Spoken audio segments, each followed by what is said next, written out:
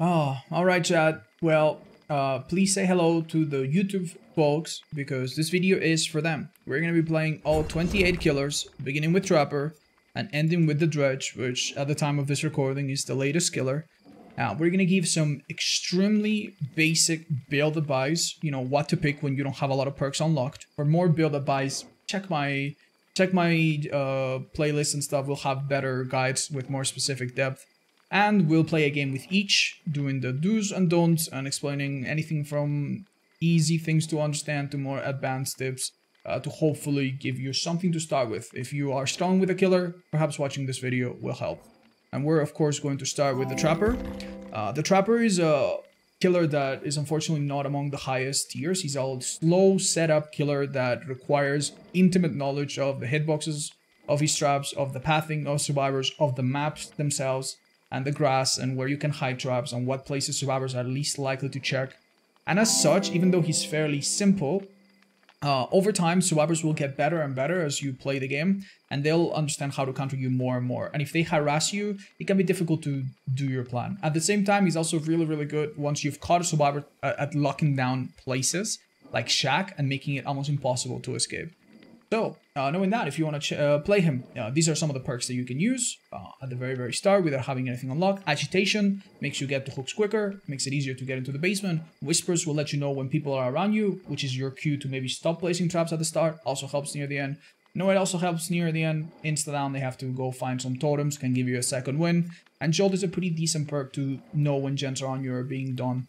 If you don't know what to do in terms of add-ons as a beginner, the speed add-ons to put down traps faster are never a bad thing. Do avoid the meme padded jaws add-on, this add-on is only bad. And you could even run the makeshift wrap in case you step on your own trap, so that there's no negative consequence to it, which is pretty helpful for beginners. We're gonna put some blood point offering and start the game. Right, so Trapper is one of the killers that I've actually made a quick killer guide on that explains things in a lot more detail. If you honestly want to invest a, lot of time into getting good at Trapper, I recommend you watch that guide. It's going to be a lot more in-depth with a lot more visual explanations of everything I'll say in this video. Um, but the general idea with Trapper is that you start with traps. Unless you have a particular add-on, the traps are scattered around the map. You need to pick them up as you go, which is a big investment of time. And you can set them down on the ground. Uh, there's three types of traps. The ones that you put in completely random spots that can catch survivors sometimes. I don't recommend you do those too many. The ones that are a little bit more obvious but hard to avoid at, say, windows. Um, and those are pretty effective but also predictable. Also, if you place them on a pallet, survivors can dead hard through them. And then the more effective ones that you probably want to do a lot more are the ones that are on the sides of loops that catch survivors while they are running around the loop thinking that it's safe. And these look, this would be an obvious trap, right? Right at the window. We can totally do it. It's, it will definitely still work. The least, the less, uh, the lesser obvious ones is the ones you place in places like this. And obviously, anytime you place a trap like this, you're going to try to push survivors into this part of the map. Now, Whispers is off, so we know that probably no one's looking for us right now. Uh, or looking at us. Whispers is now on, so that means I need to pay a lot more attention. And my general idea is to set up a trap or two at the start, maybe pick up one or two traps on the ground, and out of it get into a chase. When you have certain add-ons and perks to slow down the game a lot, you will be able to afford maybe setting down more traps if you really know what you're doing. Now I'm just gonna get in chase, uh, and having a trap on yourself while you're in chase is a really, really useful uh, thing to do. Uh, because you can do things like this. Now this loop is a little bit harder to use, and it will probably force survivors to migrate. They might they might call it out and disarm it, and in fact that's gonna happen probably in the next two seconds. There it is. But it doesn't matter, because you can reset it later if you need to, and it's really not too bad. Um, honestly, I think they get this one down. The problem is, are we gonna get it down afterwards? Alright, survivors are being smart. She dead harder for distance, even though I argue she probably didn't need to. And we're gonna set it here. Notice that I place my traps on the side of the pallet. If you place it under the pallet itself, like perfectly under the pallet, they can just drop the pallet and vault over it and be safe. You don't want that. I'm going, unfortunately, to lose a gen and now another gen very, very quickly.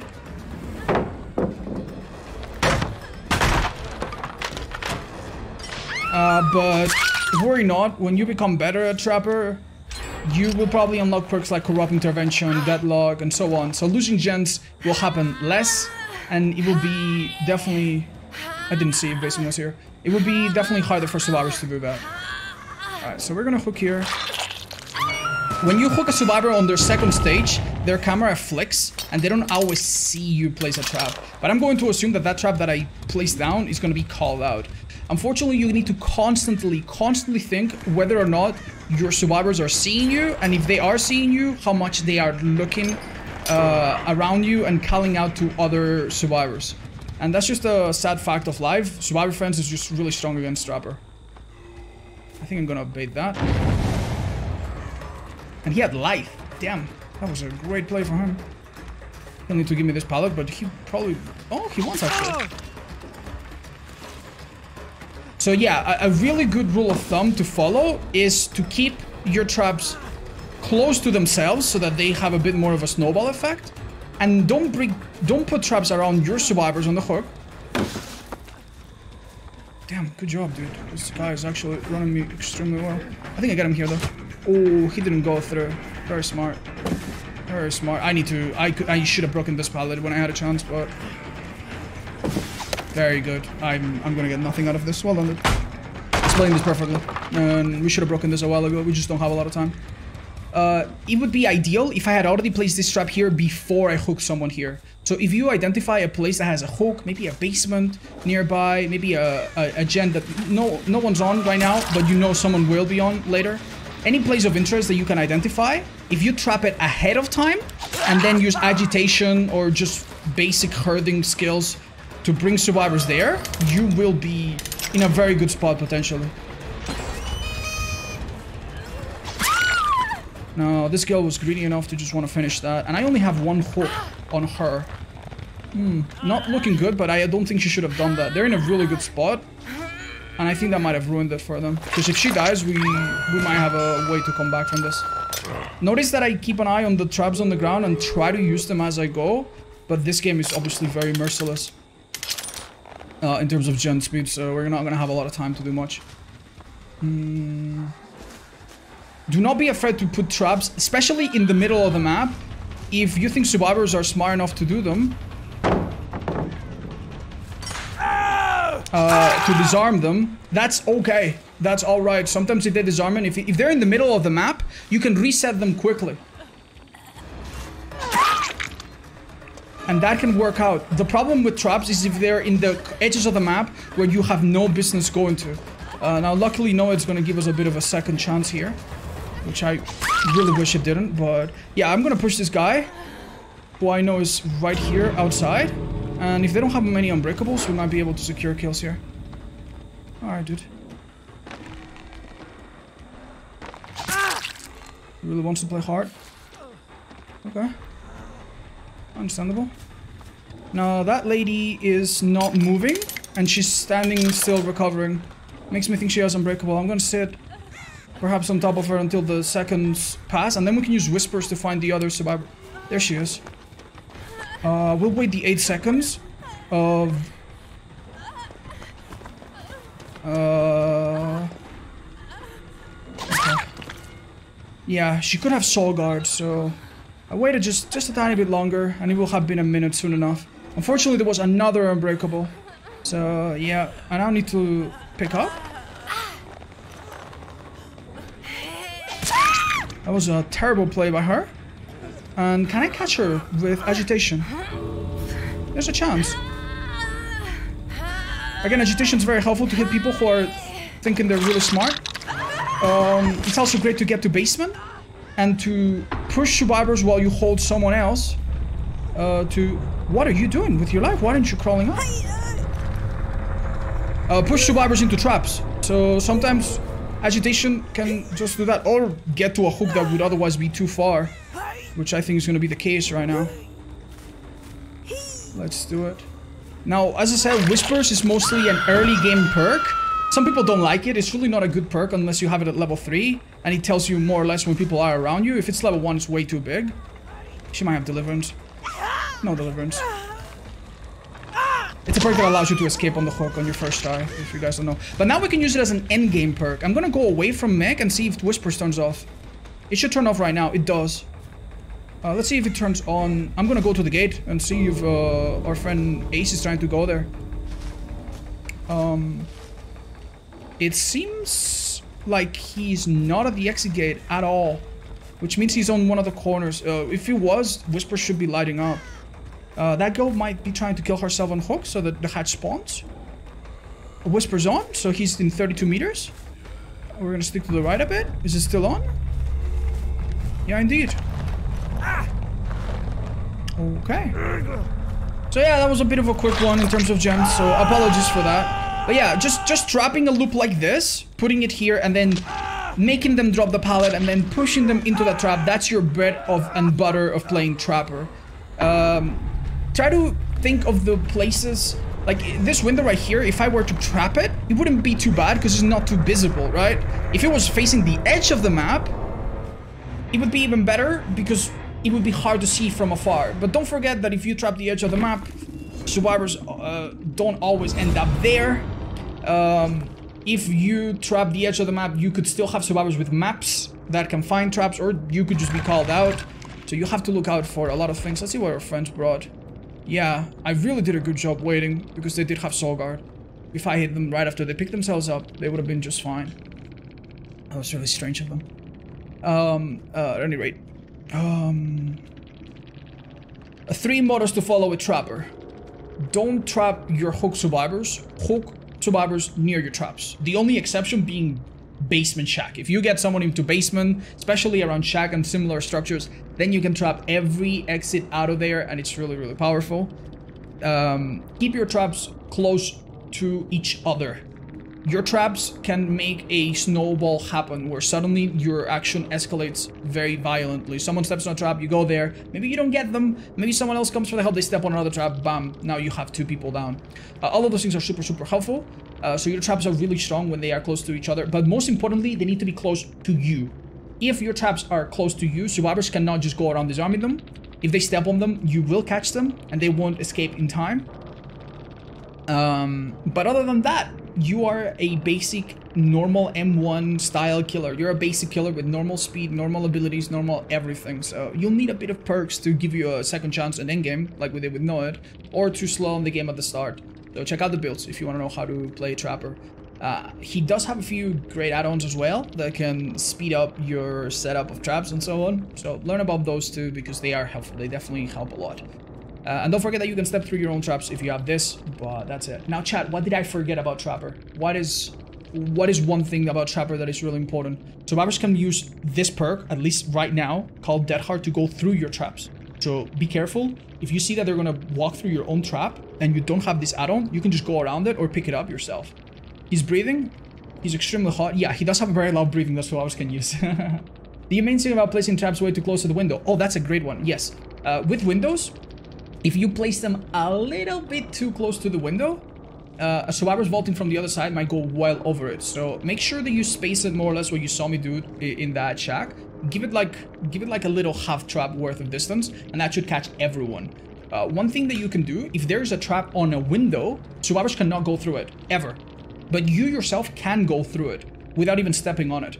So if the trap is on the same side of the window as you, you can actually approach from a diagonal angle and press space and you'll bloop, you'll start the animation without stepping on it. But survivors cannot do that.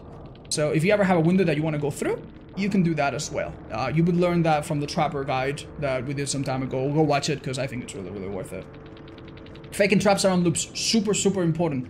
Uh, yes, sometimes you can begin to set down a trap just a little bit and not actually set it up. Just just do the setup and the survivor will be like, oh, I need to run. And then you stop and you keep chasing them and because you stopped early you actually get to catch them. If you have these add-ons to set that traps down faster it's not as necessary because you actually do set them down very fast but that is a really really good point. Bamboozle is not so good with trapper in my opinion because you actually want survivors to stay in a loop instead of just running away. Uh, if you have bamboozle and they run away from a loop like what happens to the trap you place there? Don't know. He trapper deals with windows really well Placing traps to pick up more traps. Yes, that is another great principle from chat. Thank you. It is better to place down a bad trap that you think will do nothing, even in the middle of nowhere. even in just some minor grass patch, just a bad trap is better than no trap. So if you are full on capacity, it's better to put down a trap and then pick up something than just to leave an unarmed trap on the ground. So identifying immediately at the start of the best 3 gen, I don't think that's I don't think that's super super important, but you are a territorial killer. You want to identify an area where you'll be comfy, yes. I don't think you should think of like 3 gens right away, not every match, personally, especially as a beginner. But yeah, do do try to bunker down in an area. Don't place traps all around the map, because at any given point you won't be covering all of them. you can go over the trap if it's disarming at the moment. Yes, that's true for survivors and for the killer. And I think that's probably more asset. Yes, you can trap exit gates to give you a second chance in endgame. Uh, and yeah, uh, when survivor steps on a trap, you can press space to grab them, as someone points out, but I recommend that you just whack them. It saves you time and it's easier. Um, it, it's basically easier to reset the trap after doing that or pick it up than to grab and then hook and then go back. So yeah, I recommend that 99 times out of 10, uh, unless your perks uh, want you to do something else, if a survivor steps on a trap and you're in front of them, just hit them. If you press space and at that exact moment they escape, you will instead pick up your own trap, which is really embarrassing. So I recommend you just whack them. Yes, that is a, a really good rule uh, of thumb to follow as well. And now we move on to the next killer. Okay, moving on to the Wraith. Um, it's a very simple killer to explain he does not he doesn't have a super effective powerful chase tool which makes him a little bit less than ideal in some hard maps against really really really really strong survivors. And his own personal perks are kind of bad. Everything else about him however is pretty good. He has great mobility easy to play easy to learn lots of tricks to master. Uh, his add-ons are pretty good. He uses perks from other killers and common perks fairly well. He doesn't have maps that are super horrible um, overall, he is a great killer to start with or, or pick up if you are uh, already equipped with a few good teachables. So, considering that his own perks are not so good, we're only going to be using the perks that are common to all killers. So we're going to be using Sloppy Butcher. This perk is great, makes healing take longer, and on a killer that can um, sneak up on unsuspecting killers, killing survivors is great. Bitter Murmur uh, will give us a bit of information to try to do some, uh, make some decisions during the mid game. And at the end of the game, it tells me where everyone is. And it goes really well with Noed. Another common perk that is really, really powerful. And I'm also going to be using Jolt, which is a common perk to regress generators around me. Uh, Nurse's Calling uh, would go really well with Sloppy Butcher, and any info and overall regression perk just work fine on him. Um, Beginner add-ons. If you don't know what to do, you can never go wrong with Speed when cloaked, the Windstorm family of add-ons, and Speed to uncloak. Uh, you cannot go wrong with this. There's like three different levels to each, and the higher that you go, the, the more you'll feel them. But yeah, if you really don't know what you're what you're doing, you don't want to complicate anything at all. Uh, I think these are are simple, uh, simple enough. So we're gonna do that, and we'll talk about the wraith once we find a game for him. Right. We have a few friends here.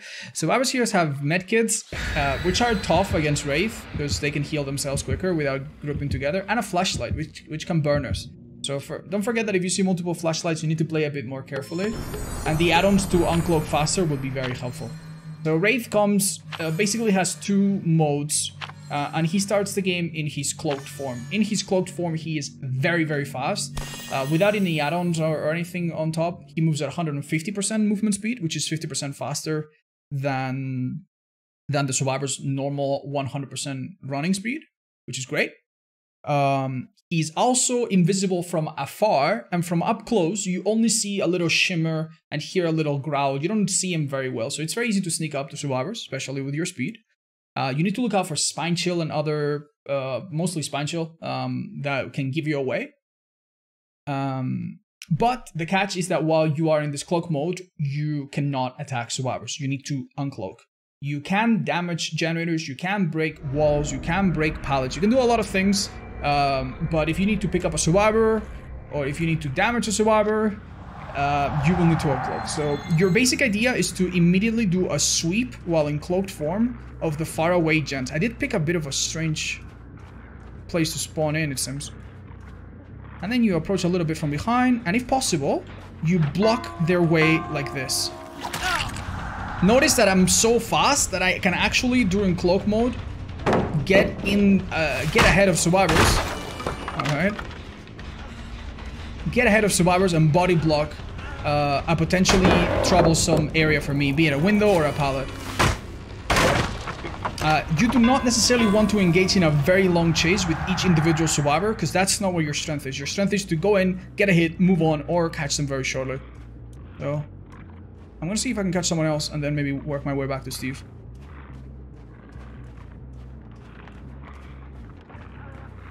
I think they're being healed right here. Wow, well done by him, actually. He just came here by himself. Bitter Murmur told me that multiple survivors came out of that gen. I don't know exactly how they did that. I don't know how they got past me, but okay. We're gonna hook him, uh, cloak right away. Don't forget that survivors often have kindred. This is an event thing, let me do it real quick. So they might see which direction you're going towards. If they had kindred, they might have seen that I'm going this way. Um, if you know for a fact that a survivor is in a gen, sometimes it takes a, a few extra seconds, but it can be totally worth it to approach, not from the first easiest angle, but rather from uh, behind. Here, it completely really blew on our face, but I'm gonna do this, which is to corner a survivor a little bit. Oh, never mind, I messed that up entirely. Uh, if you find a survivor in a corner, uh, you can often take a position uh, as you uncloak that allows you to box them in. If not completely, like this case, at least enough for you to uncloak and catch them. It is not a horrible idea to sometimes cloak to catch up to a survivor. But don't forget that if you cloak, you lose bloodlust and windows will never be blocked. So if there was a window here, she could vault it in, uh, infinitely because this loses the chase technically. Unfortunately, we are playing a horrible map for us. I'm going to body block ahead of her. Much easier to do with the add-ons uh, that increase your speed. And I can sometimes tap M2 to make it look like I'm attacking. And sometimes survivors, if they have Dead Hard or some other perk, they might make a mistake. Uh, hopefully Dead Hard gets reworked and you don't ever have to do that. Okay. So I think Shack is going to be done by David and and Steve. Um, I would like to approach from a place where they don't get to drop the pallet or the window. I'm going to keep the... I'm not even going to look at the gen in case I have Spine Chill. I'm just going to begin to uncloak from out of cover slightly. And unfortunately, they got it in front of me as well. This is Bitter Murmur. And there's Bitter Murmur as well. Let's go for him. Uh, well... Gen speed. Uh, let's see if we can creep up to him. Looking away from a generator like I just did like that can fool a Spine Chill, which is kind of useful. Uh, but maybe at one point it will be reworked. So you don't have to. Because it's one of the perks that's getting reworked. Alright. Does he have a pallet here? He might actually. Very lucky. Uh, there's nothing I can do. If I were to cloak right now, he would burn me. So I'm just gonna listen. Oh, what? He sounded right in front of me too. So unlucky. Yeah, he didn't make it to the window. That's good. He's on his second hook, which is great. And don't forget, we have Noed, which is a big endgame perk. We could put him in basement. We're not a very good basement defender. We don't have uh, weapons to hit twice, multiple times, or whatever. But, you know, since he's down on hook, I think it might be worth it. It will be hard for him to escape us. Alright. We cloak up. We know that no one else has a flashlight. We're not afraid to be burned. Um... Hey. We hooked him once and then Nea, right?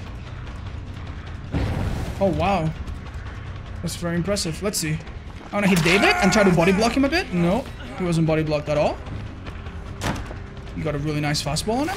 It would be really good for us to kill Steve, but it's probably gonna be a bit tricky with their perks. Um, there we go. Just make sure he doesn't leave that corner. He wants to go for the flashy save, I understand. Alright, this is a falling wall. Let's get rid of it. Didn't see where he went at all. Well, I do now. Let's try to catch up.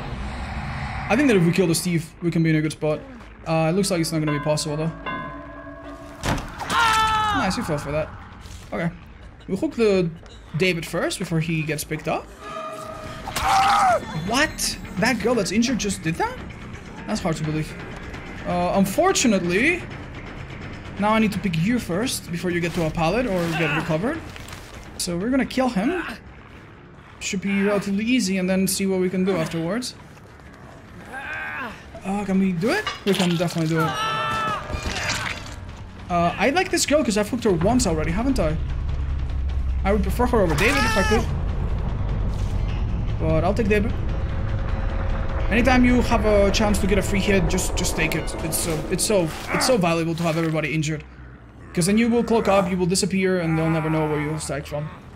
But yes, uh, getting in front of a survivor to body block uh, is super, super important. And you don't need to body block very well. If you take out like a tiny space in front of a window, that can be enough for them to not be able to vault or for them to get stuck and you begin to uncloak fast enough. Mm, Alright, if we had nurses now, we could try to catch some healing. We're, we're gonna look for blood. There we go. Some add-ons can make the blood brighter for this killer if you struggle with that. We know this skill has sprint burst, so we don't need to wait for any other exhaustion perk. And I'm gonna cloak just to be faster and follow the blood like a ravenous beast. And I don't know if she's gonna beat us to that unhook. Again, we're gonna try to body block if possible. Get ahead of her. Uh, looks difficult. Alright, it will be a trade then.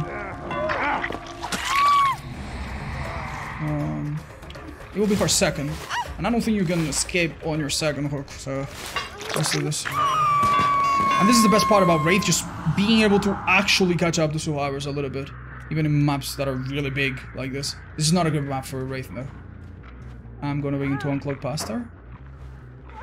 There you go, she's got Sprint Burst. I'm gonna...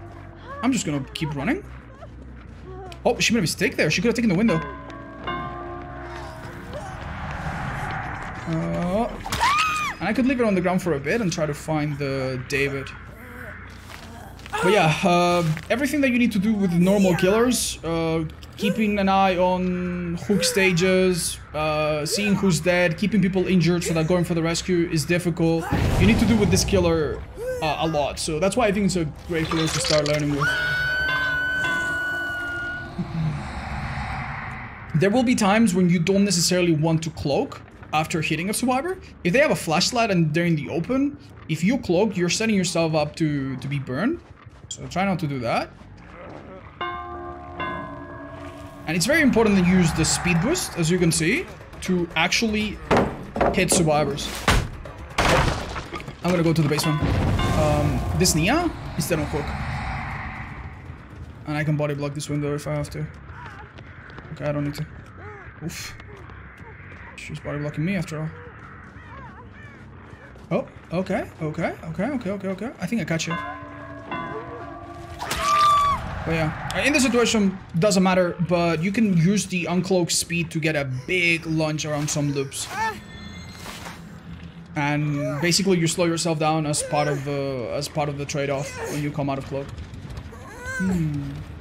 The add-on warned you that one? Oh yeah, for sure, for sure. These add-ons, even even the yellow add-ons are really, really good, so...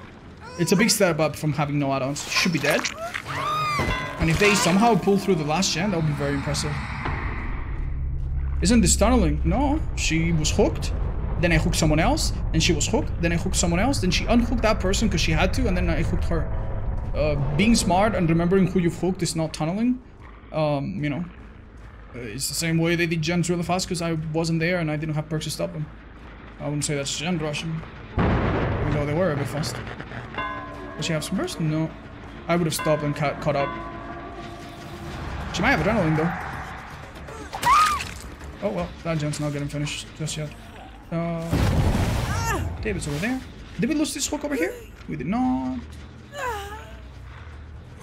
But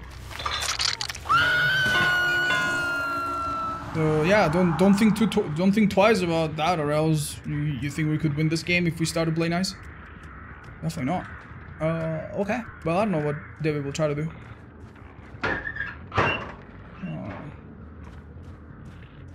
We know the other two gens seem to be at nothing, so... Oh, just hide in here. I wouldn't be surprised if we find him up here. Let's let's search. I'll find I'll find him up here. Or potentially. We could have always let her be on the ground, but our time's valuable, right? We don't need to. Oh, there he is. Okay, uh, as a wraith, since I'm uh, if you if you get stunned or burned while in cloak, your stun is much longer. So you want to avoid being stunned if possible. That's uh, an important tip. And he trying to hide or am I crazy? No, he just ran.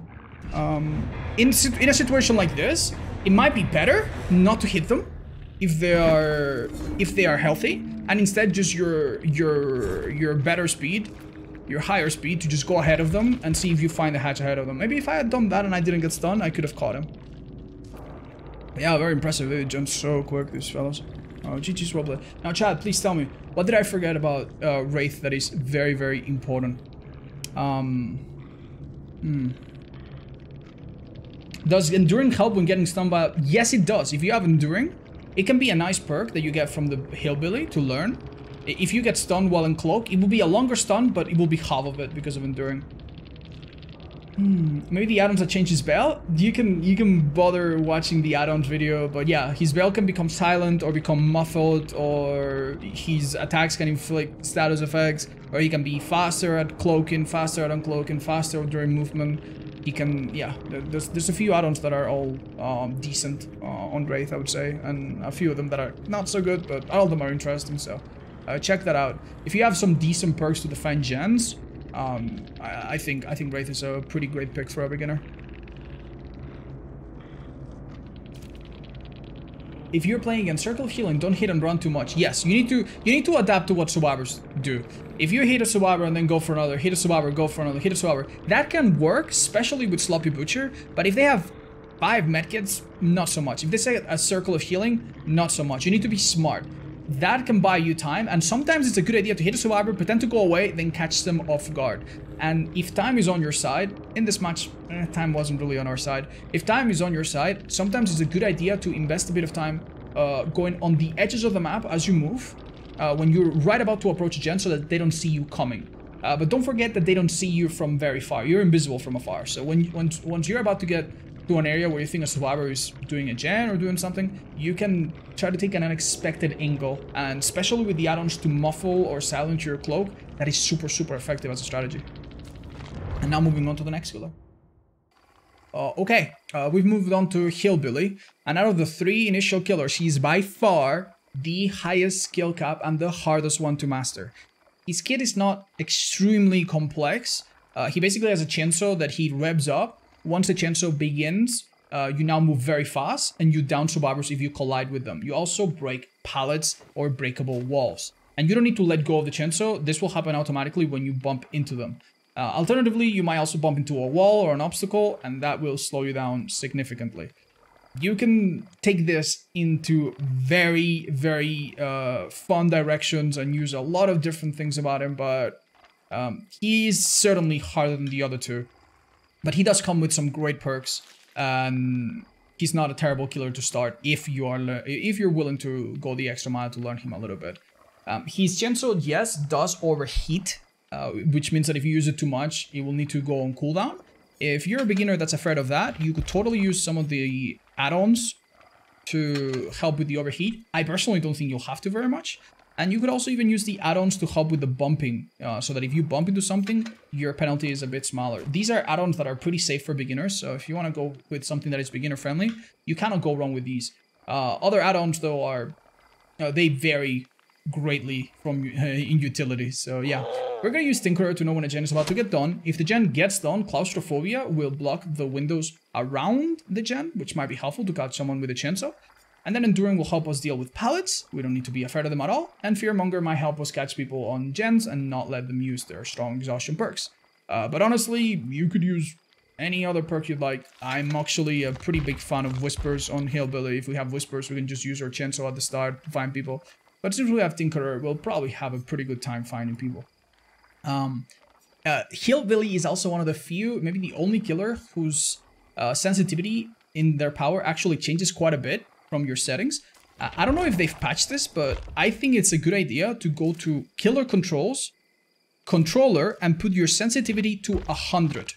If they haven't changed that, this still makes uh, his Chainsaw move uh, a little bit tighter when you when you initially uh, started. They haven't changed it, have they? Hmm. Even if you're playing on PC, the, the controller sensitivity used to give you a bit of an advantage. It needs to be at least 80. It's still a thing. Okay, that's very good to know. Let's find the match and get into the basics of Hillbilly. Okay, So outside of using his Chainsaw, which as we said, speeds him up very considerably, uh, the Hillbilly is a normal killer. He has normal speed, normal lunge, normal vault speed. Everything about him is kind of normal. So if you come to him from Trapper or Hill uh, or, or Wraith, he'll feel the same outside of using his Chainsaw. Um, but the Chainsaw is where the magic happens. You don't need to use it all the time. You don't need to use it obsessively as you're learning, but you'll want to use it more and more as you get better. Uh, when you begin to charge your Chainsaw, you go from moving at 115, which is faster than survivors, like most killers, to you you drop down to 92% if I recall correctly. You drop down very significantly. So that means that if you're chasing a survivor while you charge your Chainsaw, you will lose a bit of distance.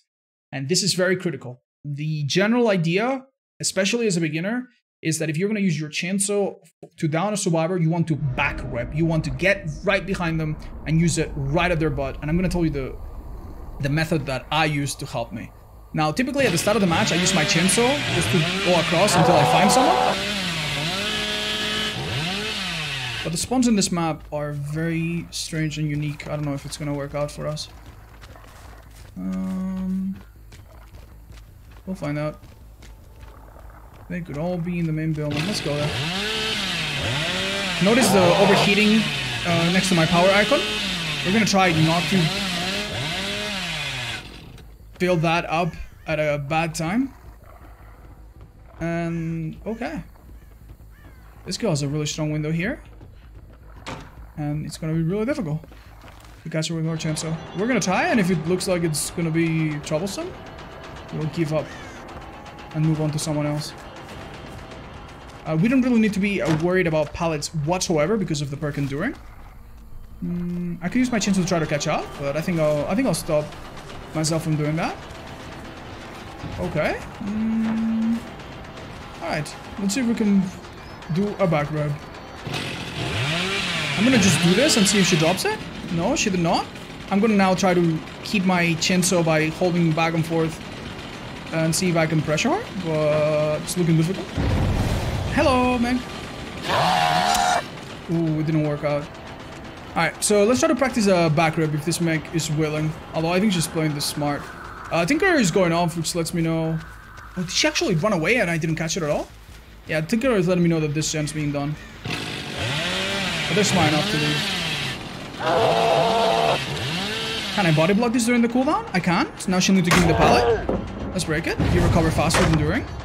Very good. Let's see. Let's see if we can listen to this thinker. Hmm, that was almost close. And we didn't body block him at all. Very bad stuff. Mm. Oh, okay. This window's gonna get blocked soon. There you go. Ah, so unlucky. We'll break the pallet by fully revving the Chainsaw. And he'll have a window here, but it is blocked thanks to our perk. So we're just gonna get really close to him. And when we're super, super, super close, use the Chainsaw. And here's the thing, right? Good survivors are to try to do that. They're to try to do crazy flips. Uh, this one, she was kind of boxed in, so she didn't really have a chance to do that. Wow, that's really impressive. Oh, well, we're gonna lose two, three gens just like that. Uh, but they're always gonna try to move side to side, or sometimes just the... the... What? just uh, sometimes just the the heat of the moment will make you. How are they doing this?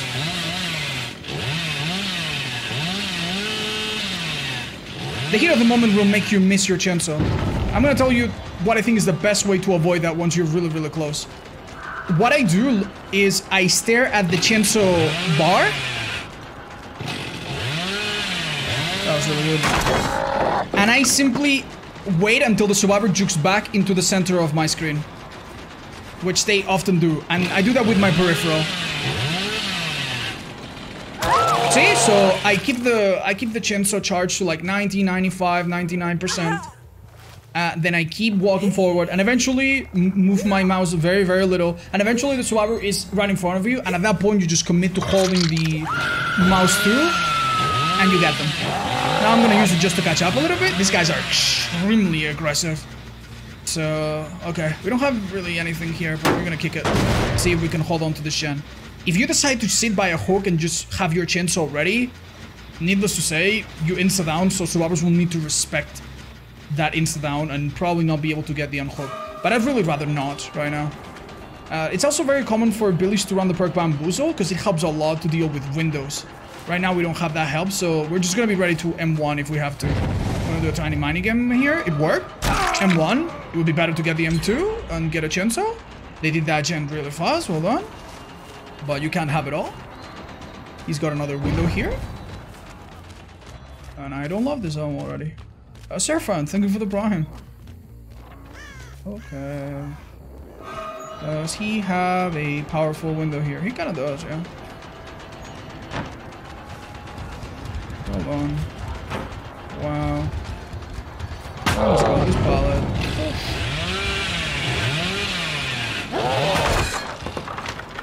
Now for the more critical parts of using the chainsaw and what makes Hillbilly really, really tricky. Oh, you're kidding me. Alright, thank goodness. the chainsaw, after a little while, becomes uh, very rigid in its movement. And without certain add-ons, it's actually really hard to control. Let me show you. Like, this is all you can do, right? Like, you use your mouse uh, left to right, left to right. And it's really hard to control it. I really don't have that much room. Look. I couldn't really hit her, even though she was right in front of me. Uh, but that's not always like that. Let me show you. Oh, she outplayed the heck out of me there. Uh, for the first, I think 0.7 seconds, that window is blocked. Oh, you're kidding. She's so good. Uh, sorry, chat. I'm struggling as it is. She'll drop this now. Good job. For the first 0.7 seconds, I believe, you can actually have a massive turn. And there's a way for me um, to actually turn more than just a few degrees like that. And for me, the easier way to do this, at least on PC, is to set uh, a specific uh, keybind on your controls. Um, you go to input binding and go turn right and turn left and make it Q and E. And now if I press E, I look right. If I press Q, I look left. So I can use this just to navigate around. Look, I'm gonna press Q. I'm gonna press E, Q, E, Q, E, Q. And it's really nice just to navigate around the map in general. But it's also really nice to do curves. So let's say someone's trying to play around this loop. What I can do is I can prepare my chainsaw and then right at the very start I press E and I go right. And I could also do Q to do the opposite. Uh, well, don't do that around hooks, but you can do that. Right? Uh, I don't know if this is going to be a good example. You need to be somewhat close. It's not extremely easy. But, yeah. That's the idea. That's the idea, more or less. That's how you curve. Uh, uh, some people do it with mouse, and they just have e excellent timing. And I personally use it with... I, I use QD. If you're on controller, unfortunately, you don't have you don't have such a, a luxury of, of, of, being able to choose. Here, I think it's kind of hopeless, though. Yeah, I don't know how these people are healing so fast. They are insane. They did three gens, or Tinker three gens in a matter of seconds. But that's not what we're doing today. Ooh, does this girl get out, actually? Oh, I didn't notice at all. I think she does. Hold up. I'm gonna try to cut her off. I'm gonna try to cut her off. Uh, these guys need to leave right now. Um, if it wasn't for my cooldown, I could have maybe gotten them. Uh, I don't know where this gate went. Well done by her. Uh, that's really strange though. Uh, I guess she can never, she can always run to another side, so. Yeah, uh, Meg was here and she's gone. Well done. Uh, believe it or not, it's easy to turn flick. I personally have a hard time using the same mouse for for my camera movement than for my chainsaw movement. So I personally kind of appreciate leaving my mouse like right now I'm not touching my mouse and it's completely still and I only use Q and E. And to me it's very easy to just learn like this. And then you do this, start the chainsaw and there you go. And that's a very basic turn that you can do to get rid of a pallet, to try to catch a survivor around the corner, uh, to get rid of a breakable wall, um, to try to sometimes just get ahead of the survivor, see if you can, during your recovery, body block the window. And I, I have no idea how this dude's this gen's so fast, man. I understand that I don't have a lot of gen slowdown, but oh my god. GG's. So yeah, I, I do recommend you try that at least and then make up your own mind as to which method you prefer. Uh, now Chad, what what what did I forget? Uh, what did I forget uh, about Hillbilly that is really really critical? Uh, some add-ons will make his chainsaw take longer to charge, but then make you go faster. They are the engravings. I recommend you only try them out once you know what you're doing. Anything that gives you, any add-on that gives you a downside, and there's at least three or four of them, I'd recommend you stay away from until you really know what you're doing and you understand the add-on.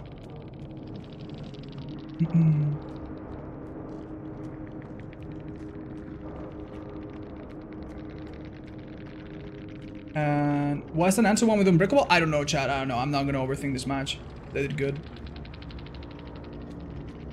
Um, letting go of right click not to bump into stuff. Yes, uh, it's preferable for you, if you know that you're about to collide into something, it's preferable for you to let go of M2 and the chainsaw and you have a short cooldown. If you bump into that, uh, let, let it be a tree, a wall, whatever, the cooldown is significantly longer and you don't have any mobility whatsoever. You're like stuck in place. Uh, as I said, some add-ons can help you with that, but you, it's really not ideal. You don't want to do that. Uh, some places have very strange collisions. You'll see that in some maps, some tiny branches can stop your chainsaw. And some maps have walls that are made of butter and you can slide past them. The really good hillbillies learn every map and learn every little bit of collision uh, for their to, to, to avoid it and also to use it to their advantage. I'd say feathering is a very important thing to learn. That is actually a really good point that we completely uh, overlooked. Not that we had too many chances, but what's gonna... One of the things that you're gonna do a lot around pallets uh, survivors might decide to just drop the pallet right right away. Altogether, they just drop it. In which case, if your chainsaw is already charged, break it with your chainsaw. If your chainsaw is at zero, you can break it with your normal spacebar. It takes about the same time. Uh, again, if it's not fully charged already. Um, and another thing that you can do is just see if they keep running around the pallet. If they keep running around the pallet and your chainsaw is fully uh, ready, you can sometimes curve past the pallet and hit them or do what's called a feathering. Feathering is when you tap the chainsaw for a little bit, enough to scare the survivor into thinking that you're going to use your chainsaw. And then they keep running, and then you stop using your chainsaw. And you keep conti you continue going on, and then you hit them with a normal attack, or you hit them with a chainsaw after they do a big loop, and you actually catch up to them. So yeah, that's a really, really good point. And now we move on to the next killer, guys. Right, um, so now we talk about the nurse. Uh, arguably the strongest killer in the game, with some of the strongest add-ons, and makes use of the perks uh, that are available almost better than anyone else. She's very, very, very strong, but also very unique. She is nothing like the previous three killers that we covered. She is in fact nothing like any other killer that we'll cover later. Um, so the problem with playing nurse is that yes, you'll be playing a very, very strong character, but almost none of your abilities will translate into her. When you start, she will be very rough, and if you ever spend a lot of time playing her and only her, other killers will feel impossibly difficult afterwards. Play her with caution, but do play her because she is fun. She is the only killer to actually move slower than survivors. Her base speed is actually below the running speed of a survivor. So if you just move around, um, the nurse does not catch up to survivors. You need to use her power, Spencer's Last Breath, which allows you to teleport forward and through obstacles to then immediately hit a survivor if you're right on top of them. Uh, her personal perks are decent, all of them. Uh, we're going to use Thana to slow down gens a little bit for the more, uh, the more people we have injured, uh, mostly. Uh, Sloppy Butcher, common perk to make healing uh, harder. Nurse's Calling, her own perk to catch people healing near us. And we'll also have Jolt to request gens because we do need a bit of help.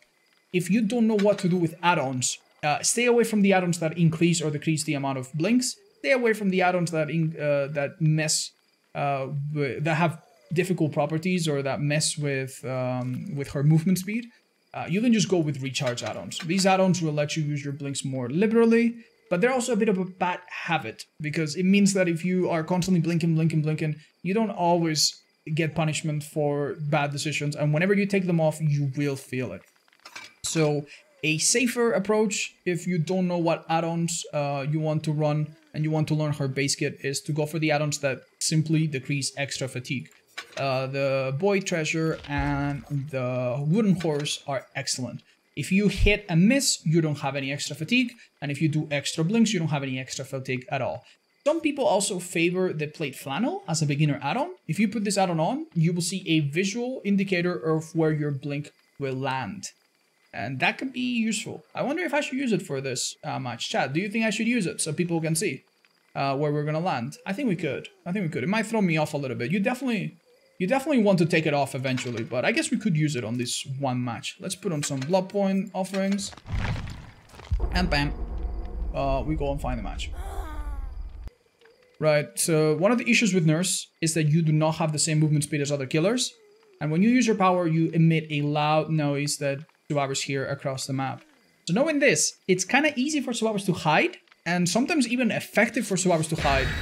You will want to immediately get to the middle of the map and start looking around really, really well, or have perks like, I don't know, Discordance, Whispers, Lethal Pursuer, perks that let you know where to go and where to find survivors early. Uh, when you develop a better sense of where survivors go, I guess you won't really need perks too much. Uh, but yeah, uh, when she teleports and hits, that still counts as a basic attack. So all of the insta-down perks are good on her. All of the anti-healing perks are pretty much good on her. Uh, hexes are powerful on her in general. Because she can defend them so well and they go really well with her. Yeah, uh, you almost cannot go wrong with Nurse and you can get pretty creative in her builds. And she has a few gimmicky add-ons that you can eventually indulge with. But right now we're going to learn just a very, very basic. When you charge your power, you immediately start sending forward a little landing point. And since we have the add-on that shows us where that landing point is, uh, we'll actually have a very visual way of understanding how it works. The longer that you hold it, the longer that it goes, with a maximum of, I believe, 20 meters. So that means that if you hold your power, uh, eventually the nurse will clench her fist. That lets you know that it's fully charged. You don't need to charge it anymore. Uh, and then you can release it and you go forward. If you want to, you can look to the ground to not go too far out. But if you've already charged a long blink, you will still take a long time to land. So let's let's begin by doing a long, long charge. Oh, uh, the fist is clenched. I do that. And now I go through a fatigue, and on my power, you see that I recover the charges. Now I'm gonna do the same, but I'm actually gonna aim at the ground. Ooh, you see, you can actually control where you go. So I do not want to go that far. I want to go here. Okay. Do I see someone else? I do. All right. Are they in a bad spot? Can I hit them normally? No, they're too far. I'm gonna do one blink. And now I can charge up another blink for a very short duration. So you can do up to two blinks by default. All right, let's get close. One. Ooh, and then we hit them. And now we go through fatigue. Unfortunately, you are forced to look at the ground, and as you can see, it's a bit disorienting. I kind of lost them. I'm gonna go through here, see if I catch him up. Oh, I found someone else. Why not? Okay, fatigue. We try to listen.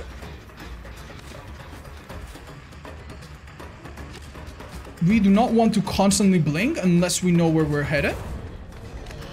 If the survivors make a mistake, and they are close enough that you don't need to blink, don't blink. Because then you save the charges and you can just hit them normally and then have two blinks ready to go. Once we pick up, we have the same speed as every other killer. So don't worry, when you carry a survivor, you move at the same speed as every other killer. Alright, so that's one. We're gonna go up. Uh, I look up slightly high to make sure I'm going as far as possible. Make sure you don't like let go of the blink now. You want to look straight or even a little bit higher to make sure. And as you can see, depending on your mouse, you can actually decide where to go. Upstairs, downstairs, basement. Let's not go basement. Um, so yeah, you can actually have a little bit of control. Uh, but do remember... Oh, I'm gonna tell you what happened there and what the mistake I just did was. You cannot go through the X, uh, through, through the edges of the map. So some maps have walls near the edges that you cannot teleport through. Even if you think that you can get back into the map, you really cannot. Very good. What did the Swabber do? They did uh, a turnaround. They did what some people call a what would you call it? A U-turn? I don't know. I don't know how you would call it. Uh, but every survivor has a bit of a style, and they try to mix it up. So if they if they've done it on you and it worked once, don't let it work twice. A double back. Yeah, thank you. That's that's what people call it most commonly. A double back. Uh, a really good idea if you lose track of a survivor is to teleport to the last place you saw them. Uh, as you saw with that Nea, I actually teleported through a wall completely blind. And if she did a double back or some crazy juke, I wouldn't I wouldn't have seen. So I'm just gonna teleport to the last spot I saw her. Oh, never mind. I have nurses. But here's an important thing that is also not very intuitive. You cannot teleport on top of a survivor. And I think that that's why I missed one of the blinks. And this is a bit of a... It's a bit difficult to, to, to explain. But once you understand it, you're going to save yourself so much frustration. I had thousands of hours in this game. and probably hundreds of hours on Nurse. And I did not understand this. So what I'm about to tell you right now will save you a lot of headaches and will make you understand why some of your blinks fail. Right. So I want you to look at my blink indicator. Alright? Okay. Do you see how it jumps? You see how it jumps? I cannot be inside of a survivor. So sometimes a survivor will drop a pallet on the other side of the loop and you'll want to go past it and you'll be like, wait, what? Where am I? Why didn't I go on the other side? That's probably because you landed right on top of the survivor and the game detected that that was no good. So in little loops like this, oh, hello. All right. Good Dead Hard. Alright, in little loops like this, you don't necessarily want to teleport um, on top of the survivor. Like, let's say he's looping me around some, I don't know. I mean, he's not doing anything right now, I guess, but... But let's say that he's on the other side of this window, right on the other side. Don't try to teleport super shortly on top of him, because it will not work. You'll be stuck on your side. Instead, you want to teleport right to the side or wait until he's a bit further or go a bit further and then do a little change of direction. It's totally possible to do a quick blink and then turn and hit backwards. But an even more efficient way to do that sometimes is to turn while you travel. So notice that I'm going to do a big blink and while I travel, I'm going to look behind me. You can totally do this. So if you can already tell mid mid blink that a survivor is going the other way, you can switch directions as you go. Which I think will help you if you're on console, because on console you don't have the ability to do crazy flicks, because your... Unfortunately, your your sensitivity is more fixed. I'm gonna see. Okay, I see her. Alright, I'm gonna charge one blink. Let go. Then charge... No, uh, I didn't have enough time. I charged for too long. Uh, I need to be careful and find her, not him. Oh, well, that's unlucky. He's got that heart. Okay, you see what I mean, right? I teleported. I knew that he was animation locked. So I immediately looked back. Uh, we might eat a decisive here, and it would be completely deserved. Oh, uh, will not? Okay. And yes, uh, if you attack mid uh, at the end of the blink, you can also grab. So if that survivor was doing a slow vault and I did that, it's possible that I could have grabbed him. So that works too. Uh, you can grab them out of totems, you can grab them out of lockers, you can grab them out of anything that you can grab survivors at. Uh, executs, you get it.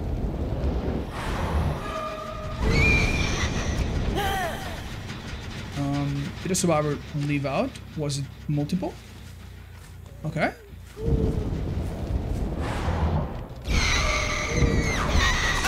Okay, that actually kind of worked to delay it and then do a short blink. Don't forget that they see where you're aiming and they will often try to play around it. But if you're not very sure about your second blink, I'm not very sure about my second blink, there's no shame whatsoever in just waiting. And as you can see, waiting sometimes is a perfectly good decision. Especially if the survivor is cornered, right? Let's let's try to come up with some made-up example. Let's say that I chase Leon, who is now done. Let's say I chase him to this tree, and he's behind this tree. I don't see him. I can do two things. I can wait, and then, okay, I go around, I see him, one blink, bam, dead. Or I can be stupid and be like, okay, I'm gonna get you. Oh, oh, oh I miss. Oh, fatigue. Oh, no. Now he's out of there. Don't forget that the more blinks you do, and if you swing at the end, that all of that makes your fatigue longer. With that little pine cone that we have right now, the extra fatigue from extra blinks is gone. And with the little wooden horse, the extra fatigue from missed attacks is gone. But we don't have that one add-on right now, so swinging unnecessarily is bad. Alright, let's go. I don't see them. I think they're just waiting here. Are they just waiting here? I actually can't tell. Have Iron Will? Are they just hiding? Well, excellent job.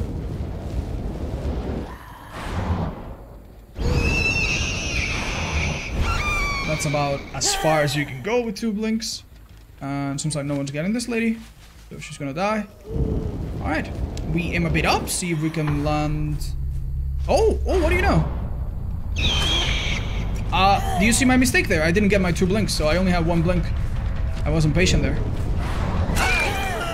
Okay. Now I will be patient. Wait for the two blinks. One. That was a Dead Hard, which is a perk that allows you to dash forward. Uh, maybe by the time you watch this, this perk has been reworked. So I'm just gonna be patient there. Um, we could hook your basement, sure. Would you say the nurse needs a buff or nerf? Uh, nurse is balanced because the bad nurses are really bad and the good nurses are really good. So she's kind of comfy in between. But yeah, with some of the stronger perks and strongest add-ons, she's really strong.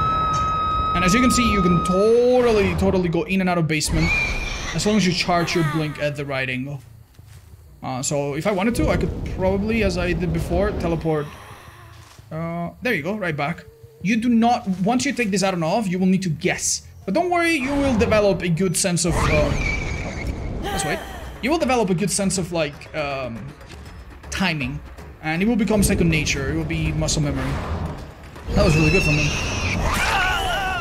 Unfortunately, it's a very open map. I think they have a hard time escaping here. Okay, let's get our second blink back. There's no need to rush it. He's got that hard, doesn't he? Well. Yeah, sometimes they just zone themselves out and you don't even need to do much. It, it really pays off to be patient with Nurse. Uh, worst things, worst thing that you could do is just never blink and just walk everywhere. But almost as bad as that is just blinking everywhere and constantly being in fatigue and constantly doing nothing. Ooh, nice. Okay, this pallet's gone. Since I'm recovering, I might as well break it. Notice that most pallets as a nurse you can just ignore. But you can also just break them and get points, I suppose. I really can't tell what she was trying to do. Very impressive.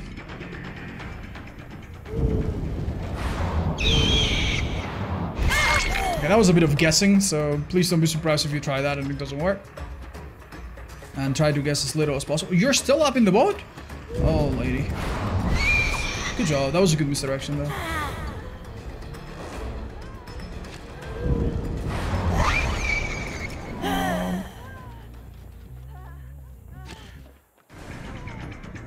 You begin to look around and they see you past the corner, never drop down against the nurse. That is the worst thing you can do. When you drop down, if you don't have balance landing, you are literally sitting ducks in that spot for like one second before you actually get your speed back. So if they ever drop against the window, be very patient. You don't need to like predict it. You don't need to pre-blink. Literally chase them into the vault. And if they drop, let's say this is a window, right? This window right here. Let's say I'm cheating someone. Wait, wait, wait, they drop? Well, close enough. yeah, if there's no basement, that should be easier. yeah, no, you, you definitely can wait. You definitely can wait. Wait, did I hear the hatch? Oh, I sure did. Um, I said that you cannot go through the exit gates, uh, through the exit, um, through like the edge of the map, and that is true, you cannot. But one thing that you can do, funnily enough, is go through the exit. There's not going to be anyone here, obviously. And you could camp this with Insidious or something funny if you want to do some memes, but yeah. As you can see, into the map, good. Out of the map, bad. And anytime that you can use a hill or any elevated position near the start or near the middle of the game while you find survivors, it's not a bad thing. Because elevation for Nurse is really good. She can get up there and see everyone. If survivors go up there and they don't have balanced landing, they always will have to slow themselves down dropping. So, yeah. We can let them have it, I guess. GG man, I am crying. Oh, please don't cry. Go on, get, go on, get the gate. Alright. You can mention clenching off fists imply a full blink you haven't already. Yes, yes. Uh, not only that, you'll notice that on my fist right now there's two little orbs. Those two orbs means that I have two blinks. And you'll notice now that I have one orb.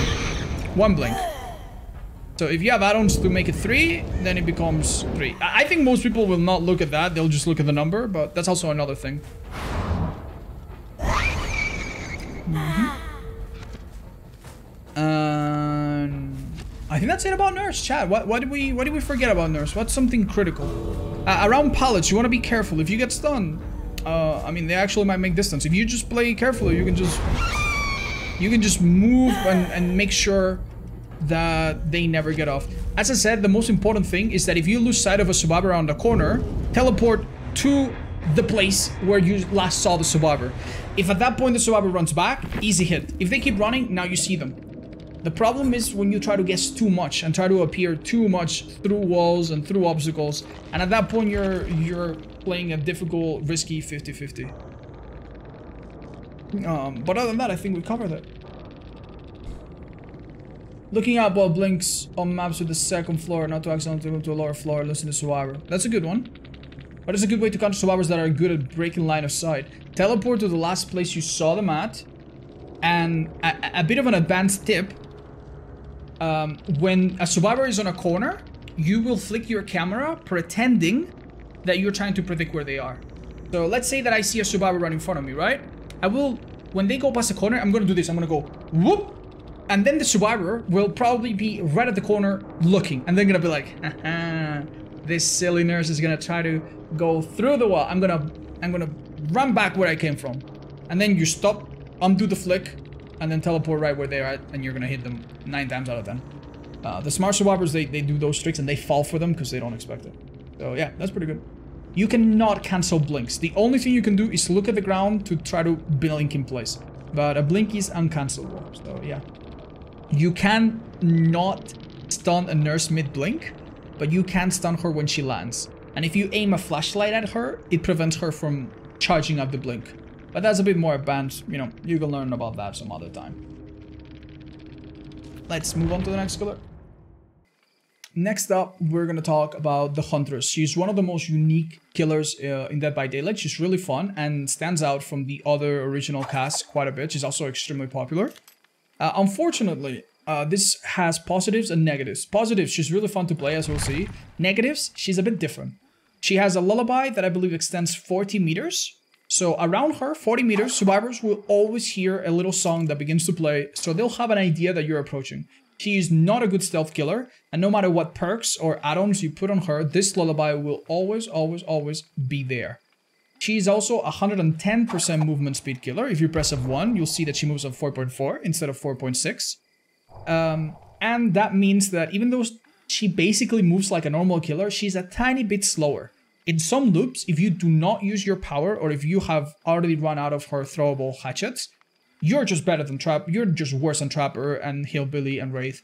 So you need to be a bit mindful of that. You will not catch up the survivors quite as quick as the other killers will. But other than that, uh, she's pretty fun. She has a very simple power. You hold uh, M2, the attack power, you hold up a tiny little hatchet, and if you release it, you throw it. The more you hold it, the, the, the straighter the arc, and the faster it travels. So sometimes it's a good idea to hold it a bit longer just so that it has a more uh, straight path and it hits the objective quicker. Uh, if you toss it right away, that's fine, but it will fly um, with less strength and it will fly a little bit slower. And it's all about knowing when to use your power and when not to use your power. And even for some experienced people uh, like myself, it, it's still a bit tricky.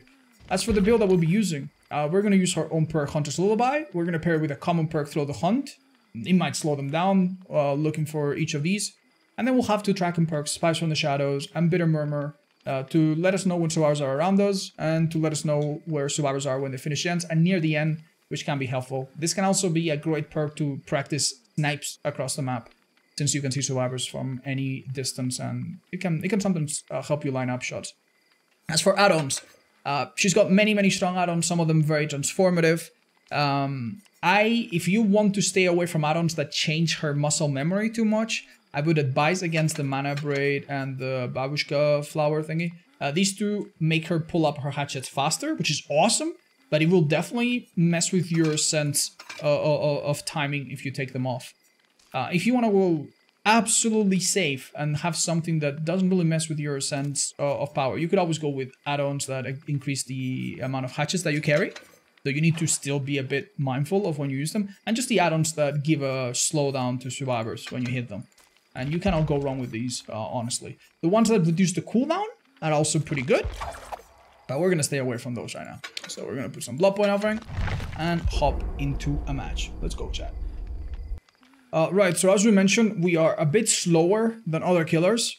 Uh, we emit a loud sound that survivors hear. It's not directional, so they can't tell exactly where we are just by hearing it, but they'll know that we're around. So against this killer, stealth is powerful and a bit tricky to get around. We're gonna really hope our perks help us and our general sense of where survivors spawn gives us a good early start.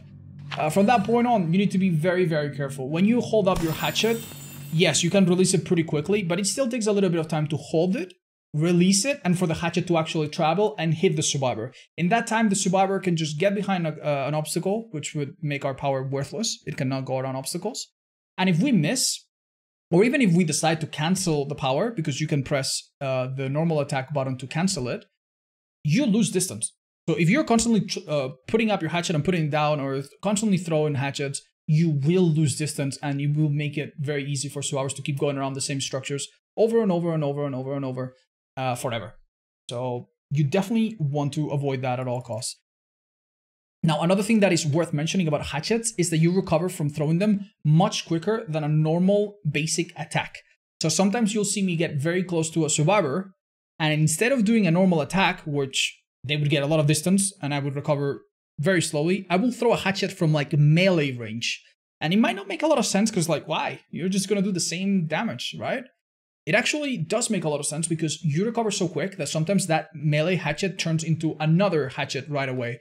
Or you do a melee hatchet into a normal attack very shortly after, especially if the survivors are a bit panicky and they can get away from you. oh, really, Marcel? How was it? Welcome. All right, uh, don't know what map it is, but it must have a lot of pallets because it's taking a little while to load. Oh. Uh, well, we have a really tough map, so... Uh, by the way, some people will use uh, crosshairs. There's no built-in in-game crosshair, but if your monitor has a crosshair, I think it's useful. You could you could turn it on or draw a little dot on your screen. If you know where the center of your screen is, it does help a little bit to just, just know more or less where you're throwing. Especially in long-range hatches. I see scratch marks, so I'm already gonna go chase someone. And find them here, hopefully. They're on the gen? Alright. She dropped right away? Oh, I hadn't seen her. Alright, I could begin to use my power right now, but I'm gonna wait. I'm gonna catch up a little bit first. And right here I have a decision. I'm gonna charge my... She, of course, doesn't want to take the narrow path. I'm just gonna wait. And release it. Just be very patient. Notice that she's in a really bad spot. Ah! And we're just patient like a saint. We could have held our M2 again, but at that point it doesn't matter. If she goes down on the ground, I don't need to be faster. I can I can actually use just a basic attack. Alright, so somebody misses kill check? Maybe because of Lullaby? Nah, it couldn't be. I'm gonna try to do this, but this is tricky. Mm, no, just hold it. Just hold it. Just hold it. Just hold it. Be patient. Uh, unlucky. Yeah, I think the cars in this map are not very friendly. Ah? Alright, I could M2 right here. Or I could also... Oh! Very smart. I'm gonna do this. Ah, that was um, a bad compromise. Okay, well that bird told me someone's there. Oh, that was just a bad aim on my part. I'm gonna tell you the general idea that you want to follow when playing as a skiller. You want to hold your hatchet in the middle of your screen and wait for them to run into it. Right, as you can see, even that is difficult sometimes. Uh, this girl's gonna have a hard time getting rescued, but hey, Are we okay? Is she gonna hit stage two? Oh, she will. That's a that's a big one for us. Alright, let's reload. Every time you run out of hatchets, or you're close to running out of hatchets, you want to reload. Typically, when you end the chase by downing a survivor, if there's a locker nearby, go and do it right there and then. Uh, the only times when you don't want to reload is if you're already at max capacity, or if you are very confident that you have enough hatchets for the next chase. You have three or four, and you're like, okay, I want to actually just get down to business. In that case, you don't need to reload. In almost every other situation, reloading is a fine choice and it ensures that your next chase or two will be uh, done. Uh, Dead Hard's gonna happen, I think. Okay, I was a bit patient here. Patience definitely pays off. And unfortunately, this person uh, doesn't agree with that virtue. Anyway, uh, we're just gonna take it easy, give these guys a chance to still play the game and just talk through all the things we need to do. Uh, anyway, uh, let's say that someone went around the corner and I've really realized that it's a really bad idea to hold my hatchet. Do I need to release it? No. If I do the attack, normal attack button, it puts away the hatchet. But as you can notice, this still slows me down for a little bit. So you don't want to gratuitously uh, put up your hatchets. That's a Bitter Murmur, the perk that shows me auras of people. Um, damn, that was pretty good. But at that distance, unfortunately, they can they can, they can still kind of react a little bit. Nice. Right, you shouldn't be doing this. Hmm, I guess I didn't want those well points. I don't know. That guy healed really quick. I thought they were doing pretty good. It's a pretty good map for them. I really don't know. I'm gonna catch up a little bit. Um, I could do a basic attack now. Uh, I don't think I'll be able to. Alright, as you can see, the hitboxes of the survivors are very generous. And so are the ones from your hatchets. So... Aim more or less um, at them, and you're probably gonna hit them. Right, so now would be a perfect time to reload. Let's not get into the next chase.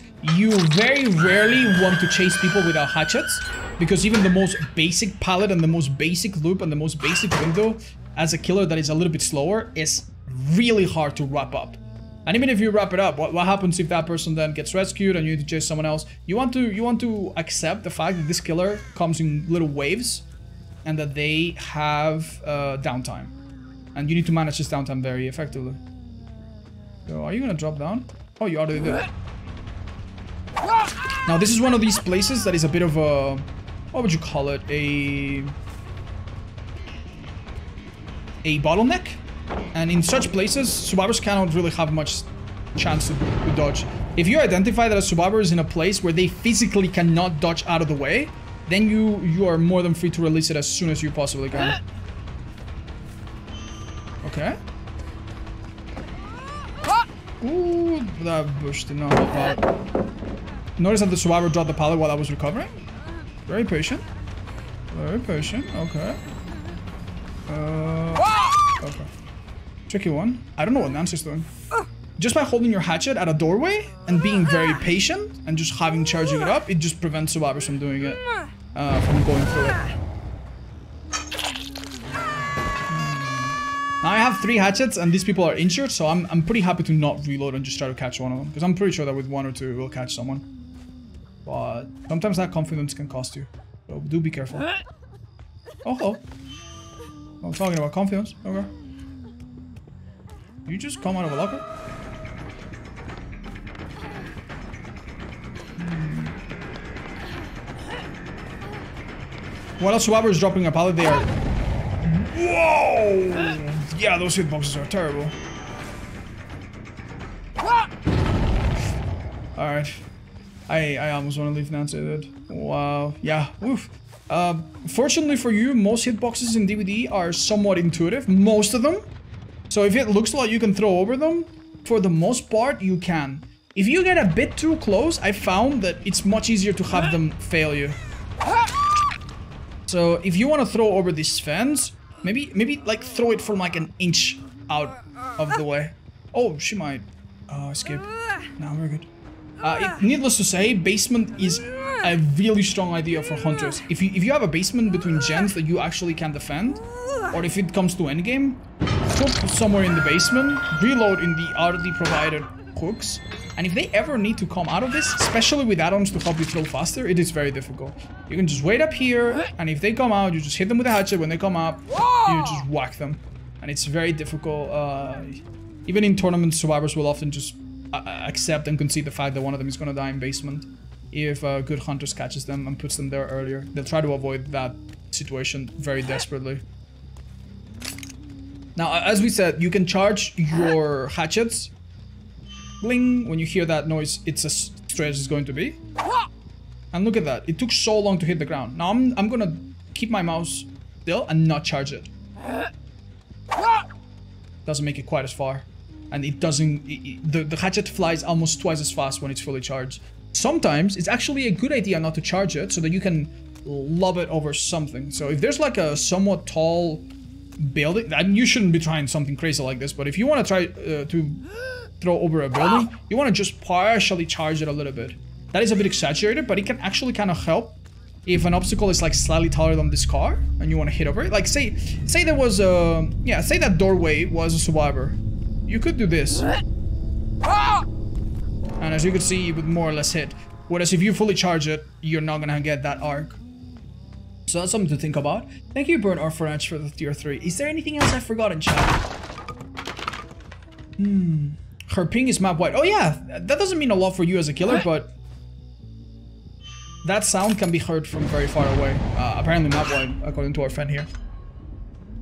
Did you mention that if you're right behind a survivor, the recovery time her hatchet is much faster? Yes, that's one of the first things we explain. Hmm. What else? What else? Okay, here's a really important one, okay? Let's talk about pallets. In a pallet like this, should you ever kick the pallet in chase? Let's say this pallet was dropped. No, this pallet is horrible for survivors. No matter where they are, the only thing they can do is hide behind this little tree. In a situation like this, try to be careful, don't get stunned, and just play around it, just burp, burp, burp, burp, burp, and eventually, boom. Just be very patient, they'll, they'll give you an opening. But there are other pallets where your power doesn't help at all. Uh, I'm gonna pretend that we find one. Yeah, I, I think this map is pretty good for Huntress in terms of height. It's just the buildings that can be rough. Now, let, us imagine that this car was a solid block of ice where survivors could see me through, but I could never really hit them. And no matter what I do, if I keep going like this, since they see me perfectly, they just keep running. They just keep running. Oh, okay, okay. Oh, oh, they kept running. Damn. Okay, again. Uh, oh, I'm almost there, almost there, almost there. Oh, he kept running. Damn it. Oh, mind game, mind game, mind game, mind game. It doesn't work. In these, very simply, just hold forward. Just hold forward. Go forward, go forward. The survivors, if they're greedy, they'll keep running, then you hit them. Or better yet, they drop the pallet and you break it and now it's gone. And now it's on to other bad pallets like the one we mentioned earlier. And that would be better.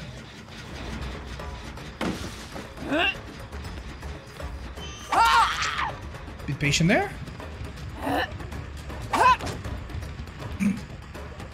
It was worth a try. Oh, yeah, an answer. What's up? I don't recommend you. I don't recommend you throw hatches while you're falling. I try that and I never succeed. But yeah, yeah, you totally can if you want to.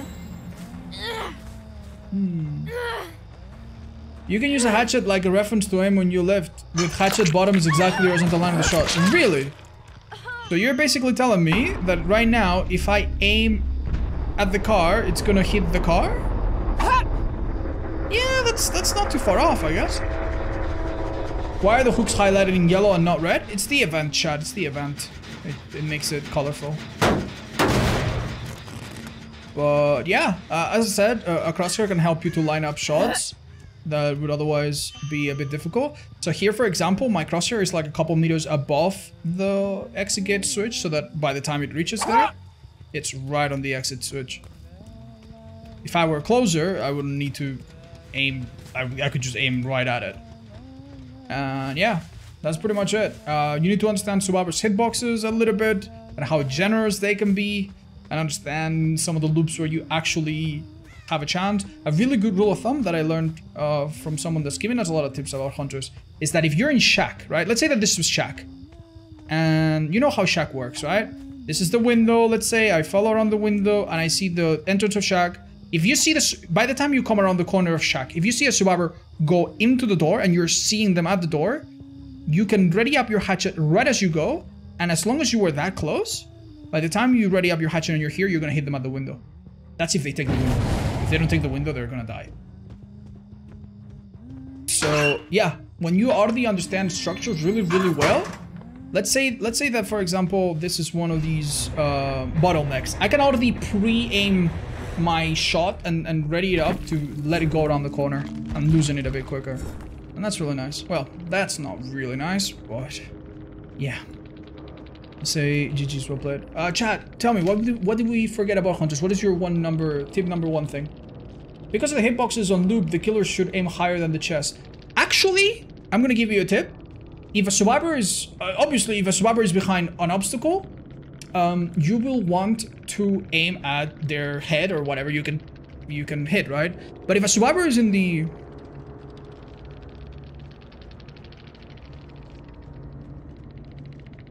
um, uh, if a survivor is in the open, I actually suggest that you aim at their legs. Because a survivor, right, when they're injured and they're running, they lean forward. They lean forward like this. If you, if they're actually turning around, look, their head moves really wildly. Even though their body is actually standing still, right?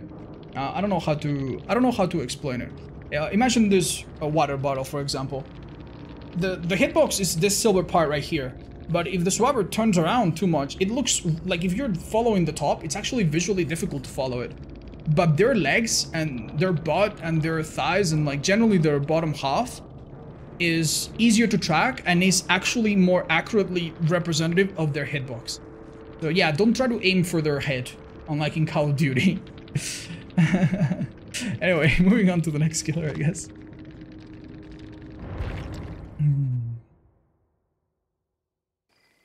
Okay, so we're back with the next killer, uh, The Shape, aka Michael Myers. Uh, Myers is a fairly straightforward killer. He shares most characteristics with the other killers in general. He moves at the normal 115%, um, has normal lunge, but then he starts to have different qualities that change throughout the game. At the start of the game, he's undetectable, has a zero meter terror radius. Unless you see him or hear his breathing from up close, he is kind of sneaky, and that's his whole gimmick. Um, but he has a very sh uh, short lunge, and he's also very slow. So you want to get out of that as soon as possible. Then he gets to tier 2, and then he's mostly a normal killer.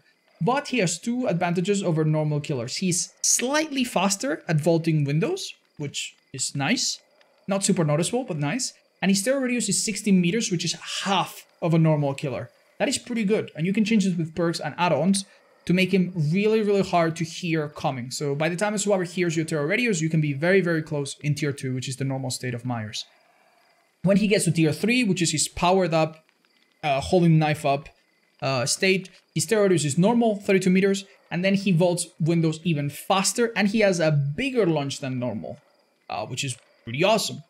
Um, and that's what gives him a little bit of an oomph in chase on top of being able to insta down. And then when that has happened for 60 seconds or so, he goes back to tier 2 and rinse and repeat. So basically with Myers, you start sneaky in tier 1, become normal with smaller terror radius in tier 2, and then occasionally go into insta downing survivors for a minute at a time um, by looking at them and stalking at them. So yeah, open maps mean that it's a little bit harder for him to stealth. Indoor maps can be really, really strong and confusing for survivors. And overall, he's a decent pick, if not super, super strong, even though he has some pretty uh, nutty add-ons. We're not going to do anything crazy with the add-ons. We are simply going to pick the brown add-on that lets us stalk a little bit faster and the other add-on that lets us stalk a little bit faster. Where is it? Yeah, add-ons to stalk faster. They are really helpful and you cannot go wrong with them. So I recommend you do these until you are familiar with them. And after that, feel free to mess around with these more complex add-ons, some of which uh, require a bit of an explanation. Uh, Surge, uh, aka Jolt, is going to help us to slow down gens around us. When we down someone, we don't need to kick gens. They'll just go down by themselves. And we're also going to use the other common perk Whispers to know where more or less survivors are around us, but you could switch this up. And I'm actually going to use these two teachable perks, Save the Best for Last and Play Food. Play Food encourages you to leave the obsession, and then you become faster, super useful, and Save Best for Last encourages you, encourages you to harass and hit non-obsessions. So with, do, with these two perks, we will basically try to keep an eye on who the obsession is and try to give them less attention than the others. And that will make uh, this killer work out a lot better. But definitely can, can use many other perks once you've unlocked them. Let's find a game together. Right. Um, so you'll notice that in this uh, lobby we have two toolboxes and that is a bit of a bad omen. Uh, Myers starts out very slow. In a ideal, best case scenario, you walk up to a survivor who's completely oblivious, they're working on a generator, and you grab them right out. And then you get out of tier 1 later. In the real world, survivors are paying at least a little bit of attention. The maps, uh, as you can see, will be very open and bright. They're gonna see you, they're gonna hear you coming, or they're gonna call you out to their friends. And it's really risky to go for a grab or an or even an attack because then if you hit them they run away and you're still in tier 1 being in tier 1 means that you have no lunge basically. You are very slow. You're very loopable. So our first idea is to get out tier 1 as soon as possible. Uh, some perks can make it a little bit easier. Right now we're running whispers which is going to light up when we're walking um, close to a survivor 32 meters somewhat close so what I'm going to do is I'm going to immediately go uh, towards gens and whenever I see whispers go off, I'm going to start to see if I can find an angle to try to maybe possibly get a good look at survivors without them noticing right away. And sometimes you can be creative and get on top of a hay bale, uh, uh, on top of a harvester, on top of a building, from a balcony. Sometimes you can get a little bit creative if you have a good idea where survivors are. But we're going to try to minimize risk because they did send us to a very bright map. And once you're out of tier one, uh, you need to make your decision. Uh, the general idea is chase survivors, hit them, chase survivors, hit them. If you ever find them in the open and they don't have much to do, stalk and power up tier 3. And then you leave tier 3 99% or close to 99%. And when when survivors are healthy and around you, you can do that 1% final uh, pop it, and then be sure... Okay, I'm gonna go through the building, actually. And then try to catch them. Mm, whispers off, so we know don't be afraid. Whispers off. Off, off, off. On. Okay. Are they on this end? Yes, they are. Can we get an angle on them? They already know. There's a survivor there. The further they are, the slower you stalk them. Oh! They haven't noticed me. Oh, now they did. They set up a boon? Okay, oh, I got a bit of stock out of them, but they got away. I'm on a really good spot now, though. Okay. Come on, come on. Can I be tier 2 already? Horn's a bit difficult.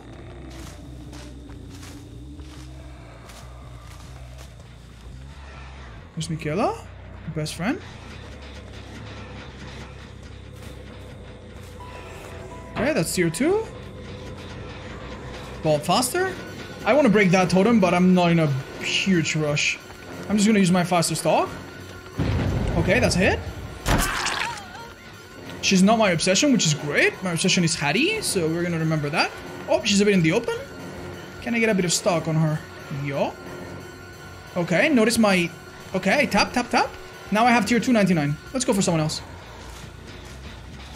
Oh, excellent. Uh, I'm gonna I'm gonna leave her and get that speed boost. Uh, Play with food will now give me a speed boost. And I'm gonna go for the other person that I know is on a gen. And now I'm moving much faster than normal, so... Ah, uh, is it enough though? Oof. Oh, extremely unlucky there. Time to break it? Maybe she runs away? She did. Ooh, lucky, lucky, lucky. Surge hits that gen and that gen. Uh, Jolt, sorry the bottom park. Oh. And because it's not the obsession, we keep building up say, the Best for Last stacks, which is gonna make every hit recover faster. In tier 3, it doesn't matter too much, they insta-down, but when you need to hit them and then catch up quickly, it is pretty good. Are they gonna be greedy for this gen? At least to a degree, yeah. Am I gonna get a Ploidy foot? Yeah, I am. I'm gonna keep it. See if they're too scared to come back. I'm gonna get a Ploidy foot from Caddy, Caddy, and then I'm gonna go back and use it on this lady, who's gonna have to give me this pallet or die. Die. Get rid of this. Kick that. Bolt faster. Pick up. And now we're just gonna lose it. We're probably not gonna get value unless some hero comes and takes a slap. Uh, basement though. Hmm, basement next. If I, hmm, if I can defend the Shenza on the entrance, that could be really powerful. Let's hook there. Just hurry up, get out. Whisper's not doing much for us right now, but all the other perks have done a little bit at least. And we're gonna defend that, because we have a gen, two gens right next to basement. They touched. They didn't touch it, actually. It's been regressing. We can actually play a bit defensive here. And if they run into me, I just look at them, I guess. We have a small terror radius, so maybe they'll run a bit into us before they realize we're actually just being very territorial. Whispers is on, but it's probably the person in the basement. And perhaps no one else. Yeah, I did the gens far away. That's really smart. But I also think we're getting something out of this. We got rid of their boon as well. If they're extra smart, they're doing that gen as well now. Hello, is anyone coming? Honestly, dude, if they just leave that person in basement for a long time, I don't know if I have an answer to that. But I don't want to leave because the gens are just too done. Uh, tough, tough, tough, tough. Okay, they got in there. They got there in time somehow. Very impressive. Okay, okay, okay. Mm, that's really sad. Okay. Bloody food. That's a shame that it's the obsession. I'm gonna mm, let him go. Can we get another bloody food stack? Yes, we can. Uh, I recommend that when you're close to a survivor, you stare at their feet slightly. When you stare at their feet, um, the minimum distance to stalk is a little bit nicer. Uh, if a survivor is too close to you, you actually don't get to stalk them. But by looking at their feet, you artificially inflate the distance. I, I, I have no hooks and somehow these people just have this rescue. That's insane. That's so crazy. That is so lucky for them. I am speechless, my guys. I have... I guess it's because it's basement there. So unlucky. So yeah, when you're about to stalk, if they're like running into you, you definitely want to do that. I don't get her, unfortunately. I'm gonna try a little mind game here, see if it works. It did. Oh my god. Oh my god. Oh my god. Trust me, I lunged there, dudes. Trust me, I lunged. Oh my god, the game was like, nah, nah, you didn't, nah, you just, you just want to hit right now, dude. You want to hit right now. And now we have the worst paladin in the game.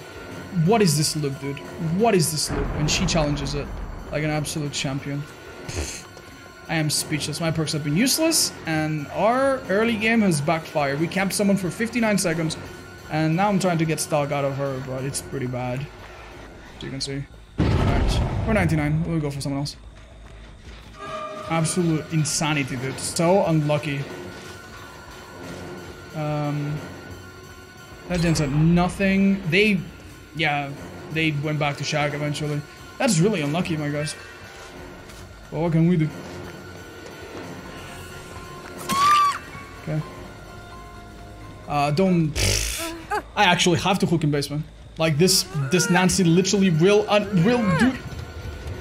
I don't know what's going on, man. Like, there... Look at the hooks I have. Look at the hooks I have. There's like a quarter of the map with zero hooks. Uh, the reason I need to go basement is because you cannot... Uh, uh, you, you can always rely on basement. It's never... It's never sabotage sabotageable. Sabotageable. It's not susceptible to being sabotaged. But this sucks. This sucks. I'm very, I'm, I'm very upset. I'm trying to get use out of the tier 3, so I'm not even gonna bother kicking the whispers off. There's no one here. I'm not even gonna bother kicking the um, the boon. Whispers on, and that's not basement. That's someone else. Whispers off. Whispers on. Someone's by the stream, maybe. Very well done. That's very unlucky. I see them. That sucks. Okay. That person hit stage 2, that's arena. Can we get another Play with Your Food? Anytime you go away from a survivor, if you keep stalking, by the way, the the obsession chase ends. So if I keep stalking right this, this ends the chase eventually. Alright, this is good too. Uh, they now cannot go for that rescue or else uh, obsession will go down.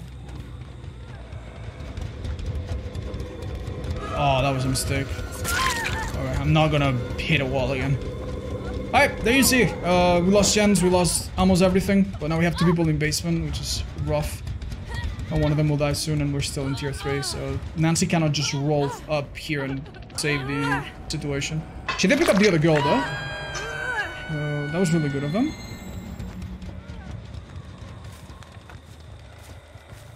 Uh, if I were Nancy, I would just be hiding around here. Honestly, and just wait for my time to get the rescue. Uh, but I guess I'm not her. Uh, let's see if I can find just people away with whispers. We have a few seconds. Whispers off. Yeah, Whisper's off here. That girl's killing herself in the basement, which is kind of sad. Wait, did I just see them? No, that's an invitation for the event thing. Alright, let's go away. We know this one was a zero, but we go and check it. Whispers turns on. No, it doesn't. Let's go back. You just tell them not to worry if they lose a gen before a hook with Myers. Yeah, it's it's Myers is not quite as setup heavy as Trapper, but he's a killer that starts off really weak. Maybe he gets really lucky, but as I said, starts off weak. Oof. And definitely powers up later. So yeah, it would be completely expected for you not to do amazingly uh, hot in the first couple minutes. Uh, luckily these add-ons make stalking so nice. Look. Uh, we need to wrap this up though.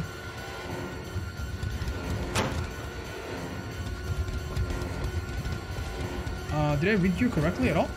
I don't think so. I can't tell what she wants. Okay, that's better. Uh, we'll save one. Eventually, when a survivor becomes almost fully red, you cannot stalk them anymore. So you need to be a bit careful. If a survivor has been the sole focus of all of your stalks, they're gonna turn red. And that is kind of bad, because if they turn fully red, then you cannot use them later to strategically pop tier 3. If that Nancy was fully red, even if I already had a 99 tier 3, it would be quite bad, wouldn't it? I wanna do something so stupid.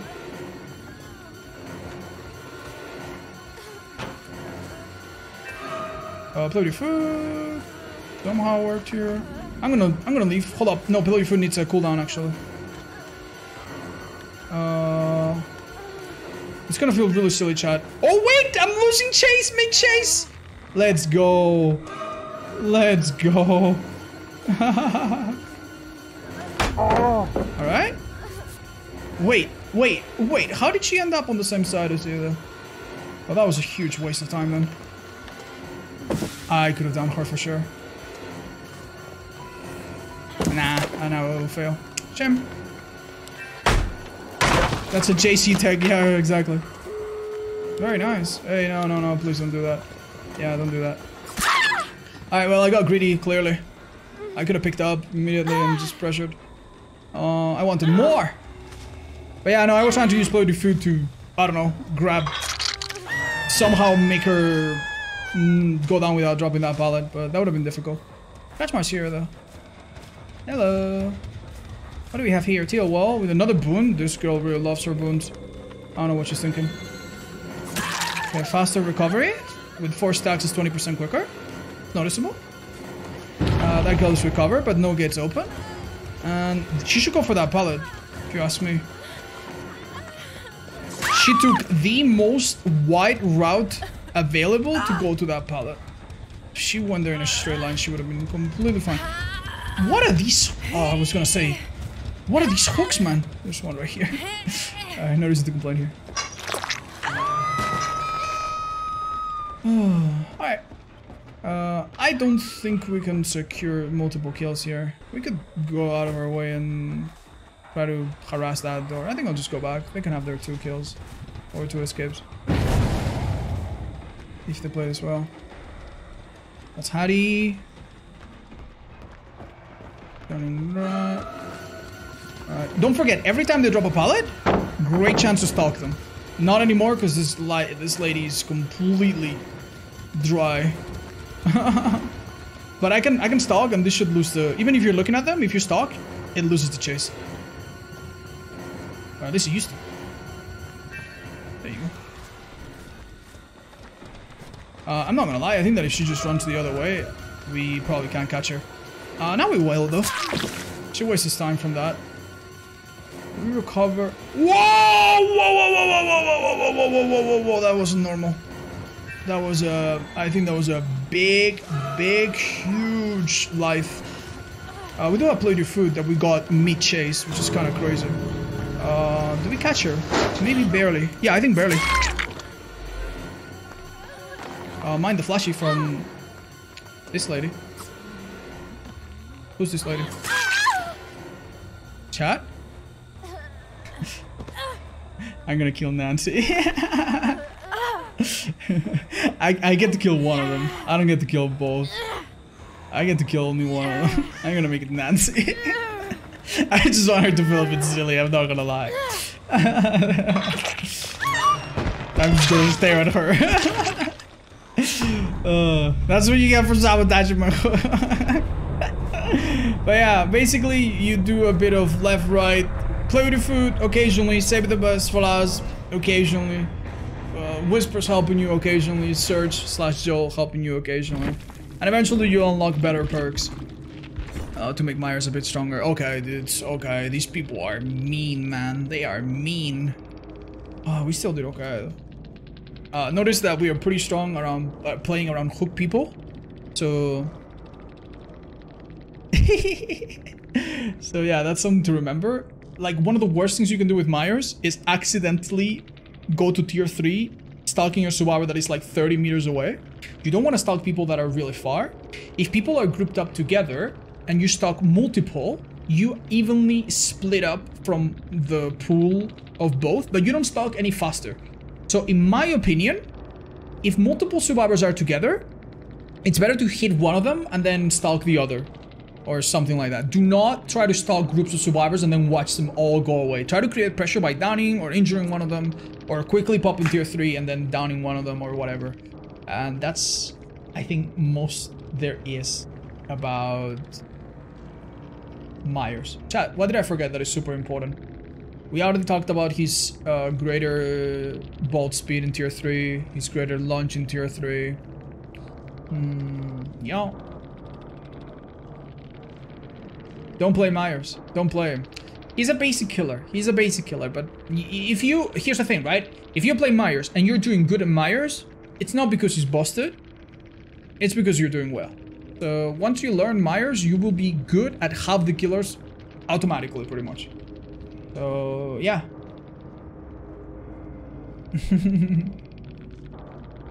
Do you mention the hitbox while stalking? Yeah, you need to see at least a little bit of the survivor. You can stalk them from very far, but it's a bad idea because it's very slow. So unless unless you think you're gonna get out of tier one by stalking someone from like 20 meters off, or uh, like just just be reasonable. Do not stalk a guy across the map just to get like two percent of your power. You know, be reasonable and get as close as possible and try to stalk while they drop a pallet, while they vault the window and you're not gonna hit them anyway, while they are doing mundane things. You find a survivor in the open and like, ah! You stalk them for half a second and, uh, and before they get away, bam, hit them. Anytime you have to stalk and get close to that 99 or 3, it's, uh, it's typically a good idea.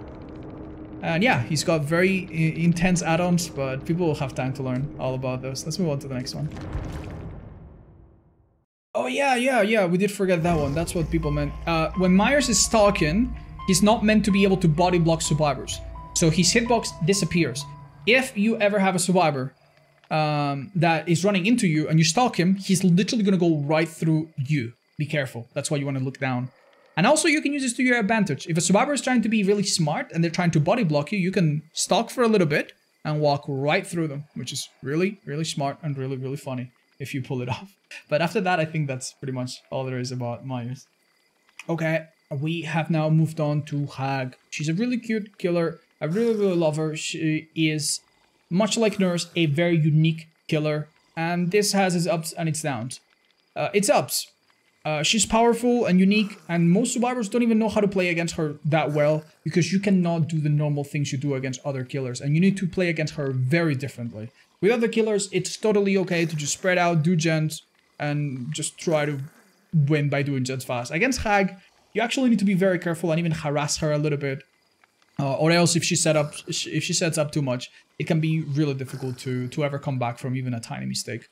Um, the downs, she's hard to learn. Uh, she's frustrating in your first few matches. Uh, she's a setup territorial killer. She's not a killer that just goes around the map chasing people like some people like. Uh, and if you learn her, you don't necessarily get much better at other killers. And if you learn other killers and you're very good at Myers and basic style killers, you're not necessarily good at her. So keeping that in mind, do you want to play her? I think you still should. She's really fun.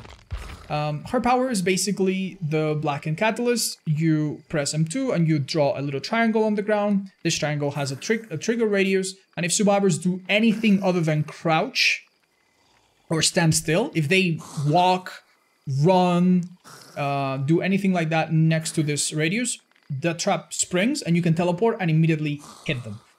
which basically translates to you set up a bunch of traps, they trigger them, you teleport, you hit them.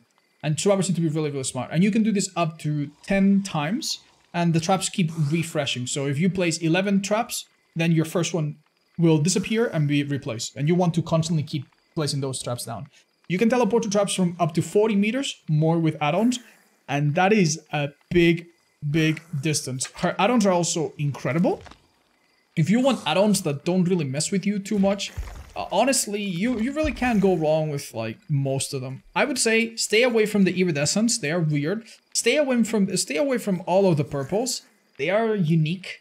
Uh, and everything that's uh, green, yellow, and brown is good, except for the ones that extend the trigger range. Avoid these three add-ons. The Bloodied Mud, the Bloodied Water, and the Bog Water. You want to avoid these. These make your trigger radius bigger. So if a swabber triggers them, you're they're actually going to be further and you might not actually be able to hit them right away. So it's kind of bad. Uh, but everything else is good. Um, uh, longer duration of the trap staying up is good. Longer teleport distance is insanely good. Faster placement is also good. So we're gonna go with an add-on to teleport from a bit further and to set down the trap a little bit quicker. The hex perks are really disgustingly powerful. I'm gonna use all hexes and sloppy butcher to keep survivors injured. If they're injured and they make one mistake, it's often over for them. So we're gonna ready up with some blood point offerings and talk a little bit, thank you Major so much, about the general strategy. As a hag, you constantly want to have placed down five, six, seven, or eight, maybe all of your traps down. And then try to constantly corral survivors into them. You're going to try to play pinball with them and you're going to try to bring them back to the area of the map that you've set up.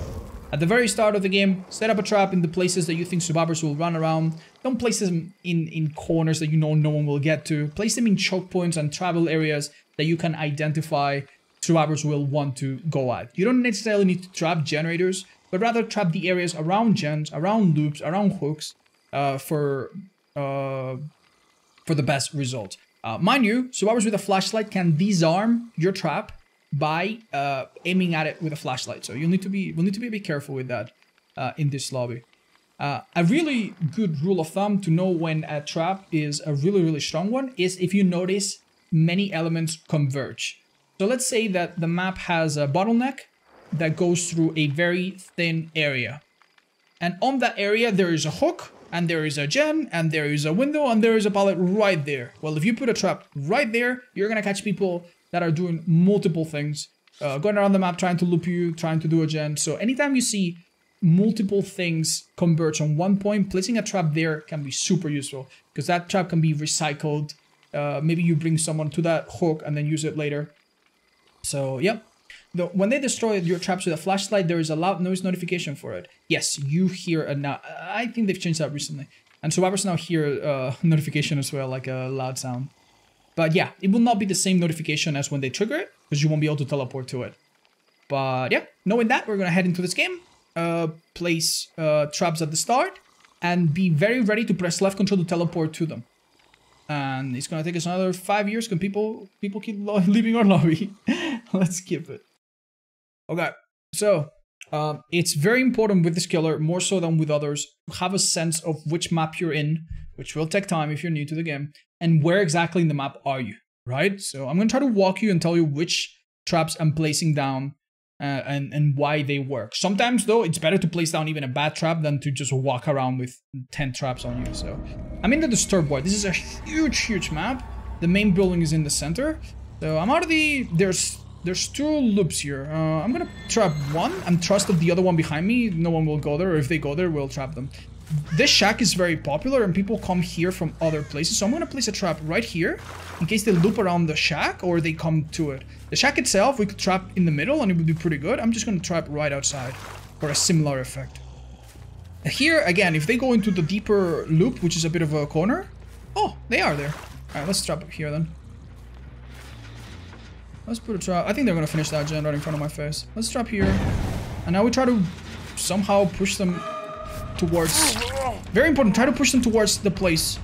Uh, Bill seems smart. I don't think he'll walk in that. I'm still gonna be ready to teleport though. Alright, doing his shot. There you go. Oh, wow, he just gave us a huge... I'm gonna reset the trap that we just did. Sometimes it's a good idea to reset them later, but I'm gonna do it right now. I'm gonna place him in the basement. And I'm gonna place him in the back just to be extra annoying. And guess what? Hello. I could have placed a trap at the bottom as well. If you want to be extra mean, you can do that. In the meantime, knowing that I'm probably going to down people going out, I'm going to place one here for anyone coming through. And also for anyone that I hook there. One here for anyone coming out of this. Someone trigger the trap. If multiple people trigger a trap, by the way, you will teleport to the one that you're looking at. Oh. And you cannot teleport while you're doing animation, so do be careful. So in that situation, I look at the right one. Oh, powerful. Okay. I'm just spamming my left control because I know that they're in very dangerous territory. And right now, if I... Quite honestly, if I just keep spamming some of these traps, they're gonna be in such a horrible spot. Alright, very well played. I'm gonna leave. I need to be close to my traps or else I won't be able to teleport there.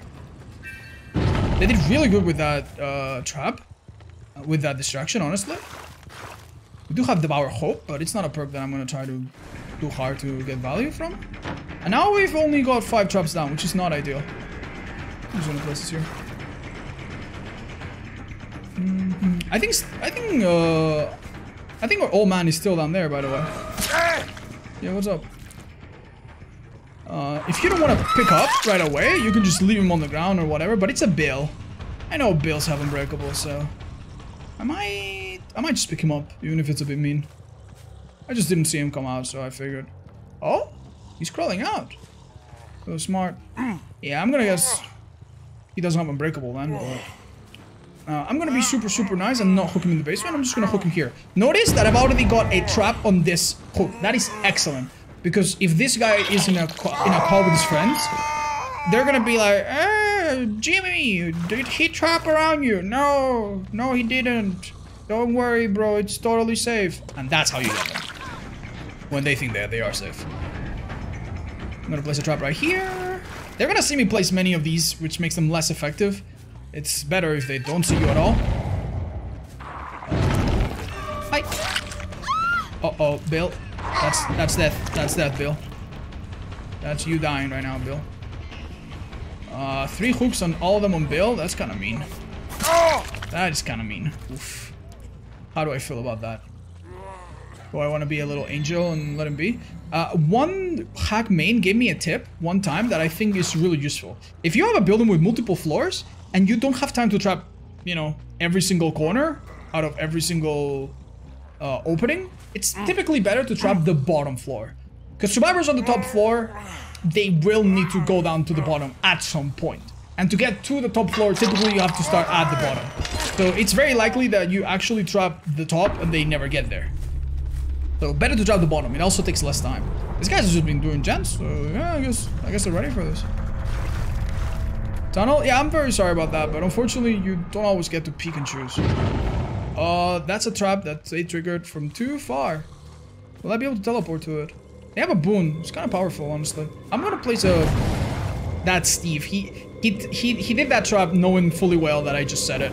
So he probably triggered it on purpose. That is a good one. Yeah, if you set up a trap, like, don't be surprised if they just mess with it. And you teleport and they're too far because they trigger it on purpose. And that's... Ooh, what's going on? There you go. So yeah, uh, don't be spam don't, don't be spamming left control when you know that you set up a trap that is very likely to not work. This is a hill, which is awesome. But I see that someone tried to take hits, so I'm, I'm scared now. Hills are great, because hills often only have one uh, entrance going up. So if I put someone on a hill, I can see someone getting close, and I can just put... I'll try to demonstrate, hold on. You see this hill, right? This is a normal hill. Uh, most hills are like this, they only have one entrance. You put a trap right here, and survivors cannot really get through. To avoid a trap from going off, they need to crouch. And a trap has a, a diameter that is very large, of like 3 meters. They just disarmed me with a flashlight, didn't they? Yeah, they did. And 3 meters is a lot. Let me show you uh, what it looks like visually.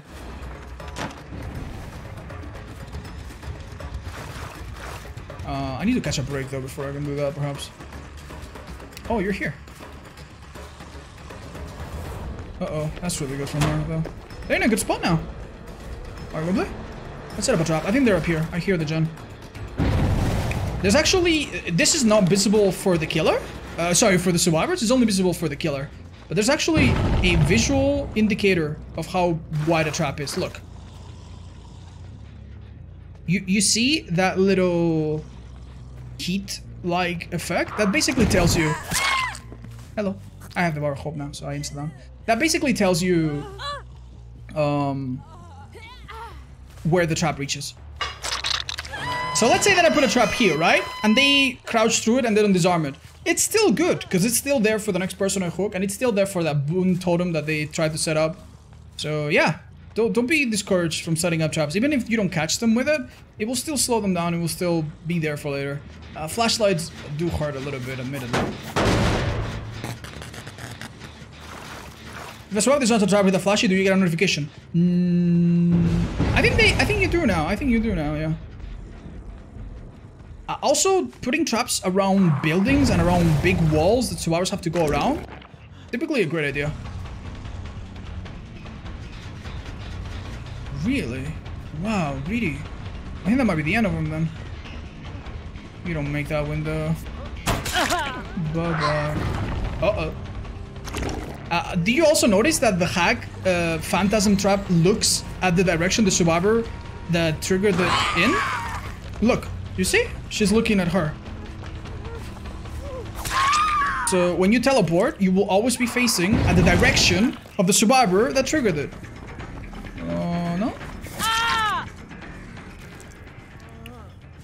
Oh, ah. yeah. Ah. Your general idea as a hag when you spawn is set up a few traps ah. in the one or two critical spots near the middle. Before you get spotted, try to fill in... Let's say I spawn right here in the middle of this building, right? I don't want to go to the other edge of the map. I would put a trap here, put a trap there in the other entrance, then maybe set up a little, think of yourself like a little spider. Begin to, you, you set up the perimeter of the, of the web, and then you start to fill it in. Uh, And then you try to push everything you can desperately into that perimeter. Into that web, if you will. And don't forget to set up, you know, traps. You don't need to put 6 million traps next to them, each other. If you put traps too close to themselves, they trigger one, you teleport, you hit them or you miss, and they trigger the other one and you can't teleport in time because you're recovering. You want to space out your traps so that ideally they trigger one, you hit them, you recover, they trigger the next, you hit them, and they're like about 15 or so meters apart, or 10 or 12 meters apart. With some exceptions, obviously. Sometimes you'll just want to play it safe. And don't forget that sometimes it's not about um, trapping the gens or the gates. It's about trapping the paths that you know survivors will eventually take to get there. And those are the ones they see coming the least. Worst thing you could do is put a trap down and start chasing people around and and then they constantly have an eye on you, they constantly harass you, they constantly trigger a trap, you teleport to it, miss, repeat, repeat, repeat, and you get nothing done, essentially. Is it worth to trap under a pallet? I think it's more effective to trap on uh, around the pallet so that people that are not even on the loop, sometimes going by the loop, trigger it. But if you trap on the pallet itself, it can work, yeah. You teleport immediately, and the moment you teleport, you body block and you can hit them. But be careful, because they can trigger it, and then you teleport, and then they drop it, and then they stun you. So, careful. Careful with that. Binding scroll wheel action to faster DP. I'm not gonna say that, because I know some people are on console and stuff, but yes. If you want to teleport super fast, you could bind a convenient key to teleport and spam it super quick, like mouse, mouse wheel down. I've done that in the past, it's really effective, yeah, it's really, really good. And chat, what did I forget about the Hag? What, what else did we forget to mention? Uh, flashbangs and flashlights can be used to disarm the trap. Um, she, yeah, she's very short. She has a smaller terror radius.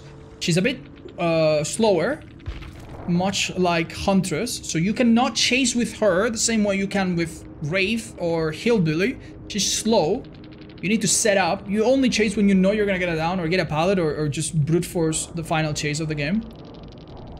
But yeah, you don't commit to long chases, especially early. You always want to have a just a few traps on your hand and many traps down. Mm -mm. Um, and oh, another thing uh, that I forgot to mention altogether. When a survivor triggers a trap, their camera automatically snaps onto the trap itself. Now, if the trap is in front of them, this doesn't have a big effect. You, you just go, oh. But if you place traps covering a doorway and you place them at a 90 degree angle from the doorway, a survivor going through the doorway is going to immediately go, what? This is very effective around hooks. Put a trap, maybe one or two near the hooks. Uh, you don't need to place them right on top. And if this happens, a survivor running to something critical can sometimes have their camera mess with them. And this is something that you can take advantage of as well. that's right. Yeah, that's very, very important. This will be going on YouTube. That's right.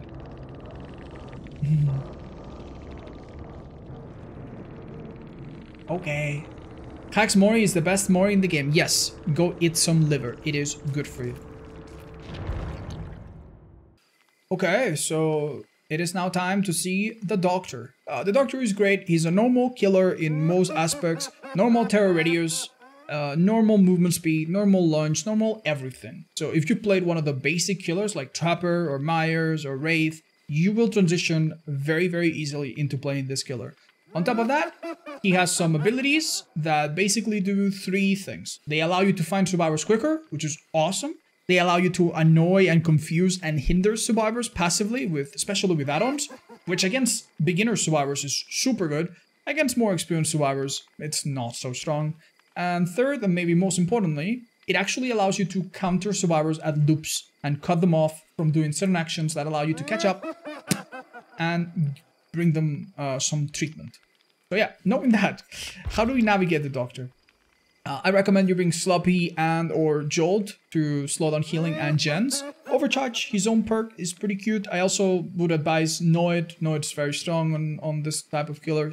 And Whispers is a really nice perk to start with. If you have it at tier 3, if this perk is on, that means that someone is within 32 meters, which is exactly your terror radius. And that will allow you to know for a fact that if you use your blast, you're going to hit at least one survivor. And if you don't, that means they're hiding in a locker.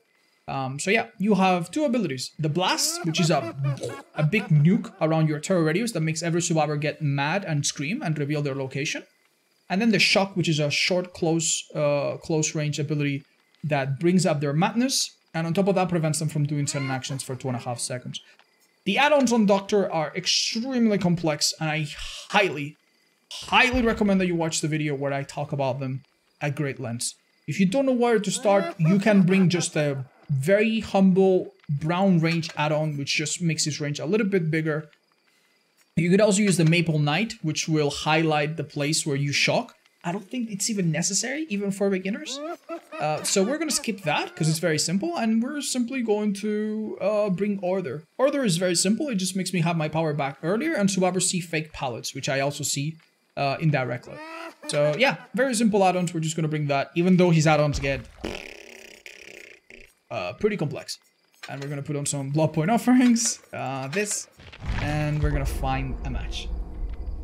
Right, so we've explained that he has two abilities. The pressing left control, boom, big blast that sh uh, shows you where survivors are near you and brings up their madness. And then the short distance shock to bring up the bring up their madness too, half as much as a blast, and also prevent them from dropping pallets, vaulting windows, and doing any action for a little little short while.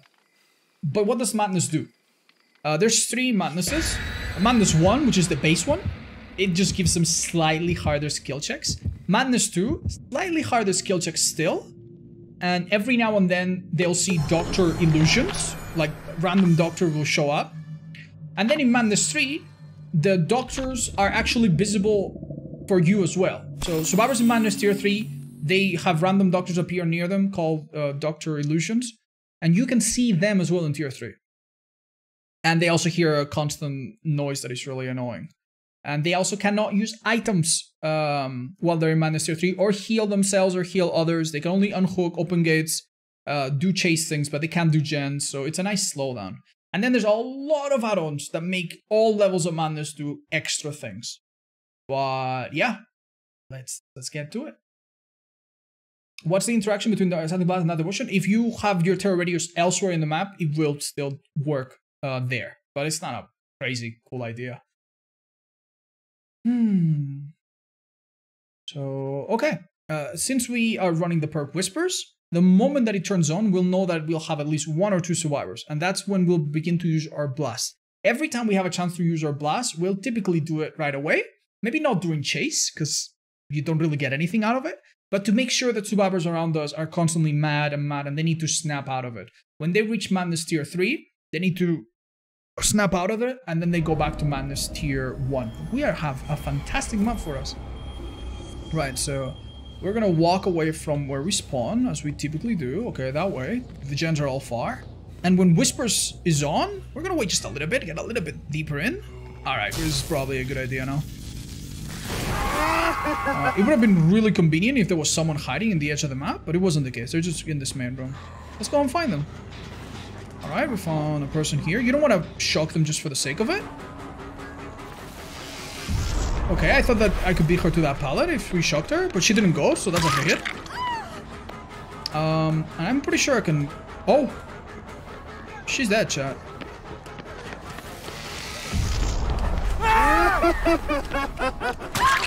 Uh, the Dwight did a really good job body blocking, actually, but she did not help her case at all. I might get a free hit, so I'm gonna get a bit greedy here. Might be a free pallet. Nah, he doesn't want to drop that pallet. Alright, we go right back. Notice that my blast is now on a long cooldown. You can see by the red uh, bar thingy. Well. And he's gonna get back in a few seconds. People on the ground and people on hooks are not affected by it, but everyone around them will, so... I'm gonna get here, and I'm gonna blast just to bring everyone to madness and find where everyone may be. Alright, looks like I only hit one of them. I'm gonna hit the gen with overcharge. The next time they touch it, they get a difficult skill check. It's not super worth it to kick gens that are like at 1%. Don't do that. I'm just doing that as an excuse to talk about the perk. Yeah, typically a gen that's like 1%, just leave it. What are they gonna do?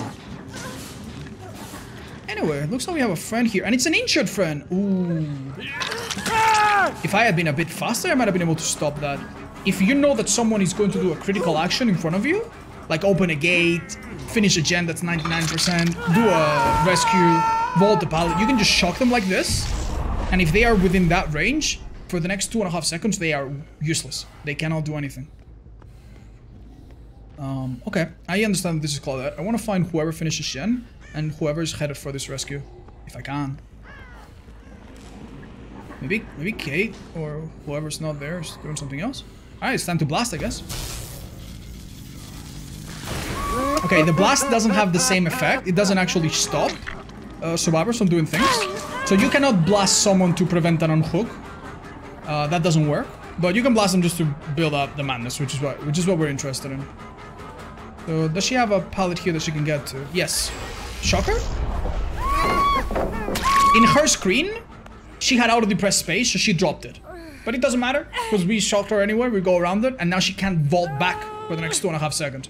So sometimes it's about preventing the vault, sometimes it's about understanding that it's gonna happen, and just locking them into the position that they're that they're in afterwards.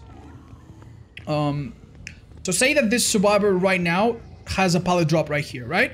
Let's say that Dwight is right there on this pallet drop. I shock him, he vaults, but after he vaults, look, he's locked in. Easy hit. So you you you think in those terms sometimes. You think in when I shock him, what are they gonna where are they gonna be and what can they do? Hello, Kate. Bye bye, Kate. Let's do this and hit multiple of them. Okay, notice uh, that Dwight is in Madness tier 1. Very little static. Notice that Claudette and Ace are in tier 2. Very big vertical static. And notice that the Kate is in tier 3. Complete static.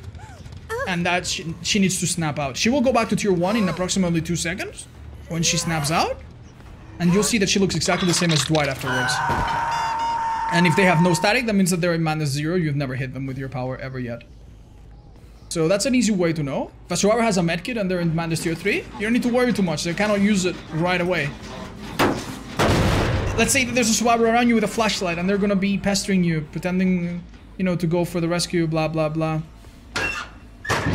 I thought he might want to go into a locker. Going into a locker allows survivors to dodge the blast, which is kind of helpful if they know you're gonna do it. You see that white uh, pallet? That's a fake pallet that survivors in Madness uh, see, but no one else does.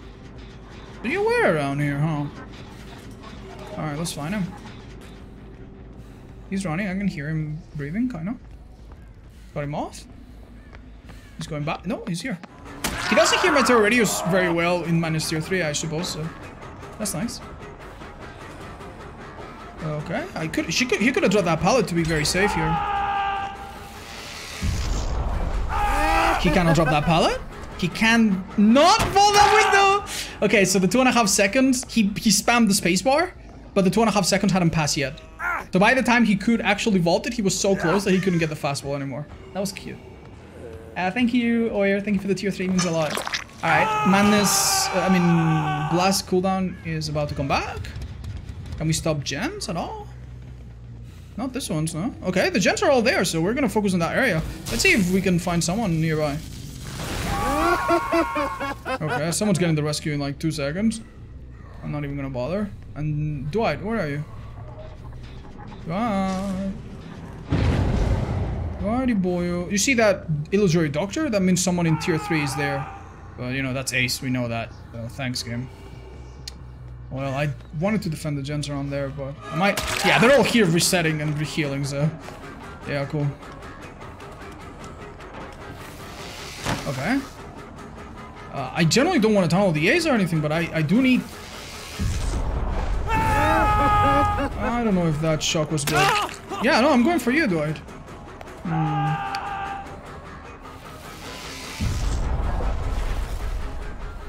Are you waiting at the pal-.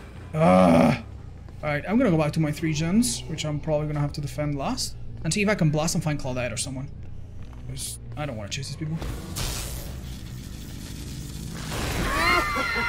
There she is. Alright, if she's very smart, she takes me away from all these gens, which she seems to be planning on. Alright, well, if we're good, maybe we catch her before she can do it. Look at all these doorways lined up. That's crazy. I think this girl understands that her taking a hit for her teammate is a good thing. But we have Sloppy Butcher. It will take her a little while to heal, so... Alright, we're gonna see whether or not it's worth it to shock them.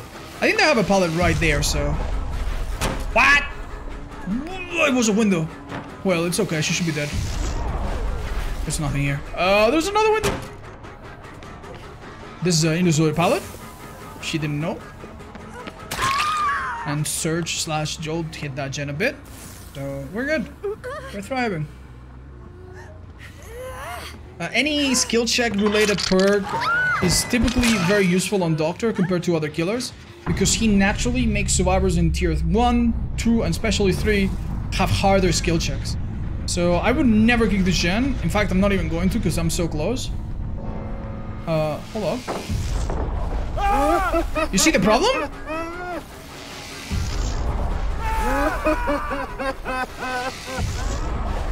He can vault. This this pallet is dropped, and he's one of the strongest pallets in the game. But he can he cannot drop it. This one he can. He cannot vault it. Oh, that sucks. They did finish that gen after all. Shame. I mean, we need we do need to kill them. Good job, Dwight. Good job. That could have perhaps worked if we were a bit luckier. They have a very strong pallet in that room if he reaches it. But the extra range from the brown add-on is so helpful. He'll use that hard, I think. I don't even understand. I didn't, bro. I actually don't even understand how he pulled that off. Well done. But yeah, they can they can use that hard right now through your shocks. Don't be alarmed. It's totally normal. Okay, these two boyos are like, yep, he's focusing on him. Let's just do this gen ourselves. Don't let them. I don't think I get that. Unlucky. Let's kick this. With overcharge, it might be worth it. Okay, this lady is injured. I think I'm gonna try to cut her off. Hide my red light. There's a Dead Hard. There's an invitation. I think I already have all of them. Alright, this isn't great. If they are smart and they hit skill checks, they finish that in my face. If I could put them in Madness tier 3 to prevent them from doing this gen right now. Oh, it's not that progress. I think we're, we're actually chilling. Kick it again. Overcharge. And if I really wanted to be a bit of an ass, I could just keep shocking the Kate so they don't have a good chance to get a rescue. Make it really difficult. Notice that Ace is in tier 2, which means he's gonna be in tier 3 in 5 seconds. And Dwight is injured, so he can't come for the rescue either. Let's do it. Let's do it.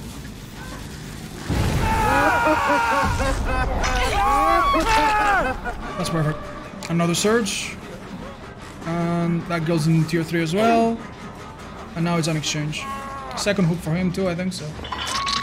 And notice that I have one gen here, one gen there, one gen there, so I can constantly keep shocking all of them at once. This is really good. I'll do this too. For the info, you know, if someone comes here, I wanna know. And now they're in a... What? That ace is already healed? Damn, dude. How did they do that? From my kids, I guess. Oh, hello. Are you guys healing? No, that, that guy missed a skill check, so he should be coming in a straight line from here, maybe? Uh, Dwight is dying on the hook. And I think our, our play here is just to camp him to death. If they want to do a rescue, well, we'll take what they give us. Don't forget hard, that hard. I think that was it. Another surge. You see why 3 gens are so strong? This is a very good map, though, for them. Truth be told. Alright, let's find the last survivor if we can. Okay, that means he's out of range or in a locker. Um, okay. We cannot recite. We cannot skewer Kate and Dwight on the same clock, so we'll have to do this.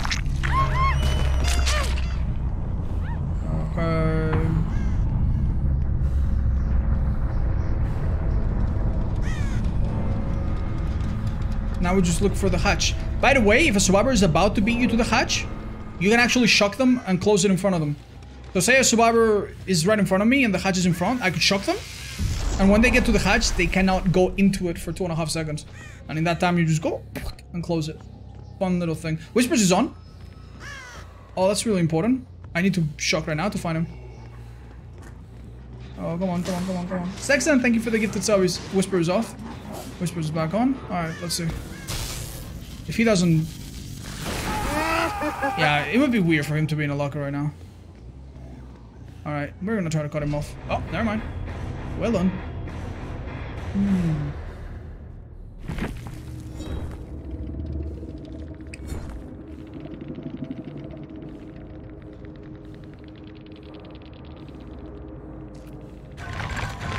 Clarify that Surge is Jolt. Yeah, sorry guys, I keep calling it Surge, but it's it's, it's called Jolt.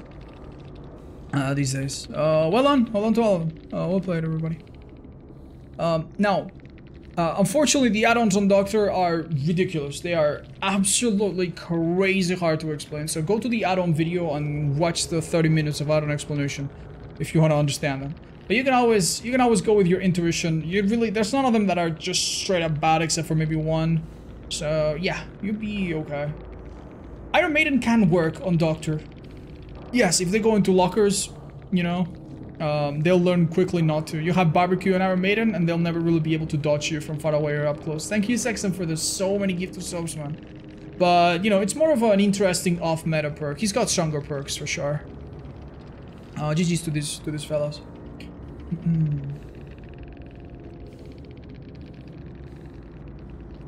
Uh, thank you, Interrobanks. If you want to share that with us, I'll be sure to place it in the video somewhere or whatever.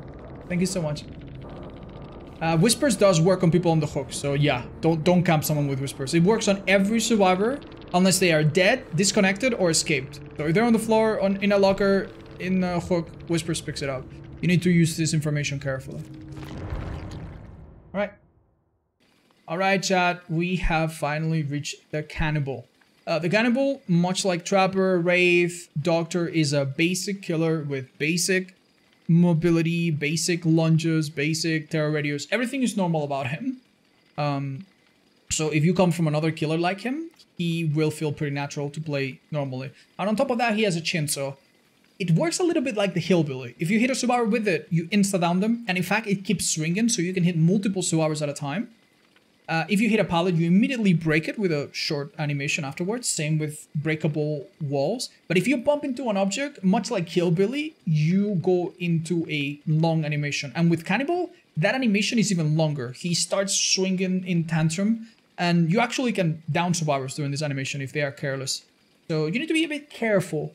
His Chainsaw uh, doesn't make you move extremely fast from the get-go, like Hillbilly, which is bad. You, you cannot use his Chainsaw for mobility but it also gives you full control while you move it. And as I said, you can hit multiple targets. So even though you don't have the mobility, you have a much higher lethality and a much higher freedom to go around obstacles, and it's much easier to down survivors in the open. The Cannibal is amazing at down survivors in the open. He's amazing at securing kills because you could just camp with the chainsaw. But I really hope that you take him further than that. He's so much more than that. He can be so, so fun to play.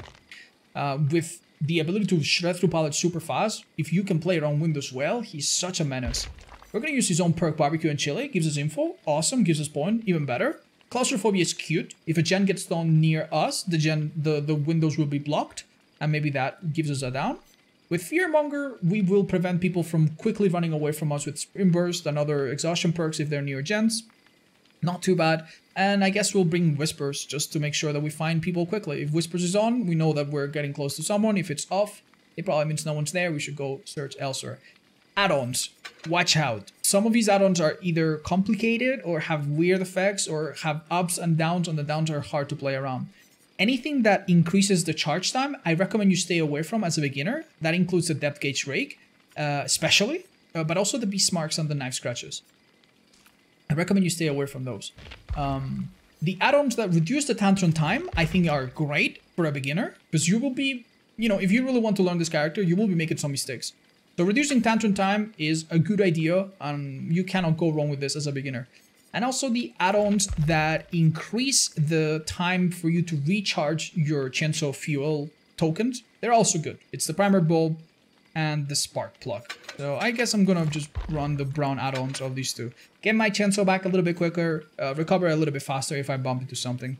The chilies are really, really good add-ons that extend your chainsaw with no downsides, but they also make it very long um, so I just want to show you the base kit cannibal, and eventually you can just use the better add-ons. You can also go for the chain add-ons that that give a debuff to survivors as well. Uh, you really can't go wrong with some of these.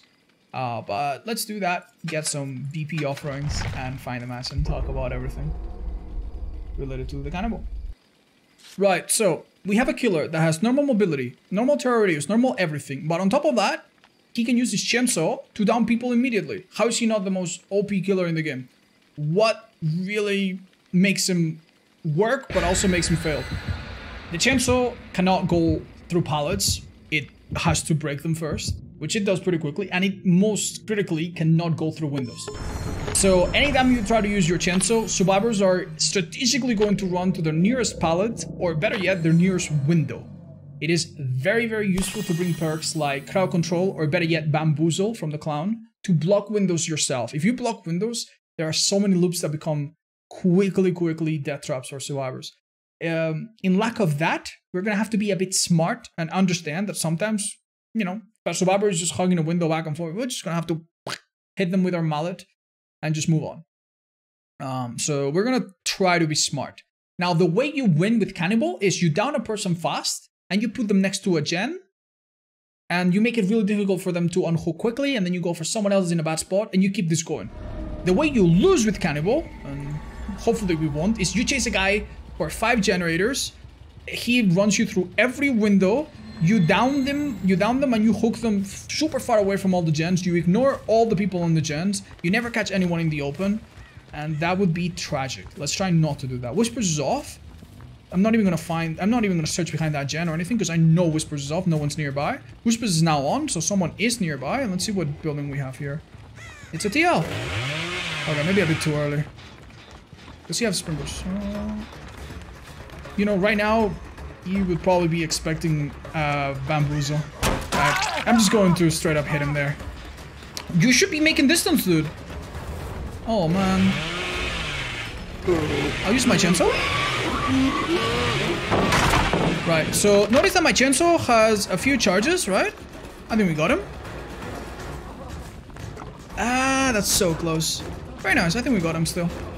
Notice that my chainsaw has three charges, right? When you use your chainsaw, the cannibal will start swinging, I think it's two seconds. He will start swinging forward and gain speed. He slows himself down a bit during the chainsaw, watch out. But he'll start to go forward and sweep for two seconds. And then it's over. But if at any point you press the power button again, you can extend it by another two seconds. I'm gonna wait a bit. And then you use another charge. And you can chain these together. Uh, let me try to show you how. Right, that was just a single one, right? Uh, I guess I'll hook her and I'll just use a chainsaw and show you. Um, basically, uh, there's multiple ways to count it. Some people count it by swings. I personally just look at the HUD. Notice the red bar, okay? I'm gonna use my power. When it hits the number, boom. When it hits the number, boom. And now I'm at zero. And it's over. And if I had bumped this in, into this properly, I would be. And now I need to get my charges back. So, alright. We should just drop from here. Alright. Hello, Kate number two. So, this is a TL wall. Yup, she can run through these windows quite well. It's gonna be a bit tricky.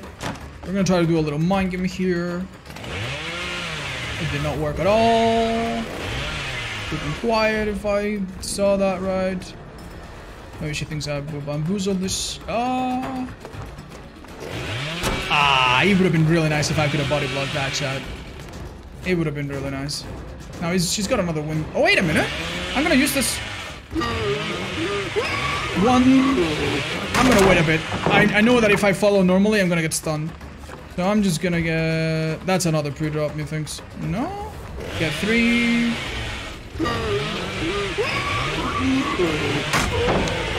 Well done by her. If you're out of the pallet, you might as well just break it with your with your normal spacebar. Let's go away. Um, but if your chances out of the going, then just bump into it and you you break it. You open the chest just now. What do you go after? You come this way? Down. I think she went right behind me. Chat. That's really tragic, dude. Did this chest just open magically as a bug? No, you're here.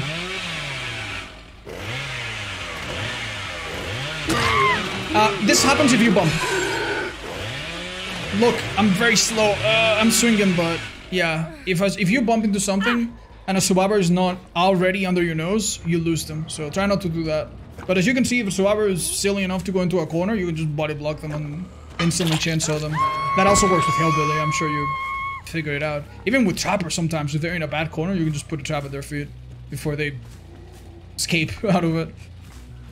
Uh, yeah, also, yeah, that's true. You lose all charges. If you enter a tantrum, you need to wait the whole, uh, what is it? 12 seconds? I think 4 seconds per charge. Alright, let's try this. One, I think I might have been able to hit her with just one go, but this, you know, there's, there's no reason not to play it safe sometimes. Right? Okay, so that was a great example of survivor caught in the open. You can see, 5 seconds is awesome. Most survivors are gonna be smarter. They're gonna drop pallets like that Smart Kate did. Um, we don't have a lot to the crash. I'm gonna kick it just in case no one finds this. Okay. Uh, and it's also a very convenient way to get rid of breakable walls. Um, in maps like Saloon, you can just... Vroom. Okay, I think this person's going for the rescue now. Are you just... Yeah, you're just going for the rescue. You have sprint You do not. What is this? Okay, in that critical situation, what you typically do? I used two charges. Got it. Oh, I did bump. It doesn't matter. I mean, I got the down. Better to bump than not to get the down, but I could have done that cleaner, I think. Um, you saw what I tried to do there with the with the window, right? This window's not extremely, extremely safe, so I kind of mind gamed it a little bit, and he fell for it. Cool. And when you're in front of a pallet, oh, I see. When you're in front of a pallet, what you want to do is wait a little bit ahead. They drop it, you break it. They don't drop it. If you have enough charges, you go around and catch them, which is really good. Uh-huh, uh-huh, uh-huh. Yeah, I get it. Uh-huh, uh-huh. Where the hell? Oh, I see. Damn, that's not good. Sorry, Claudette. You're just kind of vulnerable here. Is there a pallet here? That was just bad. I'm just gonna end it. That was bad. I don't know what I was thinking.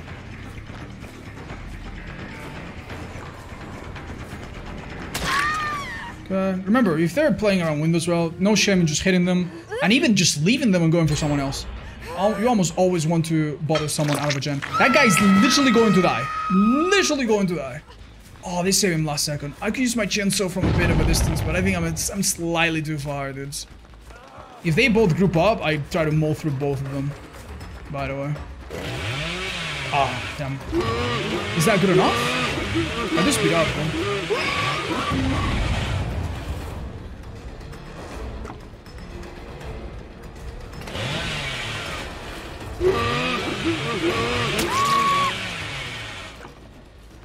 Um, I feel like I missed a dialogue option or something in this dating simulator game. Oh, she just gave me a down, thanks. You're the best, Kate. Oh, it was her final hook too! Oh wow, what a nice survivor. Alright, we know that this person of the Shen will be blind and uh, exhausted, so we're just gonna try to get them quick. Oh, this girl we haven't hooked at all. You see how I have three stacks of barbecue? I've hooked three different survivors. This is the one girl that I haven't hooked. In my opinion, with good judgment, because she seems to be the best. Um, let's try. Alright. She might be the best, but she still she still fell for that. Uh, oh, the vault was blocked? Oh, I didn't see it! Oh, she didn't give us anything, Chad. We literally just used our claustrophobia perk to not give her the down. Uh, not give her the vault. That's so funny. And here I thought survivors just had turned nice. but yeah, sometimes as you can see, it's a battle of, I know that she's gonna vault, so I'm gonna go to the other side. But I know that she knows that I'm gonna go to the other side, so I go back. But I know that she knows that I'm gonna go back, so I go back to the original side. Bam. That's it. Like, it's, it's kind of silly, but it works. Also, use your chainsaw from afar. You can see that it's very effective. If survivors go into a locker, uh, I made a video covering it uh, and explaining it, but I'll tell you what to do. There's a few situations, right? Uh, let's say let's say I'm chasing this Claudette and she goes into a locker. If I'm charging my chainsaw, I just stop charging it and just open it. If I'm about to end my swing, I just end it and grab her. I do this. End it, and then when she comes out, boop, you do this and you grab them. And if you cannot do that, then what you need to do is bump into it. And then if they are very, very lucky and they've seen my video, they will still get caught because you have the brown add-on to reduce the tantrum, so it's gonna throw them off. Uh, the other day I was playing with uh, a survivor with 10,000 hours, and a Bubba bumped into the locker, and he's like, no, don't worry guys, I got this. But he had this add-on, so he didn't time it well. It's really, really hard. And you can't possibly know that the killer has it, so yeah, if you have this add-on, they're they're 99.9 .9 dead unless they are super lucky, because, because even if they know the timing, the timing is different with this add-on, so... Yeah, that's funny. Okay. Well, there's two of these beautiful people. I'm gonna kick this because Whispers is off. But honestly, with the last gen, Whispers off, just, just keep moving between gens and... Hold on a second. Wait. They're in the main building, somehow. Or at least around it. Let's go. But yeah, um... Yeah, bump into lockers, I guess. Did I just see someone, or...?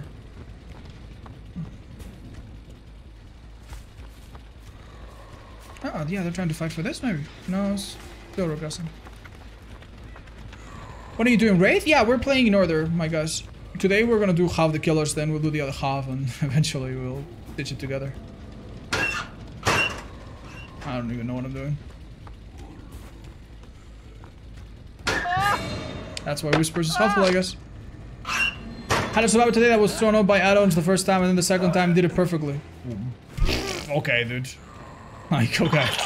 Like, can you, if you play against a survivor that is genuinely, like, so good that he can read into which add-ons you have and then pull it off. Or he's lucky enough, you have to respect that.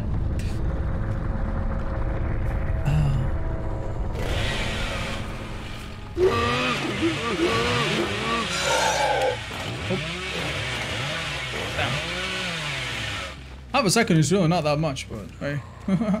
Whispers is on. This survivor should be here somewhere. Um, one more.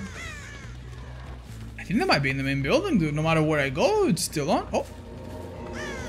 Okay, do you want to get it? You were a really good player. You want to come and get it? I can give it.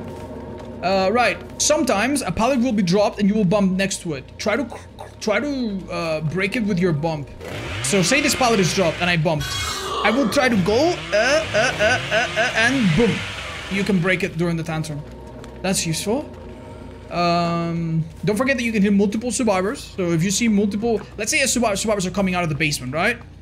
And I'm coming here and I don't know where they are. I can try to like, like body block them and be like, uh, uh, uh, uh, and then one, then two, then, uh, three or something. Um, what else? Um, There you go. Hey, uh, girl. On the hatch, if you want to have it.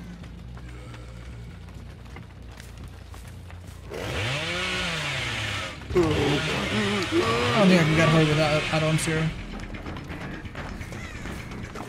Okay, see this situation. She didn't draw the pallet, she's gonna die. That's, oh, that's such a, oh, okay, you're so good.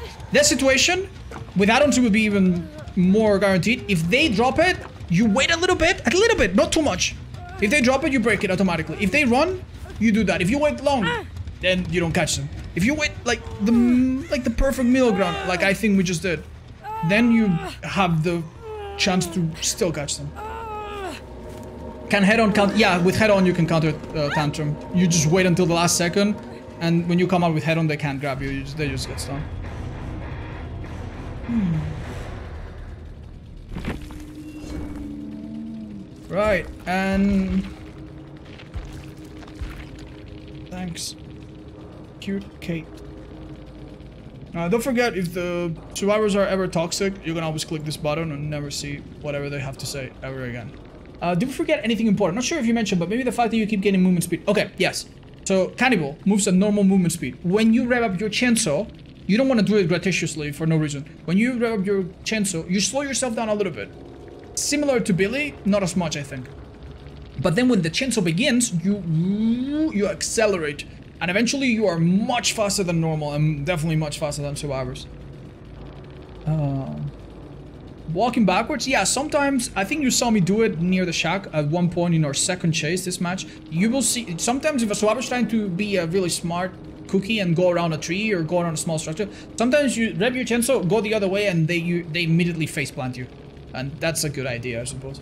And in more, in some loops you can do some crazy flicks, especially with add-ons, but that's, that's definitely more advanced. Hmm. Is swinging side to side hard to deal with? Hi, Bimes. I think survivors have a pretty normal and pretty average counterplay to this killer. It's just that, you know, you can really, really get good at it. Tantrum duration based on charges used? That is true. Uh, wrong, Bubba slowed down more than Billy. Okay, it's true, but he has a shorter charge than Billy. Billy is two and a half and Bubba is two. So maybe that's why I'm saying that. uh, Zeta, thank you for the prime. But yeah, that's it. That's it for Bubba. I think we covered about everything that was important about him. Hopefully. Okay, we're going to continue with the tips for every killer, and it's the term of the Nightmare, aka Freddy Krueger. Uh, Freddy is a mid-tier-ish killer, and his strengths really spike up and down depending on the survivors that you go against. His main power that never changes is the ability to teleport to unfinished generators. That's the most important part of his kit. You press the control ability, whatever, and you teleport and then appear on a gen that you pick in the distance. Um, survivors also passively fall asleep, and the more survivors that are asleep, the faster you recharge your ability to teleport. You can also cancel it and get it back shortly after.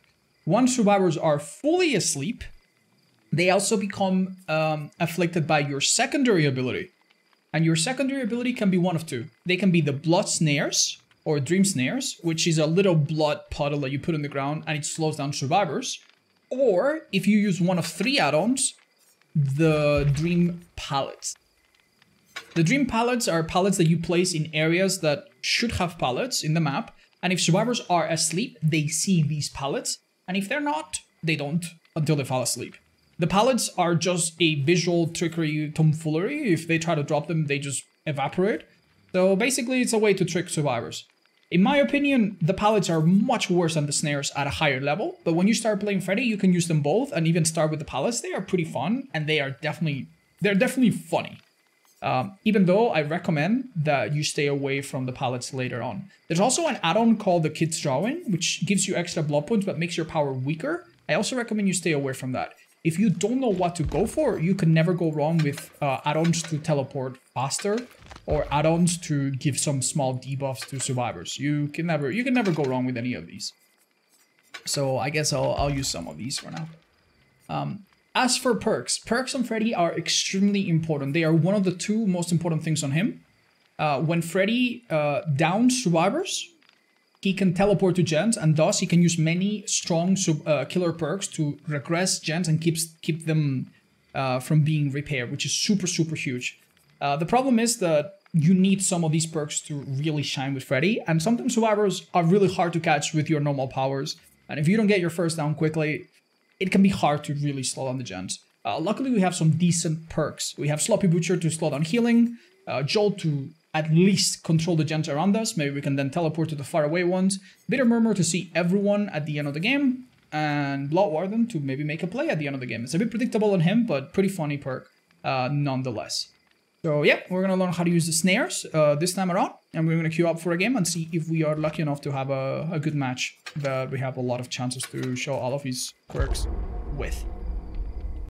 Right, so as we head into our game, uh, someone in the chat asked a really interesting question. Can you teleport to a gen that is blocked by the entity or is already completed?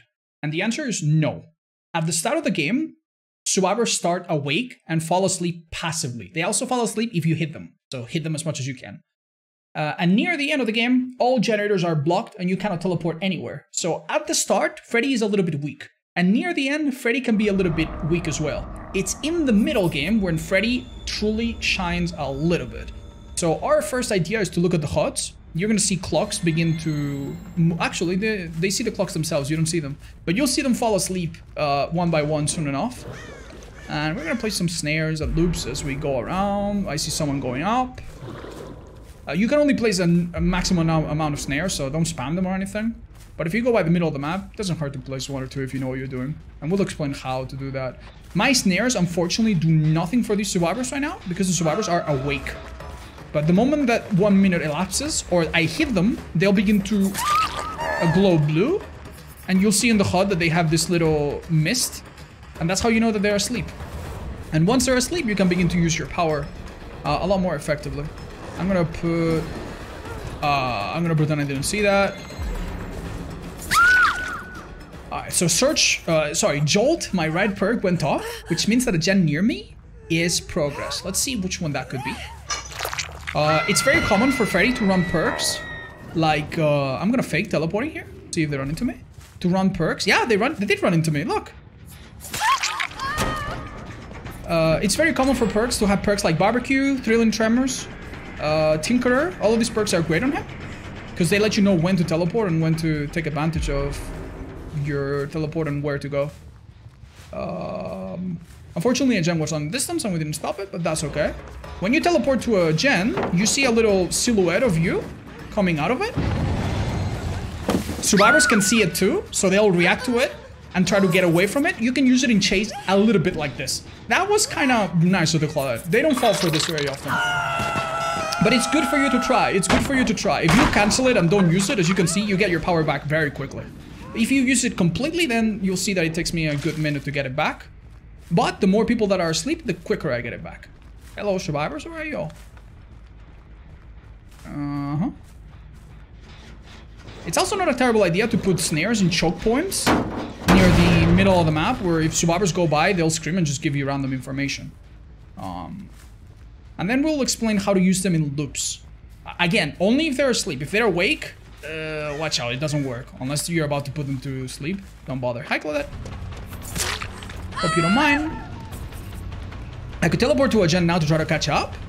Uh, if not, I, I, can just fake it. It doesn't slow me down to do this, so I can just fake it. Maybe spook someone up.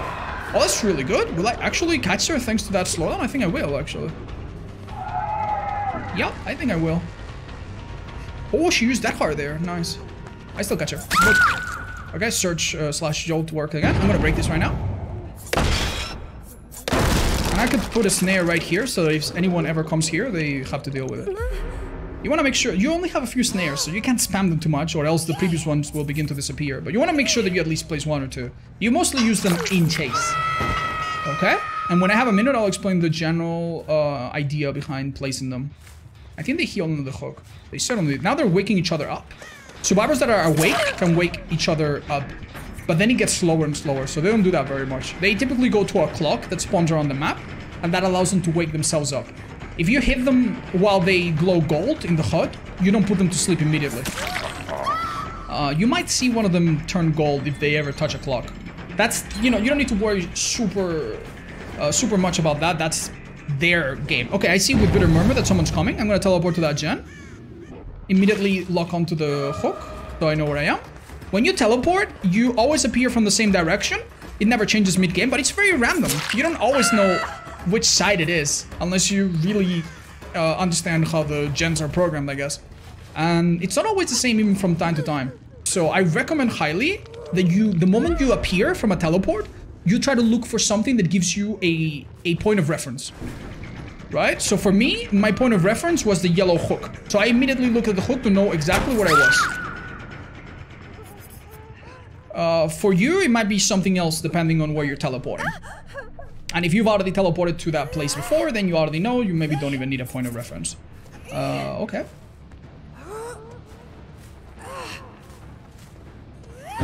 It's very important to just randomly test people and just randomly pretend to teleport if you're not doing anything with your power, just to just to get people off gen. Sometimes they miss a skill check. Uh, uh, that's a good reminder. If survivors miss a skill check, they wake up from the dream world, by the way. But it's typically not a horrible thing, because that means they're wasting time and they lose progress on the gen or the heal or whatever. So that's not a horrible thing. Whoa, wow, I just got played super hard here. Okay. Um, well, I want to show you the general gist of how to place snares. Uh, how to place pallets is super simple. Just spam them near the middle of the map. Uh, it's particularly effective to use the pallets once you've already gotten rid of a few of them. That way survivors don't know which ones are true, which ones are not. Come on, press your E. Huh? Okay. Uh, hope you're not dead. Uh, but with snares, it's a little bit complicated. You, you want to think about it a bit more. Uh, Ruin Surveillance is amazing on Freddy. You can teleport to a gen, and if they let go, you immediately see the change of color. So yeah, Ruin Surveillance will be really good. Now, as we learned today in patch notes, Ruin is gonna get nerfed, but it will still be decent. Hello, ladies. What's up? Sloppy Butcher making heals a little bit slower. Very nice.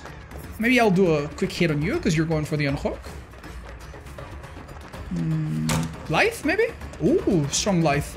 If she was asleep, she would have been affected. But don't forget, every time you hook a survivor, they automatically wake up. See? See that Claudette? Right off the hook. She's freshly unhooked and she's awake uh, the moment you hook her. So yeah, keep that in mind. Uh. I'm gonna pretend to teleport there, maybe. Ah, actual teleport for real. Hey, there you go. What's up, Claudette that teabagged me a second ago? You wanna come and take a look? The BM? I think she's just trying to get mm, uh, my attention over her teammates. Because her teammates are in a bad spot. But it's okay, I'm, I have lots of attention. I can give it all. Right, so we're in a loop right now. She did the right thing to do against Freddy. She pre-dropped. I'm gonna put it in the middle part of the loop. And now she has to take a 50-50. Ooh, powerful. Notice that she just straight up leaves the loop because if she goes the other way, the snare probably will slow her down enough for me to get the hit. So that was really smart from that Claudette, and we can learn from that. I see another Claudette here, though. That snare will stay there, for, by the way. Very important to remember if the person that you're chasing is blue or not. If they are not blue, that means they're awake and maybe you cannot use their powers. And they will not see... They will not... See? These, these are the choke point slowdowns. It doesn't matter. She's going to drop this. I'm just going to go around. Ooh, that's pretty good. I'm going to place a snare on the edge, on the furthest edge from the hook. From the pallet, sorry, and see what I can do. A bit risky, this one.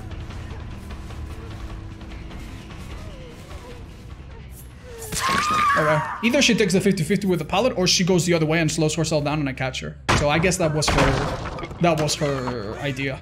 Sometimes, you know, survivors will just not play into that game at all. They'll just run to the next loop like that other Claudette or they'll do something else that's smarter than that. But hey, I mean, she delayed me long enough, I guess. Um, I'm gonna pretend to teleport to one gen and then check on the other. Yeah, yeah, we did the right thing. I could have maybe even teleported here. Ooh, unlucky. Oh, this is Bitter Murmur. Will let us see us. They're probably gonna pre-drop that pallet and take no chances whatsoever. Well, they should have done that, maybe. Uh, I don't know about the other gens, honestly. I think they could be worked on right now. I'm gonna teleport to one of them. Uh, this one's quiet. I'll put a snare there. You can sometimes use snares as little decoys. But don't forget, awake survivors will not trigger them, so... Oh yeah, this is perfect. If we kill this Claudette, we're in a really good spot. Oh... Wait. Can I even go through that gap? I'm scared, dude. can I... Dude, can I even go through that? Oh... Alright. Thanks for the hits, I guess. Uh, unfortunately, there's not a lot of gens for me to teleport to, but I can try to do this. Who knows? Maybe she comes from here. Oh. Uh, one very important thing that is very uh, hard to understand until you play Survivor. When a Survivor is asleep, they don't actually hear your terror radius.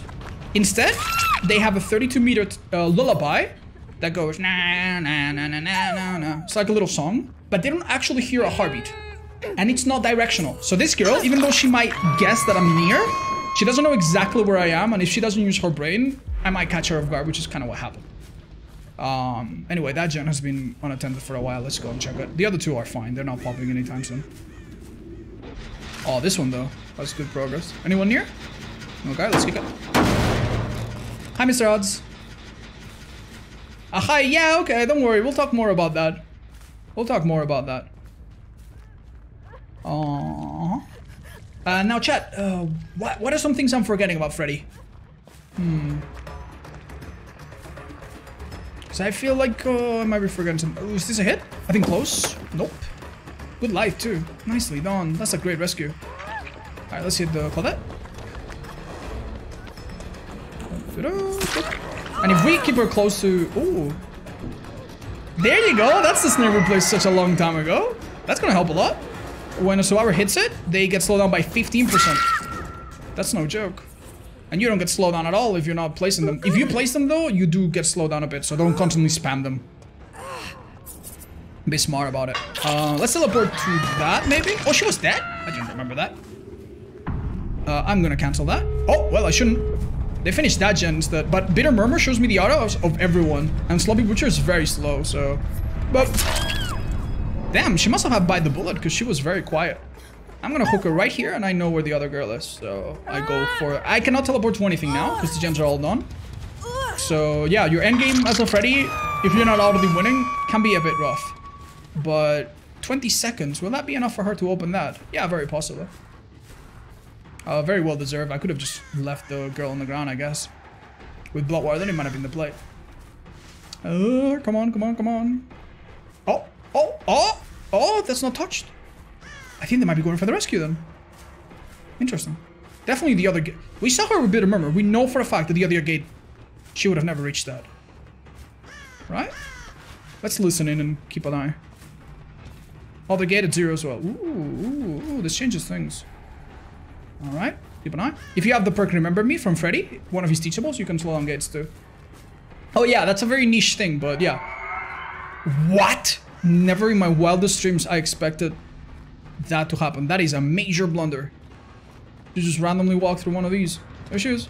Uh, okay. Well, I can... If I'm gonna be a bit of an ass, I can just follow her and see what happens. Oh, well, your teammate died. That's what happened. No!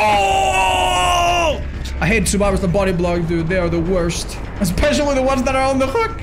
I'm so dumb. She's gonna get the hatch 500% now. 100% she's gonna beat me, chat. Oh, why can't I teleport to lockers? It's so unfair. Comp body block. That's so funny. I'm gonna place this here and see what I can do. I, I just want to, if she, if, if we're gonna drop Shag, I don't want her to immediately. Now she has to go. Yeah, yeah, yeah. That's better. Okay. I got you, buddy. I got you, buddy. You don't want to spam snares like that all the time unless you really, really need it down. Oh, I did go. I did get her, actually. Oh, oh, GG. Okay. So, as a general rule of how to trap loops, the loops typically have a longer and a shorter side, right? The shorter side is very unsafe because if you survivors stay on the shorter side, you can do a little mind game and catch them. The longer side is the good one because that's where they run you before they drop the pallet. You're gonna put your snare at the furthest tip of the side. That way, when you chase them this way, they'll step on it. You can also put it a little bit closer to one side push them from one side, let them step on it, and then immediately do a 180. And it's a very similar concept as the Killer Clown, which we'll cover in a minute. Uh, you do all of that, and your snares are actually fairly decent. And they also are pretty useful when you have someone in basement, you put one snare at the top, they go rescue, you hit them at the basement, they go up, ah, now they're asleep because you hit them, so they get slowed down. You can use all those things, and it's pretty useful. Hi, Crunch. Yeah, I'll I'll do that later. You still um do you still think people uh, Chad? I'm not. I'm I'm go, I'm only gonna discuss Freddy things right now. Do you think there's anything I forgot about it? Uh, Freddy's perks are not super good right now. Uh, Fire Up is a very very minor buff that is hardly noticeable. Don't recommend it a lot. Uh, Remember Me is okay, but No Way Out is a much better perk. It's okay if you're starting out. Bloodwarden is not super strong, but occasionally it is fun and can turn a game around. So that one's the most fun. Yo. Uh, um. I do, uh, as, as I explained earlier, I think the snares should be the are the most skillful thing. Good survivors can die to snares. Good survivors, they are in comms, they can see pallets uh, that are that don't make sense. You know, they they they will play around your pallets a lot better. So yeah, I, I recommend that you play them both for the fun uh, uh, factor of it, but you ultimately practice snares a bit more. All right, uh, let's move on to the next one. Right, and we have reached the pig, a really fun killer that has a lot uh, of different parts through their power. They are not the strongest in chase, but they they do mix a bit of stealth, a bit of slowdown, a bit of chase potential, and they're part of the Saw series, so if any of that tickles your fancy, you'll probably enjoy them quite a bit. They've also recently had a change to their RNG, which makes them a bit more consistent. I'm a big fan of that. So, uh, the general gist of the pig is that on top of being a normal killer, normal terror radius, normal movement speed, so, you know, you can transition into this character and out of this character very easily, um, she has two powers, or three powers, in a way. Uh, the first one allows her to crouch. When you crouch, you move slower than survivors, which is bad, but you slowly, over the course of a few seconds, remove your terror radius and become undetectable, which means that you're not seen by perks or or heard by the terror radius, which is nice. This is very powerful if you have perks to tell you where to go, so that you can maybe sneak up to a survivor and even grab them out of a gen, which you can occasionally do with Pig which is awesome. When you are in crouch mode, you can just stand up to be a normal killer again, or you can charge your attack to do a lunge. This lunge is not considered a basic attack, so it doesn't apply things like Sloppy Butcher or It. it's its own thing. Um, but it will still injure and even down survivors, and it has a bit of a speed boost to it, so you can use it in loops to get hits in places that would otherwise be very difficult. Survivors typically have to drop the pallet early or leave the loop to avoid some of these hits, which is pretty nice. Uh, but you need to know when to use it because it's not that easy to pull off. Uh, and then once a survivor is downed, you also have the ability to press the power button next to their uh, down body, and you will place a reverse bear trap, which is a contraption that goes on their head. And they need to remove it. If they don't remove it and they do and complete and they complete a generator, then it turns on. And if it turns on, they can't escape the game with it unless they find uh, the hatch. Or if they try, it will explode. And it also has a timer that goes down two and a half minutes. And if it goes down completely, it will it will spring open and kill them. So in practice, this is not going to kill most of your survivors, only a few careless ones. Uh, but in but in reality, this is fine. As long as it slows them down a little bit, this is already very good. You have four of these and you can make them a bit meaner and have debuffs and so on, and change all of this with add-ons. Uh, her own perks are pretty cute, and we're going to be using some of them. We're going to be using Surveillance to know when a gen is regressing. When we use uh, a normal attack and hit someone, Jolt and Surveillance go really well together. We'll know when a gen is regressing, and it will turn yellow if someone touches it. And then we'll have Sloppy Butcher to slow on the heals, never bad. And make your choice to maybe keep one person on the edge of their seat so they have to worry a little bit about maybe going down uh, and they don't have time to heal and all of this good stuff that we hope to accomplish. Unfortunately, we don't have a lot of perks on this loadout to know where survivors are. We don't have barbecue, we don't have discordance, we don't have all of these cute perks. So I'm not going to be crouching a lot uh, and and just going random places. That's a bad idea. But if I did, I would probably crouch more. As for add-ons, you cannot go wrong with the add-ons that just buff her searching uh, searching speed, like these, if you don't know what to do. Um, it's also never a bad idea, I suppose, to use combat straps and medical file. This just makes you crouch and move a little bit faster and crouch and uncrouch a little bit quicker. Uh, the Shatter Syringe is also pretty nice. It makes you miss, if you miss your attack, you have a shorter cooldown. Very beginner friendly. And the Workshop Grease includes that and... Oh, sorry, not the Workshop Grease. Um, what's it called? Chat. Um, is it the Workshop Grease? Yes. Uh, the Workshop Grease includes that and a charge speed increase, which is kind of nice. So we could use this as well. I'm going to stick to the brown add-ons for now. Get some blood point offerings. And off we go. Let's find again. And thank you, Master. Right, so an important thing about the pig to think about is that you want to use all or most of your traps before the game is over. At the end of the game, when all of the generators are done, if you place a trap on someone, because they'll never activate it, because there's no gens left to do, that trap does nothing. So we want to place all of our traps as soon as possible, and maybe, maybe you can, you know, strategically save one for the end game, or put it on someone near the end game and know they can't escape until they take it off. So it's a good idea to just get into a chase and catch someone as soon as possible. Again, if you have some perks or some good idea of that was risky. If you have a good idea of where survivors are, you can try to sneak up to them by pressing left control and crouching. This Felix did me a huge favor by just giving me a free hit, so we're gonna take him up on his very generous offer. That's a dead hard. That's gonna fail, I think. But so right off, this guy's almost on a pallet, right? I'm gonna try to press him too and drag him out of it. Because there's vacuum, and then I'm gonna step back a bit and drag him out of it. And maybe that could have saved me from a pallet save. So when you put down the trap, you vacuum them towards you, and you can then step down a little, little, little bit, and vacuum them even more out of a pallet. Sometimes it can help you. Okay, so those white boxes that you see, don't freak out. You don't need to worry about them. They are just the things that they need to search to get out. They have four, they have five of them, and they're guaranteed to do it on the fourth search. But sometimes they can be first, second, third, fourth. All right. What? I guess it's one of these gens just gonna pop right now. Yeah, I guess. Uh, make your choice, which is her own perk. It's gonna make whoever rescues that boy be insta-downable. So that's cute. Oh. I made a mistake. Sorry, that was really not good. What, what do you try to do? Okay, notice that the timer is now red, which is um, which means that it's working for which means that it's that gen's regressing now. You see? Okay, oh, so much to explain. Uh, the timer that is red means that it's ticking. And that means that that guy needs to be careful and get rid of it ASAP. If it's not red, it means it's either paused or not active yet. So Fox, this person that we just hooked, it's not active yet. When they do a gen, it will be. It also pauses if they're on the ground, if they're being chased, or if they're on a hook. For obvious reasons. Because otherwise, you would just chase a guy and kill him like that. So yeah, try not to chase people with traps on them unless you really think it's a good idea. Because those people, that guy's not doing gens right now. That guy's searching. So if I don't chase him, I might have one or two people doing nothing. And that's the best part about the pig. In a way. Alright. Uh-oh.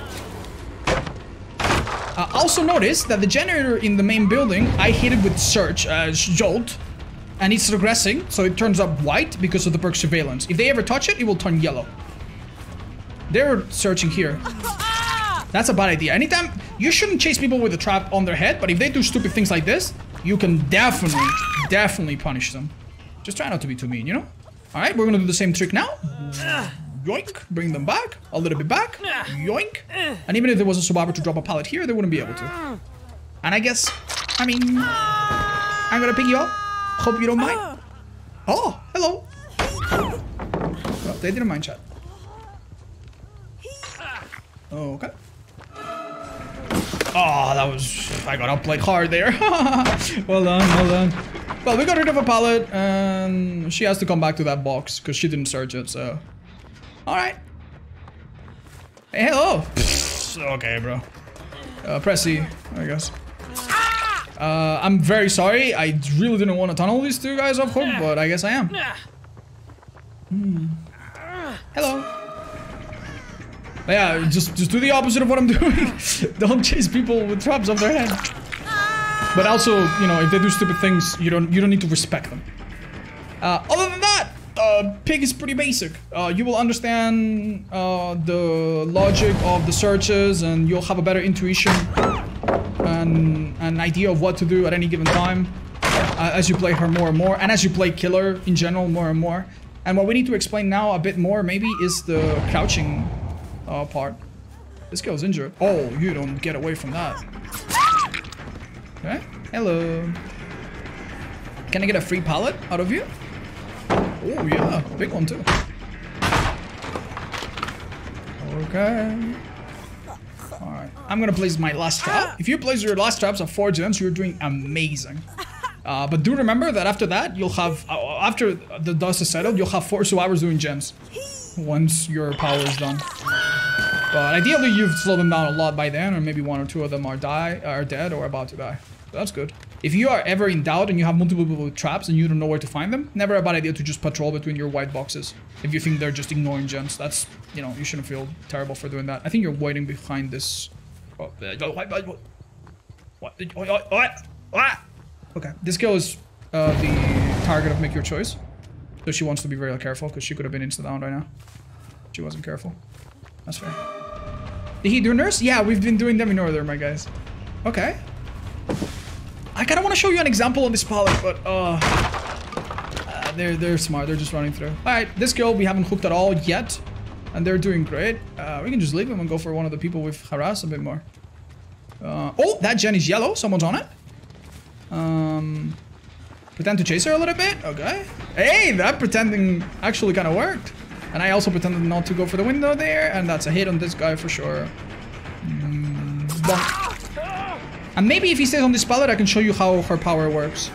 Right, so he didn't drop the pallet, right? I'm now going to crouch, pretend to go one way. Oh! There you go. So, normally, when you're just trying to sneak up to people on gens, the better, the better idea is to get really close to them, uncrouch quietly, and try to grab them. If they run away, you just hit them, and you're fine. And if they're very, very oblivious, you get the grab. Awesome. Uh, but when you're actually in chase, you can use this as a... Ooh, that's the sound that it plays when it's the wrong box. So this is one of the mm, boys or girls. And that box wasn't theirs. You cannot just camp one box to uh, to kill them. Because they can search multiple. And get rid of them through multiple. Um, okay, that's... Oh, they finished that gen. Maybe I have time to crouch now and catch them off guard? Alright. Your terror radius goes away slowly. Don't forget. Don't freak out. I think they're waiting around there and they should see me. Oh, they're right here. Hey, what's up? Okay, we definitely got the drop on this guy. I'm gonna try to block this ball. Oh, well, he did hard. That well done. Wait, wait, yo, yo, yo, you. You're dead on hook if I got you. Ah! Right, so make your choice lasts one minute and decisive strike lasts one minute. So I could just wait uh, 30 seconds here. Get rid of some stuff.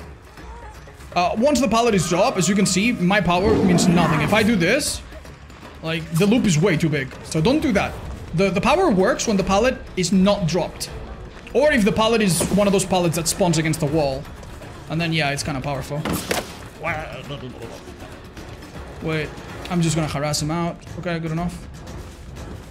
That guy's still on the ground. Make your choices about to end. Five, four, three, two, one. Uh, you should be dead, I think. Oh, you shouldn't do that. I have, I have sloppy butcher to slow down healing. You really shouldn't give the hits for free. Break it? Yeah, you need to break those pallets. I'm only trying to show you what not to do. We're gonna break it. Poor Steve? Yeah, poor Steve. He's been searching for a long time. Uh, do you notice that he's... There's like a little blinking uh, light behind his head? If the if the light is white, they are half they are in the first half. If the light is yellow, like it is right now, or orange, you cannot see it. It means that they are between 50 and 25.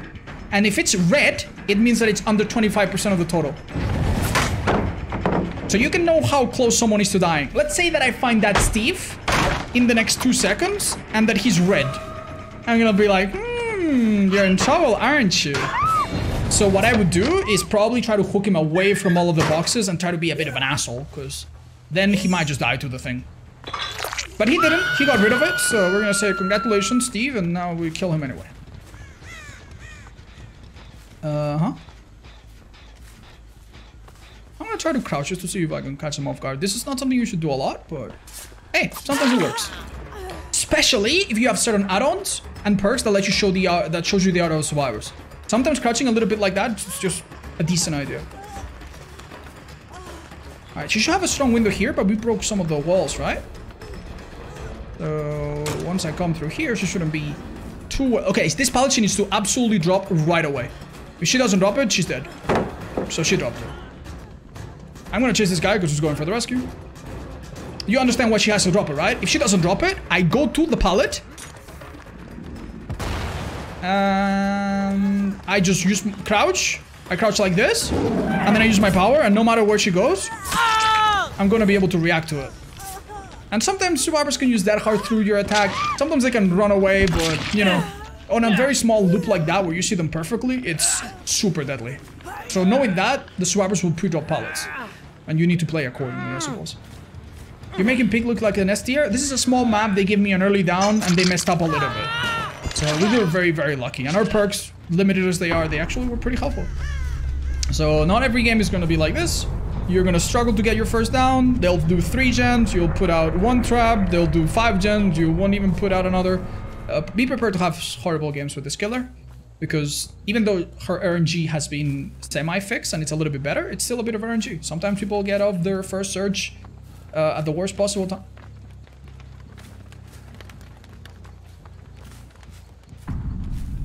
I could swear I heard a step. Yeah, there you are. Well, that might have been a complete coincidence, by the way. I'm gonna be accused of cheating. uh. Nicely done. There you go. Are you slower in crouch? Yes, you are even slower than survivors. Normal peak is 115, running survivor is 100, crouching peak is 92%, I think. So you crouch at loops to catch survivors, or if you have a very, very solid idea of where they're gonna be, to catch them off guard. Because otherwise, I crouch for two minutes, I go to a corner, and because they have spine chill, at least right now, they know I'm coming, so they run away. So yeah, no, horrible idea to just crouch around the entire map. I did that my first time playing Pig, did not go well. So yeah, not, not a great idea, not a great idea. Some perks and some add-ons do help in facilitating that, however. When the pig uses her power, she moves very fast, and sometimes you can do little little techs where you can fly over little holes and, and do little things, and that's really fun, and it's what the only thing in my opinion that makes the pig really exciting to play sometimes. Um, but yeah, uh, she's a bit of a, a bit of everything, a bit of stealth, a bit of slowdown. Uh, if you're into that, I think you'll enjoy the pig. And she doesn't need a lot of perks to do well. As you can see, her traps slow down the game quite a bit and can be a bit of a threat. So yeah, uh, play her if this seems like something exciting. Have you mentioned pig? Nah, I'm not going to mention specific perks too much. You'll have a video separately with the best builds and best practices uh, for that, not to bloat this video with more. Any tips on Pig Adept? The same for that. We'll have an Adept video coming very, very soon uh, for people that are struggling with Adepts. Uh, let's move on to the next one. Okay, we've arrived to the Clown. Uh, one of the most beautiful, strikingly beautiful killers. So obviously you want to play him just for his looks, but there's more to him than that. Uh, he's a normal killer, normal movement speed, normal terror radius, normal lunge, normal recovery, everything is normal. So it's a really good killer to start with. Uh, also has good perks, so that that's that's a plus. And a good killer to transition to and from when you're learning the game. So that's awesome. On top of that, he has bottles that he can toss, and they have basically opposite effects. He has purple bottles that if survivors walk into, they go, they cough, they they slow themselves down, and if you hit them directly, it interrupts them doing actions. And I am stupid and forgot to change the text. Thank you, chat. and also, he has yellow bottles that he can toss, and anyone that goes into that bottle speeds up. So, purple slow, yellow speed up. But there's a catch. If the survivors go into the yellow bottles, they'll be cured from the purples and they'll also speed up. So, ideally, you want to use the purples and then use the yellow bottles a bit more sparingly when it makes sense to do so. And I'll try to teach you how to do that. uh, Mr. Puddles? Uh, yeah, okay, I can do that. I can do Mr. Puddles. Uh, his perks are great. Uh, Bamboozle blocks windows that you vault and survivors cannot use them for 16 seconds. It's not the best clown perk, but it's a good perk uh, in general and very good on some killers, especially the Chainsaw killers. Uh, we're gonna use Jolt and Whisper so that we know more or less where to go. If I had Tinkerer from the Hillbilly, I would run it. So I could know where to use Pop Goes the Weasel, which is a perk that reduces the progress on, on generators. So that would be awesome. But we don't have that, so we're going to just run Whispers to make more or less sense of where survivors are. Add-ons. Um, none of these add-ons are tremendously OP or anything like that for the most part. Uh, I would say stay away from the add-on that changes the degree of the throw. This one's just weird. Uh, stay away from the meme add-ons that do nothing. Uh, and you cannot go wrong with the speed reload or the extra bottle add-ons. I mean, they might give you the bad, uh, the bad habit of throwing too many bottles without thinking. Um, so for me, I'm going to stay away from that. And I'm just going to go for slightly faster uh, reload, which is the cork. Uh, maybe slightly faster cooldown, which is not a huge deal or anything. Actually, nah, we're to go for the party bottles. Hey, this one's make a funny noise. And some uh, cakes. And off we go. Let's find a match. Uh, for the most part, the clown is a very basic killer. Uh, if you use his power really, really, really well, he can actually get rid of pallets extremely fast. And he is very, very good at shutting down loops, especially if survivors underestimate you. For that reason, because he's kind of consistent at doing this, he's definitely not the worst, but he's also not the strongest killer ever. So, let's see how this match goes for us. Right, so one of you guys was curious and asked, how do you aim the bottles? It's very simple. If you just tap the attack button, uh, you'll just throw a bottle whoop like this. If you hold it, then you can actually aim it and then decide a bit better how you throw it. If you then attack while you hold it without releasing, you will cancel it. So you can cancel a bottle throw. Same, exactly the same as Huntress. Uh, but there's a catch. Ex also exactly the same as Huntress. If you hold the bottle for longer, the clown tenses his muscles and throws it further. And the arc is a bit different. So if you want to throw something simple over a, a, little obstacle, just do a little tap. If you want to throw it as far as possible, there you're going to hold it as much as you can. Very similar principle as Huntress. What? Okay, this is a spicy group of survivors. Now, you might be tempted to just throw yellow bottles to speed yourself up everywhere. And in my opinion, that's a bad idea. The yellow bottles give you a 10% speed boost. The purples give a minus 15 slowdown.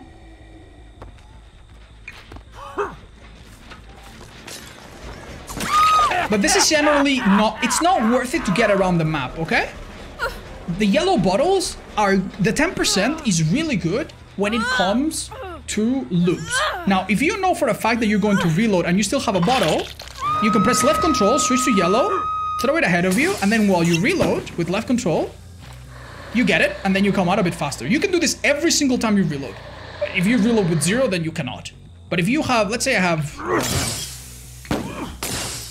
Let's say I have one bottle, right? And I need to reload, and I just hook this girl. Just throw it ahead of you. It activates after a second, the yellow ones. And then bam, and now you're a bit faster. So that's nice. Now I'm gonna switch back to the purple. You should always have purple by default. I'm gonna hold the bottle, and as you can see, it blinks. When it blinks, it means it's fully powered up. Like now. You don't need to power it up or anything. Okay, here, I'm gonna show you the principle of playing clown. You get to the pallet, you aim the bottle at the furthest point, and then you go this way. You can use, you can also, you know, spice it up by going the other way. Very good. Very good. You can also throw it just to catch up before they make it to a pallet like that. Um, okay. Well, I think these people are just like gen rushing with uh, resilience. Maybe. She might have the size Yep, she does. Oh, sorry about that. Uh, now I'm not gonna bother to reload just yet. And while a survivor is under the influence of the bottles, they are significantly slower and they do not gain enough speed to actually drop... Hold up. I'm gonna hit the window frame. Oh, they were very smart. They ran away. Alright, right now, I would probably be... Yeah, I'm gonna lock her in a corner and I'm just gonna reload and I'm gonna place one right there and I'm gonna chase this way. And she's gonna take the window and now I got her. And if she didn't take the window, she will go down because she would have to go through there. Hello, person. Now, when a survivor is slowed down with the bottles, they cannot fast vault windows, which is really nice. But they can always fast vault pallets, because pallets are special, I guess. So, pallets, it's pretty strong for survivors to pre-drop them. But around TL walls like this, the bottles are really strong and you're going to catch up to them really, really quickly. What a strange group of survivors, huh? You can also drop a, a yellow bottle on a survivor on the ground to give you speed boost after you pick up. But these are very niche uses of the bottle. Don't, don't bother doing all of this, in my opinion. Mm -hmm. Who rescued you, my guy?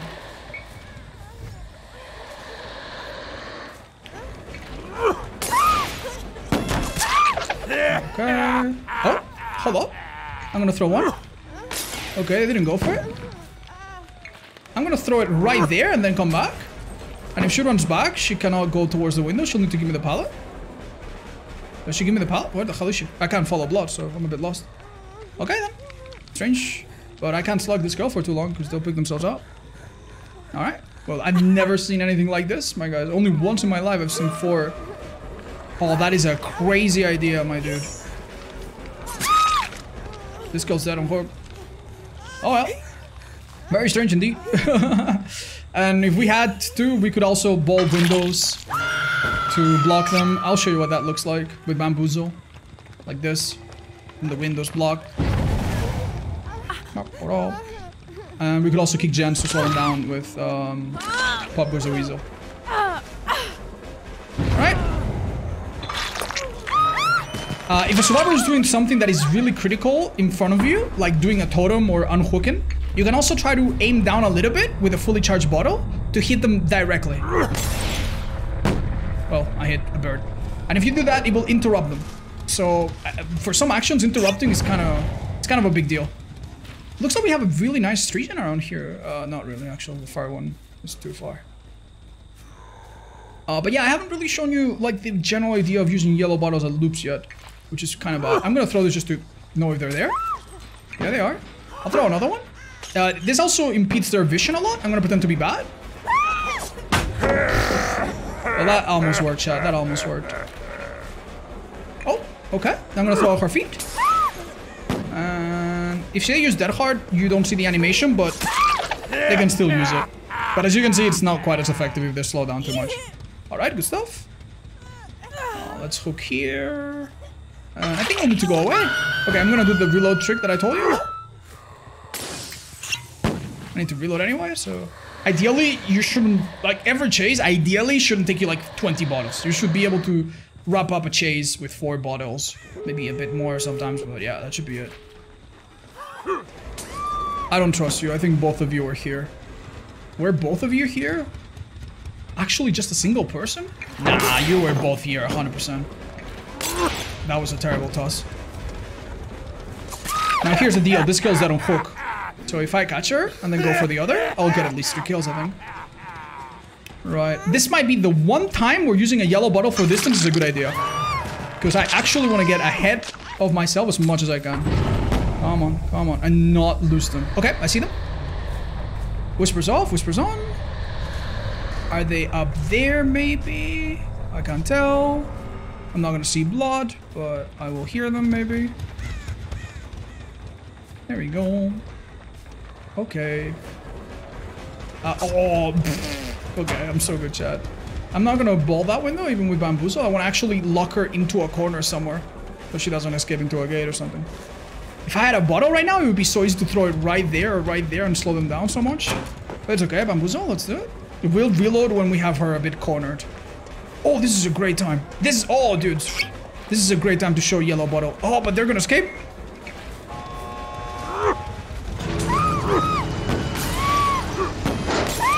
I think they got it. Yeah, nice. I should have not. I should have never uh, stopped at the pallet. Oh, this is a. Oh, this is a shame because I needed to show you that important thing. Oh, that's a shame. I really, I really wish they hadn't left. I really wish they hadn't left. I'm so sorry. Yeah, I you, they all had resilience. They didn't have a single uh, toolbox though. They just did gens fast. I needed to, I needed to not care about that and just lock that person down uh, away from the gate, and we would have killed her. Uh, but you know, uh, I'm gonna use the power of MS Paint to very quickly um, make my point here. I made a video on how to use yellow bottles with some visual examples, and I'll link it up there. How to use yellow bottles on Clown. Uh, but the general idea goes a little bit like this, Chad. So if this is the loop, um, let's say this is the bigger part of the loop. And the pallet is right here. You you want to be here yourself. You want you're the clown. You're right here. You want the survivor to instead be on this side. They're not gonna play around this part because this is the short side and it's very unsafe. You put one purple bottle right here, and if they play on the short side, they are completely dead. However, if you place it here, as I explained, that works pretty well. And one thing you can do is place a yellow bottle under your feet and then throw a purple bottle here. You'll speed yourself up. They'll slow themselves down and you will catch them. By the time they come here, you will be 10% faster, they'll be 15% slower.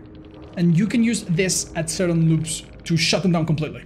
But the idea for the survivors is almost always to just pre-drop the pallet, and then you break it and move on. Uh, with that in mind, that's mostly all there is to clan. And I can't believe we played against four No Mithers. That is crazy. sorry for asking two times. Uh, I'm sorry guys, I'm, I'm, gonna I'm gonna answer that when we take a little break from this. What happens if you throw a purple and a yellow bottle on top of each other? Great question. The yellow bottle is an antidote. So if you throw two bottles, the yellow bottle will eat up the purple. So you don't want to do that. You don't want to do that. If you do that, the survivors running through will just get the speed boost. So be very careful. You throw the yellow bottles at the places where you're going to be and where you're going to place uh, the survivors away from and push them away from. Don't give it to them for free. and that, I, I think that's pretty much the basics with Clown. Let's move on. Right, so we've reached the Spirit. Uh, the Spirit is one of the few killers that has special slower speed and terror radius. She's very much like Huntress, Hag, um, and what other killers do this right now? This, we're starting to run out of them. and I guess the Deathslinger? Yeah, they have... No, no, no, no, I forgot the text again. I am the worst. Uh, I knew I was doing something wrong. Yeah, she has a 24 meter terror radius, which is smaller than usual, as well as 110 movement speed, aka 4.4 meters per second. She's also a bit shorter than, than some of the other taller killers, which is something to consider and her power makes up massively for this shortcomings. Um, it's called Yamaoka's Haunting. When you hold your power button, she begins to twist her her arms, and when it's fully charged, you then move on a different plane of existence. Your body stays put, and if a survivor is looking at you, they just see you stand still. But while that power is happening and you have about five seconds, you actually move very, very fast and you can choose to reappear whatever you like. You're still bound to the same laws of, of physics. You cannot go through walls, you cannot go through windows or pallets. Uh, so you cannot quite do something like the nurse can, but you move very, very, very fast. And if you lunge out of it, you keep some of this speed and uh, some of this extended lunge. The catch, however, is that you do not see survivors. Just the same way they don't see you, you don't see them. All they can do is hear a little big whoosh that tells them more or less where you are, and you can not see them directly. But you can see their scratch marks, you can hear their footsteps, and any other sound that they make from being injured or interacting with the environment. So basically, as a spirit, you try to get hits whatever you can, and when your power is ready, you blup, blup, blup, blup, begin to use it, listen very carefully, try to appear on top of them, and hit them. That's it. Super simple. Uh, even though it's simple, listening carefully is difficult, and she is very unique. Her power is immensely powerful, uh, but also not anything like most other killers. So if you play a spirit and you dedicate a lot of time to her, she will maybe give you some bad habits with other killers. You will not be able to catch survivors nearly as fast with other killers. And likewise, if you played a lot of normal killers and you play the spirit, you might not be used to her normal to her lower than normal speed. So she's a bit of a special cookie, uh, but definitely definitely powerful. Uh, the add-ons, honestly, uh, they start all the browns and yellow ones. You cannot go wrong with them. Uh, anything that gives you extended speed or duration is good. Recovery and duration is basically the same. I know it doesn't sound intuitive. And activation is also really good. So I'm gonna go with brown activation and brown movement speed. But you honestly cannot go wrong with any of the brown and yellows. And then some of the more powerful ones get really, really crazy. Some of them are kind of useless. You'll find a way to navigate around them. Uh, we're also gonna use some blood point offerings. Why not? Uh, as for perks, she does do basic attacks when coming out of her power, so things like Sloppy Butcher, Jolt, and Noed work out just fine. And we'll have Bitter Murmur to hear people, um, uh, sorry, to see people at the end of the game and have a plan B if things don't go well by then. But yeah, uh, the main idea with playing Spirit, you don't really have a lot of a specific plan for spirit. You don't need to set up traps. You don't need to mine loops very much. You just need to get rid of things that are that seem powerful. Get rid of pallets that are strong. Get hits whenever you like. Try to identify which survivors have perks like Iron Will that makes them very quiet or completely quiet right now, uh, because those are much harder to listen to. And then look for cues during chase, scratch marks, grass moving, dust kicking up to know where they are. And lots and lots of practice will be required, but you'll be very oppressive in chase. And yeah, that's pretty much it. Just play normal killer and use your amazing chasing power. Occasionally, if you don't mind bursting through all of your power and then going on a long cooldown of about 15 seconds, you can also use your power from mobility. Someone's about to do something that you really, really, really want them to stop, uh, like finishing Agenda Single Dawn, you can use your power just to get there really, really quick. And even though it has a bit of a startup, it's it's certainly worth it. And yeah, that's pretty much it. It's just about getting better at listening and, and choosing which chases are worth picking up. If a survivor is clearly very good and very good at juking you and, and so on, you might want to pick a different target. Hmm, what's a bit I'm using the recolored uh, spirit skin that has the schoolgirl uniform. And that's pretty much it, chat. Do you know if the fire barrel sounds like footsteps intentionally? Uh, I don't think it's intentional, but it definitely 100% sounds like footsteps. Oh, yeah, don't mind that book. As I said, the spirit doesn't really have a lot of macro management things. You don't have a lot of powers that you need to set up or pick up. Instead, you want to focus on each chase and really ask yourself if it's worth it.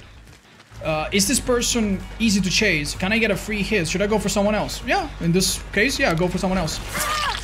Uh, one important thing that you want to do is play with a slightly higher volume and tell if a survivor has Iron Will or not. This survivor doesn't have Iron Will, so I can hear them really well when they're injured. She also did something that I see comp players do. Okay, I'm gonna try. Uh, survivors can hear a little whoosh when you start using your power. So sometimes, and they can also directionally tell vaguely where you are. So it's sometimes a good idea to go in one way and then immediately switch back just to throw them off a bit. I think I think that's what got me to hit there. Wow, fast one. That must have been two guys. One of them is walking out. I see that with our with uh, Bitter Murmur. You don't see auras from perks when you use your power. But if you see them before, you can react to them like this and just use your power from ability or react. I'll force this pallet out of him, maybe. Oh, even better. He, ch he changed direction? That hard? Dead. I could hear him very clearly because this guy doesn't have Iron Will. If they have the perk Iron Will, now they're completely quiet, and in the future they'll be a bit quieter, so it is a bit of a counter for Spirit. We experienced that earlier.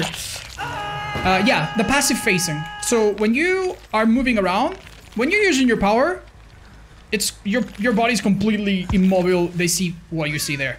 But when you're not using your power, the spirit has this quirk, this strange little unique aspect to her, where her body flickers on and off. It kind of like disappears briefly.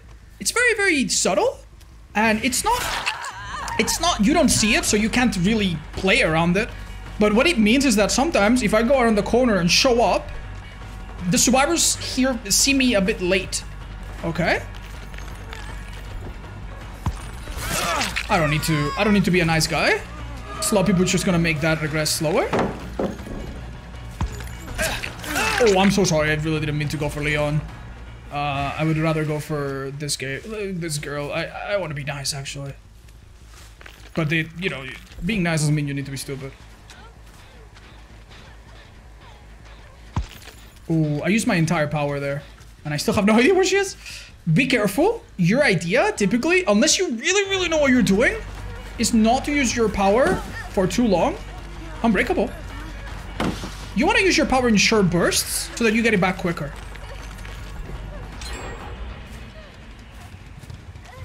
Now, if you're sure that a survivor is going into a dead zone like that, commit. But if you're gonna make quick guesses, I think it's better to do it in short bursts. Alright.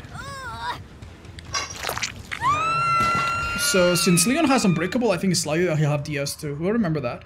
And I think they're going to be healing now, these two. I'm going to use my power from ability a bit. But, do I see them? Yeah, I do. Okay, one of them got healed, but the other didn't. So we go for the other. Hi, lady. Oh, fast. Pretend to use my power, maybe?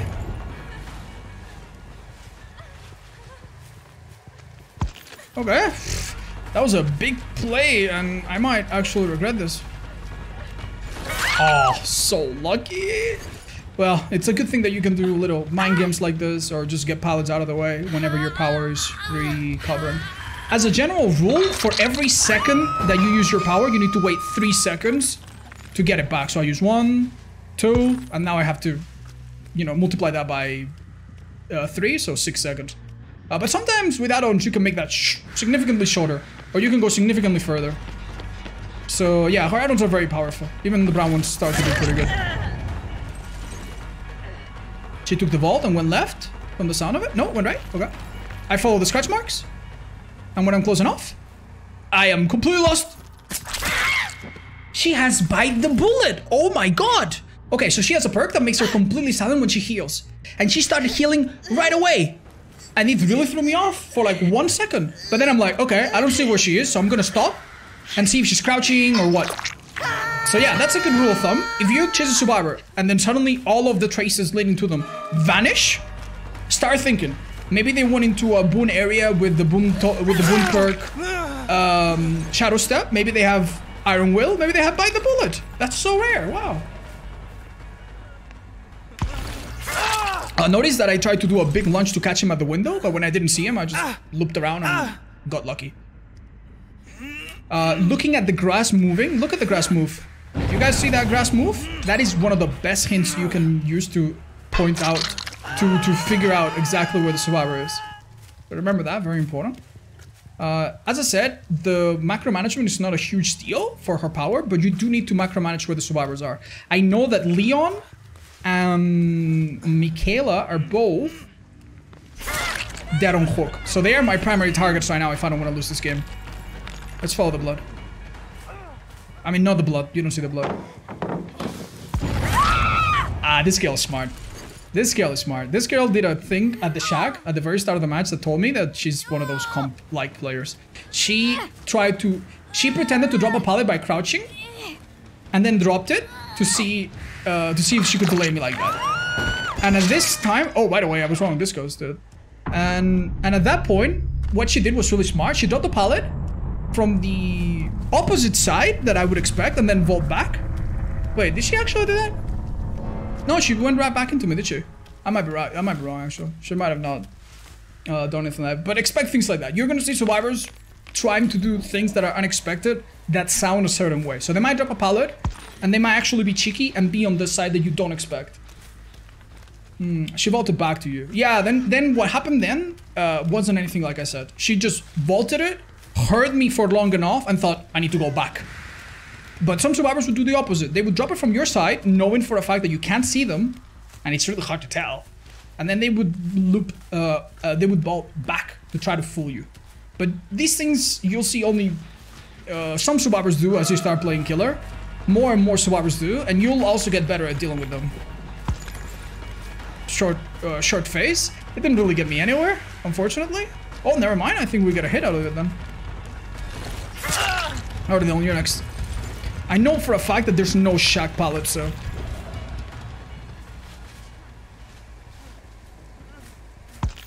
Oh, very patient, Leon. Well done. Don't forget they can more or less hear me, so... They're not operating on zero knowledge. Thank you, Spook Twig. Well, that worked earlier, and it worked now. Well, damn. Let's break it down. Now, let's kill him first. Uh. But yeah, don't forget that aura perks don't work during your power, but they do work before you use it. So you can kind of make your mind up a bit. Ah, okay. They opened this gate for me by completing this gen. Let's go find them. Whee! And if I go and look into this corner, or a locker, maybe I find her. Aya!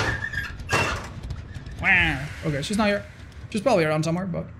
Oh, damn! Where is she, though? Found you. Hello. How do you like... Spirit Noed with Bitter Murmur? Now you know why I run this perk. Um, okay, not gonna lie, it would be really mean for me to catch this girl, too. Well, we probably can do it.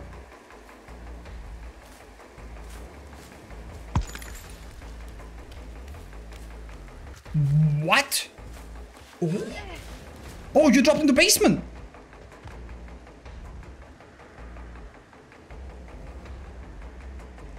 I saw nothing. Nice one. Nice one, nice one, nice one. Uh, anyway, uh, hopefully you get an idea of what it's like. Don't forget that you can do a big swing coming out of um, phasing. Uh, don't forget that anything visual you can still see other than blood and the survivors themselves and auras.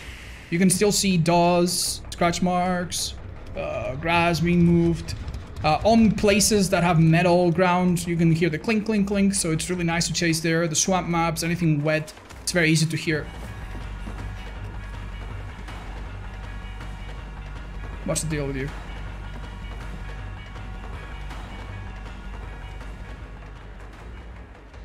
Well, now she thinks we're besties. now she thinks this is the dating simulator. And she can just go on a date with me. Okay, I accept it. You're cute.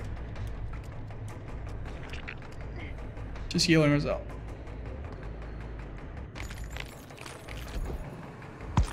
Look at that, just completely silent. yeah, that's quite fun. Chat, uh, what did I forget about Spirit? Uh, please. Um, I'm sure I forgot something super critical. You can be stunned while you can be blinded and you lose your power, but you know, just look away. And you can also be stunned, which would also make you lose your power. Hmm. She still sees outlines, rancor, and spies. Oh yeah, yeah, perks that don't show auras but shows you the location of a survivor, like spies from the shadows, you can still see them during your power. That's good. Hi Gutonius, I will make a video about playing against a dredge very soon, pinky promise. But not yet.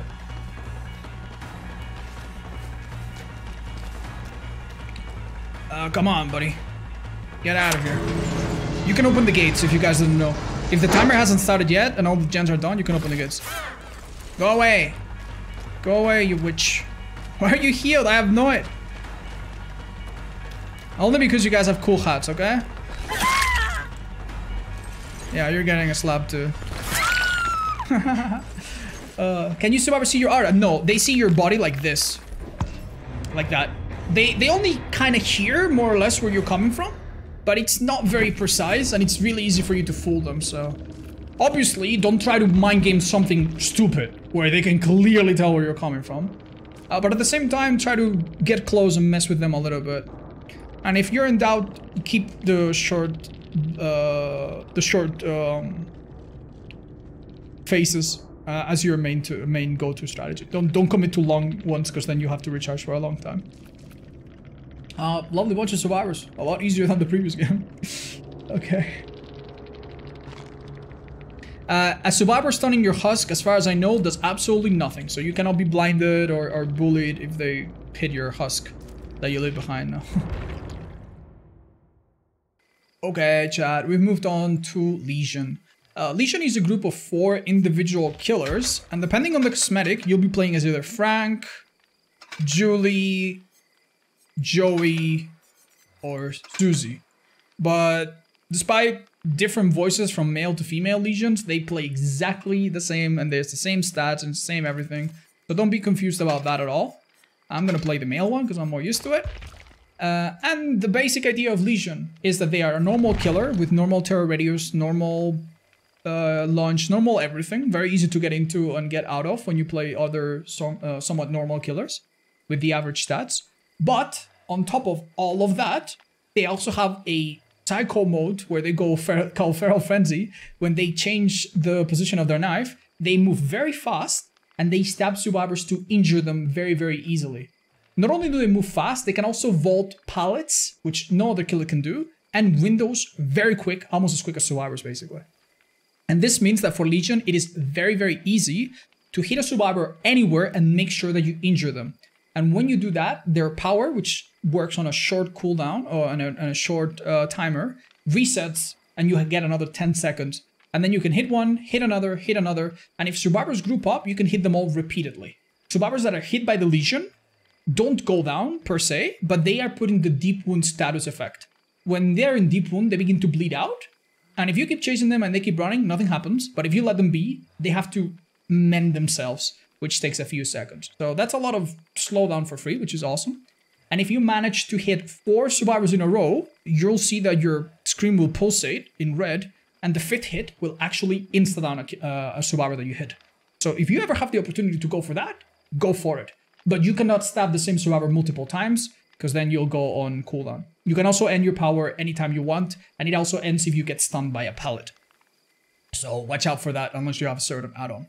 In general, Legion is a perfectly great killer to start with, one of the best ones to learn the game. I highly recommend them uh, because it puts a lot of pressure on survivors and it's a great killer to practice with. But once survivors are injured, you don't have a lot to end chases, so you need to have your mind games and overall game sense on point. We're going to use Discordance, their own perk, to find multiple survivors on gens. This is great synergy with his power to hit multiple survivors quick. Uh, also Fearmonger to make them exhausted. Maybe they don't run away with Swim once we catch up to them and Jolt, which is a common perk. Down survivor, gens around them, bleh, explode. Uh, Boon totems can be a bit annoying if we ever find them. So if you want to, you can use Shattered Hope as your fourth perk. I haven't leveled it up entirely here. Um, that way you can break boons see where people are and catch them before they finish healing. That can be an, uh, that this can already be a decent build on Legion. Add-ons. You can never go wrong with extra duration. Never, ever, ever go wrong. And you also cannot go wrong with extra recovery. These are good add-ons to start with. Watch out with the add-ons that have downsides to them. There's only one or two like that. Um, you want to use those when you understand them a little bit better. Uh, but yeah, honestly, this is great to start. Let's get some blood points and get into a match. Right, so as you can imagine, there is a big, big difference between finding one person and just focusing on that person and finding a group of people, injuring all of them, letting them uh, waste time with mending and then picking them off one by one. You definitely want to be doing the latter. You do not want to focus on one survivor. You constantly want to exert pressure upon multiple people when and if possible. So our idea is going to be to listen to discordance or have a guess as to where multiple survivors will spawn far away from us and try to catch multiple of them. When you begin to use your power, um, you will see that the FOV changes and you move very fast. When you hit one survivor, you now activate the killer instinct. Uh, the killer instinct is a mechanic that will let you find survivors with the Legion inside your terror radius. So when I hit one survivor with my power, I'm going to hear a I'm gonna hear a heartbeat that will let me know where the other survivors are. If they're close and I can close the gap and hit them immediately, awesome. If they're very far, it's maybe not a great idea to try desperately to reach them. It's maybe a better idea to get to them, cancel my power, and then start over. Uh-oh, the discordance is on. Notice that the generator is yellow. This one, this generator is orange because of the event. Is that two discordances? Oh no, that's so sad. Well, now we know where four of them are. We'll hit two of them here for sure, though. I see them both. Alright, I'm gonna hit one. Out a window? Heartbeat. I know I know he's pretty close, so I'm gonna catch up. He running to me a bit. Uh, watch out, he can stun me here. Let's be patient, okay. I waited out a bit. And. He was pretty smart. I'm gonna get rid of it right away. The other two are just doing a gen and there's not much I can do. I could try to go and stop them, but look at that. It's really far. I don't have any other perk to slow him down. I accept that that gen's gonna be gone. Uh, sad fact of life. Survivor's going back, I can hear him. Very risky of him. Does he have a strong pallet here? He does not, I think he's dead. Uh, very smart shot, very smart.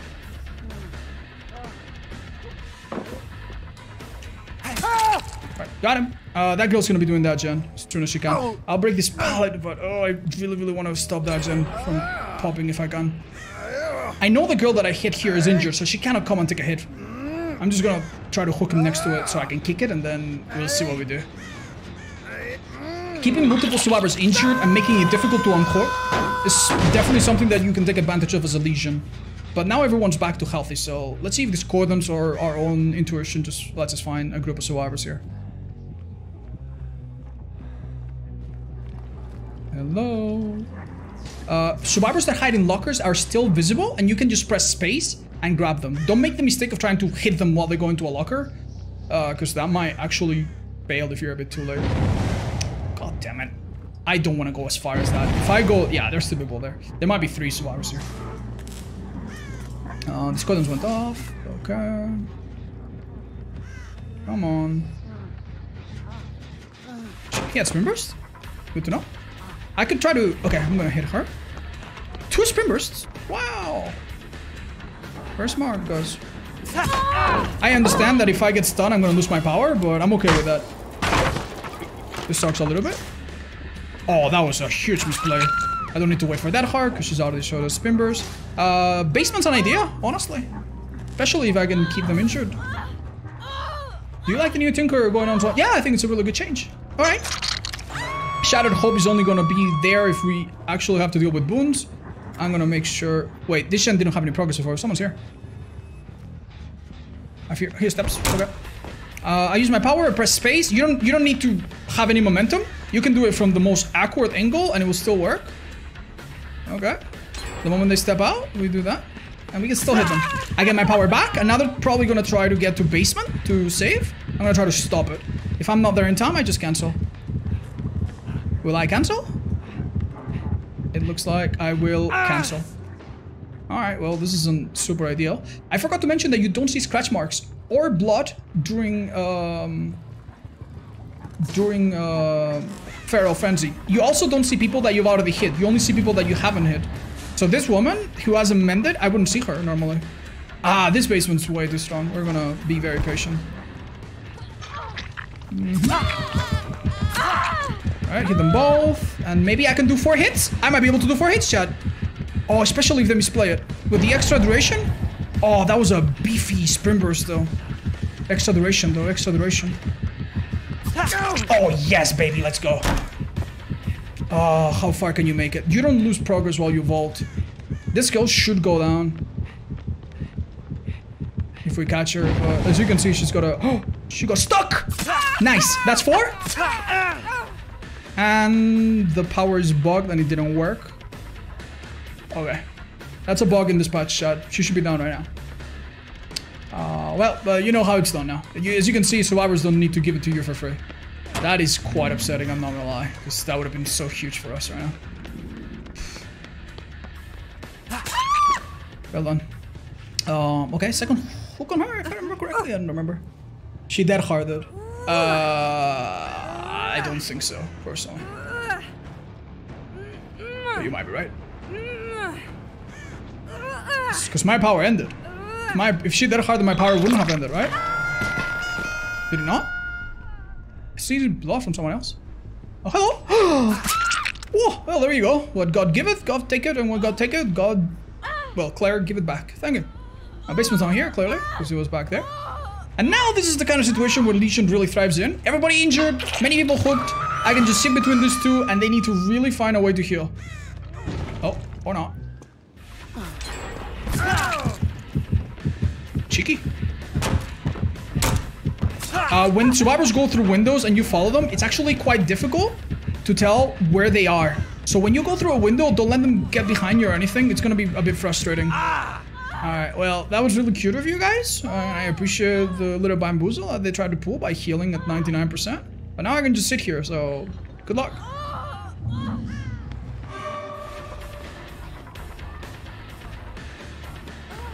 Ah! Alright, good Surge slash jolt. And I need to go for one of you guys. What the hell was that?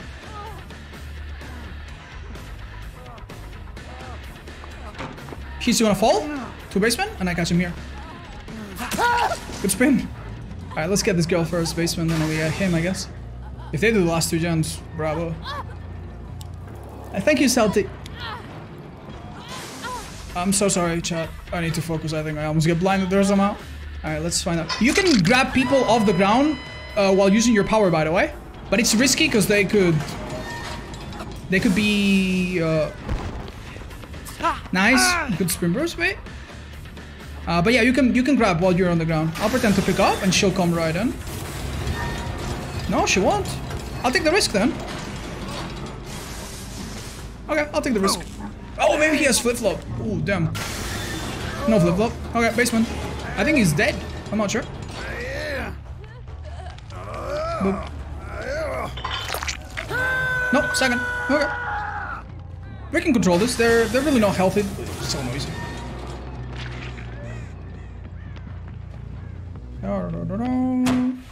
I should never leave the I should never leave the basement chat.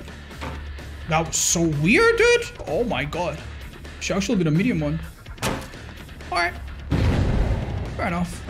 Makes sense. Uh, no BT on either of these guys. Because if she doesn't have it, she doesn't have it on this guy either. And hi Claire, what's up? Oh, powerful! Oh, nice, nice trick. She tried to use Burst to get out of here. She might have Vigil or something. She used it twice very shortly. Impressive. She did. Uh, see, I can use my power and then grab someone. Do that if you want to save a second, I guess. But it's a bit risky, because what if they just pick up in front of you? You can't just cancel your power. You have a 3 second cooldown. But yeah. Uh, I'm sorry if you have decisive, well, use it. Ah! That is totally fair. But, uh, chat, what are some other things we haven't talked about Legion? Uh, yeah, important one. When you hit a survivor once, you actually gain a slight boost of speed. So right now, I'm I'm fast. Now I am faster, slightly. And for every additional hit, you move faster. So the final survivor in your big chain of hits is actually gonna have a much harder time than the first one. Additionally, this is a very obscure thing, you don't need to really know it, but I guess I'll throw it in there. Your terror radius Legion is 32 meters, but when you use your power, it actually climbs up uh, to 40 meters, if I'm not mistaken. Which goes the smartest survivor you've ever seen in your life. So you actually detect people from very far away. Sometimes, if you're in the mindset of looking for people, especially without discordance and stuff, one idea might be to hit a survivor with your power, walk a little bit away, and then if you hear someone in distance, cancel. If you don't hear someone and then you suddenly hear them, that person is too far. Three sprint bursts? I could have hit her. Only reason I didn't is because I thought she had Dead Hard. How much is a meter in this game? Uh, ugh. Oh, it's really hard to tell, guys. A meter is more or less the distance, uh, the, the width of the pallet. More or less. Uh, there are some powers like Pyramid Head that can help you measure in units of 8, for example. Hello. Come on.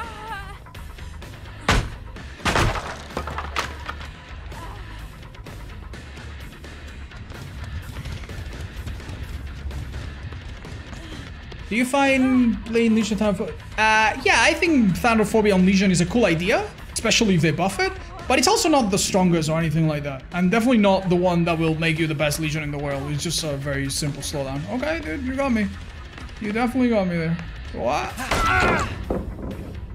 Play with fire. Uh, the new Dark Devotion on Legion, uh, it actually used to work on Legion, so I can already tell you what it was like. Not ideal, I think. Not ideal. Locker baits in Frenzy? Yes, while you're in Frenzy, and especially if you're about to run out, some cheeky survivor will try to go into a locker. You just press space and you open it. If you hit them like this, and they're too fast, anytime you miss an attack, you lose your power entirely. Now, we do have this brown add-on that makes my cooldown shorter, so missing, not that big of a deal. Uh, you know, um, with the brown ruler. But yeah, you, sh you, you shouldn't. Look, look how long it took me to use my power. Ideally, Ideally, you want to miss your power as little as possible, and anytime you're chasing a survivor, you're either about to injure them with frenzy or they're already injured. You don't want to be chasing healthy survivors uh, for a very long time, and then missing your attack and then committing, waiting 15 seconds to get your power back. You know what I mean, right? You, you want to be smart. If a survivor is very clearly outplaying you at every turn, injure them, move on to someone else. Since you can hear the heartbeat, right now, if I didn't want to find this girl, I could just come here, Oh, I hear it actually.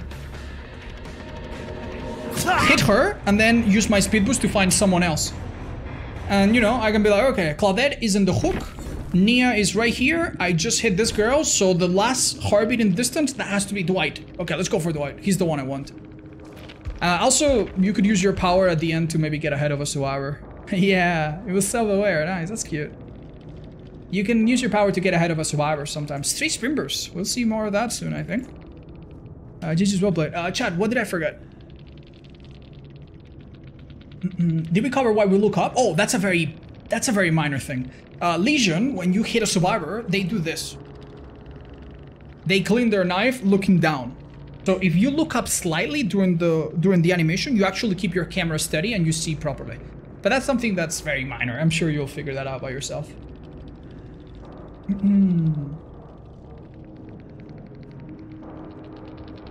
Use Blood Echo? Unfortunately, that's a teachable, so yeah.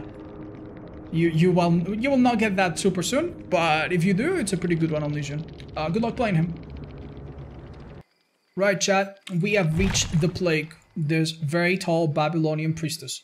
Uh, she has normal stats and average stats compared to most other killers. 32 meter terror radius, 15 per, uh, 115 movement, aka 4.6. You can press F1 to see all of these things.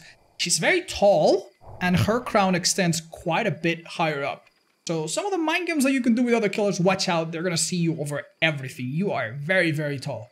Even though she is a normal killer and you can play her like a normal killer, I really, really recommend that you think very carefully about her power because if you use her power well, she can be a bit like Legion and make sure everyone wastes time and gets injured without actually being there sometimes, which is pretty, uh, pretty insane. Her power is the Corrupt and Vile Purge. We're gonna simplify it and call it the Green Puke and the Red Puke. By default, she has a Green Puke. The Green Puke and the Red Puke are both identical in like hitbox and, and timing and everything, right? Uh, but the green one is her default one. The Green Puke infects items, anything survivors can interact with, generators, windows, uh, pallets, lockers, totems, anything you can see and survivors can touch, blah, blah, blah. you can puke on it to make it infected. If they touch it, they become infected. You can also infect the survivors directly by puking on them. And if you puke on, puke on them repeatedly, the infection uh, fills up very quickly. You don't see that meter, but they do. Uh, if a survivor is in a bad spot, it's a really good idea to fully infect them. Otherwise, I think it's kind of difficult, so you shouldn't try. Maybe it's best to just infect them a little, then move on to someone else, and let the passive infection build up over time. Uh, unless survivors are literally doing nothing, the infection infection uh, progresses, and when it's fully there, it injures the survivor. And very, very critically, this injury is not a normal injury. It doesn't give them a speed boost. If a survivor is working on a gen and they they suddenly grow fully ill, they don't get a massive speed boost as if you hit uh, as if you hit them. And if you're not doing anything, you don't get a slowdown as well. So it can be very, very critical. That already is a really good power because when survivors are all injured and infected, they are they cannot do anything brave around you and they constantly cough and are easy to track. But on top of that, the plague has a bunch of fountains around the map. And by default, one of them will be red. If you drink from it, now your puke becomes red for one minute. And this puke now is like a hunter's hatchet. It just straight up damages. And it can go through survivors too. So two survivors in a little corner, blah, blah, blah. Uh, red puke, down them both. Or injure them both. Huge, huge stuff. Uh, the way survivors counter this is by running very far away from you or stunning you. If they stun you with a pallet, you will lose your power. So be careful. You need to be... Other stuns are fine, but pallet stuns, you need to be careful while you have your red puke. Uh, if survivors are infected, they can also drink from the many fountains, and that turns them red, which heals them, but it also gives you your red puke. So it's a trade-off of what's going to happen so ideally, you want to infect survivors a little bit as your general strategy, and then anytime you think it's convenient, pick up one of the red fountains and try to use it to uh, down survivors really, really quickly and be very oppressive in chase. When you infect things, they stay infected for an uh, for a default 40 seconds. Uh, but if survivors are fully infected, they also passively infect things. So if you fully infect a Meg and put her on the hook, and then someone touches her, they will pass on the infection. So and they will also infect things that they touch.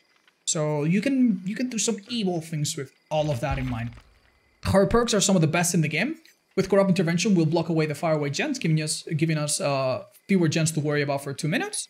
Uh, with Infectious Fright, when we down a survivor, we'll see who's around us. This is great to counter flashlight saves and snowball the game and, and bring up the violence really quickly. And I guess we'll run Jolt to control gens a bit. It doesn't work with her power, watch out. And Bitter Murmur to have an idea of where people are. Add-ons. In my very modest opinion. Stay away from the effectiveness add-ons, the emetic potion and the infected emetic. These add-ons make it easier for you to fully infect a survivor, but I've seen many beginner plagues try to infect a survivor desperately for five minutes and then never infecting it and then having a five minute chase. That's not good. Infect them a little, move on. If they mess up, infect them fully. You don't need these add-ons when you're learning. What you can use, however, are, are the apples. The apples give you extra fountains. Uh, I recommend the yellow one, it's a simpler one. Uh, and extra fountains mean that you can use your red power a bit more often. And what add-on wouldn't hurt? Yeah, the add-ons to extend the time, uh, the cooldown, uh, reducing ones, or extend the time where things stay infected. Those are pretty good too. And this add-on lets you know when someone cleanses and you can see their aura, so it's also pretty helpful for beginners. You could try it out as well. Um, we're gonna do that, I suppose. And then we use that, and we queue up for a game, and we talk about our decision making. Let's do it, chat. Ah, right. Um, it was easy to neglect mentioning it, but when a survivor is fully infected, they become broken. And that means that they cannot heal. The only way a survivor can heal from the plague's full infection is to drink up from the fountains. Um, so that's very important. If you fully infect everyone, they'll want to cleanse. You need to be a bit careful though, because if they cleanse from all of the fountains at once and they all become highlighted and white, um, that means that your power is now going to automatically trigger, which is good because you get your power, but you also lose all six or more fountains or less depending on add-ons. So watch out, you don't want that to happen. If you have a few fountains, you need to go pick them up and use them as you go. If you let them all cleanse and over cleanse too much, you will not get the same bang for your buck. So it's very important as a plague not to use your red power too uh, headlessly, but also not to forget about it completely until it's too late. Uh, Blood Lodge is a very open map, a bit big. So as you can see, this is a normal white clean fountain. This is where survivors need to drink. And the white ones that you'll see in the distance, there and there, are the ones that I can drink from. They're not exactly where I want to be. These are the block gens, so I'm just going to go and puke on this. Puking on gens, never a bad idea. Oh, hello. Okay. Okay, so here's the deal. I'm going to puke on this bad boy. Ideally, I'm gonna go for someone else. That way the infection just works passively. And either he cleanses and gives me my power later, or he doesn't and I'm fine. He's injured. Oh, multiple people here maybe? There's no way. There should be someone here, surely. Oh wow, they must be really careful then. Oh, there they are actually. Oh wow, I can't believe they did this. Uh, I press M2 just to do a, a bit of a puke. We don't need to fully infect the generator. Okay, alright. I have an idea of where they are, but mm, no easy time infecting them yet. I'm gonna try a little mind game here. And she's just running around the shack like a really smart girl. Okay, dude. I could try to preemptively puke on the windows and stuff. That definitely works. Now if she takes it, she'll get infected. But this is way too much time wasted. I really don't love this. Where the hell even is she? Are you guys... You guys are not working on this, are you? Or else they'd be infected. How are they doing this? Uh, I really wonder. Okay, good enough. We check the HUD to make sure that she's infected. I'm just gonna swing right through. Literally same as fully infected, except injure-wise, but we didn't fully. Alright, you go and touch it then. Uh, honestly, Chad, I walked into that. I walked right into that. It would have been so easy to be patient there. Looks like she might go down still though. Alright, Surge is gonna help. Uh, Jolt, sorry. And Infectious Fright. Oh, you're kidding. Please don't pick. Don't have the rescue. Thank goodness. Hey, what's up? You want to give me a free hit? I'll take it. Do you think he can sabo? He might be able to. Okay. Thanks. Very fun. Uh, you can puke on survivors on the ground. And on survivors on the hook if they're not infected. But this kill's infected. You cannot fully infect them, just a little bit. But this kill's infected, so we definitely don't need to do that. I'm gonna kick this. Uh, see where Jake is. He's coming. Would have been nice to... I don't know why this infection's lasting so little, dude. I don't know how that girl's not infected. Alright, let's see if we can cut her off somehow. I'm just gonna do this so that if she takes the window and the pallet, she's infected. Wait, what? Now she's infected. Okay, we can go. And this is good. Unfortunately, all of my fountains are extremely far away, so look at them. I think I'm gonna have a hard time using them here. What a nice map they have. Let's see if we can push one of them into one of the fountains so we can pick it up on the way. If I'm telling you, if you if you drop four survivors in one area to go for a fountain in another, they're just gonna hide. By the time you get there, you'll you'll waste the whole thing. So never do that, ideally. This guy is so fast. Oh my god, dude. He moved not even not even like ideally there, and he still was so quick. Right, not a crazy idea for me to hook him here and then drink up, I guess. But I'll still, I'll still give up uh, Gen too far. Yeah, not ideal. Let's see with Bitter Murmur where they're going. So they are going right over there. Uh, nothing too unexpected. Okay, let's drink up. Okay, that's two of them, and they're going shack or whatever that is. Let's try. We have a minute of now our puke damages people. Everyone's fully infected, so they're gonna pre-run and pre-hide and never be in the open. All of these loops are kind of worthless against play with her power. So I expect them to just play shack extremely well or something. Oh! Auto reading. There we go. That was really smart from her though. Extremely smart, damn. Okay. She knows that she needs to stun me. Bro, that was so, so perfect timing. I'm gonna hold it. If you hold it, you drop more puke. And as you can see, you can outplay that hard with that. Uh, chat, I'm not gonna lie, we might have down her, but I have literally nothing else. Unless I pick up this fountain again and they do some big misplay. Wow, dude, the big, the size of the map is killing me right now. Just the fact that it's long and they're making me ping pong from one corner to another. I'm just wasting my power, just traveling, doing nothing. We'll try to settle down around here. See if we can defend the street gens, perhaps. I wouldn't be surprised if they pop this one, which was at zero. But if they pop it in my face, I have Bitter Murmur. I'll see their aura. Maybe I can do something. You can shoot through very small gaps, very much like Huntress can. This bloody sucks, however. unlucky, Chad. Unlucky. That could have hit. what can I say, man? What can I say? That's just that's just bad luck. No puking on her. She's fully inf Oh, wait, she wasn't fully infected. You're right, you're right. She had cleanse. I should have puked on her. Good good point, Chad. Good point.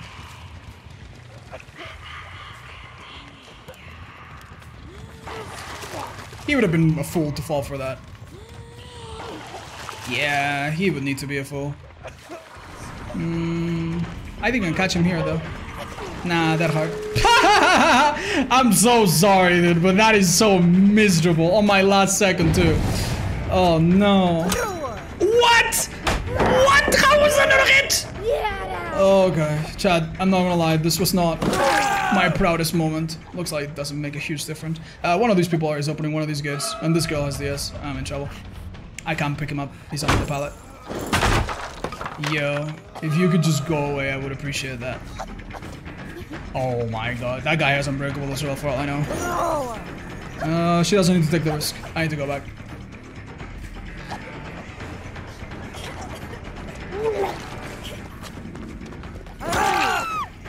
If I hit the Fang, she literally that hurts as well. So yeah, I would like to drink more fountains. It's super important to do a, a good combination of opening one. This game has been so ridiculous, man. This game has been so ridiculous. Literally all of them, man. Well played. I would have liked to really down one of them and then push the last person out of the gates and we could have made a comeback here, but this is kind of stupid. Get them all back. Wait, Jake is here? You wanna show your Dead Hard too? Nice, good one, dude. Right, infectious lets you know when people are around you. That girl, oh, by the way, uh, super important. Near the end game, every survivor that you know will try to heal very quickly with the fountains. I need to, I need to uh, cut my losses and pick up already. It's so rough, dude. It's so rough. So expect a lot of people to cleanse very quickly near the end game. It's quite tough sometimes. Oh my god. He has Dead Hard again. I can't do it. I can't go for that guy. I'm gonna need a fourth Dead Hard in one minute. I don't get this. I oh, I do. Never mind. Have they cleansed somewhere wrong? I mean, a bit. Yeah, I, I'm getting greedy for the two kills, but honestly, if they played well, I don't deserve any of that. I... Oh, man. Uh, this is horrible. This- I'm literally confined to hook in here. Uh, I'll tell you something important, however. The plague, both of her pukes go through survivors. So if a fully healed survivor comes here, you can I can puke right through him, even from a bad angle, and fully infect the rescuer. And then shortly after, I'm one and down them.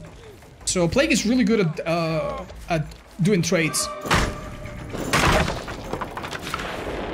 Nice. Uh, let's see where the final. Oh well, not if I'm blinded now. Well, I'm gonna have to do the thing I don't like to do, which is to fully infect survivors. But I'm gonna try. Nah, she's no. Oh, there you go. She is a bit near. One of them screamed but didn't get infected. That's just bad netcode things. And that gate I'm pretty sure is not open, so... Wait, is it? Did they did they 99 both? That could be huge if they did. I need to check. They did! Oh, they did! Oh, they they absolutely did, chat. Oh. I get him, but he has that heartless ghost blocking. Wow, GG's. You want to see their T-Box? Uh, my mistake there was breaking that pallet, by the way. I should have never broken the pallet. I should have just camped that better. And we would have been fine. But you can do a little bit of what you saw me do there to fully infect survivors. Now this guy is completely out though. So yeah, sorry about that. Uh, Fizzle, thank you for the ad ones. What's the default amount of fountains on map? Uh, six. But it's very simple. You look around, right? You look around. Uh, it's almost always going to be six unless you have some rare add-ons. And if you ever see that there's three or four white ones, you need to be very careful. You need to be very, very careful. Yikes. Uh, they did play well. What can I say? I just needed to play that extremely min. Had a bunch of unbreakables as well. Uh, but yeah, we needed to play that a bit more cutthroat, I'm afraid.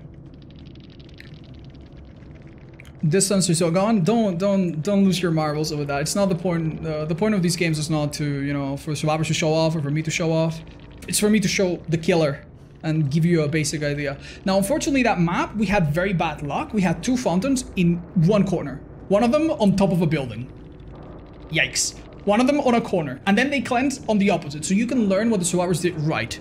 And you can learn what I couldn't do, which is, oh, pick up this fountain and then immediately kick ass. You cannot do that. If you get a fountain in the middle, you need to treasure it. You need to be very, very help, uh, thankful for that. Because that one in the middle, you can you, you can pick up at almost any time and use it uh, with very little downtime. In an ideal world, you spawn in, you find four survivors, blah, blah, blah, puke on all of them, then drink up from one fountain in the middle and start uh, raining uh, mayhem on all of them.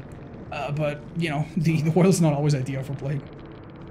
Why don't you like to fully infect? I mean, look at that ace. He was next to me. I fully infected him in five seconds.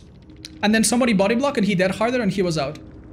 So what do you think is better? For me to try to fully infect people? And you can see how body can go? Even when they get body blocked and I, I harass them and they catch all of the puke? Or for you to just infect them so that they are they are incapable of doing that. Unfortunately, there's four survivors near the end game. Um. Uh, there's four survivors. They're all gonna cleanse in opposite sides of the map. And at that point, if I go and pick up any of them, they unhook. They have Diaz unbreakable and they're out. So I, I was gonna lose. I was gonna lose no matter what at that point. Uh, so I needed to just camp the hook a little bit better there. Uh, if you if you want to avoid that one, but you know, uh, hopefully you understand. Oh please, guys, don't. Um, did we forget anything else about Plague? Hey Otz, why is the all perk strict monetized as 18 plus? What do you think? YouTube thinks. um, ah, I wanna, I wanna. There's so much to Plague's infections and stuff. Uh, body blocking with Plague. You can sometimes, yeah, body block the. Let's say a survivor hides in a corner and you find them. Don't hit them. Body block them fully infect them and then down them and that's very effective. Uh, but yeah. They get alerted. Yeah they hear they hear a big sound effect and they see you glow red when you have your power. You can see it on your screen too that there's like whispers and red particles. Hmm. But i think that's all of it. Yeah yeah if survivors don't do anything if they don't run and they don't do any actions their infection doesn't increase. But that's not super important for you hopefully. Let's move on to the next killer. all right we have reached the Ghostface, who is a very decent killer to start with or transition from if you've already learned the basics. Um, normal terror radius when he's not using his ability, normal lunge, normal everything. Uh, he's a bit slower when he crouches. That's a unique ability of Ghostface. It's completely independent from his power. He can crouch, uh, press left control or the active ability button, and he gets a bit shorter. Um, this, I guess, is kind of useful in some loops to try to lose or confuse survivors, but don't do it too much. It just makes you slow uh, otherwise. And his power is very, very simple. You use it, you bring your knife up, and you become undetectable. Your terror radius very quickly shrinks into nothing. You don't have a red stain, and you can now stalk survivors. Much like Myers, you can stalk them from up to 40 meters, I believe. Uh, yeah, they might have changed that slightly with the new system, but you can stalk them from very, very far. And unlike Myers, the stalking is completely fixed. In 5 seconds, you fully, fully stalk them. And if you're leaning from an object, which is something that you do by holding uh, the power button next to a tall object, you stalk at twice the rate. And it's completely stable at any distance that you can get them in. So stalking from afar with Ghostface while you're not being noticed, unlike Myers, is a great idea because you do it very, very fast. And your general idea with Ghostface will be to catch people uh, off guard, fully stalk them and down them, or alternatively, stalk them to about 90, 95, 99%, and then later uh, stalk them fully, because when you stalk them fully, they become one-shottable. So he's basically a Myers that stalks individually and one-shots individual survivors, as opposed to Myers, he just one-shots everyone when he gets to tier 3. And that's pretty much it. If survivors see you, uh, and stare at you for long enough while you're using your power, or if you attack, or if you miss an attack, or if you get stunned, all of these things make you lose your power. And if you fully stalk Survivor for the next minute, they are insta That's it. Uh, we're going to be using some of his own perks. Thrilling Tremors is great. When you pick a Survivor, it will let you know which gens are not being worked on. They'll be the red ones. The white ones will be blocked. Uh, Jolt is pretty decent as well. I personally like Amal Amaliers, um, but I decided to bring Whispers instead just to find people at the start a bit easier. And Sloppy is a pretty a pretty safe uh, perk to run on him as well. Uh, anytime you down a survivor or injure and leave them, they'll take a bit longer to, to heal. Very good if you have Nurse's Calling as well. If you don't know what to do add-on wise, you cannot go wrong with shorter recovery. And you also cannot go wrong with uh, faster stock, um, yeah, shorter stock rate basically. These two add-ons for, they are insanely good for a Brown. They are super, super good. But yeah, our basic strategy will be to use Whispers, Lethal Pursuer, Discordance, uh, our own intuition at the start to find a group of survivors, ideally, at least one, and give them a good spook and get a good start of the game because that's Ghostface's main um, main strength. He's the fact that he's unannounced. Survivors don't spawn in and see a prop that tells them it's Ghostface. If they don't pay attention, you can get a big, big start. And later throughout the game, you can take advantage of the fact that you can stalk them and then fully stalk them later to catch them off guard. We'll try to do all of that as soon as we get a game. Uh, Disturbed Ward is a very, very large map. So, yeah, knowing that survivors are most certainly not spawning right next to me, you immediately begin to use your power as you spawn. There's no reason not to, uh, I would say. And I'm just gonna go... Oh, someone's close already. Yeah, I see them actually. I see them. Um, oh. Wait. Oh, that's a damn shame. I saw two people in the background. And I figured that it was them that triggered whispers. But no, it was this lady running into me. I should have avoided that, but unlucky. Are you here? Or... There was another lady for sure. I have my power back though, thanks to this. So that guy is now not 99. Now he's 99. We call 99ing to leaving uh, the stock of a survivor very close to like 100%. Now, if that survivor ever comes by me and I have my power, he's basically a, a quick tap away from just dying, which is awesome. And that happens very often when they try to come for rescues and stuff, so yeah. If I down this girl, I'm gonna lose a gen for sure. There's, there will be no one here. There's also no pallet here, so that's unlucky for her. Mm, what, am, what am I most scared of? I have dead hard towards that pallet, yeah. That's good for us, I think. Unless you had life. What's she doing? Right, um, Thrilling Tremors. We're gonna pick up Facing Away just in case they have a flashlight. They have one exactly. And every gen that's white is blocked by the entity. Every gen that's red is being worked by the survivors. Notice that all of them are white, which is very good news. It doesn't make any sense. Oh, never mind. Oh, never mind. I just... I thought they were all white. Am I stupid? Um, this guy is nearly stalked. I'm pretty sure it's him. Can I get him? Or does he beat me to that window? I'm not gonna get him. So if I hit him, he will lose that 99 stock. I'm gonna go for someone else. Uh, I think I know where everybody is. Oh, interesting. Oh, that... Dude, that jolt is huge. And in fact, I'm gonna... There's a window here. I'm gonna drop, because I'm pretty sure this guy's gonna be here.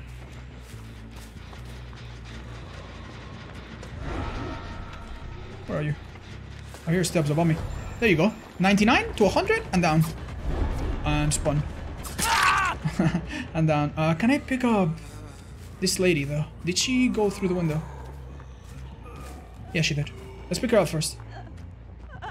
The person on the hook, because they decided to do gens with her friends, uh, hit stage 2, which is good. Thrilling Tremors is on cooldown. Uh, Whispers is on. It will always be on when you're around hook survivors and stuff. So right now it's telling me nothing. Uh, but now, Thrill Tremors, it's probably gonna tell me what I already know, that no gen's being worked on. But it also, like, it means that they can't finish a gen that's like 99%, so... It also, on top of giving you information, gives you a bit of stall. Right, I'm gonna pretend to go for this lady, but in reality, I'm gonna sit right here, because this guy, or girl, is gonna be in front of me. In two seconds. Right? No? Well, that works too. Uh, I might hit a DS here but that's okay. Yeah, she's having a didn't she? it was still a good jolt. We hit two or three gens. Uh, oh, hello. Yeah, I'll take this trade. That's fair. Hello, Jono. What's up? Can I do a little stalking on you? Yeah, I don't want to hit him now because it will be BT, but I can do this. Oh my god, the lean.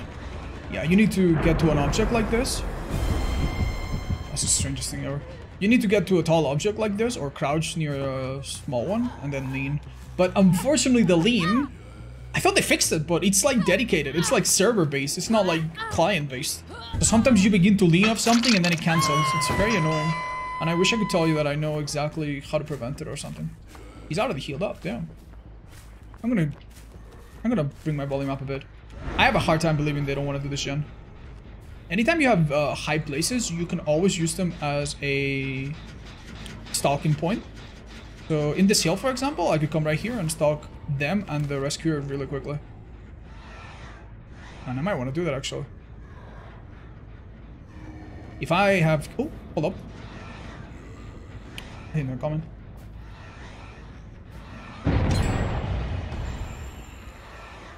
Good enough. A person that has been fully stalked cannot reveal you, by the way. So this guy cannot reveal me. That lady could. Pretend to do this? Wait. Oh, she's he's actually waiting. I see his shadow. Uh, I have a full minute. I'm pretty sure I catch him. Even without breaking this. Do I catch him now, though? Is the question. Uh, close enough. Oh, smart. Uh, I was gonna say, damn, dude, that was a good mind game. I'll pick up right away. I'm not even gonna break this pallet, honestly. I just want to throw in trauma right away. Um, yeah, I thought every gen was white last time because I didn't see the color. Okay, yeah, I think they're on everything. It's, uh, yeah, just on that one. We're at two gens though. We're not, we're not thriving too much right now. We need to kill Jill. I mean, not Jill. Uh, which girl? Mikaela. This isn't a Mikaela though.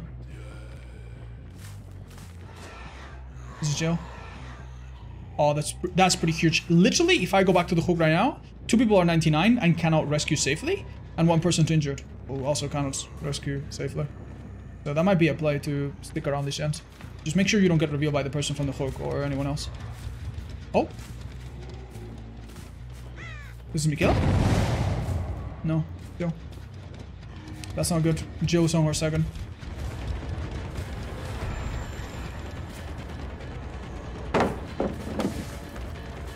Life. It's a good thing we didn't swing. Actually, maybe if we had swung, we would have been fine. Alright. Uh, that's the people that don't hook, though. Surely that's some pressure. Um, I'm actually gonna wait two seconds. Uh, I wait one second, give them a bit of time, but also have info, so I know where I'm going. I'm gonna guess either Mikaela healed and Mikaela rescued, and then she healed the other person, and this is the other person. Whispers off, no one close. This is the um, Haddie. I don't want I don't want the Haddie really. But hey, we'll take it. Is now everyone dead on hook? Yeah. Wouldn't Eruption and Damage pair well together? Eruption is a Nemesis perk. So, yeah, it would. It, they kind of would. But, but, maybe on a killer that can kick around and, and do stuff like Freddy, yeah. You could down a person, then he gets reduced, then he gets blocked while you teleport. Yeah, yeah, it could, it could work on Freddy. Someone needs to die right now. We play way too nice. Hello, lady. Oh, that's huge. Well, maybe not so huge.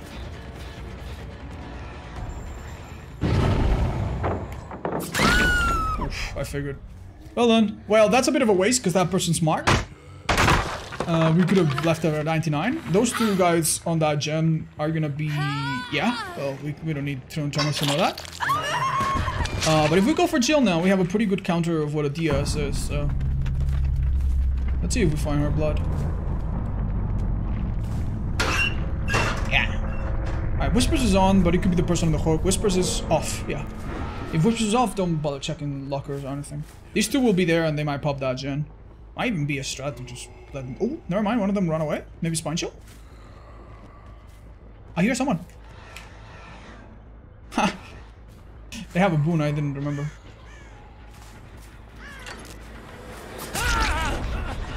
Hmm...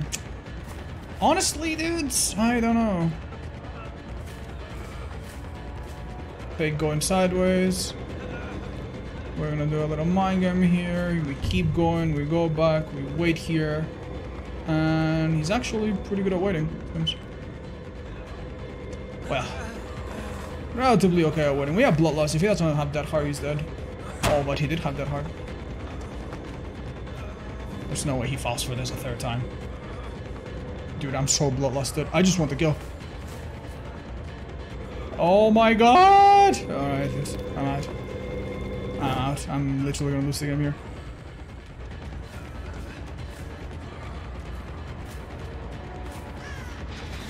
Oh, where's Haddie? Mm, oh, he's in the middle of nowhere, actually. He's got a pallet and that's it. I'm bloodlust too, bro. I'm so fucking fast. Good Dead Hard, though. Alright, we'll know where they are. Oh, why not use stealth for the no red stain? Uh, because if I if you use stealth, you can drop your red stain, which can help mind game in some places. But then when you down or miss or get revealed, you're not gonna have your power for 20 something seconds, right? We do have the brown add-on, which is kind of nice. Uh, so I wanted to make sure that after I down him, I still have my power in case Haddie shows up and I stalk her or something. Whispers on. Hi, Jill, what's up? Yeah, that's good. Yeah, we definitely thrive in Survivors not knowing exactly what we're doing. I think this match had a bit of everything you can do with Ghostface.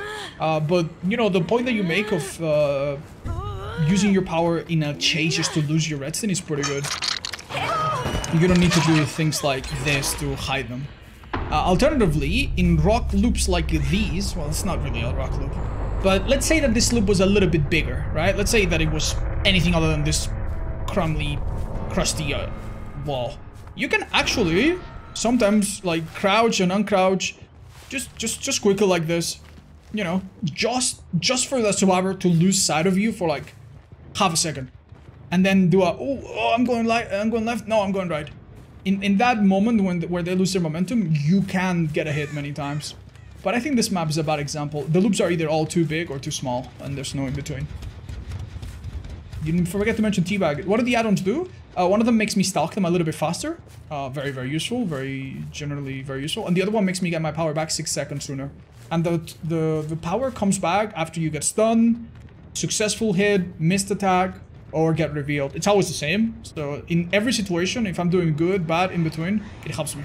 For a brown add-on, it's one of the best add-ons in the game. For its rarity anyway. So yeah, awesome. Uh, what else am I talking about? Yeah. So you can lean from something low if you crouch. You can lean from something tall. and you can you can keep the thing as long as it's you can you can do this. Here's the problem, right? If I lean like this, let's say I'm trying to stalk a survivor that is that gen. This would be good. Because they wouldn't see my whole body, and I would be able to stalk them, as long as I see just a few pixels. Problem is if you do this. If you do this and you're like, if they can, if they can see your crotch, that's bad. You're you're gonna be exposed in a bad way. They're gonna reveal you. If your crotch is behind cover, yeah, just imagine that they have a Nerf gun and they're aiming at your crotch. Oh, hi. Um, you want you want to protect. So this would be good. Imagine that pillar is a survivor. This would be great. This would be good. This would be good. At this point, yeah, boom, you get revealed. And once you begin to get revealed, even if you go out of cover, it happens really quickly. So yeah, you want to be very careful. Whispers is off, so this survivor is nowhere near. I could close this and with Whispers, check from gate to gate until Whispers is on and then we would find her 100%. We could also just wait right here and spook the heck out of her. now beginner friendly Ghostface and how do you recommend him? He's definitely uh, tough. He, he's simple mechanically, okay? He doesn't have any super difficult power. Oh my god, you need to charge and throw this and charge this and pick this up. But the problem is, you need to have a good awareness of how survivors move and what their camera looks like. Because if I hide behind this little box and a survivor, you know, on top of a building reveals me, I'm gonna be like, what the heck? Where are they? I don't get this. You know? But you need to understand how they move, you need to understand spawns a little bit. You need to... You will not use the stealth very well if you just use your stealth and go, you know, corner to corner and like, oh, is that ever... I got you, Claudette. Oh, that was a bird. You. Uh, hi Virgie, there's some great guides on YouTube explaining how to use whispers.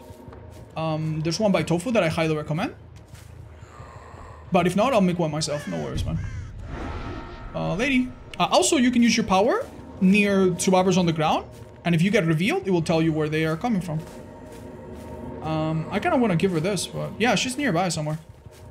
You can get it, dude. Uh, maybe I can show you what it looks like. Maybe they're in the building or something. Um, but I'll go here, they can get the hatch. I'm trying to think of other things I forgot, chat. What are some other things I forgot? Um, survivors glow red the more you stalk them. Look at the HUD when you stalk to make sure that you stalk them properly. And don't stalk too little too much. Um, oh, you lose collision when you stalk. So, I don't know, that's not super useful all the time, but if a survivor is body blocking and you have your power, you can just use, use it and go right through them. Very similar to Myers. Uh, whispers off. Oh, yeah. Oh, you waiting? We're lying wait then. oh. Oh, oh, oh, oh. A subscribe with try and activate it. Hi, Canlin. Yeah, you absolutely can, and it's gonna be appreciated, but you don't ever have to. Thank you. Is it better to start hearing a survivor or interrupt them? Uh, it depends. If I see two survivors, I think the best idea is to go like this and stalk them both to 99 and then attack one of them. Uh, if if one of the survivors that I really, really want is being healed, then screw it, just go and interrupt them, you know? Depends on what you want. Hey, you can get this, lady.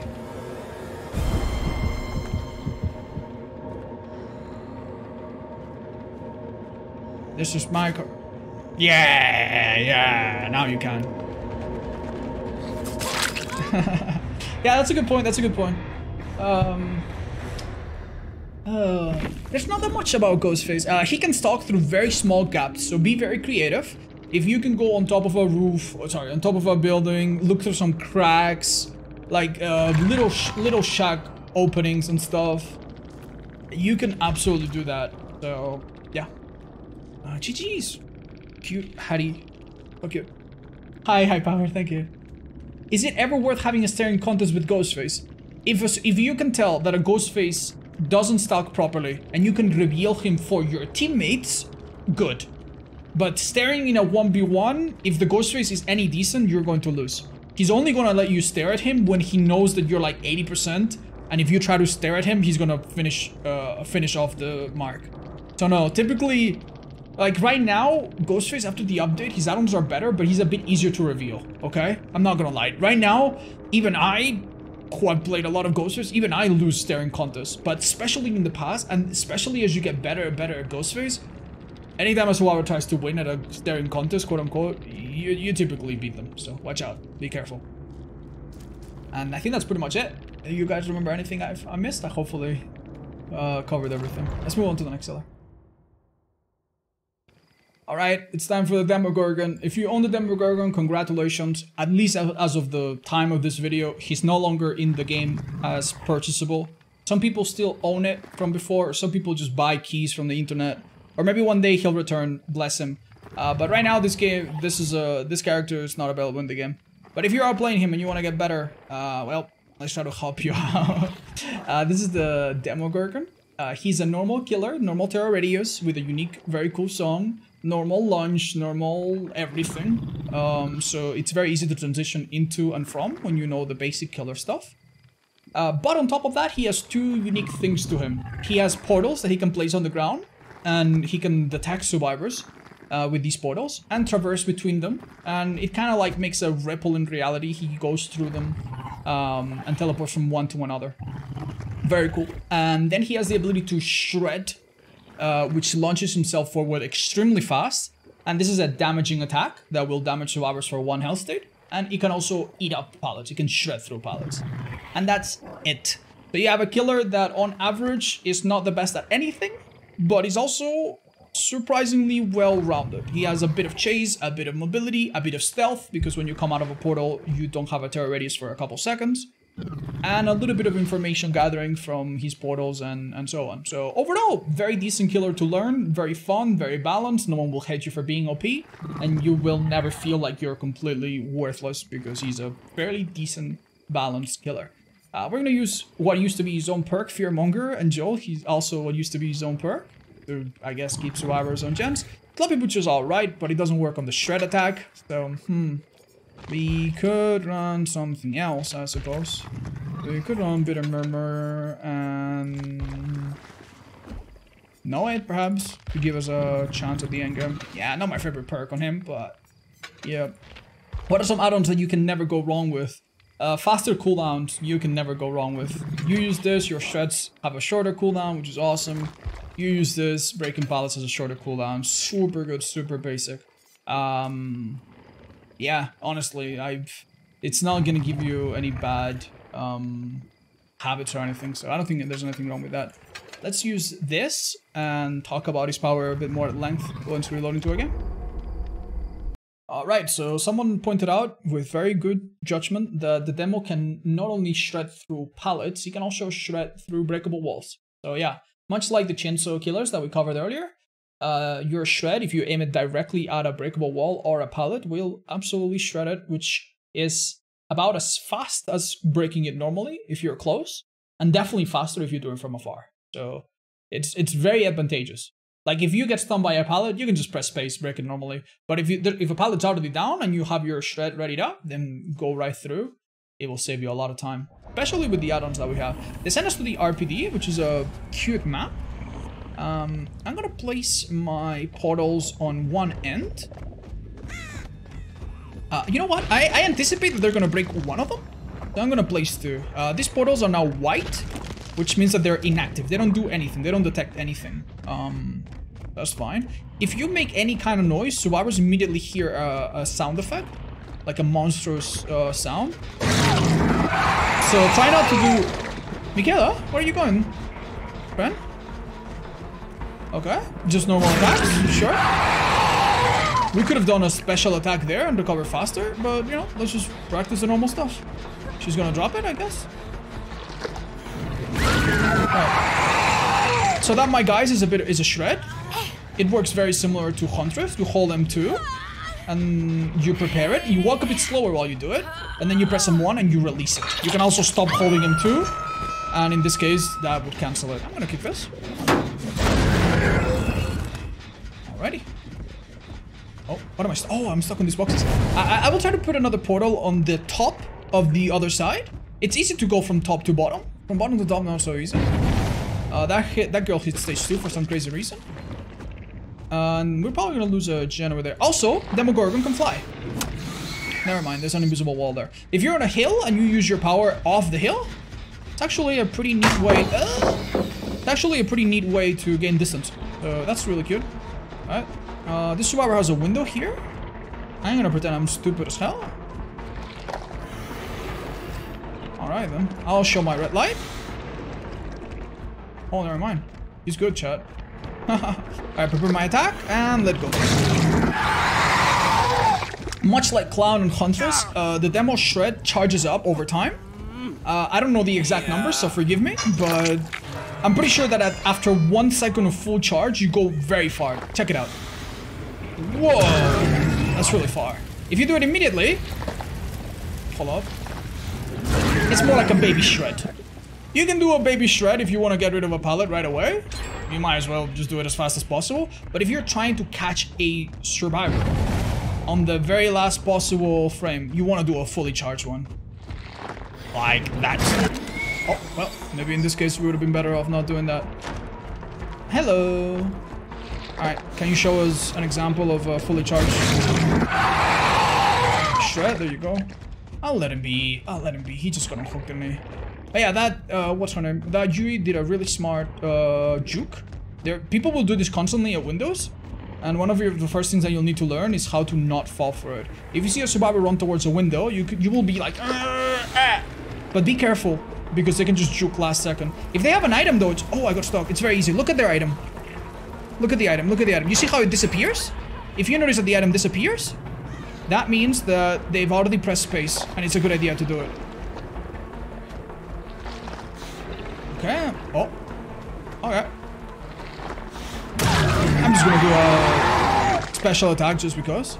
Uh, I'll place a portal here, and I'm gonna break it. Alright, I'm now going to use my portal to go from point A to point B, very close. During this time, I'm undetectable, and for a few seconds uh, later, as you can uh, as you can see by the edges of the screen, I'm still undetectable. Hello, Yui? Are you here? But after that, you have a terror radius again, like normal. And honestly, uh, once a portal is yellow and you've already used it to come in or come out of it, it becomes active. And if you hold your power and there's a survivor on it, you'll hear a heartbeat, but it seems like no one's on it. Alright, let's go to this side of the map. Hello. If I'm already on the pallet itself, I might as well just Do we feel bad for this Jake at all? Or no? Survivors can hear you and physically see you come out of a lock of a active portal. It's not invisible. It is invisible only if it's white. And it becomes visible once you start coming out. Uh, he definitely had time to react to that. I have no clue what he was on. What was that drop? I don't know. I think Jake needs help. You don't want to place all of your portals because uh, you cannot get them back unless survivors break them, which they can do. Oh, you know what that means? When the survivor is act uh, actively destroying your portal, they don't hear your terror radius. Hello. Okay. I could I probably could have just done a normal attack. Not a lot of breakable walls or pallets broken so far. Are you uh, literally in here, girl? Uh, she's dead, by the way. She hit stage 2 for some crazy reason. Uh, let's not hook in the middle, because that's a really nice hook that we probably will need at some point. I'm gonna hook here so that we lose this one. But yeah, when should you M1, when should you M2? Uh, if you have certain perks or add-ons that might influence your decision, I'm gonna say, if you have a clean, normal hit, just do a normal hit. With a normal hit, the cooldown uh, is about the same. After the future patch, it will be shorter, and you get to move around and, and have a better visibility. Uh, you might have noticed that when you use the shred, your visibility is a bit different. Like, look, my camera, even though I'm like spamming left to right, my camera is semi-fixed. If I do a normal basic attack, my camera is perfectly fine. I can spin around as much as I like. Oh, sorry. Anytime Survivor do, does this, just prepare your shred.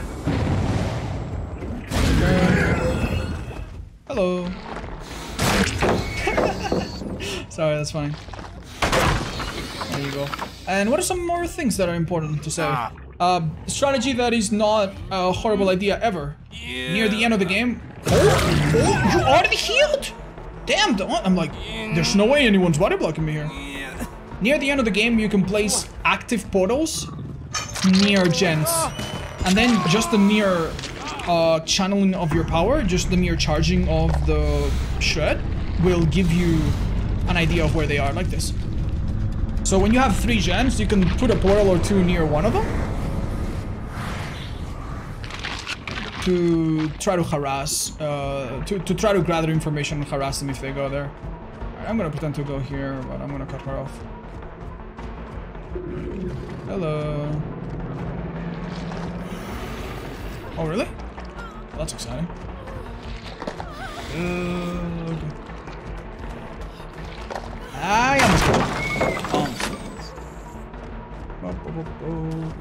I don't think she makes that. I think she'll go left. Yep. It's totally okay to just bait her like we did. Sometimes it's more powerful than the actual thing. Uh, you see what I mean? Where I can control my camera during the cooldown?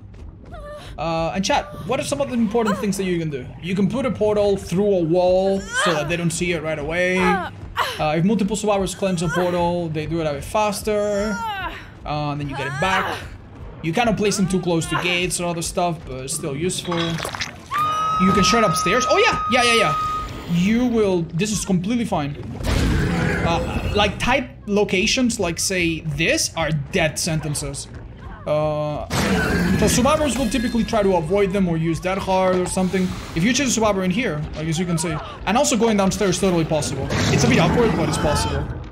And as I said, if you're on a hill, um, I saw a survivor here, didn't I? If you're on a hill, you can use the elevation. Uh, will this work? I don't know. Nah, it's not. It's not tall enough. But yeah, um, I think I think I know a place that doesn't have a that doesn't have a um, invisible barrier. Hold up. I'll try to show you what it looks like when you use your power off a hill. Uh, it's really powerful to put a portal on top of a hill so that you can teleport there and then immediately swing whatever. Alright, this isn't incredible or anything, but... yeah, well, you, you, can see more or less. There's a, there might be a better one here, hold up. Yeah, no, this is much better. I'm gonna break that lamp. Ah, you get the idea, hopefully. There's a there's some there's some invisible barriers in some main buildings, but for the most part, hills are fine. Uh, all right. One really dirty thing I could do in a map like this is put a portal right on this doorway, right? Then teleport to another to the other gate. Let's say it's there. And now do this. If I do, if I constantly channel my power, any person going through that or nearby will be detected. So it looks like we might actually get away with that. Will shred? No, shred is a special attack, my guys.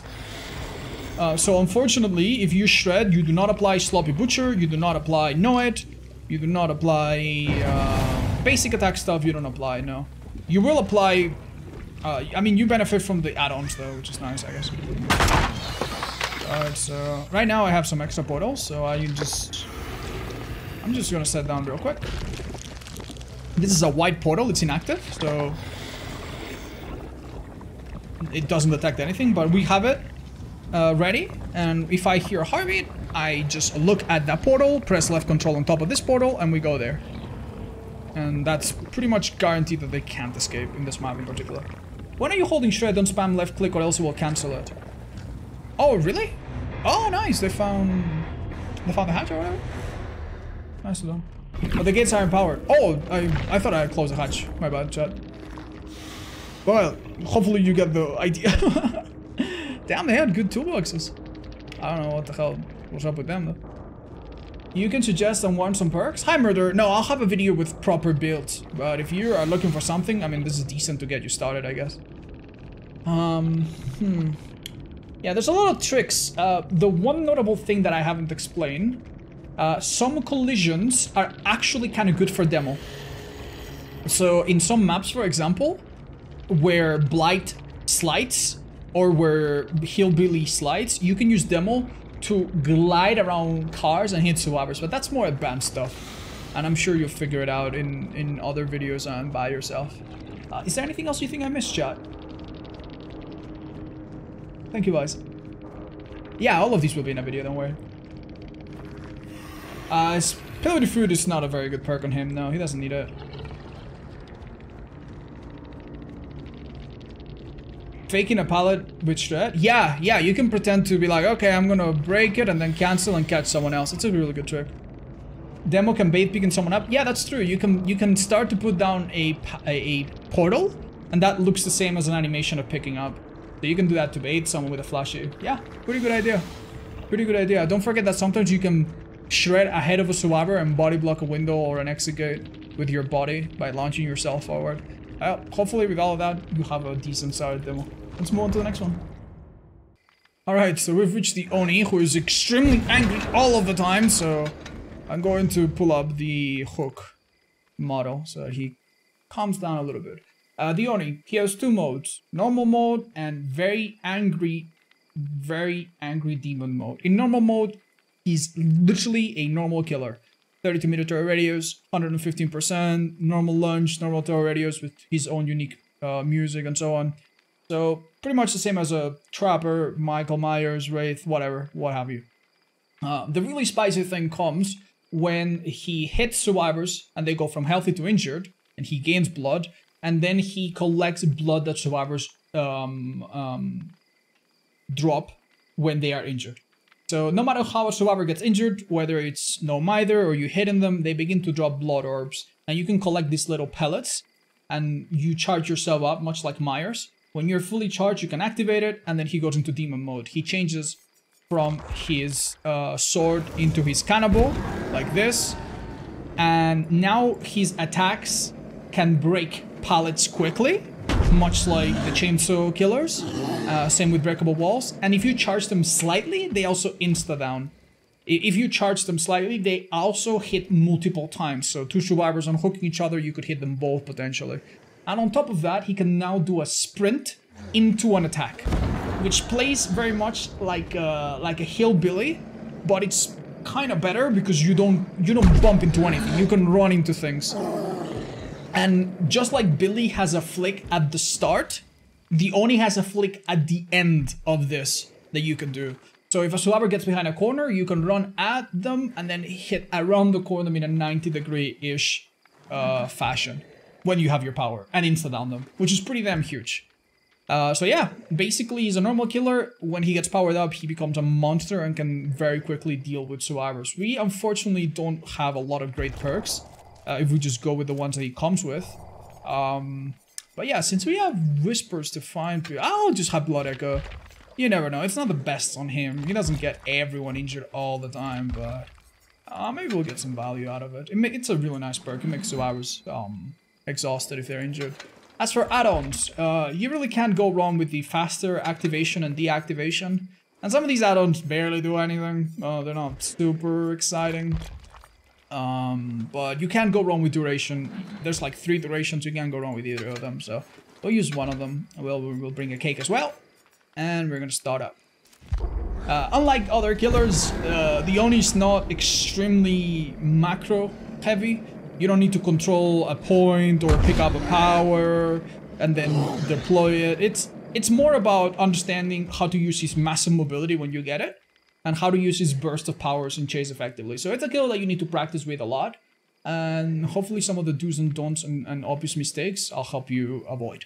Let's uh, load into the game now, chat. Uh, right, so as you can imagine, you you need 100 points to get your power, and you get 40 for a hit on a healthy survivor. You don't get any for injuring uh, an out of the injured survivor uh, or hitting them if they have borrowed time. So you want to hit healthy survivors at the start. And if you get one, that's 40. And if you get two, that's 80. And with the passive recharge and that you get over time, and with the blood that you pick up, if you have two hits, you get your power pretty much right away. Problem. Sometimes survivors will identify that you're an Oni and will work against you. They don't want to give you a first hit. So smart survivors against Oni will play extremely safe. They will drop extremely good pallets. Uh, that can be okay for a little bit, but it's probably not worth it to get rid of four pallets and lose four gens. So our strategy, yes, get rid of a pallet or two, sure, but our strategy is to try to find the one salesman that will sell us blood. And we're in a very awkward map for that. All right, uh, let's try to cut off immediately to the to the middle. See if we can catch someone awkwardly sitting somewhere. Last time it was really useful. This time... Oh! Oh, no way. Alright, so that's one already. Awesome. Uh, I will follow her and pick up blood on the way. Ideally, you have other perks to let you know where other survivors are and everything, but this is a pretty safe uh, strategy of just picking up blood as survivors go. If you make a survivor do extra actions, like drop a pallet, you see, or vault, actually really useful. Look how much blood this woman has generated. You also get a little bit of extra when you hook. So we're probably gonna lose a gen from the three people that just sat on a gen when they spawn, but we already have our power. We're not gonna use it yet, of course. Uh, you, you lose it uh, on a timer of 45-ish seconds. And also if you pick up, so we're just gonna save it. And see if we can catch someone off guard. Would be awesome if we found someone here. Well, that's three people. I'm gonna guess some of them are gonna go upstairs and through here. Let's see if we can Oh, damn. Never mind, never mind. Uh, change the plans. There's someone here. We can stop this gen. What? I've just been gaslighted. Uh, that gen sounded like it was being worked on. Did I say someone's aura? I sure did. Alright, let's run. Hold M2. Damn. Damn. Okay, that was... That was a lot to take in. I'm just gonna pick up right away. Uh, you lose a bit of power when you use your power over time, and you also lose a bit when you down someone. Unless they give you a grab or something, which would be awesome. But yeah, let's just be happy with that. When a survivor gets unhooked, they don't drop any blood orbs, and while you are in demon mode, they also don't drop any blood orbs. So right now, we're not gonna get any blood orbs for a little while. Oh, unless we hit this lady. Alright, if we break this right now, she should be completely boxed in. There you go. That's my power again. Um, right. Ah, I'm very sorry, but someone has to go. And someone has to go. Alright, good judgment probably, not to rescue. I'm gonna charge them too. That's how you run. And there's a few tricks you can do to make... Uh, okay, I'm gonna hold the attack. Oh my god, this girl was actually insane. That was really smart. Make no mistake, that was a great play. I'm gonna cancel. I think she ran behind me again, but I'm not even sure. Wow, this called that. Oh, oh, there's a lot to explain, man. There's a lot to explain. But basically, if you do a normal quick attack, you'll do a quick attack that is doesn't count like a like a normal attack, but does everything a normal attack does. You need to charge it for a little bit longer for it to insta down. Uh, I guess at the end of the game I can show you the difference. And if you hold it a long time, you have an, an extended lunge. The launch goes really far, but it also does not get cancelled. Oh, cool. Can I pick up some blood? Cool, cool, cool. Uh, don't forget that anytime you hook someone, there's two blood orbs that appear. It's only time attack like no, you cannot drag his tentacle, but you can you cannot drag his uh, kanabo. But you can certainly uh, flick it. It's like a reverse Billy. You can flick it at the end, and you saw me do that on the first down a bit. But I guess it happened really quickly, so it's... It'll take a bit to explain. Okay, my power is almost there. Your power doesn't automatically fill up to 100, but it stays at 98. Alright, let's just make her drop this pallet. Very good by them. Ooh, that was really greedy. Dead Hard? No. Blood Echo makes them exhausted, but this girl wasn't injured, so I don't think she was affected. Anyway. Let's hook her in the middle, so it's very awkward for them. We see all of the pallets and all of the windows uh, because of Zanshin, his own perk. I think Zanshin is an amazing perk for beginners. If, when you take it off, you'll remember where those windows are. And you'll learn the maps and you'll learn which places you've been to, which places don't have pallets, which pallet you already dropped but didn't break, etc, etc, etc. I think it's really good. This guy's healed. This gen here's done. I don't think they have any reason to be here. I might have actually taken a really bad path. Alright, maybe time to go she going herself or am I still? I could use my power, but if they begin to hide, I generally will lose it so quickly. Not a good idea. Oh, that's better. Hello. Let me get a good line of sight and then I use my power. Alright. You hold M2 and you immediately start to run really quickly as soon as it's charged up. But there are some tricks to it. Uh, you can steer yourself not perfectly. uh, you don't need to hold the forward button to run. And in fact, it's a bad idea to hold it if you want to slow yourself down. If you want to slow yourself down... Really? That's the 90 degree flip. Uh, basically, I don't even use Q and E, I just use my mouse. When you hold M2, and you press M1, you do the little slam. Right as you press it, you hold it, and you move right, right, or, uh, right or left, and you do a 90 degree turn like that. Alright, they're doing pretty great. Honestly, this gen wasn't nothing pretty much, and they finished during this whole time. Alright, let's see if we can tell the Claudettes apart, because they all look exactly the same. Mm. And I did not bother to remember which one is which. Okay. I think that's a drop. Whoa, you're so brave. Alright. Uh, power back up in a second.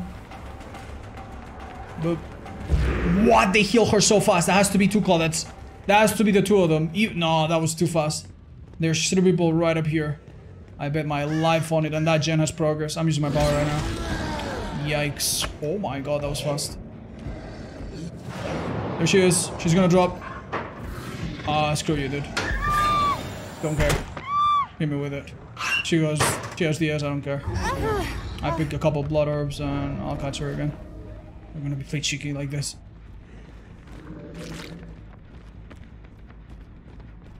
Oh, you're kidding. Oh, never mind. I'm fine. She had sprint burst? The hell? She's fast.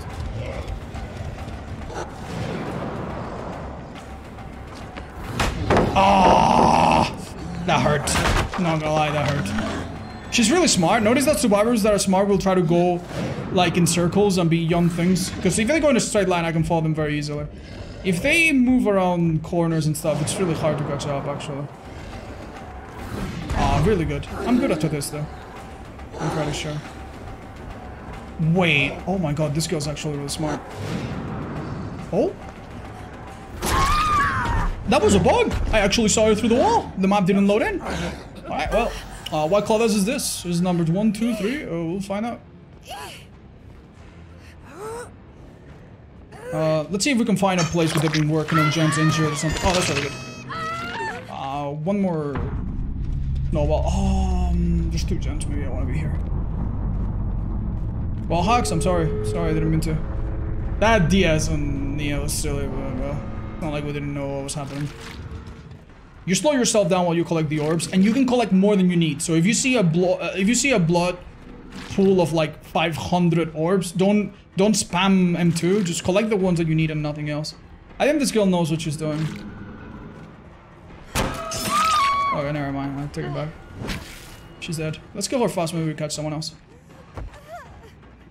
Uh, can you still do the flick tag by looking up? Yes, but that's more of an advanced one. Uh, if you hold uh, yeah, if you do a very certain uh, trick with your mouse, you can do a more than 90 degree hit. She's not even dead? Alright. Oh, that's disgusting. Uh, well, someone was certainly here. Hold up. Huh. Well, this time I don't want to play nice, honestly. Can we get some blood up somewhere? Mm, almost. There you go. They can hear that sound, by the way, map. Watch out. Uh, what's the exit on that side? It was, yeah. Uh, honestly, I think they're just gonna open the gate and leave. Which will be fine. We have plenty of hooks on everyone. Sorry, just making sure I'm not missing Claudettes anywhere. Because I'm pretty sure one of them wasn't too far from here. And he's still locked in here with us. But we'll see. Oh, hello. Absolutely. This probably will go down, likely. Ooh, smart. Good timing, too. I think that was a mistake. I think she'll go down here. Oh my god, she found a little nook and cranny. Hide behind. Nice. This Claudette that is great, dude. Smart player. You see, you see how they play? Well, that's some of the things you'll have to deal with, I guess. okay.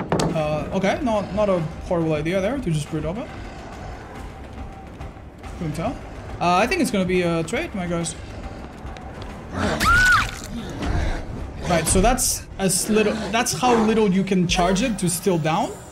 if you don't charge the M1 like that, it will be a different animation. You will not insta down. Um, maybe I can get a bit more blood and show you. But, well played by them, honestly. I'm gonna go out. I normally would just stay here. Uh, I want to see if I can get my power and, and show you some of the things. Another thing that you can do if you want to slow down is not tap forward while you hold your power and instead tap side to side, A and D, A and D, A and D. This makes the game think that you're turning and it slows yourself down in place. And notice that sometimes it's a good idea to just run into objects, right? So I use my power here and I run into this, run into this, oh, left, right, left, right, and then I come from the right I bam, hit with, with my power, obviously, not, not without. Uh, I don't think I have enough to show you, sorry. For some reason we just really didn't get that much blood. Alright, let's see if they give us a hit here somewhere. Can I have a can I have a quick one? I wouldn't be too happy with that. Uh, lucky. We don't have enough. But yeah, in a, in a loop like this, it's a really good idea, unlike Billy, to run into the loop itself and get yourself stuck so that the survivor has to guess which side you are coming from. Uh, and eventually you can come from one and flick into the other. And with some tricks, they will have a really, really hard time, honestly, avoiding it. Where are you guys do?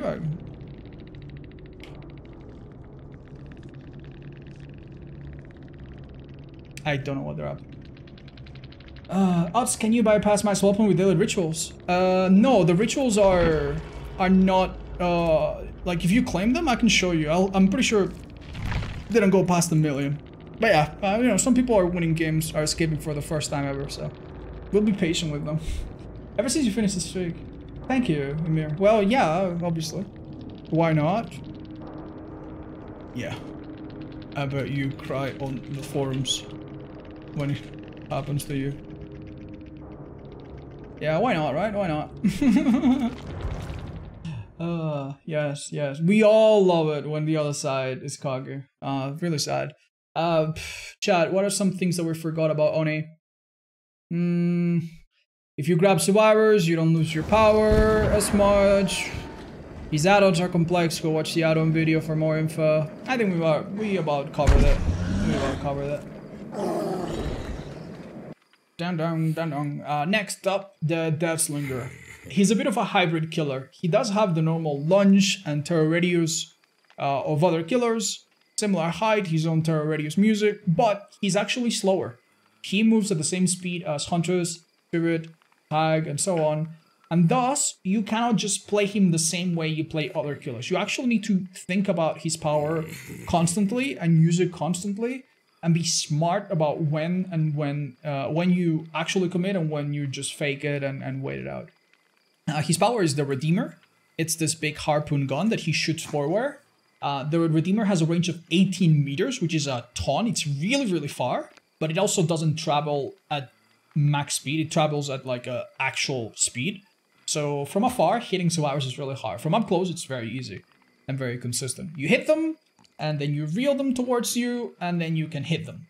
And this will do one state of damage. Uh, also, the first hit that you do, or if they break your chain, it's very much like Legion, they get deep wound. So you can also have a bit of slowdown on the side a little bit. And that's pretty much it. You just play him normally in some places and aim his gun and shoot at survivors and reel them towards you. You cannot hit uh, you cannot hit a survivor through a pallet, which is pretty critical, but you can hit them through windows. So if you drag a survivor in front of a window after they vaulted, you can hit them right through, and that's a big part of playing him. We're gonna use his own perk Deadman Switch, his own perk Gearhead, which will let us know where some people are sometimes. If we have hexes, we can use Retribution, but we don't. We're just gonna use the the common Sloppy Butcher and common Jolt. They're pretty decent. If you don't know what add-ons to go for, you cannot go wrong with reload speed and with miss cooldown. These add-ons are a bit forgiven for beginners, and these add-ons are good anytime you need to reload. So I'll use these two add-ons, and we'll bring a cake. And off we go. Actually, we could spend a bit of time and bring the proper cake. Let's do that, and queue into it again. Right, um, so while we're loading in, some people mention uh, some interesting things. Can you use a crosshair on Deathslinger to aim better? I mean, yeah, if you put a little gummy bear on your TV screen, or if you have a crosshair if you're on PC, you can do it. And I don't think it's illegal or anything. Uh, but unfortunately, there's no in-game option to turn it on. So yeah, do that. Is the Slinger playable on console? Absolutely. But he's not quite as nice as on PC when you can have a very crisp and smooth aim, especially if you have a background in playing like FPS games. Uh, but he's still he's still very playable on all the platforms. Don't worry. You don't need crazy aim and flicks. Uh, for the most part, you can wait at the right times and shoot at the right times, and it's mostly about prediction and and reaction rather than like precise pixel perfect accuracy. Okay. Right, we just played a, a match of um, of Deathslinger, but we played so poorly and the match went by so quick. Uh, it really was a bad example. Uh, as I said in the previous one, though, remember that you're you're a slower than usual killer that slows themselves down when they reload and they shoot and they do anything, uh, and you have a normal terror radius, even though it has its own little um, melody. Survivors will hear it from afar. You want to make sure you immediately go to where you think survivors or many survivors will be and don't mess around too much. If they ever give you a free hit, like it looks like this will be, take it. Because then you won't need to reload. And if right now this girl makes a stupid move, she goes down very quickly. What? That was fast. Uh, this girl is kind of... Yeah, she just played herself, I feel. Okay, this is a great example. You shoot someone as soon as you see them go through the window. And it's typically pretty straightforward to just crawl towards them or bring them towards you and then hit them at the window itself. You can even do a little lunge, but be careful. Not every angle will work as easily. That one was a very straightforward, uh, uh, very straightforward one though. Fairly simple. Oh, good enough to get the, them on switch, I guess. These guys seem quite aware though. I'm so sorry, dude. I respect nothing. But uh, there's two things you can do with Deathslinger once you've already confirmed a chain on a survivor. Number one is walk towards them. Number two is reel them towards you. So press forward or press back, or even stand still. Uh, it doesn't really make a huge difference. Um, the main idea is for you to bring them towards the area that makes the most sense. Um, so let's see. I think she's about to use that Dead Hard. Boop. Yeah, there it is. Uh, the window's not here. We should be fine then. Maybe another search. Uh, Jolt, sorry. Come on, come on, come on, come on, come on. Yeah, I mean, this time it doesn't even make a difference, just right here. But yeah, if you are in the open, and they are between a bunch of trees and obstacles, bring them towards you. If they're in the open, but you're surrounded by a lot of obstacles, then simply walk towards them. Uh, okay, this is Gearhead and Deadman Switch working together. Deadman Switch broken the jam and Gearhead telling us where to go. And that was definitely a smart thing that I just did. You can shoot through some tiny gaps like this, but I don't know them all. I also feel... Yeah, this girl absolutely has Dead Hard, so... Don't try to use it. That's okay, though. We're fine, I think. That was pretty smart. Oh, what? In this situation, yeah, maybe I should have reeled her towards me so she doesn't get behind these tires. Alright, uh, Gearhead triggered again. Come and see who triggered it.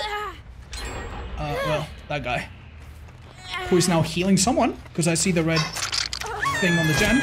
Yeah, let's let's see if we can shoot through this little gap. You never know. Or the window. Oh, we absolutely could have. Shame, that was too small. That could have been good. Oh, I think he's already behind it. You can shoot through things like this, for example, but... so this skill is healthy, right? I'm just going to break the chain.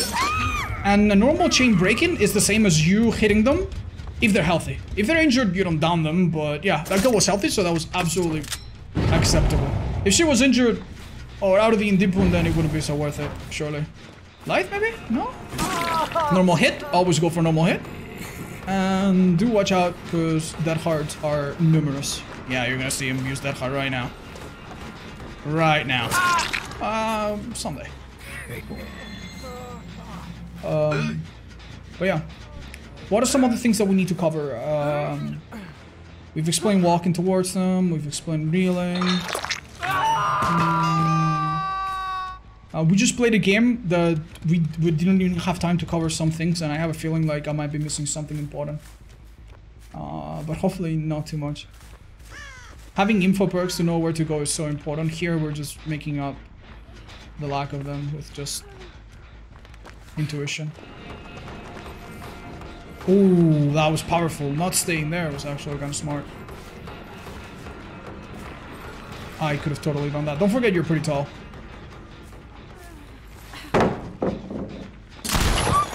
Okay, I'm gonna try something very ambitious. Alright, it didn't work. If this if this was a bit smaller, you could have though. Uh, during the first instance of chaining a survivor with your spear gun, you don't actually have collision on your chain. It's not...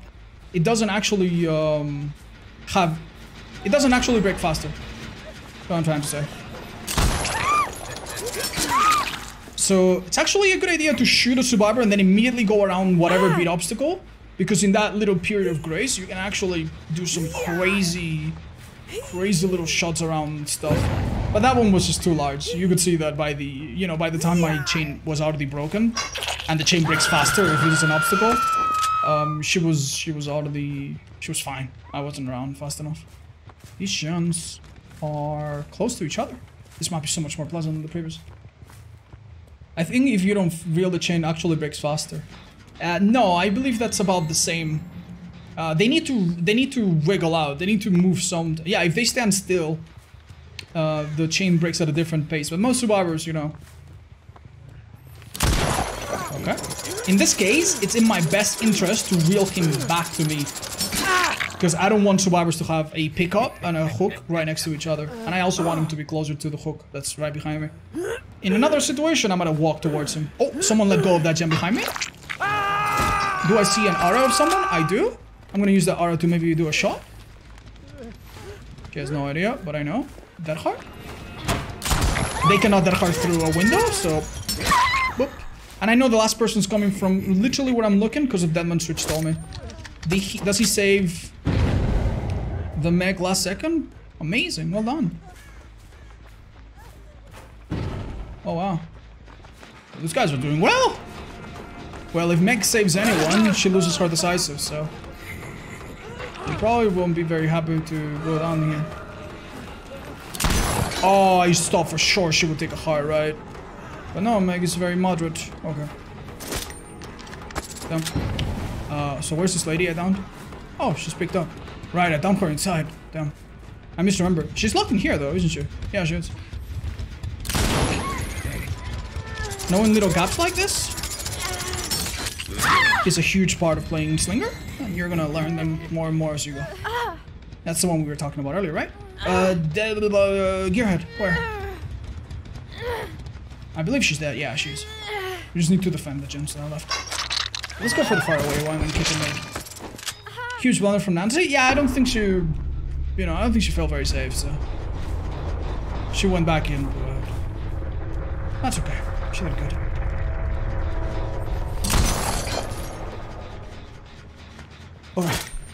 Sometimes you will miss a survivor and then they'll get inside your your chain that's extended and it will look like you shot right through them but no that was a that was a completely fair miss.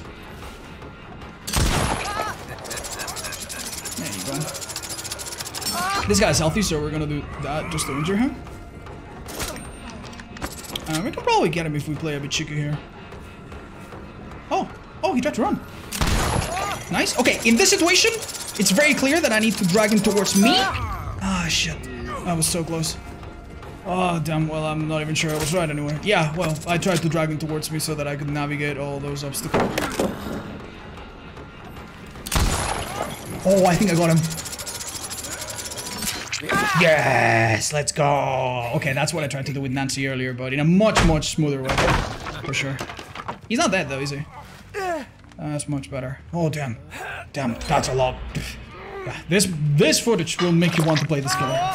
He is that nice. Oh, not the previous game. I'm still salty at work. okay. But yeah, uh, some add-ons on Deathslinger definitely make him a lot more forgiving to miss and reload and stuff. So do explore those. And yeah, don't forget that because you inflict deep wound, sometimes if you don't care, if you have Survivor A and Survivor B and they are both the same to you, if Survivor B has to mend, then go for Survivor A.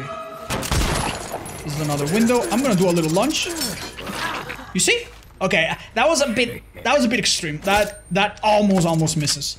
But just in case you ever shoot at a Survivor from afar, know that if you're a little bit too far, you can do a lunge at a window because they're kind of stuck. When you break the chain, they have like a like a millisecond of them being kind of useless.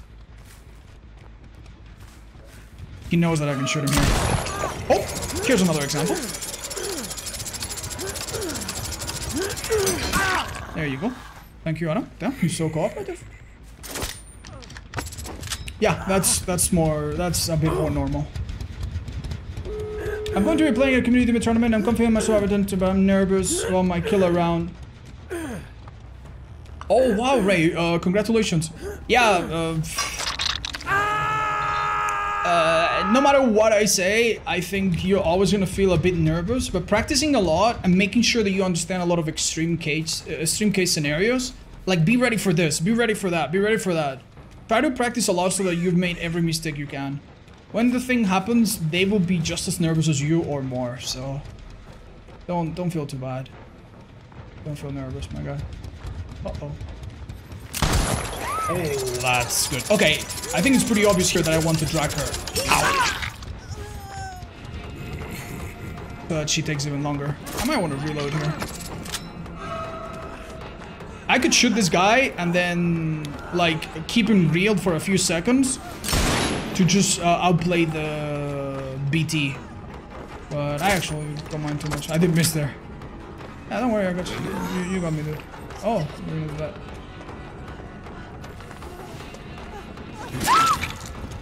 Uh, yeah, if you have, um, I don't know, Styptic, borrow time, if you know that a survivor has, like, endurance, you can shoot them, keep them real for a bit, and then in about five or six seconds, whatever, you have, I think, seven seconds or so.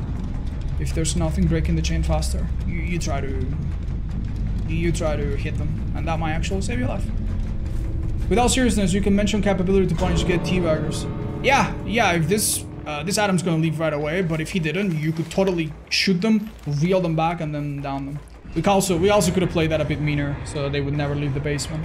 But we're not we're not interested in bullying people. We just want to show the killer. Uh, GG's, well played to everyone.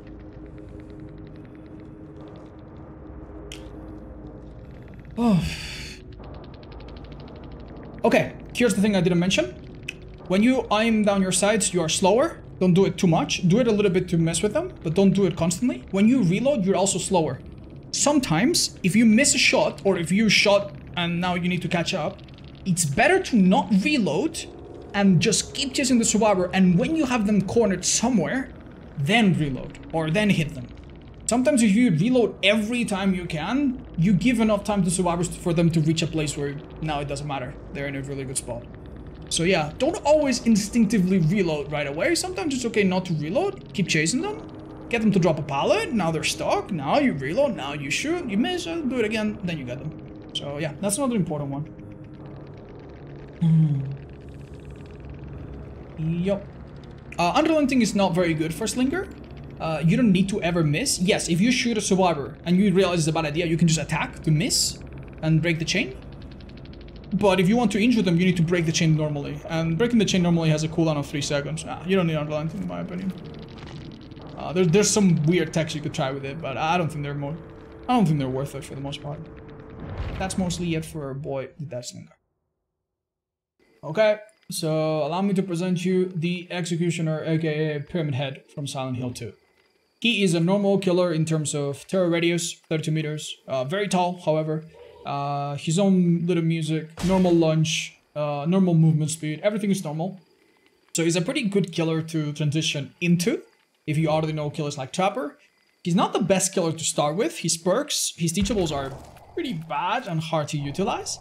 And his power is a little bit complex and requires both a lot of thinking and decision making and also mechanical timing and, and reactions. When he presses the attack power, he slams his sword into the ground and then drags it. While he drags it, he creates a little trail of danger where if survivors step on it, they reveal themselves by a little heartbeat. And they also become tormented, which we'll explain later. And also, when you're in this mode, when you're dragging your sword, at any time you want, you can press the attack button to then send a shockwave forward. It's a bit like a Doctor Shock. It's like a little cylinder in front of you. Uh, but this one damages, uh, much like a Hunter's Hatchet. And it damages anyone inside this cone. So if three survivors are in a conga line in front of you, you can hit them all uh, simultaneously with a single attack. The attack works like a little wave. It goes boop, boop, boop, boop, boop, boop, right in front of you. So if you have a survivor very close and one very far at the edge, which is about 8 meters, you will hit the one first slightly quicker, and then you'll hit the one at the end slightly further.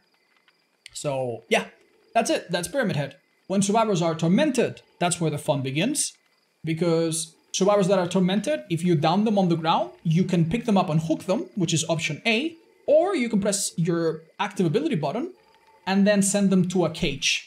You plunge your sword into the ground and they appear on a cage, which is basically like an alternative hook. So you can, uh, the cages work exactly the same as hook. You can do cage, cage, hook, and kill, or cage, cage, mori, or cage, hook, hook, or hook, cage, hook. It's the same thing basically. Uh, but the third cage is actually a mini mori. So if you have a tormented survivor on the ground and you press left control, you will actually cut them in half very fast, much faster than the normal mori. So yeah, that's great. This killer saves time uh, on hooking, sends survivors really far away, and because he can counter, um, because he can send survivors to cages, he actually counters hook perks. Borrow time, um, decisive strike, uh, the future of the record, all of these perks that come out of hooks, they don't really work against them. Uh, but he also has the downside that he cannot use hook perks as well as other killers.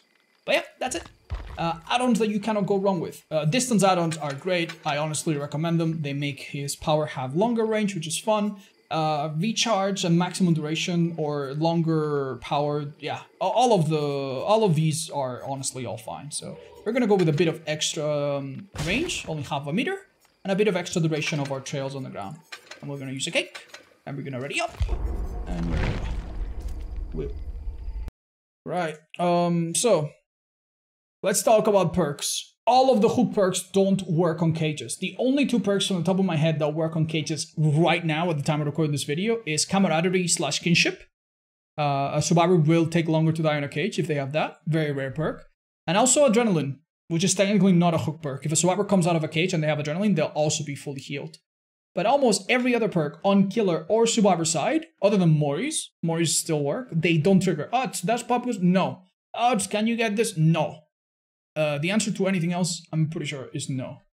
So don't forget. You press the power button, you begin to drag your sword on the ground. When you drag your sword, you leave a trail on the ground. This trail, by default, I believe, lasts 70 or 75 seconds. And if a survivor steps on it or does any action on it other than crouch through, there it is, uh, they'll become tormented. And when they're tormented, you can send them into a cage, and we've already explained how that works. Uh, now, um, that's a big part of playing Pyramid Head, but the bigger part is using his punishment as a chasing tool.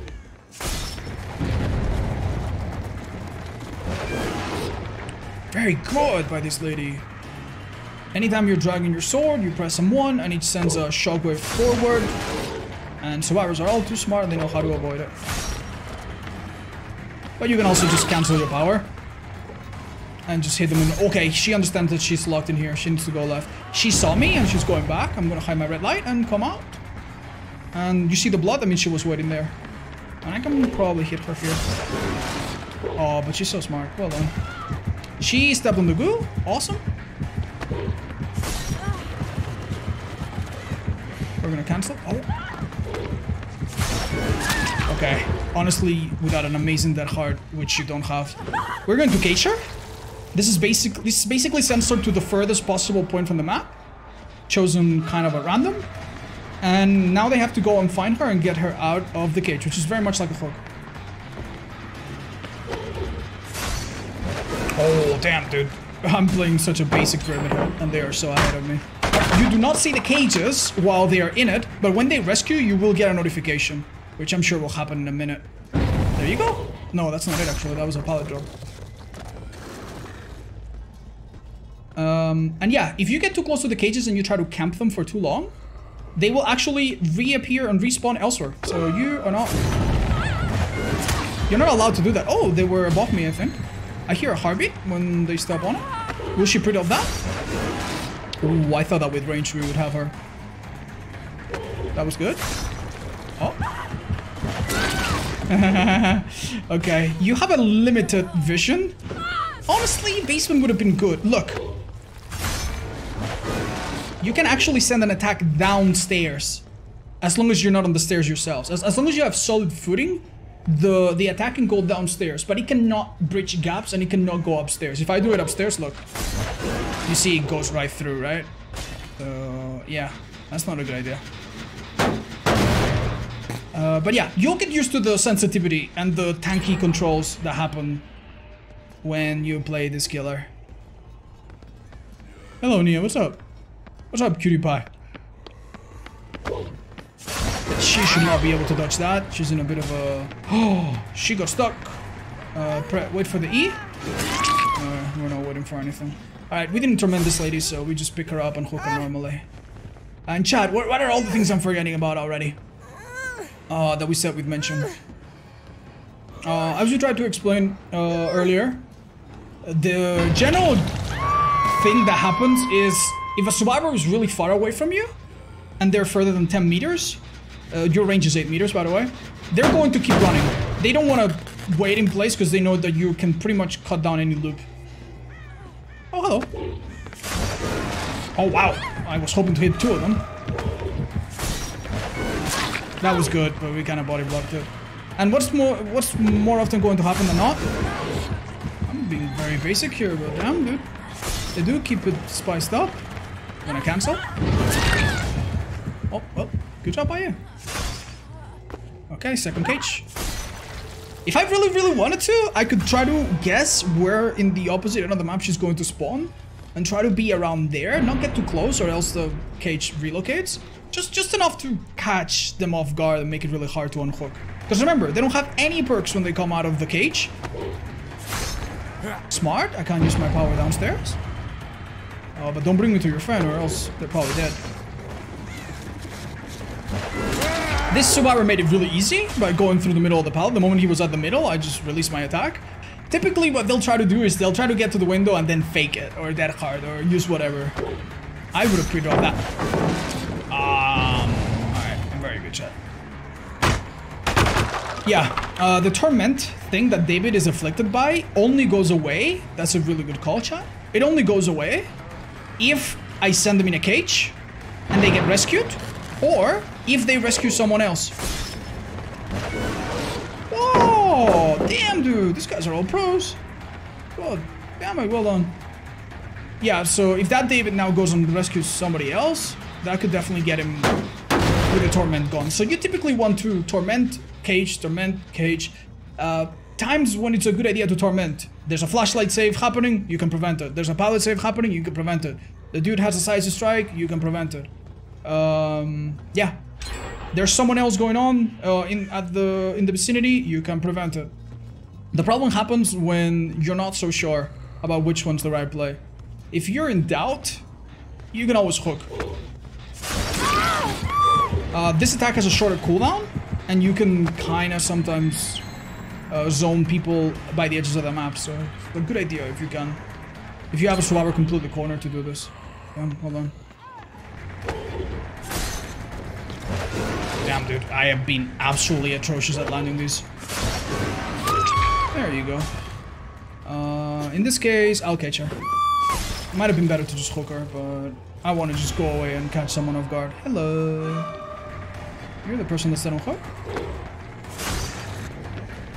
Alright, we put Torment on the loop. Notice that I put a bit of Torment on the pallet or the window. Just enough so that if they use it, they get tormented and we push them away.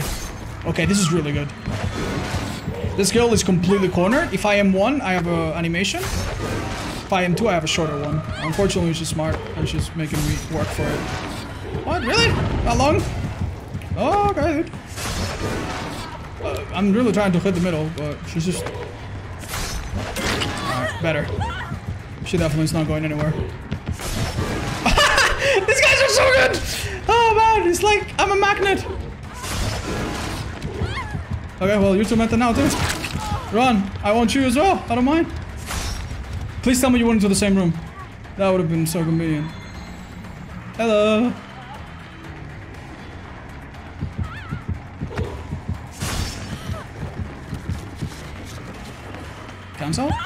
There you go. Uh, I'm doing it, I don't care. I'm pretty sure we can make something happen here. We're at six hooks, so awkward. That girl's the healthy, oh no. I swing there to save time on the drops, but watch out, it's not always a good idea. Always let it go when you see them in a tight spot like that. Definitely wasted too much time. I'm gonna do a quick one here. I wanted to get rid of that and use the range, but didn't work out. I have been getting some horrible value from the cages, my guys. Alright. I don't, I don't think she's dead. I think we have three hooked... Three people and one hooked David? Maybe she's dead, actually. She might be. I don't remember hooking David. Yeah, she's dead. Yep. We can totally hit through this and try to hit a survivor on the on the other side of the wall. Even better. Let's hit it and look for the two Haddies. Maybe he gets a bit spooked and stays away. Maybe they have fun another gen. Oh, ah, hello! I know. Hello, Haddie number two! She gonna drop. Okay, that's a... At least an attack. Ooh, that balance landing was fast. David's out of the heal up. This girl went up again. Pre-drop the pallet. Smart. I'm going to ignore... Uh, I'm being body blocked by mannequins. Uh, I should go back to that gen though. That David's gonna be on it in two seconds if he already healed.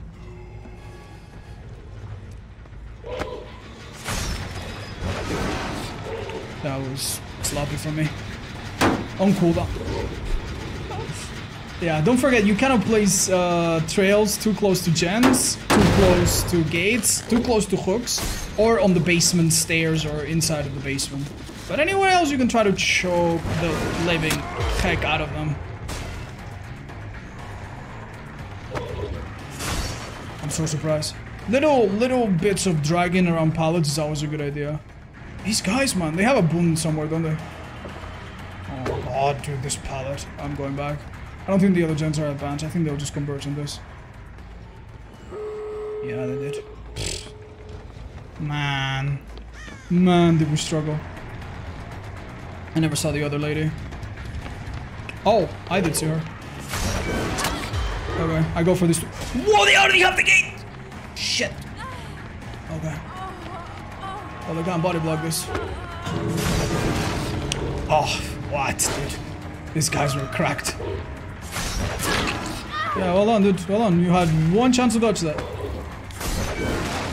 But I think in this match we actually got to see quite a quite a few things about Pyramid Head. It might have been better for me to, at some point, just hook a person in the middle instead of caging them so much. Yeah, they were all very, very, very happy. Why you guys debagging? Did I play unfair? Why do some people equip Lightborn instead of Fire Up when they see flashes in the lobby? Fire Up messes up their timing. Uh, I think some people don't care about flashlight rescues. They just care about uh, not being flashlight at every pallet and stuff like that. Oh? oh. Uh, you guys remember? Python Leno?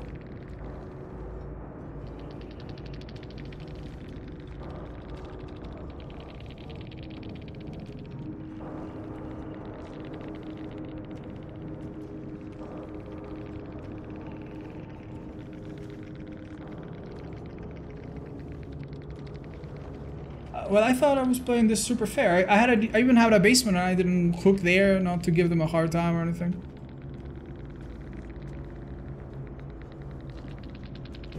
Is here in rain. Oh, don't worry, we can check. Uh, bonus points is if Rain is one of the two people that look exactly the same. it's one of the two people that looks exactly the same. uh, I tunneled! I tunnel one of the hotties that had the exact same cosmetic as the other person who also had the exact same cosmetic. Okay.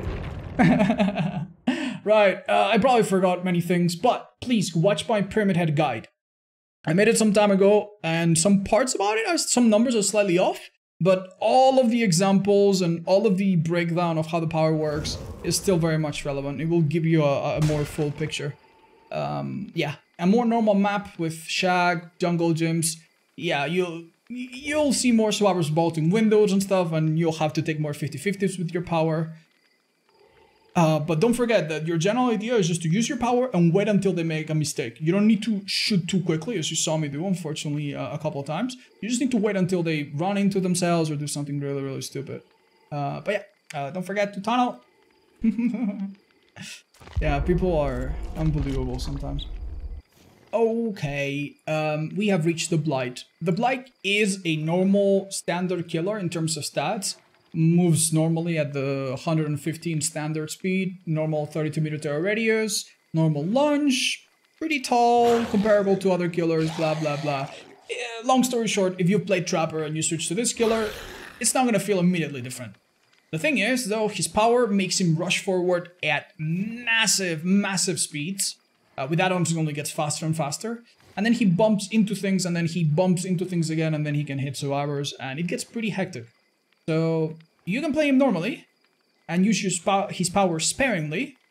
Eventually, when you become better and better, you will use his power all the time because it helps to traverse the map, close the gap, and even get the hits in. So he's not a killer I recommend you start with because how difficult it is and how much of a focus you need to learn both his power and also the collisions and overall functioning of the maps because each map has their own quirks. So because of that, I recommend you dabble with him a little bit, but don't start with him and don't focus on him too much. When you learn to play him using his power a lot, he begins to stray from other killers. You play him very differently, and he doesn't have that much in common with other killers. But you can definitely play him like a normal killer and use his power sparingly here and there. Very simply put, uh, his power is actually super, super simple. Uh, when you press the attack, uh, the, the power button, you begin to rush forward and then you bump into whatever you bump into. You can't bump into survivors, but the environment, generators, walls, trees, you can bump into anything. And when you do, you'll you'll get like uh, you'll get repositioned and then you can rush again. And from the second rush forward, your cane is now up and you can actually do an attack to hit survivors. So if a survivor is in front of you, you can bump into a tree nearby and then go for the survivor and hit them. But you cannot rush and hit them right away. Um, that's that's the trick. You need to learn how to bounce off things and play pinball, if you will. And then when you do that, you just focus on the one-on-one -on -one chase and try to use his mobility to cover the map, and you're good. Uh, we're gonna use his own perk Blood Favor to block pallets, and a acute. His own perk Undying to protect Blood Favor, and a acute. And the common perk Thrill of the Hunt to protect both of these totems and make them take longer, kinda cute. And also Fearmonger, I guess, to make survivors uh, tired when they touch them, kinda cute. Uh, unlike other killers, I don't recommend the brown add-ons to start with. This These add-ons are meant to help beginners, but they're all mimi and terrible. The Foxglove, however, and the Canker of the Thorn, uh, they both reduce the cooldown for missed attacks and stuff when you use your power, and that's helpful, so we're gonna have that, and nothing else. Some of these uh, some of these add-ons are ridiculously strong, but we're just gonna start with mostly baseline stuff. We're gonna put in cake, and we're gonna look for a match. And that's it. Right, so one thing, thank you Alka. One thing that we neglected to mention is that he cannot bump forever. You start, uh, add-ons can change this up and down, but you start with five rush tokens. And one of them you have to use to start. So as you're gonna notice, now my cane is up and I can actually hit at the end, like this. And if there was a survivor in front of me, uh, I could hit them. They don't need to be like, I don't need to like launch them afar. I can just lunge when I'm right next to them and that will still be a hit. I'm just gonna do a normal hit here. No need to overcomplicate. Much like Slinger, it's a good idea to just do a normal attack and then you don't have to go through any cooldown. Alright, I'm gonna use my power, bump on this tree. And that's the very basic one, two, left, right, good night. But things will get more complicated and survivors will play smart and structures will be harder and you'll have to do more. Now here's a mistake that you could make. Bump into one thing, bump into one thing, bump into one thing, bump into one thing, bump into one thing, and now I've made a total of 5 meters worth of distance. You don't want to do that. That is wasting the maximum distance that you have. Here's another thing you don't want to do, which is not bump into anything. Uh, so that's bad, because you don't go too far. And the other one is worse because you waste everything. So you want to actually more or less measure these, what is it, about 15, 16 meters? And try to bump into things strategically to cover a lot of distance. Alright, this pallet gets blocked because of our perk. And this lady is now dead. I don't need to use my power. I think we're just fine. But, so now we're gonna do what you have to do if you want to traverse the whole map. Let's say we have barbecue and chili, and I know where survivors are gonna be. Alright, I look for a distant object, those wheels, uh, sorry, tires, hit them. Look for another distant one, that tree. Look for something else distant, that. Look for something else, this. And just like that, I've made it across the map. You get the idea, right? You want to bump into something right about as your You don't have that hard decisive. Uh, you want to bump into something right about you're gonna get uh, fatigued from running for too long. So let's do that again just to more or less show. Alright, uh, into this tree. Into this Harikur. Oh, well, it ended there, chat. It ended there. Alright. Oh, this is locked! Still on my perk! Okay, I can only do this. But yeah, you can you can press the M1 attack when you see the survivor right you know, when they're close you for when they're close enough for you to bite them in the butt, you can attack. Okay? Here's a mistake. Don't imagine the survivor is this tree. Actually, it is. I'm gonna tell you what not to do. Hold up.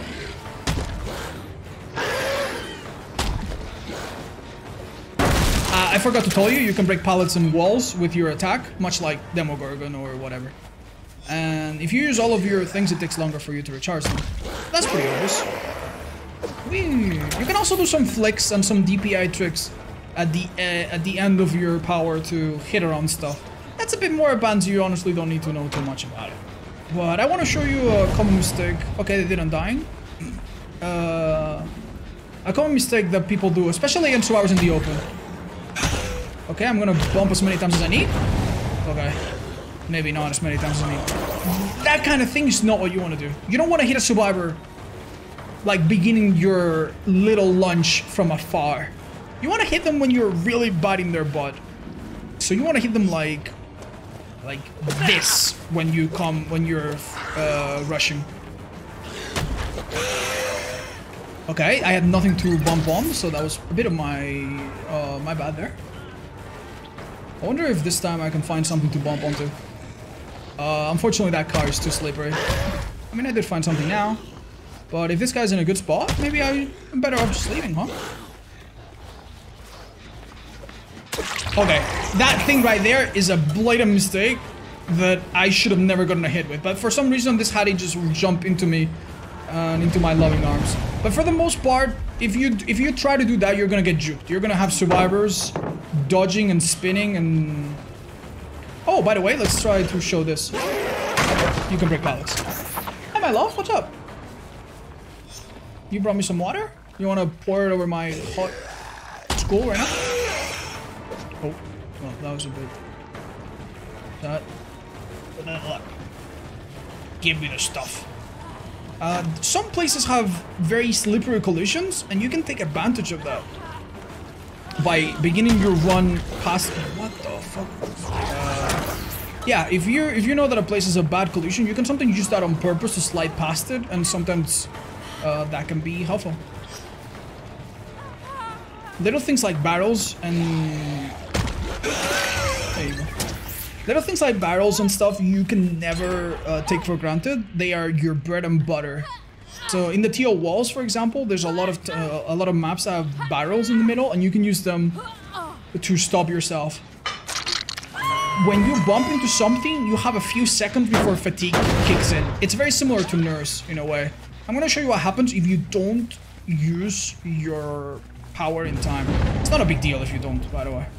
Damn, we got some great value out of that. Let's get this event thing going. Right, so I'm gonna bump into the street, uh, sorry, car. Gonna bump into this, uh, ah, okay. Sometimes if you zone out a survivor, it's totally okay not to do that, as you can see. And you'll still probably get the hit here. Okay.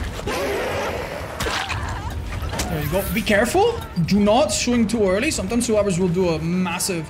Okay, let's go for what I told you about the swing thing. Can I pull it off somehow? I could have maybe. I could have maybe. Uh, we already broke this wall, remember? So that means this girl is probably dead. I bump in here. There you go. So you're, you're basically playing a game of pinball on and off through the entire match. Oi, oi, oi, oi, oi, oi, oi, oi, oi, oi, oi, let, let me be a woman. Um, she's gonna let her out. Or try to. Alright, let's see if we make it to the first poke after that. Almost. That's no biggie. Um, hmm, what am I forgetting, chat? What am I forgetting?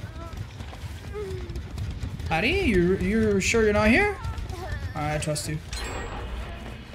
I don't trust you at all. Ah, I'm sorry. That was very eager of me. Okay, you can have it. Sure thing then. I was expecting them to come out of that locker. Uh, how long does it take to wiggle out? Uh, 16 seconds. A little bit less with the new system if they hit all the great skill checks. If you hit a lot of people and miss a lot of hits and, you know, you're slowed down, yeah, it's not so good. That's terrible. You can sometimes bump on things unnecessarily to uh, to wait out a dead hard. Or to wait out a little play like that. So if I thought that that girl was about to press E and dodge me, I could have maybe... I know she doesn't have it, but I know I could have uh, be like... Ah, and then, you know, just... Sorry, I completely failed. Do this and then bump into something else or bump into... When they when they think that you're about to hit them, just bump next to them. Then they press E and then you probably catch them. Um, there's probably other things. You can sometimes use the fact that you get pushed back a little bit um, as a way to get into something. So for example here, check out this tree. This tree is this tree is not lined up with this doorway, right? But when I bump into it, I'm gonna bump back like a meter and then I'll be perfectly on the doorway. But you can do that kind of stuff knowing that you can do something like this. Bam, immediately line up. And don't be shy at hitting people through walls and, and sorry, through windows. Like if there was a survivor vaulting a window, you could totally hit them with a cane like that. So don't be don't be be ambitious and try to hit people through windows. It works quite quite often, and sometimes in ways you wouldn't expect. Um. All right. Well, um, Blight. Honestly, it, it starts really simple, but it devolves into a lot of little techs and little tricks and little things that I'm probably neglecting to mention. If you guys know anything else, uh, please remind me so that someone learning uh, can use your experience. How to use the Russia shot look? Okay, alright. Uh, that I can kind of teach you. So it depends on the angle, but let's say I want to catch them at the window. I'm gonna go for the doorway. Boop. Bam. That's one. Uh, more advanced ones that you'll see people use. They'll, they'll do things like... This is a this is one that's gonna be patched at some point, but... Uh, yeah, you get the idea. I kind of messed it up. But depending on how you look... Oh, 1v1? Okay, let's go, bro. Alright, let's go. Don't do it. Don't do it. You can slide that check anyway. Yeah, yeah, you don't need the hug tech. You can you can do I could maybe I don't know. Maybe I can do something like this and show you. Mm. Ah no, no I'm not I'm not quite I'm not quite prepared. But yeah, you can slide past many obstacles like this. If you if you get really close after the initial thing, or at the first hook, you can you can slide. It's a similar idea with the cars. Like for example, let's say I wanted to catch up to someone. Um, I don't know. What would be a good example? Right, I could do something like this. Bam. And now I'm on the other side of the car. Like, like imagine how slow I would be if I want to catch someone right by that car, if I jump here, then there, then there. But look how fast this is. Um, well, you saw it before.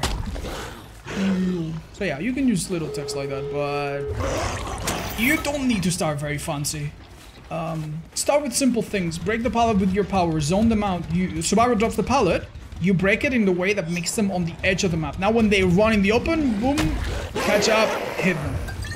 Um, what else is there for us to learn? Um, yeah. Be patient with your rushes. Sometimes, you know, you'll do a stupid... Oh god, where am I? Oh my god, what is my name? Oh, what? Okay, okay, I have one more. Bam, hit. You know, sometimes even after a small mistake where you bump accidentally into five things, uh, or your own shadow, you can still make a, a recovery, or at least be in a really good spot. Hmm. Hey, thank you, Incarvi.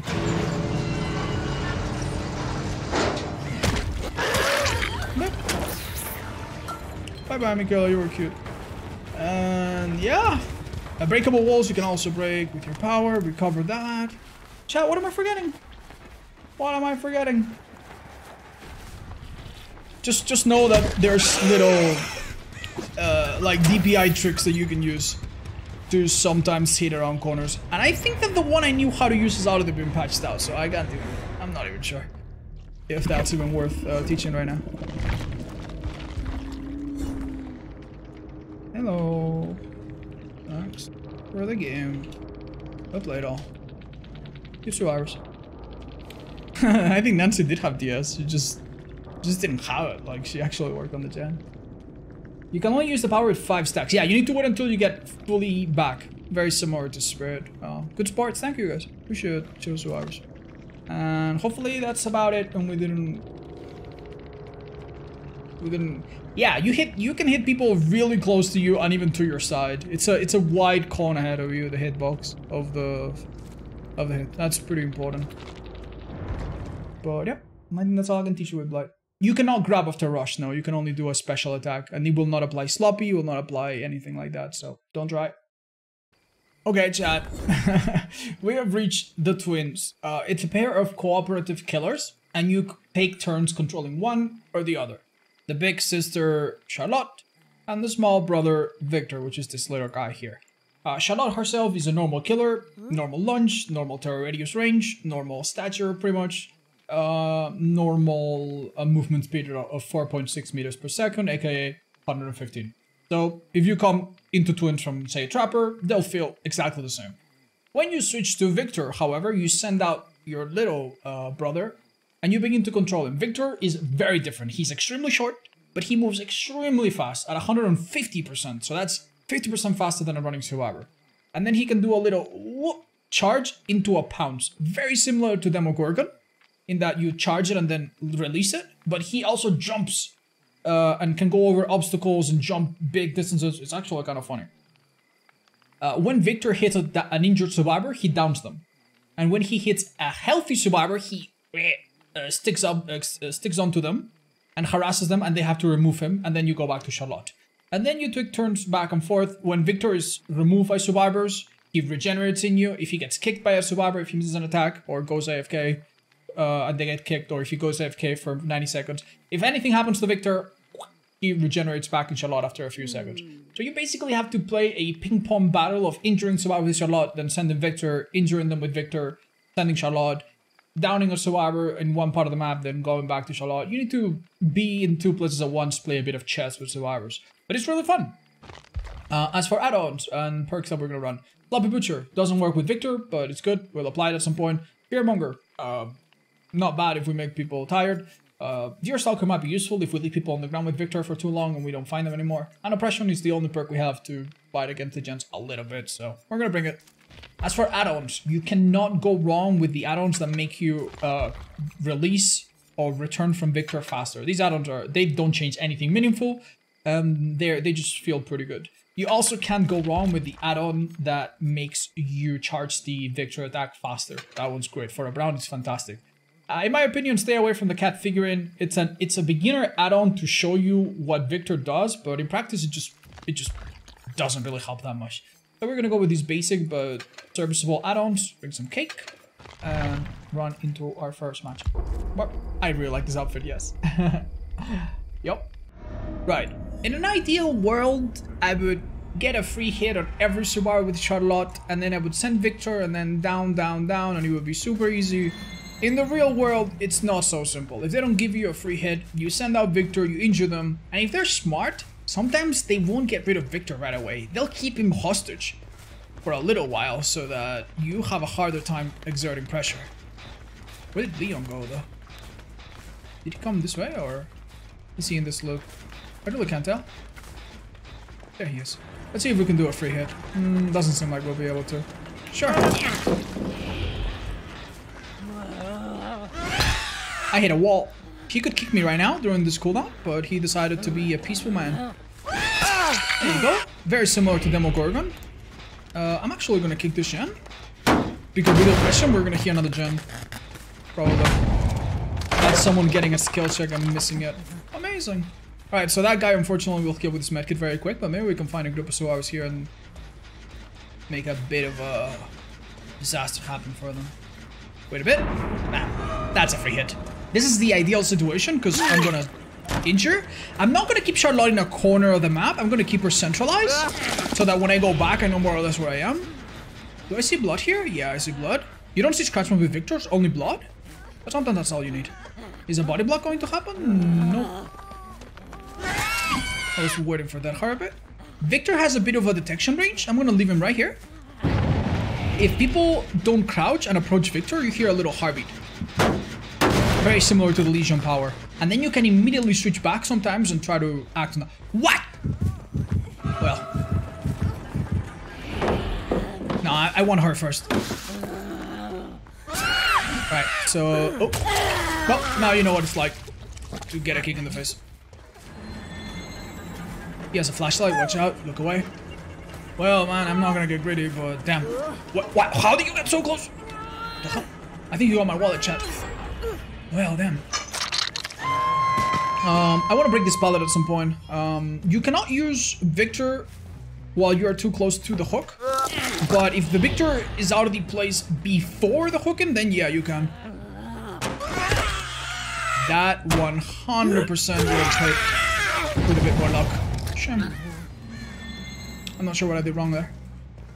Hello. Yeah, medkits are tough, and you probably need specific perks if you want to have a slightly easier time. Uh, we're gonna we're gonna take comfort in knowing that most games are gonna be a bit easier than this in terms of the pressure you can exert. If people are injured, you can pick them off with Victor so quickly, one by one. But now it's not something we can do. We do have two people injured, but if I send out Victor right now, I'm gonna be in a bad spot by the time they're down and they start to pick themselves up. Damn, dude, that timing was excellent. Jesus, like she knows. What? Okay, that timing was not excellent. Thank you. Alright, let's send... We down someone. Let's send Victor and see if we can do some more damage. Remember, you don't see scratch marks. So you have to go off by... Um, wow, really? uh, you can kill Victor with the stun from head-on, pallets, any stun will kill him. You can also blind him, but, you know, you can look away, so it's not very useful. Okay, if I had Victor available, I would send it out and try to catch the Fang, because she's been hooked once. And that would be useful, but we don't have him. Uh, okay, Leon got rid of it. If they don't get rid of it, you need to press M2 to retrieve it. Uh, after 30 seconds. He's already healed! That is insane, man. That is absolutely nuts. I can't... Dude, it's unbelievable. Uh, you also see the aura of someone with Victor if they've held it for a little bit and for the first few seconds. Okay, that girl's still injured. Let's see if we can see a trail of blood leading... What? What? what? Is this Adam? For real? Oh, what? What? Did she Kobe? Dude, I don't understand this. That girl killed herself. This, uh, dude, when is when when have they had time to do all of this? Okay, that girl's there. Fat, we're gonna live forever. He could get a flashy save there if he was a bit faster. Alright. Damn, dude. He dropped Shark as well. Yeah, and I feel like it's not going to matter. I need to walk out a bit farther before I can unbind Victor. And I'm gonna... She's already healed! Okay, I'm gonna look for blood that she left a few seconds ago. What? Oh, that makes more sense. They have a bun, chat. They have a bun. I didn't remember that. Yay. Yay, booms, the streams, yay. Personally, I'm a big fan. Unlucky, I would have liked to down Victor, uh, sorry, down Leon and just be an absolute tyrant. But don't worry, my time will come. Uh, notice that uh, if you look at the HUD, the little claws of Victor are next to Adam, but they're not actually moving. Now they move. But they're not actually moving consistently. That means he's not getting rid of him. The heartbeat, uh, that's the survivor that's next to him. Uh, a person with Victor on their back is oblivious. And now I'm gonna retrieve it, press M2. And that means that they don't hear you. So someone with Victor, sometimes you can kind of mind game them and come from some weird angle and hit them with Charlotte. That's of course completely justified. Can Victor... No, Victor cannot do anything, unfortunately. He cannot break boons, he cannot do anything. And I don't think I can do anything either, man. This is ridiculous, dude. You're gonna see that girl finish healing? Hopefully not. Absolute insanity, dude. Absolute insanity. A sloppy butcher though helped me there because that heal is gonna stop. They do have that hard bite. Okay, that's a big range. If the map is a bit more 3D and has a bunch of... Okay. Here's what's gonna happen. I'm gonna hook her next to Victor. If the map has some hails, you can use that to your advantage and, and pound from like miles away and go Victor Airlines, which is really fun and has a lot of techs. Um, associated with it. So Twins has a lot of depth and a lot of map knowledge that can be really rewarding to play. Unfortunately, as you can see, sometimes with medkits, boons, unbreakables, we're gonna live forevers, survivors can heal themselves faster than you can do anything. That's hard, that hard. I'm gonna be so patient there. Okay. I could teleport to Victor, but I cannot teleport back because I'm too close. So I need to leave Victor parked somewhere. I'm actually gonna park him on one side and then maybe camp the... Yeah, you guys have this coming. Alright. Let's put Victor here. That's the sound you make when you're too close. And then I'll... Oh, wait! Uh, that's Adam. That's Adam right there. He's gonna come through the window too. Do it, buddy. Yeah, do it. Don't worry. I'm... She's... I can do it. Yeah, no, no, I can wait. Just fine, just fine in here. We're missing you, dude. Well, you understand. This match is a good example of what Twins really struggles with and what Twins really excels at.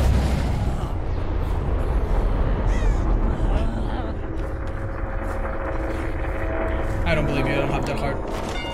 Oh, oh, hit and now you understand why we run the perk the Osaka. There's no hook here anymore, technically, so I can switch whenever I'd like. Um, uh, things that you can do with Victor. Vault through windows, but it's risky. Uh, sorry, uh, pawns through windows. You can also uh, pawns through pallets when they drop them, but you need a bit of an angle. And if they crouch, it can backfire. Um, yeah, be very, very, very careful. I only have a hook for one person here. But I don't mind. I don't mind. It's a, a educational match, so they can rot in the, uh, in the ground if they like. uh, guys, please don't be don't be children in the chat. Right. So as I said, if you use Victor from elevations, you can cover massive distances. A bit like demo, but way way better. So if you ever have a chance to catch up to a survivor, you can do something crazy like this and hit them straight up or close the gap.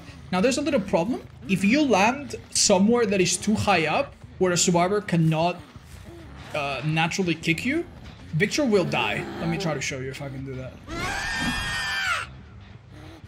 Well, uh, that reminds me, do not hit with Victor upstairs. You will do this. Anytime a survivor is on a stair or a slope, don't ever do that. It fails horribly. Okay, When you begin to hear that little whoosh, that's your cue telling you that you're in a place where you're going to die. If you can, try to fall off, or better yet, just die. And then you get back to your sister a bit quicker, which is convenient sometimes. So that's not a horrible thing. Uh, what else? I thought I wouldn't find you. Don't worry, buddy. Ah! Uh, yeah, as I said, you can hit over pallets and windows, especially if they vault or drop it right in front of you. You can typically hit them. Charging around corners on tight loops. Yeah, it works a bit like demo, which we covered. You can do something like, okay, they're going for that window. Oh, bah! and that typically hits them. Though you saw me fail at doing that once. There you go. Uh, oh, another thing. What if a swapper goes into a locker? You can actually check it. If there's no one, nothing happens.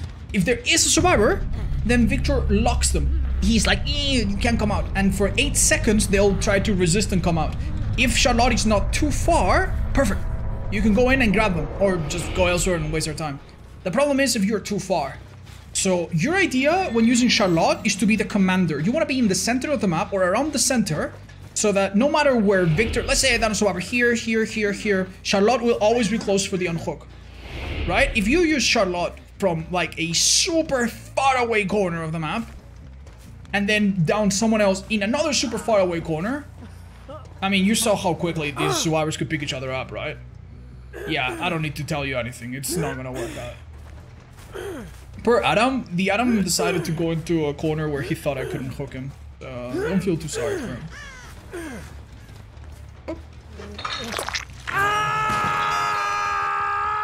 Uh, yeah, you cannot switch back to or from Victor when you're too close to a gate. So you cannot do something like this like body block it. But there's nothing stopping you from being right here and then checking both of them and then switching back and forth whenever you'd like. There's a bit of a cooldown and a bit of a slowdown that happens, but yeah. Uh, survivors can kick you while you're idle, idle like that, so be careful. Listen to the heartbeat.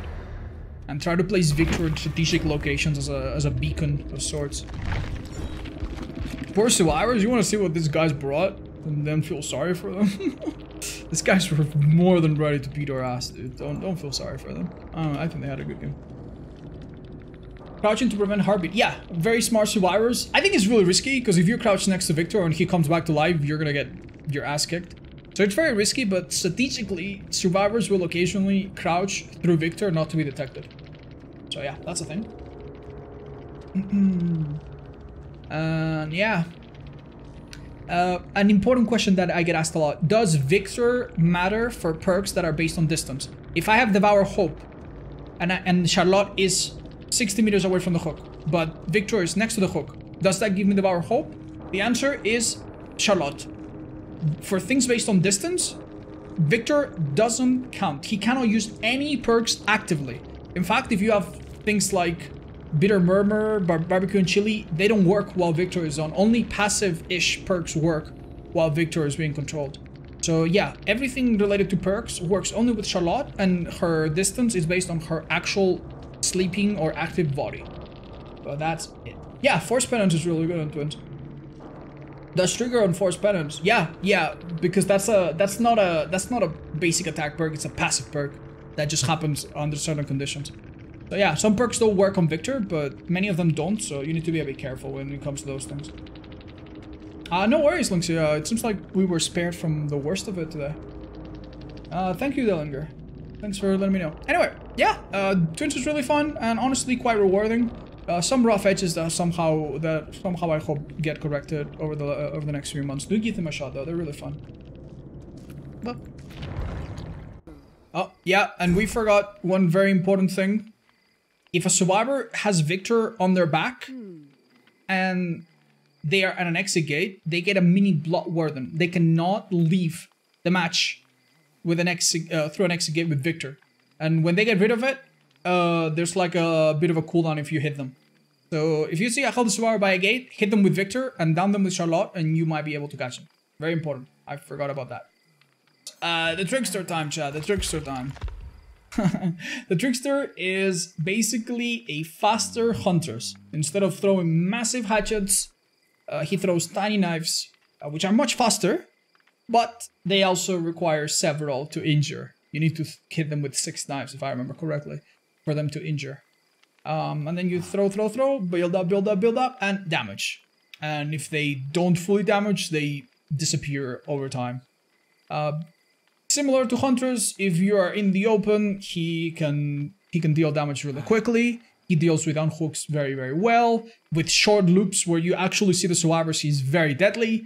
But he's a bit slower than most. He has a bit of a lullaby that people can hear and, and a smaller terror radius and a smaller uh, sorry, on a slower speed, and he needs to reload at lockers, so he's a bit slow. You need to be deliberate with what you do.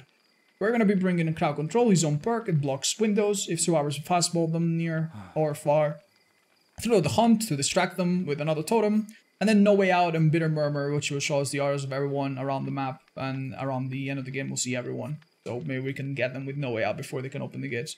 Uh, decent perks for, for a start. Uh, for add-ons, some of them get really crazy. You cannot go wrong with extra knives. Avoid the Memento Blades. They're a meme add-on. They make you worse. And you also can't go wrong with slightly faster homing speed. So yeah, these two very basic. They, they'll do enough.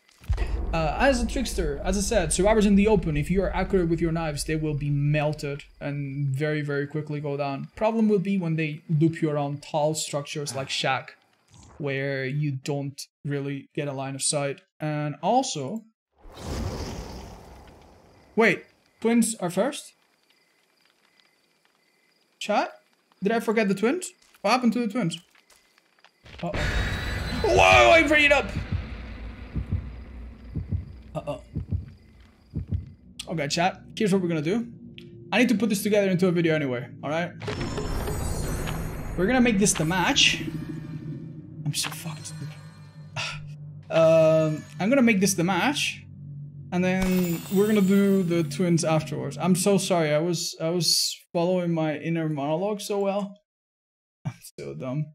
Uh, yeah, let's pretend this is the trickster. All right, then we do the twins afterwards, and then we redo the explanation. I'm so sorry. Twins have knives now. It says twins and you're playing trickster. Oh, that's not even the biggest mistake I made. sorry, chat.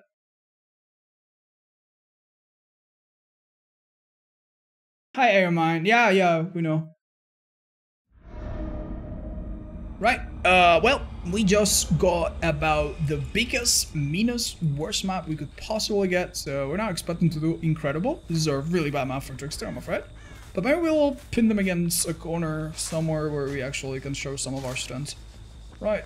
Oh, well, that's a little going to Shack.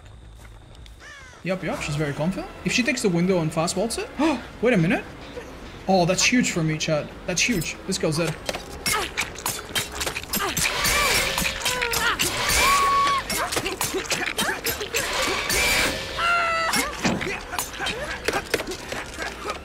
Okay. Um, now the Holy Greed compels me to chase this Claudette and try to get two downs, but the truth is, getting a down in basement this early is really good. And we shouldn't overextend. The fact that we got an injury is just cherry on top.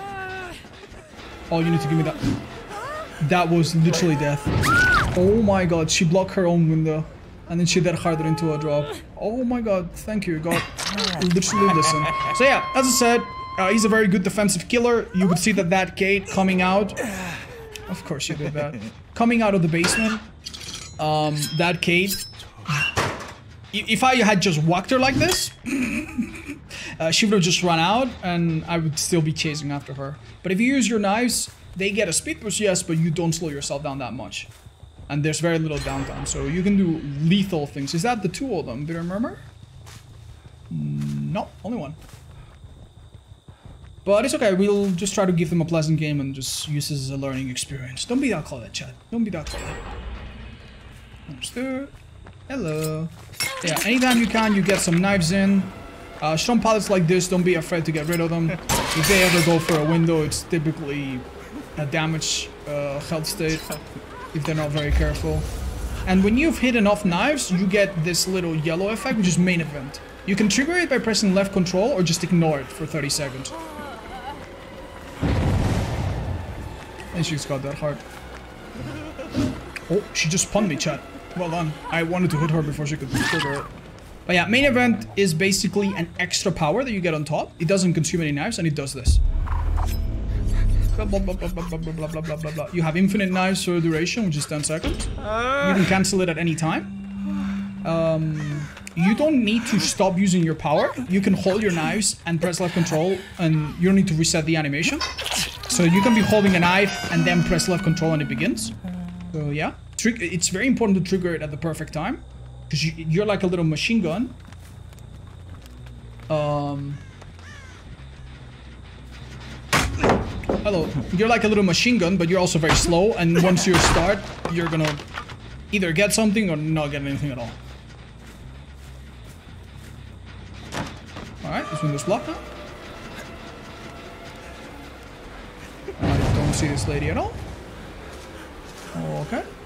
She's in the open, but I don't see her, so it's kind of hard to... Bro. Kind of hard to drain knives on her. Notice that any loop that you can barely see the head of the survivor is really good for you, because you can throw knives at them.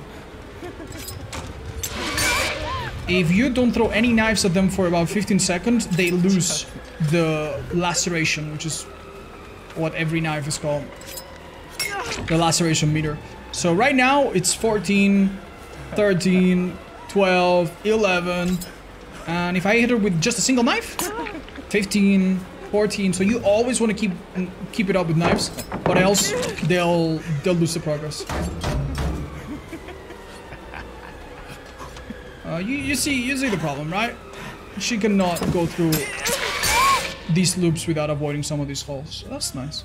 This loop for another killer would be really difficult, but Trickster would deal, can deal with this one at least. Oh yeah, his rate is a really interesting thing. Uh, add-ons aside, uh, when you begin to throw knives, you move a bit slower than survivors, and the more you throw knives, the slower you become. Okay? So it's kind of like a car uh, pressing the brakes. You you move slower the more you throw them, but it's also true that you throw them faster. So the throw rate of the knives begins slow and speeds up, and your movement speed begins fast and gets slow. I don't think you're. I don't think you're that off. You're fine, right? Uh, maybe I can show you. Actually, no, I have two knives. I can show you. But yeah, you start slow, low, fast, fast, fast, fast, fast, fast, and you move uh, the reverse. So yeah, it's a good idea to throw a knife every now and then to to keep the laceration from draining. But you don't want to be doing this all game, because then you're moving very slow and you're wasting ammo. And as you can see, you need to reload every now and then, and it kind of kills your momentum if you have to reload mid-chase. Um, you, you will be surprised of how many angles you can find to damage survivors. Even if it's even if it's just like one or two knives, sometimes hitting them through there can be super critical. Many times survivors will walk away from a loop with one knife left, and if you can just find like a cheeky little throw spot like that one and hit them on the top of the head, bam, that's enough to down them. So super important. And some add-ons can help you do that. Mm hmm Anytime you can push survivors into basement, into open hooks where they can't rescue easily. Uh, anytime you push them into loops um, that are short like this one, that's great for you. And another thing that's worth considering is that when you want to be accurate, you can press uh, hold the. It's very much like Huntress, right? You hold the power. Actually, it's a bit different than Huntress. Uh, you hold the power and you tap to throw knife. Tap to throw knife. But if you want to just go machine gun, you can just hold it, which I didn't know for a long time, and it just shoots automatically. See? Notice that there's a bit of a recoil. You need to constantly aim downwards slightly to offset it a bit.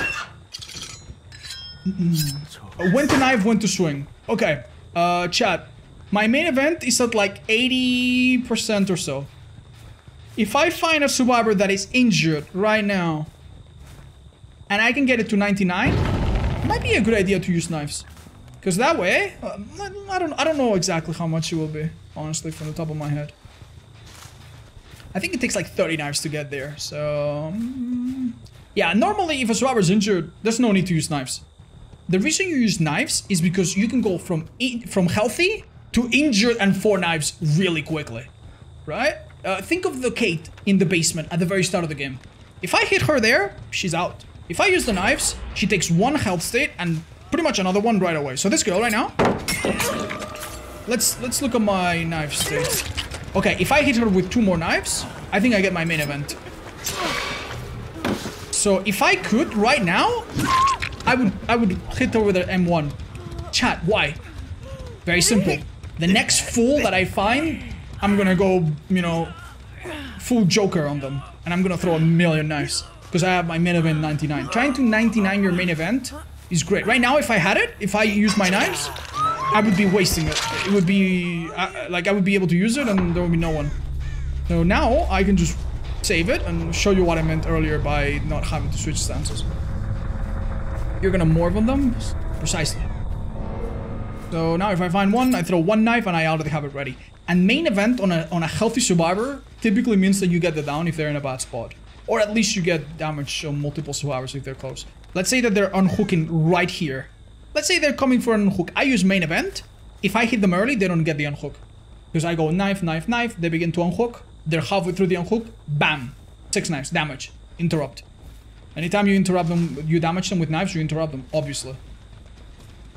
And then they try again, but at that point I'm throwing knives too quickly. And before they get the full unhook, they're, they're down. Because main event is twice as fast as normal. Hmm. Oh yeah, that's true. Uh, if you have a survivor with like a lot of knives on them, and you hit them with a basic attack, that removes some knives from them, but not all of them. Yeah, true. What did I say?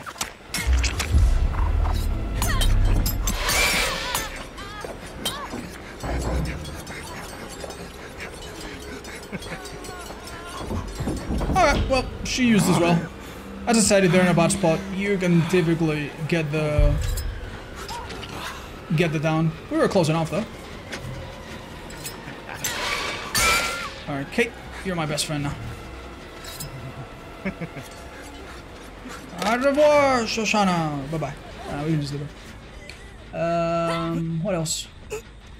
What else? Oh, uh, survivors can go into lockers if you use main events, and you can't do anything about it. So cancel. Ca if you notice that your main event is bad, just cancel. Um,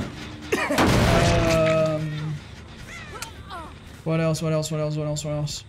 Oh yeah, very simple. Let's say this girl gets in, gets rescued, right? And she has borrowed time.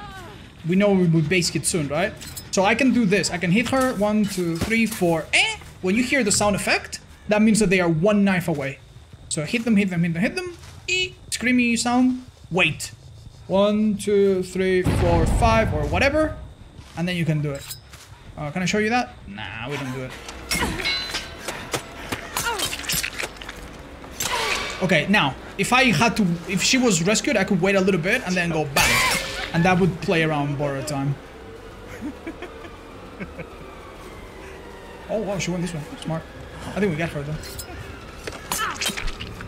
Oh, I'm out of knives. Bad management, I should have reloaded, probably. this poor kid didn't give up, though. Oh, I feel bad for her. She has Dead Hard, bastard. Kill them! Kill them all!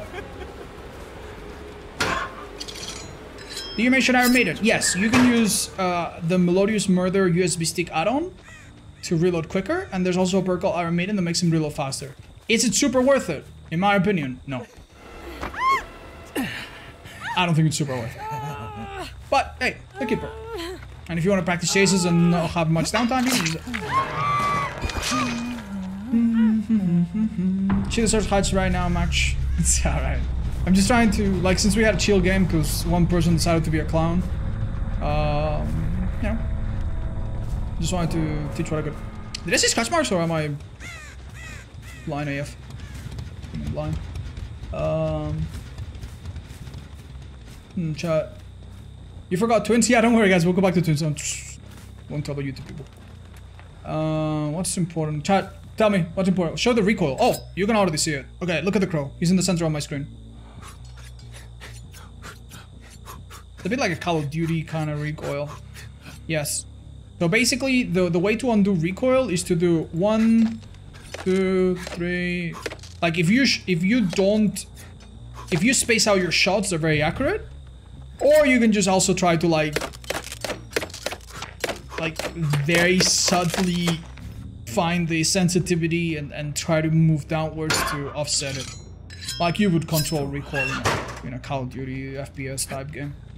Um, yeah, that's it's not a huge deal. You shouldn't be throwing people, you know, throwing knives at people from across the map. You're not gonna get a montage. Well, maybe you will after I say this, but um, yeah, you use it short to medium range, and that's when they're most deadly. In a way, uh, in a way, Trickster is more similar to Cannibal than she is Huntress. Because he is a monster at catching people in the open and just making them feel super naked. um, but yeah, uh, why did we forget each chat? If you're worried about Survivor entering a locker because the main event, activate main event after putting 5 knives into a Survivor. Oh, why? Well, I don't get that at all. Hmm. Is it so that when they come out, they take another normal hit? Trickster has a lullaby. Okay, listen, uh, you don't need to know this, but the Trickster has a 24 meter terror radius, and then from 24 to 28 or something like that, he has like a like a little boom, boom, boom, boom. He has like a little lofi soundtrack that survivors can hear even when you're undetectable. But then it fades away. It's like a ring. So even if you have Tinker or like uh, Monitor Abuse, it's fine. It's fine. I've run Tinker on this killer a million times I still catch people off gens. So you don't really need to worry too much, but hey, it's good to know. Uh, you saw her main. I don't care, Chad. I just want her to get the hatch, honestly. And make sure we don't forget anything. Do I was gonna mention with lockers? Yeah, yeah, we talked about it. yeah, you can shoot small gaps. This is a great example, for example. If someone's healing there, you can go bam, bam, bam. Then the recoil is gonna make you miss.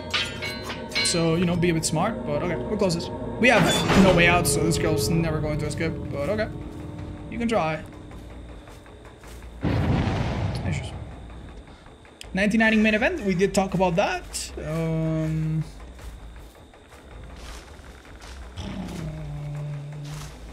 Let her out? We can, we can. They had a horrible game. Yeah, we'll let them out, we'll let them out. I never heard lullaby at all. It kind of messes with his, mixes with his terror radius. But it's, it's, it's audible, it's audible, for sure.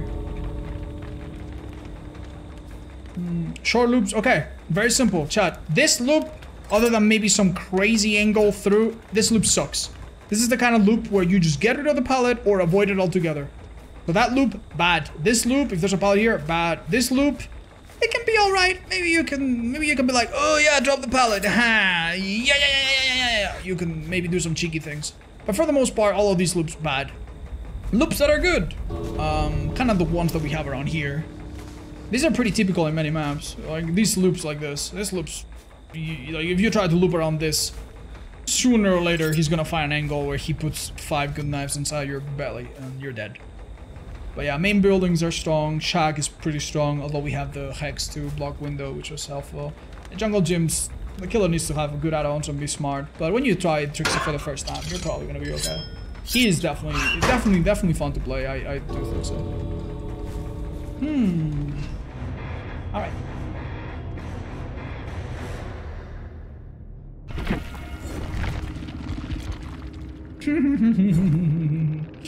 It's always the same type of survivors.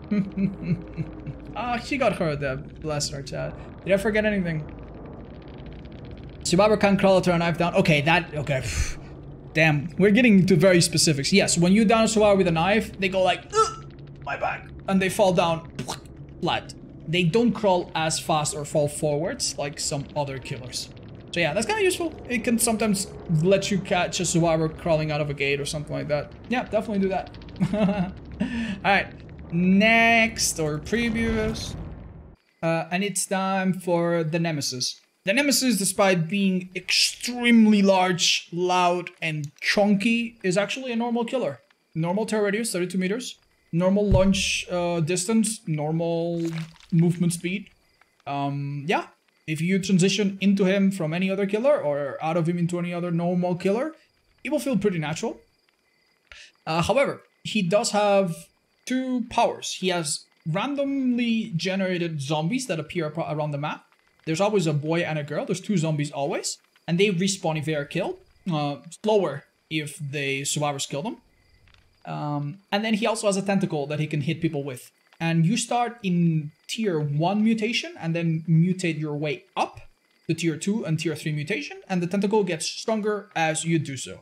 And Nemesis is a bit tricky.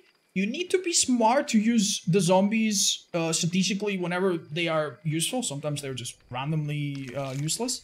And using his tentacle is a bit tricky, so I don't think he's the best killer for a beginner to learn right away. But he's definitely very oppressive and really fun if you want to sink some time into him. So, uh, knowing that, uh, we're gonna use Lethal Pursuer, his own perk, an amazing perk, lets you know where everyone starts the match, uh, which is really, really useful. In the future, this perk will also buff Bitter Murmur, which will let us see survivors for even longer. We're running this with Noed, so that we see everyone at the end of the game and we have a chance to insta-down them. And Eruption, his own perk to slow and gens a little bit. Uh, very humble, nothing crazy here. Uh, for Nemi, uh, he's got a lot of add-ons. Many of them are weird. Starshield Manual is completely useless. You cannot go wrong, however, with the Visitor Wristband, which makes zombies a bit more aware of their surroundings. And any of the speed uh, add-ons for zombies is not bad. I also highly recommend Marvin's Blood, just to get out of tier 1 quicker. Uh, but in this case, we're just gonna go with the humble extra movement speed Brian's Intestine. Gross. And okay, and we're ready. So yeah, what's the deal with the mutation? The tentacle of the Nemesis extends 5 meters in front of him. It's like a little hatchet, pretty much. It just goes over obstacles. It hits in front of him, right? Uh, but this tentacle only infects survivors. It only infects them. Once they're infected, then they get damaged.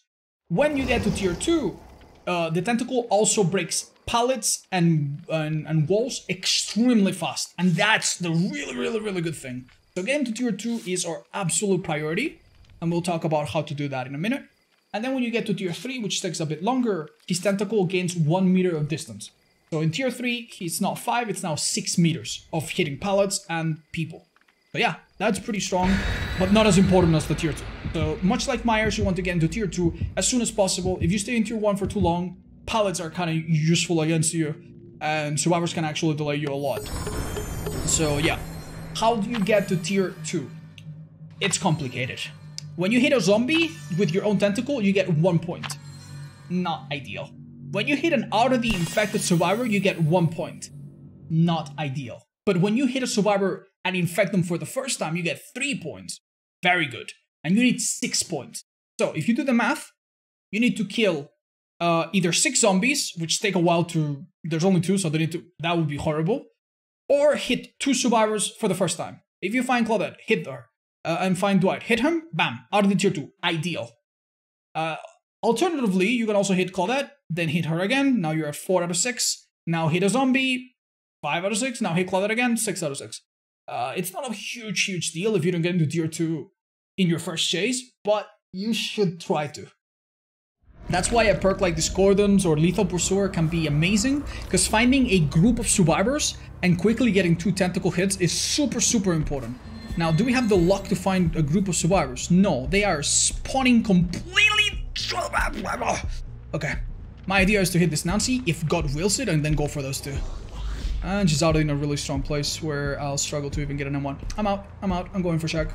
I, I have the brown wristband and I hope this zombie will somehow notice these guys. If they miss skill checks and do noisy actions, they are more likely to notice them. Alright. So...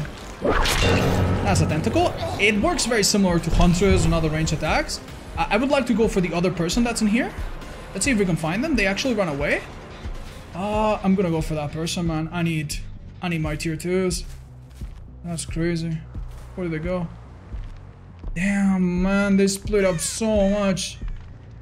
Uh, yeah, I can't, I can't tell you this is much better than staying with Claudette, but I know that she, if she pre up some pallets, I'm in trouble, so better to get out here one soon as possible. What? Really? I'm gonna... they already did that. Okay, zombie, where are they? There they are. Alright, if a zombie hits a survivor, you don't get the infection points. Nice! Nice, nice, nice. Okay, we only got one point, which is horrible, because the zombie technically got the score for that. They've already used the vaccine, that's insane. Uh, a bunch of uh, special silver lockers spawn in the map uh, that have the vaccine cases. And they can use them to get rid of infection. They typically don't do it this early, it's a bad idea, but yeah. Alright, one more zombie or one more survivor and we're in tier 2. Hardly ideal, but... Oh, please stop, bro. What? They actually sabotaged that ahead of time. That's insane, man. Time to pick up. I'm gonna pick her up right now and hope my timing is not off. And my timing is... Yeah, it's off. Well, one more hit on this lady and I should have it. They might have the add-ons. Yeah, she didn't make it too far. There you go, tier 2. Alright, so what's so special about tier 2? You're about to see. Oh, maybe not. Well, yeah, you're about to see anyway. Look. Look how quick you can get rid of pallets. Same with walls.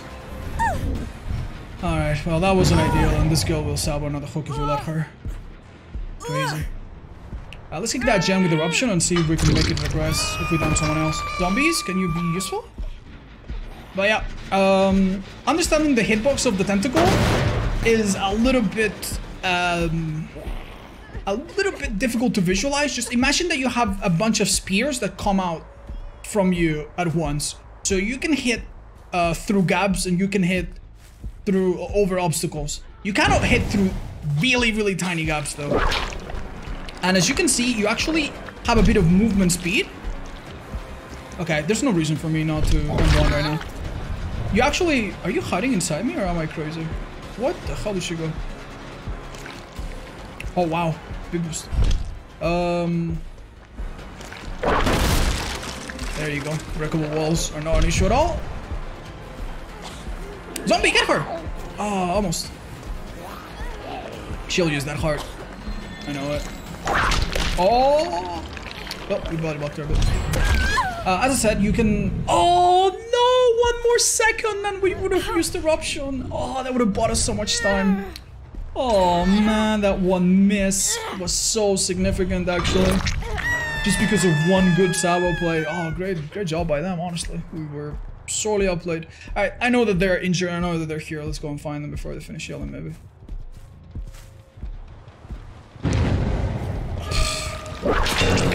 But yeah, um, as I said, it's like a bunch of spears in front of you, but you can actually move them a little bit. She's trying to... You can move forward, sideways, while you have your tentacle uh, active. And what you can do is basically use this to do a little sweep of sorts. There you go. If you do a little sweep, it's actually really hard to dodge a tentacle. You see how I go left to right? I'm now tier 3, so I have max... Yeah, okay. I have max range of 6 meters, which is good. Uh, I'm literally not gonna get that. If she... If she will take one hit and then Dead Hard through or whatever. Let's go this. Uh, she's gonna hook this lady. And my gens are really far. If I had just maybe one of these two being closer, that would be awesome. Zombies are not cooperating. You can sometimes look at their auras, and if they have their arms up, they're chasing people. If you see them like stunned like this, uh, uh that means they're being blinded. They can be blinded by flashlights. It's a very common thing. Uh, we do have no Noed though, so don't forget. She dead hard. Honestly, that made me, that, that was a huge fear for me. Thanks. Just some, just some one heart. Basic attack. Am I stupid or am I hearing Nancy? Yeah, uh, using a basic attack in a situation like this is totally fine. Eventually, you will want to get really good at using the whip. Because if you can use the whip, sometimes you can zone people out. You can hit the whip, which has a slightly shorter recovery than basic attack. Not by a lot, but slightly. And then recover fast enough for you to catch them for another whip or an actual attack. So yeah, you need to... You, cannot just hit people with your fist and never use your whip. You'll be a very mediocre nemesis. But let's talk about the drag and when to use it. Uh, I know that person used the vaccine, which immediately plays a heartbeat sound. And I could see by the HUD that it's this lady, so... See how I see how I drag my cam? Um, I, I, use uh, I press sideways, immediately drop it. You see how I that zombie's harassing them? Awesome. See how I press left to left to right or right to left? So that I can actually cover more area? In this situation, bam. Really hard to escape that unless survivors are really smart at uh, at like juking you around. And of course Claudette is running behind because she wants to save her teammate, but yeah. Oh, she dead hard through, did she? That must have been a dead hard. The animation doesn't play out if they're coughing from the vaccine, but that must have been. Hide my red stain a bit. Okay, hello. Oh, there you are. Alright, well, we need to worry a bit about hooks now. Sorry, we need to kill you. I'm sorry, you guys have done really well, and she's had four chances.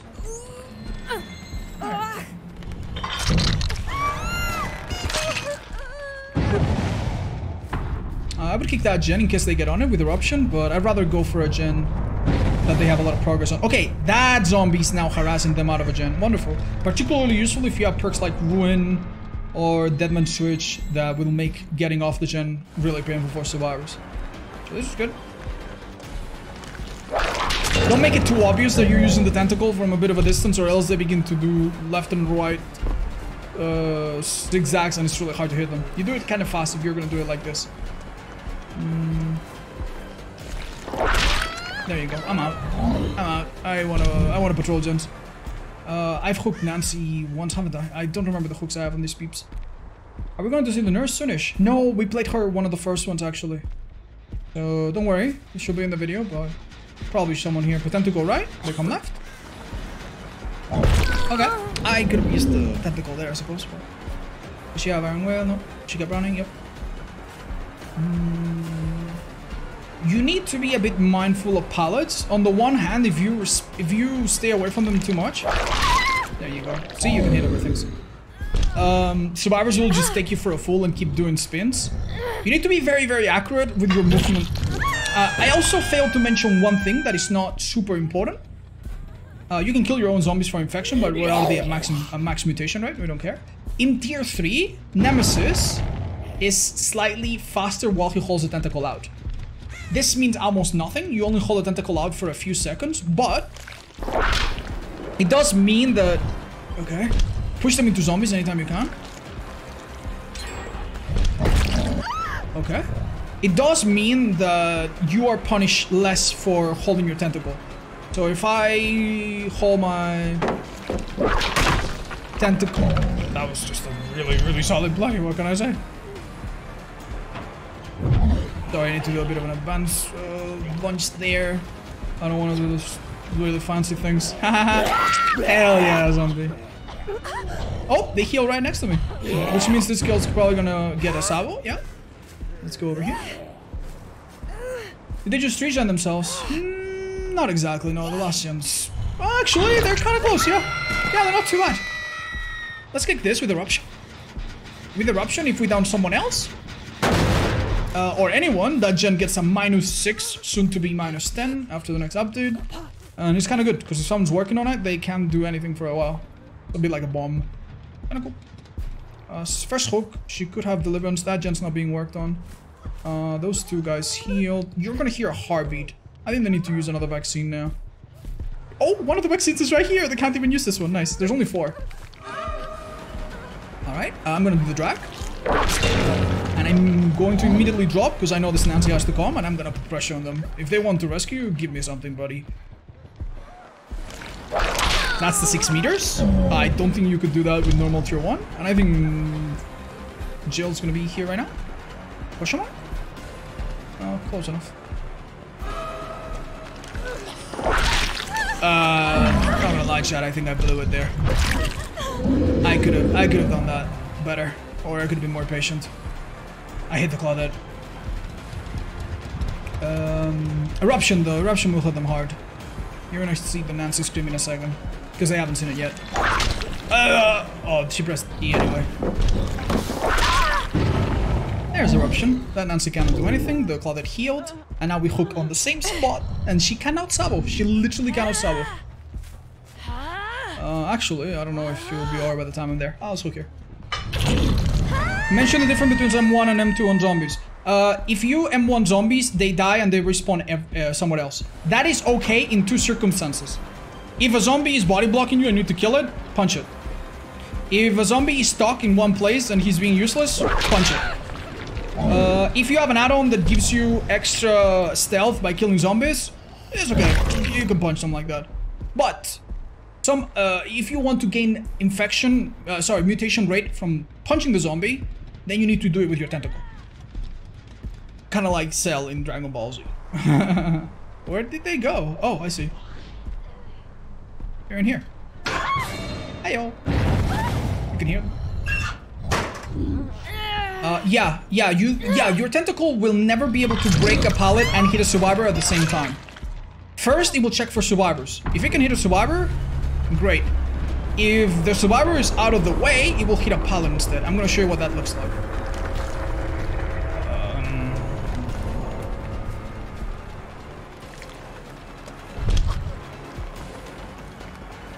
Pallet, can you demonstrate? If you miss the survivor, then you break the pallet. And mind you, you have a big range on your pallet breaking ability. Six meters at tier three or even five in tier one and two. Well, tier two because you don't break them in tier one. It's very, very meaty. It's, it's, it's sizable. So you actually are, maybe with one exception, the fastest breaker of pallets and walls of the whole game. Especially without of the atoms, so yeah let me show you what how you can optimize it and how like normally with a normal killer I would need to go like okay okay uh, uh. With Nemi you can literally do this. Hold up um instead of walking all the way you can literally do this. And bam back to business. So yes pallets that are down you don't need to immediately break. Let's say that this pallet here is down. Do I need to break it right right away? Nope I go away. If Nancy comes back I bring out my tentacle, and either I break it on the spot or I hit her over it. So you can leave pallets for later. The only exception maybe is if they have a UE with any means necessary or someone that's picking them back up. If they pick the pallets back up and they're good pallets, yeah, maybe you want to break those. Uh, but yeah, that's it. You can also do some crazy angles. Let me try to show you. Yeah, you that that kind of that same principle works with pallets too. Um, alright. Uh, in a situation like this, pay attention to zombies. Look, that zombie is crawling towards someone.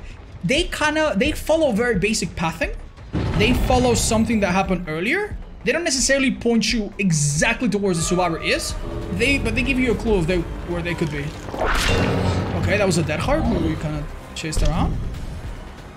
And as you can see, even with this brown out on, they're pretty, they're pretty slow. So you kind of need to be patient with them. Oh, Door van. Yeah, that was a bit out of range. How is this killer balanced? Hi, Glumsy. Well, you have to hit swappers three times. So that's that's a reason why he's balanced.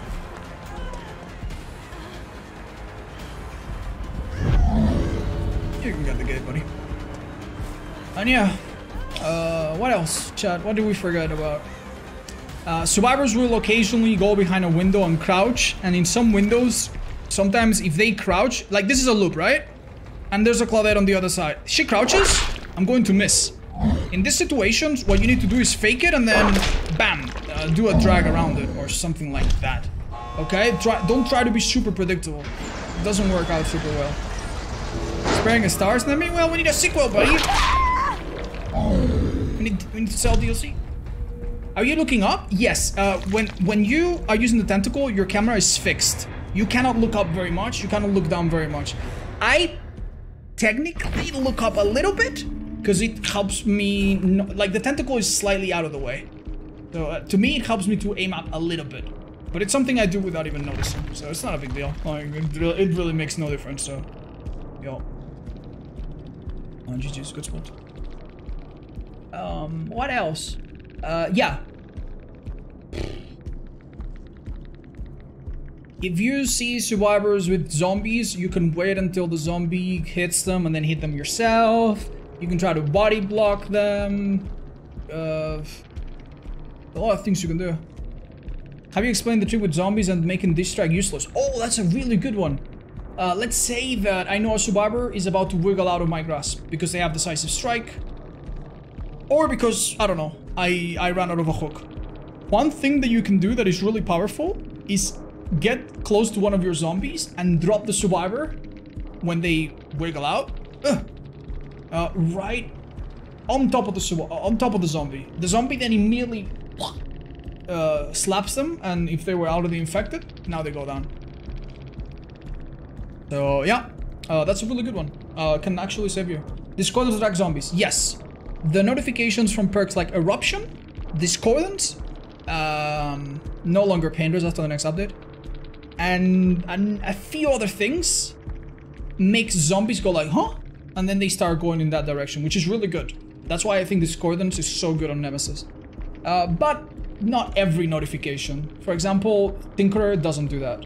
So yeah, some notifications, uh, even the pebble from the survivors, the distraction, uh, the diversion, can uh, affect the survivors, the the, the zombies uh, AI. That's cute. Uh, but hopefully, you know, they don't get in your way too much. And that's mostly it for Nemi. Move on. Okay, uh, we have reached the Cenobite. The Cenobite, uh, following the trend, is a normal standard killer. Moves at the normal speed of 4.6, aka 115. Normal lunge, normal 32 meter terror radius, with, uh, with a very cool music. And yeah, if you come from Trapper or any other basic killer, he'll feel roughly the same. So you can play him very normally and you don't need any crazy skill. However, it really pays off to go into this killer with an industrious mind and, and trying to really learn him because he's very, very strong if you use his power well. His power is basically split in two. There's the little lament configuration, the box uh, that appears in the map and survivors have to find it. And he also can send out possessed chains, which slow down survivors. And the idea is that survivors uh, have have a timer, and they need to find the box before the timer triggers. If the trigger, if the if the timer triggers, the box begins to harass all of them, and chains appear and begin to bother all of them, which is really bad. It's really hard to do gens like this. So typically, I mean, if the, if it's the end of the game, worst case scenario, they just leave and it doesn't do anything. But throughout the match, they need to get rid of it. So what happens when they pick up the box? Uh, what can be the best case scenario for survivors? Best case scenario for survivors, they find the box, they solve it, which takes about 6 seconds, and bam, now the timer resets, another 90 seconds, and it happens again. And they, they're fine for a while. Second best case scenario is that they solve the box and you teleport to them, which is really funny because you go, the box, you opened it and I came, and you you teleport to the box. Sometimes this is good, sometimes this is bad. Sometimes you teleport to the box and you don't really want to be there. Uh, sometimes, you know, you teleport and it's the best decision possible.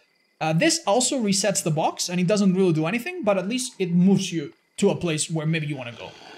Now, the best case scenario for the killer is when you find the box yourself. You don't see the aura of the box, but if you happen to just find it randomly, and it is somewhat random, you can pick it up and it's boom, it resets it, and all the survivors get tormented at once by chains, which is awesome. And a very similar thing happens if they pick up the box and you, bam, if you harass it out of their hands.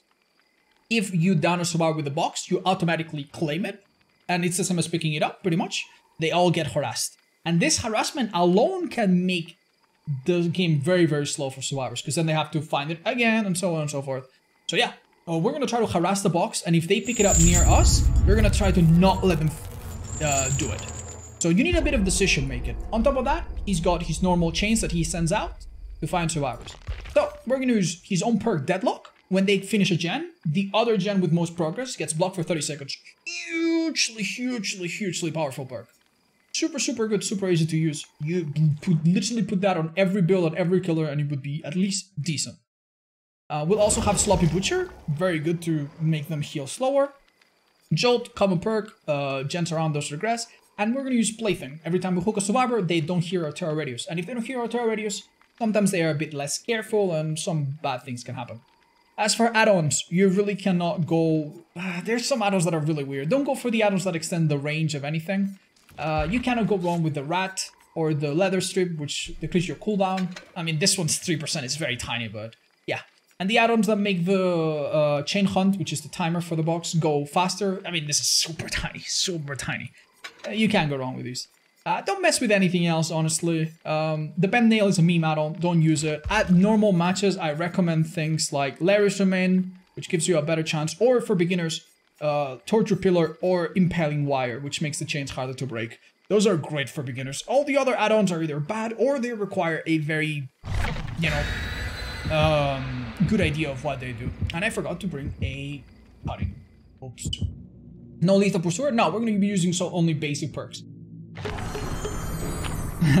Thank you for subsidizing my money. Right, so I made a video about this and you can look it up on YouTube, how to find the box, pinhead, whatever.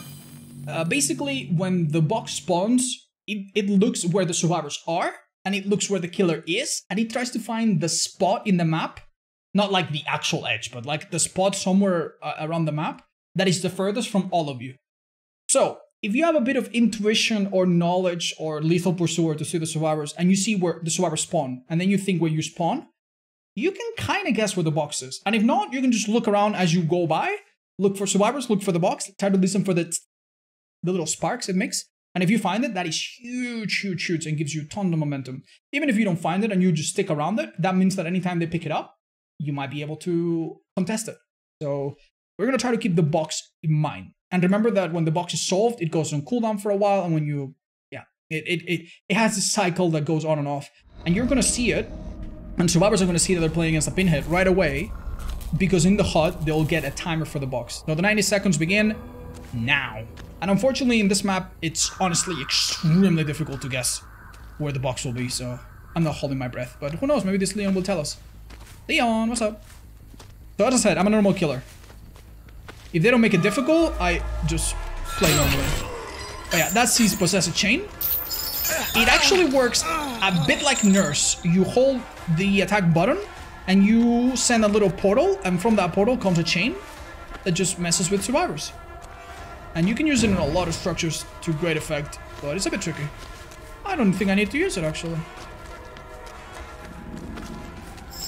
I didn't need to. Uh, Jolt didn't go off, which means all the gens near me are not uh, actually affected. I'm gonna hook him right away. Anytime you're holding a survivor, if they do the box, you cannot do anything about it, so... Hook him fast, get rid of uh, Plaything. Sorry, get rid of him. Uh, uh, Jolt uh, didn't trigger, but Deadlock is telling me that maybe that gen has someone. Is anyone doing the box?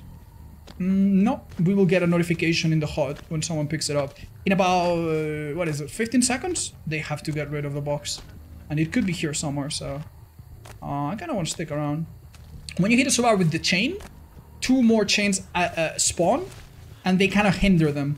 Survivors with chains only walk, they can't run. And they can't fast vault, they have to slow slowball windows and pallets, so they're very weak. But the chains break really quickly, right? So that's the chains. I'm not really super fan of camping this guy, but I know the box is nearby. So tell me what it is, buddy. They want to get rid of it. Alright. Wait, the Steve picked it up. Really? Oh no. Oh yes. Alright, one thing you can do with the chain on top of slowing down is use it to...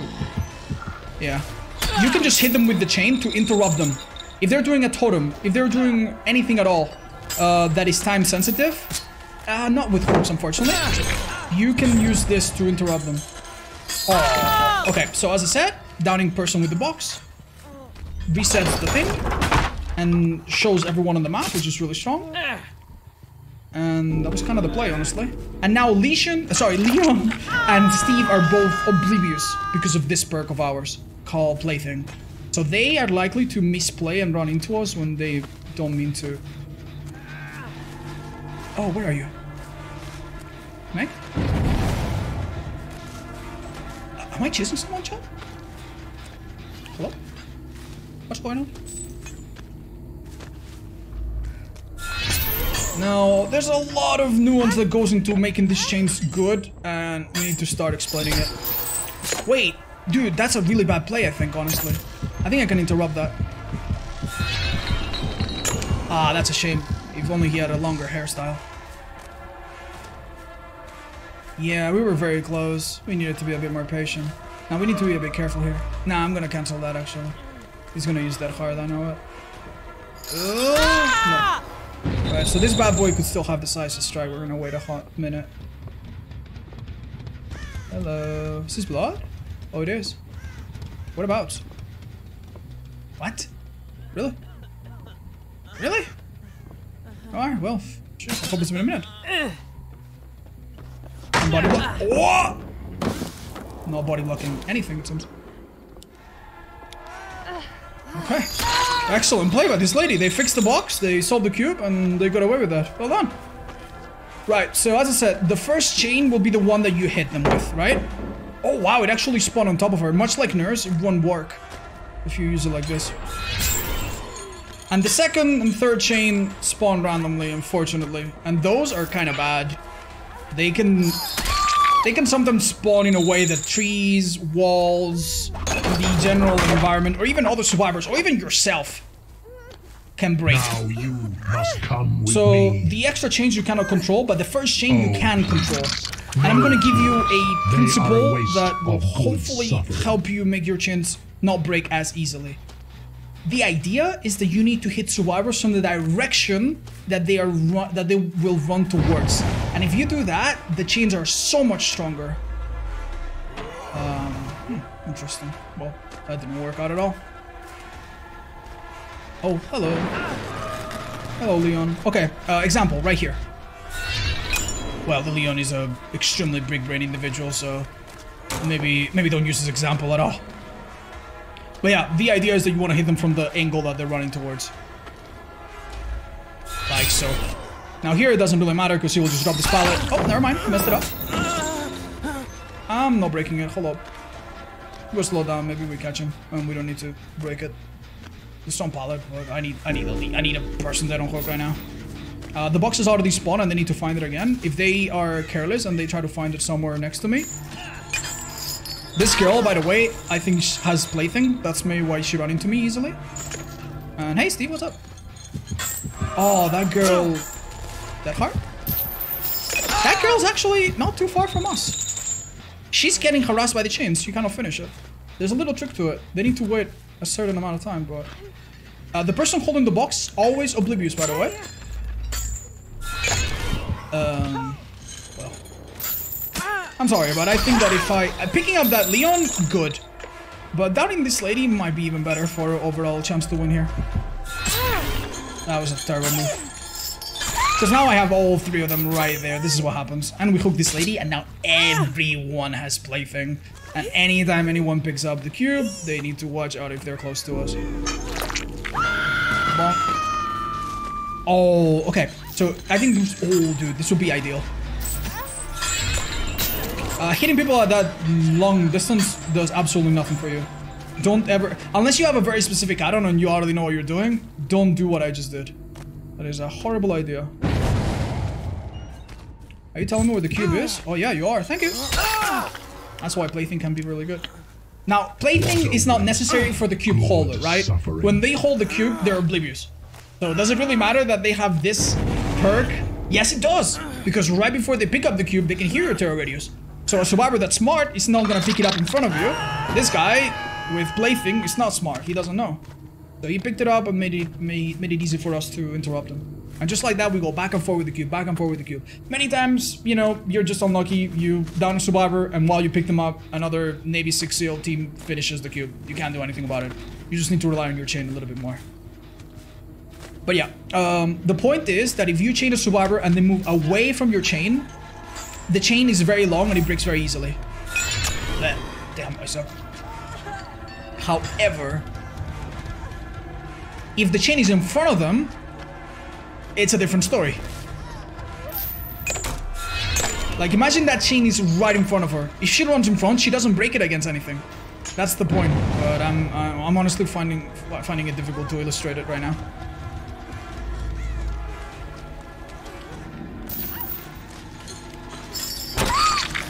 Okay, another jolt. Okay, maybe in this loop we can actually. Oh, excellent. No, please don't leave it! Stay! As I said, here it doesn't matter very much. It's just... Well, actually, it might. Nah, she'll go shock. I break my own chains. You see the problem? I wouldn't break my own chains if the chains were in front of her. Again, some of the chains you can't control because they're random, but the one that you send out, you absolutely can, so... Oh. In what situation should you teleport to the box? They are a Okay, teleporting to the box is literally the same. Actually, I think maybe not, but it's almost almost the same as them finishing the box. So think about the survivor that has the box. Plaything again. Is that a survivor that I actually want to be next to? Yes or no? Are they in a part of the map that I want to be next to? Yes or no?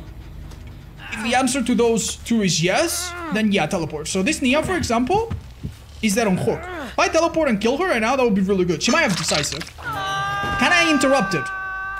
Let's see the heartbeat. But yeah, that's the first one. If you can interrupt it, interrupt it. I can't interrupt that. You Let's summoned me. So this girl I knows exactly what she's doing. But then to go one way, then go the other. After chaining is pretty effective. She'll use Dead Hard here. Very unlucky. Okay, now we can use uh, an example of this. Oh, dude. Ugh. Why do you guys need to be so good?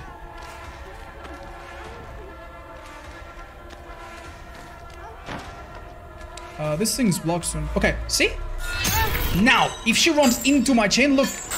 Okay, she did break the one that was created additionally. Yeah, use your Dead Hard. Go for it, buddy. Uh, notice, you see that flashlight on the ground? Notice. I need to wait, don't I? I need to wait. Uh, notice that survivors need to drop their own items before picking up the box. And if you harass them with the box, that means that they have to go back to their items later. That's small but important thing about Pinhead. He makes uh, items a bit worse. Uh, Which is something that I wish most killers could, honestly. That's great. Uh, yeah, you can see how pressured these guys have felt if they haven't even bothered to heal. Alright, let's see if we can play Shack. Right, we hit from the left, come from the right. Um, okay. Honestly, dude, that was a good move. If you can, like I kind of did right now, try to avoid breaking your own chain until like last second. Ooh, damn, I don't even know what he did. Uh, notice that Deadlock is saving my butt by constantly blocking gens. But we're in the final one now. So. Yeah, I'll teleport to her. She's in a bad You spot. opened it. Yeah, she's in a really bad spot. Oh my god, that was a poor play. Maybe Dead Hard saves her. Notice that. Yeah, Dead Hard saves her. No, she doesn't. Your here. Uh, yeah, so what she did there, bad idea in my opinion. Especially considering that she's dead on hook or dead, dead on hook. Uh, the problem is when this Meg I've never hooked, she's in a really good spot and everyone else is finishing gens and everyone else is dead on hook. Then then it forces me a really difficult decision. Like what the hell do I do, man? What the hell do I do? I can't. Uh, additionally, by the way, you can use your power just to check on your totems or check on gates. If there's any wall or, or obstacle, you can send your chain out just to have a little peek. They took the window. Hello. Wanna press E right about now? They're dead. Uh, if you grab a survivor out of a locker or whatever and they have the box, don't worry, the animation won't play out, but it's the exact same effect. You know what? Sure, dude. Why not? I don't even think they need to do this, by the way. Uh, if the survivor, if there's only one survivor standing, the box does nothing, by the way. The chain hunt that occurs uh, every 90 seconds or whatever, it doesn't apply to the final survivor. So if there's only one survivor left and they're looking for the... They go through there? And they're looking for the hatch, don't expect to see chains in the distance to find survivors or something like that. Right now, if, if it was active, I could I could maybe see chains in the distance that let me know, oh, someone's here. But yeah. So he's gonna take this window. If I chain him right there and he takes the window, he breaks the chains pretty much immediately if I don't hit him early enough. Okay, I did something there that you should never do. I held my power out. This this is not a Huntress. You use your power right away. You almost never hold it out. Oh man, I just suck. Please do better than me. I want to show you an ex- Oh, he thought I was gonna hit him past the window. Okay, that's kind of cute. Yeah, that's the idea of hitting them in front of them. I'm just really struggling today, man. I mean, to be fair, these loops are kind of difficult. Like, the, ideally, you do this. Yeah, this is good. Don't drop it. Don't pre-drop it. Don't pre-drop it. Don't- yeah, yeah. No. no. Alright. but we'll try. Ah, he's just going for that window, is he? You see, he got the fast vault before I even did anything, so... Yeah, he breaks the chain. They reappear if he doesn't break them properly, but... Uh, yeah, this map is just horrible, man. I'm sorry. It's not that it's a bad map, as you can see, we did okay, but... It's a pretty open map, you know, and stuff, but... Like, I, I can show you some things that I think are, like, normal in other maps. It's not like jungle gyms or anything. Um... Uh, so as I said, don't expect like uh, uh, the the random chain hunts do not prevent them from opening gates or anything like that, and don't expect them to work if there's only one survivor up. Um, so why why is it important to do the thing that I'm telling you of hitting in front of them? She's here, Redo. Hello. There you go. Go in.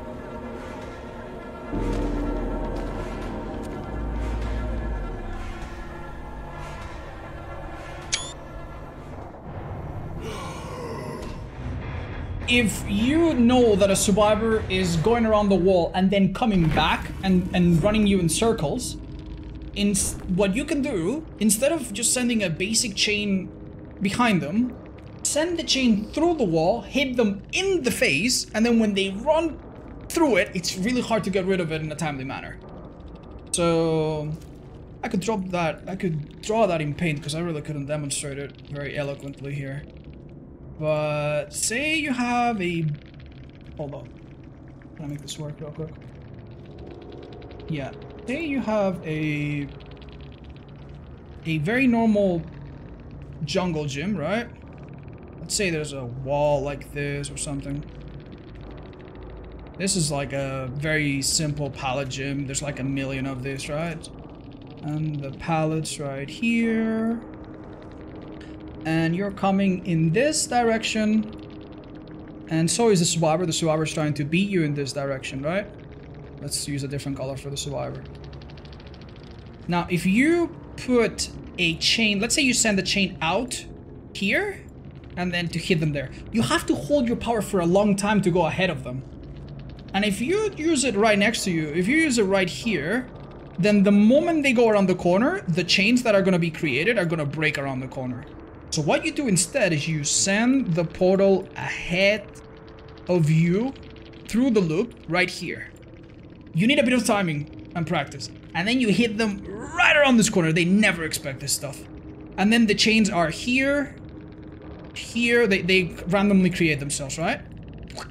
And then the survivor now is very, very slowly, slowly going forward. They can't break them because there's no wall to break them against. So anytime a survivor runs back into you behind a wall, uh, I mean, this map was a bit awkward for that. You, you try to do that and you'll see such good results. Uh, and yeah, many good add-ons on Pinhead, on Pinhead too, if you ever want to invest in that. Leon did expect it though. I feel like I... Yeah. Yeah, no, that was on a pallet. He saw me perfectly. Like, yeah, no, no, no, don't... On that pallet, if Leon gets gets caught, he can just drop the pallet. So no, that wasn't a great example. It was a corner, yeah, but no. No, I, I, I hopefully will have better clips to show you at some point. Also, uh, yeah, that's very true and very easy to forget. Much like twins, if a survivor is injured and you hit them with a chain near the gates and then you hit them and down them before they get rid of the chains, the block, the exit gate blocks for like a couple seconds. So if you have dirty teabaggers that are like, hee hee, haha, I won, uh, try to catch them with a chain. What if someone takes my box and I don't want to chase them, but they never solve it? Do I just ignore them? Uh, here's the thing. If they ignore the... if they just hold the box, they will constantly be harassed by a million chains, so they will never be able to do anything. And if they if they hold it for long enough, everyone else also gets harassed, I think. So yes, no, they have to do it. They cannot hold it forever. Or else it's kind of bad for them. Uh, as far as I understand it anyway. So yeah. What did happen to the chain hunt when it's on for a long time? It never stops. It never ever stops. It will harass them forever until they pick up the box and solve it. Or you or, or you solve it and there's like a little break before it starts again. But yeah, they have to get rid of it. Uh, eventually, eventually you will have to pick someone up and they'll have five seconds to do it. But as you can see, you can you can make it really, really painful. And that's how you win with Pinhead. Okay, okay, and one quick addendum that we forgot. When you hit something or someone with the chain, with the possessor chain, you automatically face that direction. Uh, doesn't matter where you were looking before. And when you teleport to a box holder, you automatically stare at the box holder. So if you don't see them, they're behind a wall in front of you. Uh, important one. Yep, yep, yep. Okay, so we've reached the artist. The artist is a little bit like Blight, uh, or a little bit like Pyramid Head. They are normal killers. They have normal 32 meter terror radius. They're tall, mind you. Um, normal movement speed, normal everything. So they'll feel pretty natural to play, but they have a power that is really, really strong that can cover the entire map. And it's hard enough that if you pick up Artis as your first killer, she's gonna be a bit of a struggle. And if you jump in and out of her casually, don't expect to do super well on your first few times. But don't worry, because it will be super, super worth it if you even master her a little bit. Um, the Artis, on top of being a normal killer, can use her power to set up birds. And it looks exactly like that. Uh, these birds cover a Artis, uh, like a like a straight line that flies right ahead. They sometimes follow the terrain a little bit at the start, so they can go up a mountain a little, little bit or go down a staircase a little bit, but then they fly straight. And they go on for the entire map. And they go on pretty fast, they even accelerate as they go. If a survivor is right in front of them, they are literally like a hunter's hatchet. They literally do straight damage. So a survivor right in front of me right now would have taken a hit. But if they are behind a wall or very far away, instead of taking damage directly, they get swarmed by birds, which is like a half damage. If you then fire another bird and successfully hit them, bam, that's damage. And you can do this and slowly hit multiple survivors and even and even harass them off gens and places from across the map. So her potential is really, really high. We don't have a lot of perks, unfortunately, uh, to choose from that are super, super amazing, but we're gonna have Bitter Murmur to see auras of people, might be useful. And Noed, have a bit of a comeback potential. And her own perk, Pain Rest, which is pretty great. And Grim Embrace, which is pretty decent if we ever hook everyone. Um, fortunately for us, though, her basic add-ons are awesome. The thick tar is like one of the best brown add-ons in the game. Makes them get rid of the birds slower.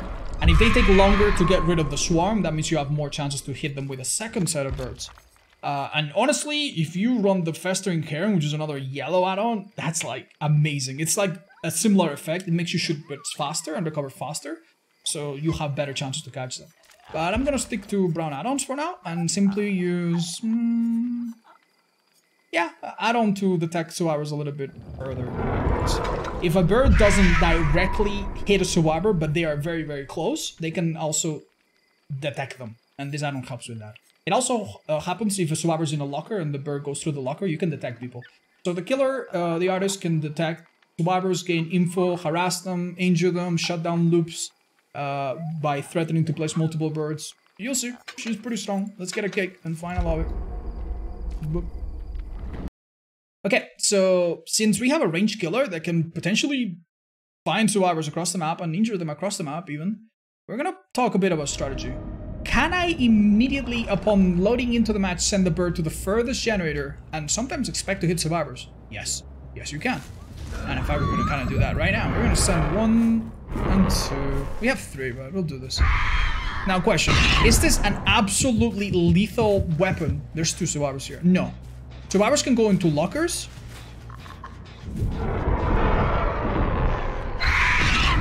Ooh, they got rid of it in time. Survivors can go into lockers to remove the birds right away, which is kind of good if they're far away, because what are you going to do about it? And they can also, alternatively... There's a bird for you. They can also alternatively use a flashlight to get rid of swarms or static birds. Uh, took too long, didn't I? You know, unlucky. So, from afar, your birds are a threat, but they're not a major threat. Your th the, the threat of your birds becomes a little bit more obvious when you're close up like this. What is he gonna do? Nothing. He stands still, I hit him. He goes towards the bird, the bird eats him up.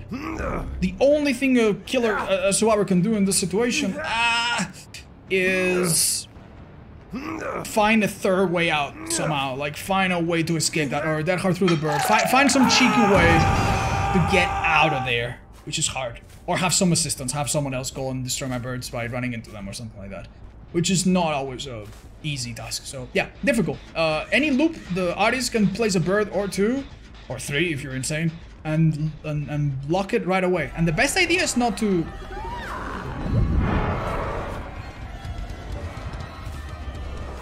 Okay, you see, the Subaru understands that. But he's gonna take a hit here no matter what. You see the problem, right? He's, he's, he's in this bind, and I'm gonna stay right here, and he's probably gonna decide to run away.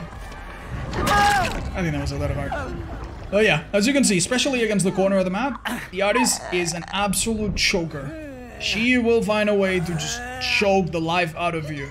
You need to keep running to the next loop, and you need to think smart. You need to, as an artist, place the birds in a way that won't let them have an easy escape. I think he wasn't expecting the first bird to hit, and thus he wasn't quite ready to run out. But next time he probably will be, so yep. Are they on that gen, you think? I think not.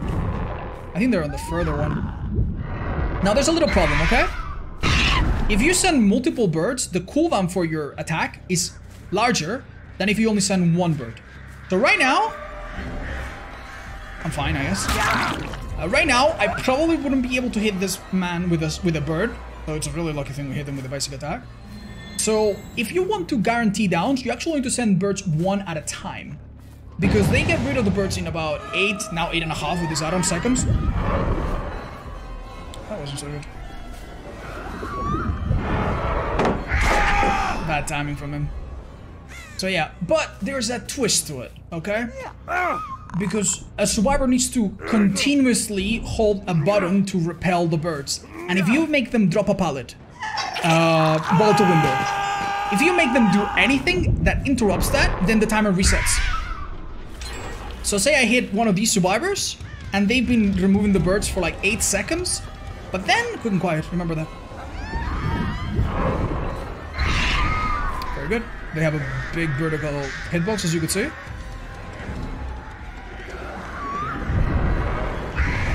Oh, that was a miss! Well, it won't matter, I'll hit him normally, I guess.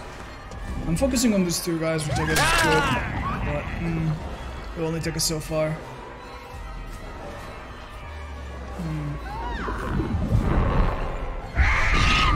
Okay. I heard someone behind me. I'm gonna cross thing though. Yeah, he can't take the stairs. I blocked him. Oh, he did hard bro. so yeah, that guy was almost done with his birds, but then he did harder for no reason because he thought he needed to, and then he got nothing. He had to reset. Isn't it better to hit bird than hit? Yes. It's better if you can hit them with a bird. You recover very quickly, so hitting them with a bird and then with the M1 is very convenient. But it's risky. So I would, if you're not so sure,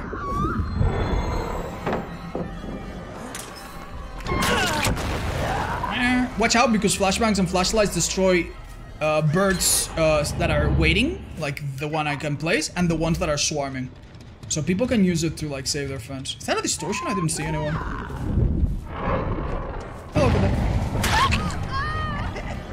There's literally no one on that gen. I'm gonna let this bird die out because it's almost out of the out and it comes back quicker. Two seconds when I get them back. Uh, it's okay to fire birds off. They come back fast anyway. Mm, they always try something cheeky. The really smart survivors, they'll pretend to go into the bird and then run past it, or then they'll dead hard through it. They'll do something crafty, so watch out. Like, don't be, don't be super cocky. Also, you don't necessarily want to place the the the bird facing the pallet straight. Don't forget that birds follow basic geography. Oh wait a minute, that's a that's a Yoichi.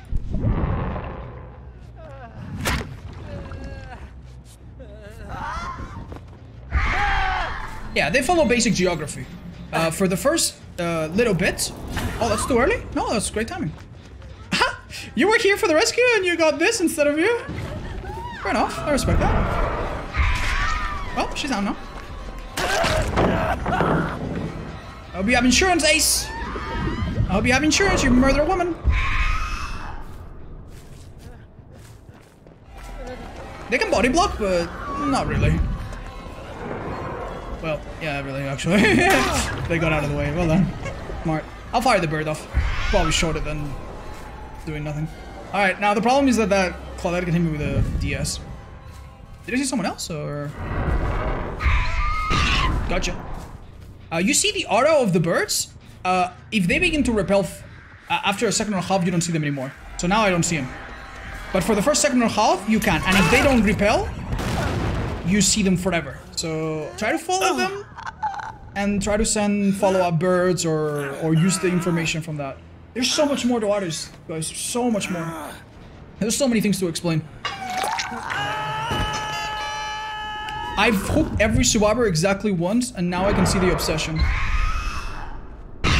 Bam. As I told you, we can see the aura. We're gonna try to line it up. Oh, we hit someone else! Well, that's convenient. Uh, that's Grim Embrace, by the way. Or very special perk. Second hook for her. So where's Ace? Should be coming from here in a minute. I'm gonna set up... You cannot use birds near hooks. But you can use them as little turrets. I can put a bird right here and just cover them up. No... Okay, well... Sure then, then. Take your time, bro. No heartbeat, no nothing. Uh, you can also line up gens together and check two gens with one bird, which is very convenient. Uh, almost anyone, almost everyone is dead on hook, I think. So if I just camp this man, no one will want to come and rescue him. But yeah, this is great economy. And if they want to get rid of the birds, it takes a while. If they want to dodge preemptively, it takes a while. Yeah, wonderful. Uh, should I hit him with a bird? I think I'm gonna hit him with a bird. So much faster. Check it out. Oh my god. Yeah, that doesn't always work. He panicked a bit. Uh, yeah. Uh, I think it's time to see which end we're working on next. That strong? Yeah, he like he had to do something though. Either him or someone else had to. And Pain Res, bam. This perk is really powerful. And we don't even have other perks that could make this build meaner, but... Oh. All that. Do I find blood? No, she's healthy. No footsteps, she's far. Oh! She's Yoichi. Alright, at this point with Noed, I could commit to this guy and kill him even if I lose a gen. Uh, yeah, Artist doesn't have collision for birds. So don't worry, if you body block your own birds, you're fine. This guy should be in a bad spot now. Now, he makes the right choice and is like, if I'm gonna take a hit, I'm not gonna take a hit with the bird. I'm just gonna take a hit elsewhere and get out. But that's the, you know, I guess the preferable play. We could try to make some 500 IQ play here, but... Nah, we probably shouldn't need to. Use, you slow down when you set up birds and you slow down when you send them out. Not a lot, but you slow down. So, whatever, what I did there, completely unnecessary. You don't need to. So that bird went right through me, right? Ah! If he was in front of me, that would have 100% down him. So don't worry, birds that go through you do not count as going through a wall. Oh, he's bugged. Can't pick him up. Come on. What else? Ah! I think one of them was there. Okay, I only sent one bird, so the recovery is very fast. I'll send a couple to increase our chances. Oh, almost. It's a bit of a trade-off. If you send extra birds, there's a chance that they'll get rid of them. That was... You chose poorly.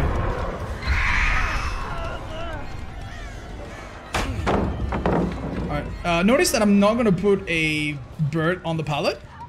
I'm going to put a bird in front of the pallet. We can put multiple. You see that pink, uh, sorry, purple cylinder? The purple cylinder tells you where the bird is lethal.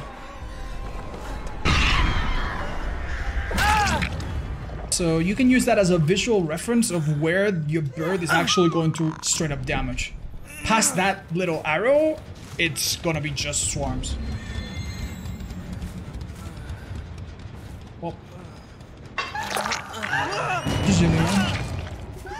Uh, now, if you're finding Last Survivor, try to think of places that have lockers and send birds towards them. That's shack. You might hear a little... This, I think, has no lockers. Sometimes people hide in lockers uh, for the last bit of the match, right? Probably not this long, but yeah. Yeah, you can do this, and especially with the brown add-on we have, never, you never know. Maybe you find someone. You can also do the same for gates and stuff, but you know, all of that is pretty intuitive once you understand how this power works.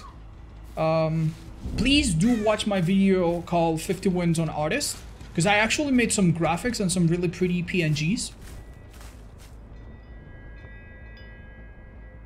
Uh, explaining the artist's power and her cooldowns and when you should fire the birds and when you should just wait and what's fastest and exactly why, you know, if you hit them with a bird, then you can do bird bird and it's safe. If you hit them with two birds, your cooldown is a bit too much, so you need to at least make them vault or drop a pallet once. And if you hit them with three birds, the cooldown is too big, so almost nothing works.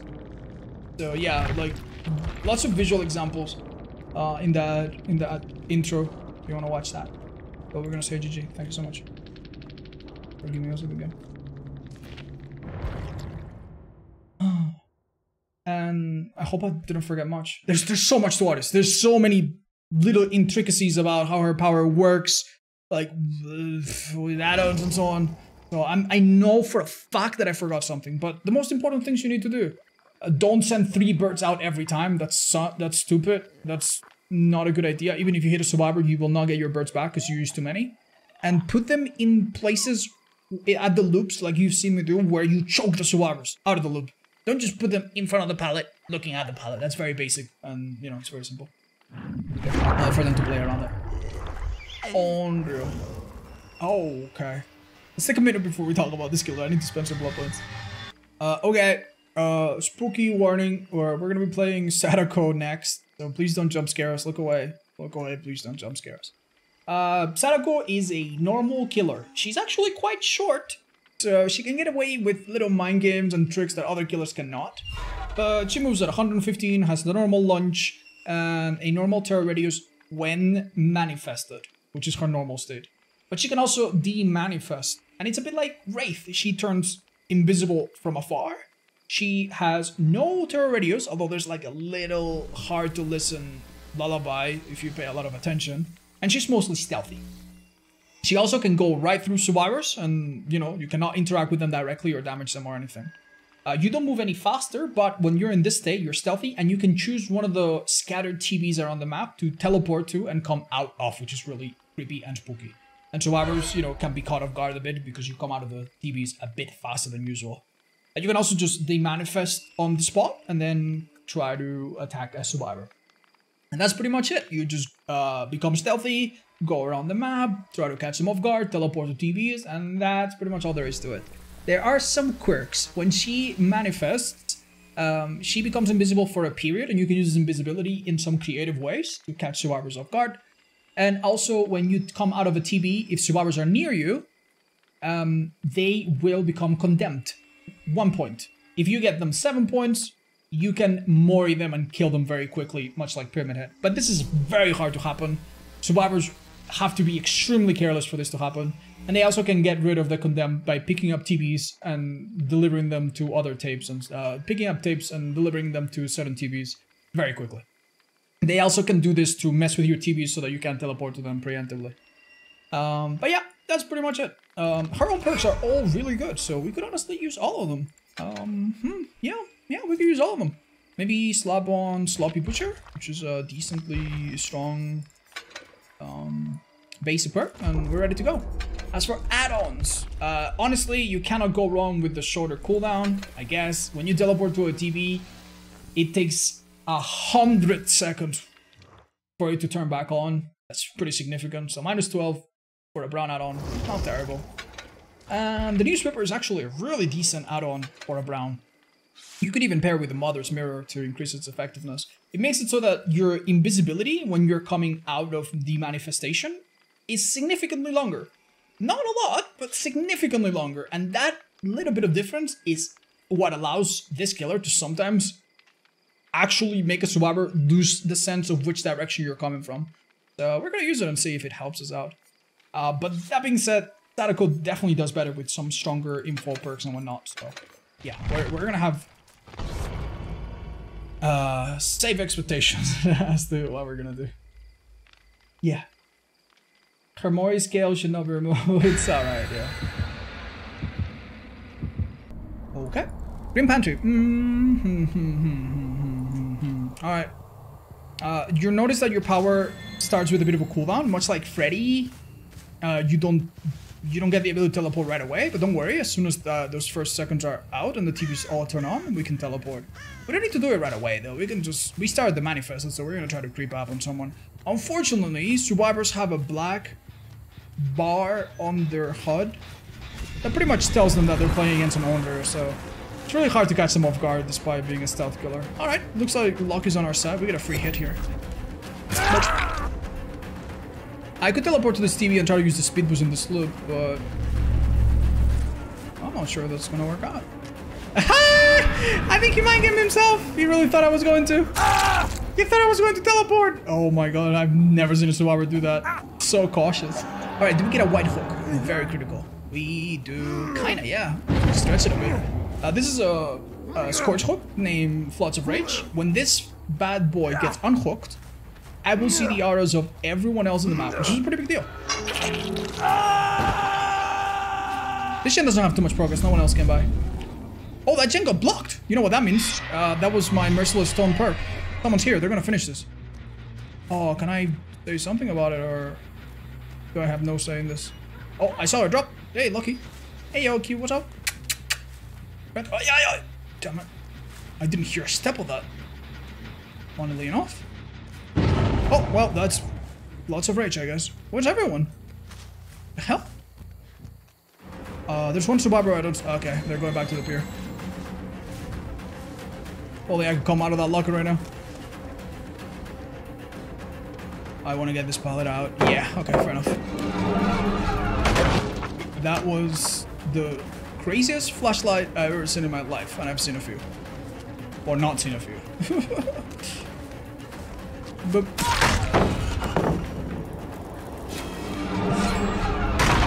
Hi Turbo. Yeah, we'll explain that. It's a it's a very minor thing. Don't worry, guys. We'll try to start with the most important things. So in the HUD, if I teleport next to survivors, uh, next to the TVs that they're in,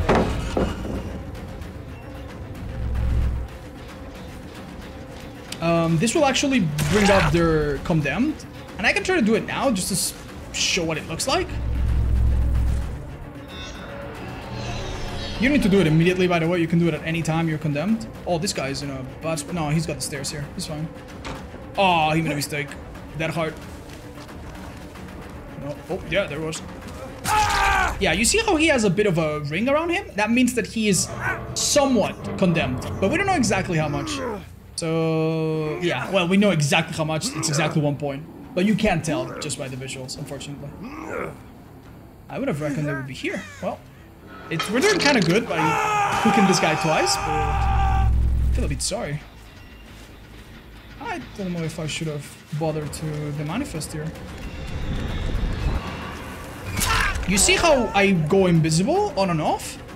Uh, what I see on my screen is exactly the same thing the Suaru see on theirs, by the way. Damn. Played it. You've also you've also seen me pretend to break a pallet, which actually kind of worked, by using my power. If you use your power in front of a pallet, it almost looks and sounds the same as the actual animation of breaking it. Oh. We're so clumsy. Whoa, what? That was so fast? So you can go to a pallet and press M2 and do like, uh, and it looks super similar. It makes a, a survivor that's not a genius probably begin to run away a bit sooner. Alright, with Call of uh, Brine, we're gonna make that gen regress a bit more, and we're gonna hook this lady next to this other gen and kick it as well, maybe. But... Uh, it also lets us know if someone's there, so we can use that with our power to come back if we... Or teleport to a TV nearby. If we're keen. Oh, this gen, dude. Ha ha! They missed the skill check! Okay, if I really, really, really, really, really wanted to get Ace, I'm gonna wait right fucking here. He's gonna come by. Watch him. Right? No? Yeah, right. If I really wanted to get Ace, one thing I could do is demanifest and then go through the David. Because you don't have collision when you're the manifested. So you can use it in a pinch as a bit of um, anti-body block too. Uh, I don't notice any of the Suarez getting condemned, so I guess no one's near me on their anyway. But maybe they wanted to, you know. They really want to finish this down. I would too. killing the ace right now would be our way out of this game. And I think we're gonna have to. Hello. Alright, let's manifest. Um, alright. I think this time he learned his lesson. He won't take the window. Marboyo. Is there a TV we can use to cut him off?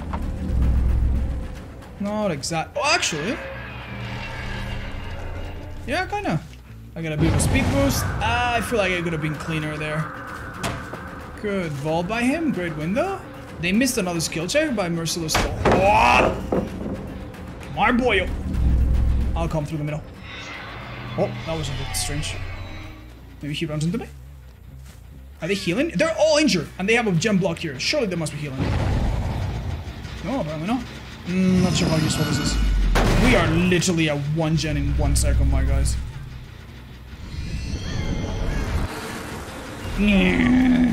Sorry, they sounded right here. This is Wuhari? Two of them, aren't they? Yeah, two of them. I can't tell. Okay, that's Haddie and that's David. I should make that? And that's... That's also... Dude, the whole family's here. Okay, uh, put her in the white hook.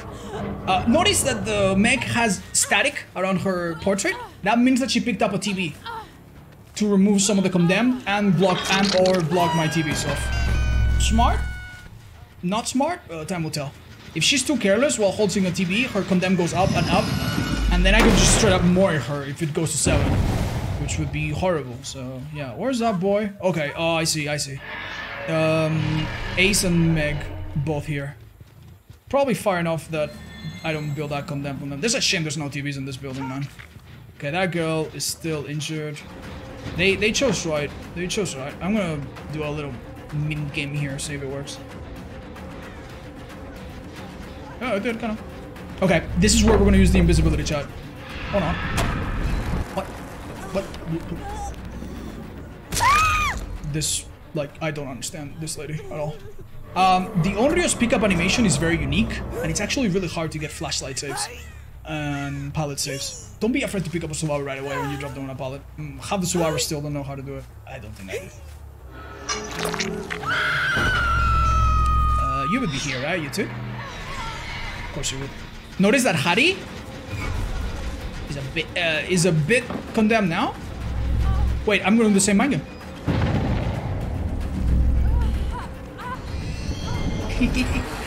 I got you, son! I got you! Pressy, do it. Ah, she doesn't have it. Cool. Uh, we have two gens, but we need someone. We haven't hooked the David at all. Everyone else is three hooks. Ah, sorry, three hooks. Yeah, what am I talking about? Uh, two hooks. Not a terrible place to be, but this is easily lost. Can I teleport to one of the TVs randomly and see if I can catch the Meg? Trying to place a tape in my mouth.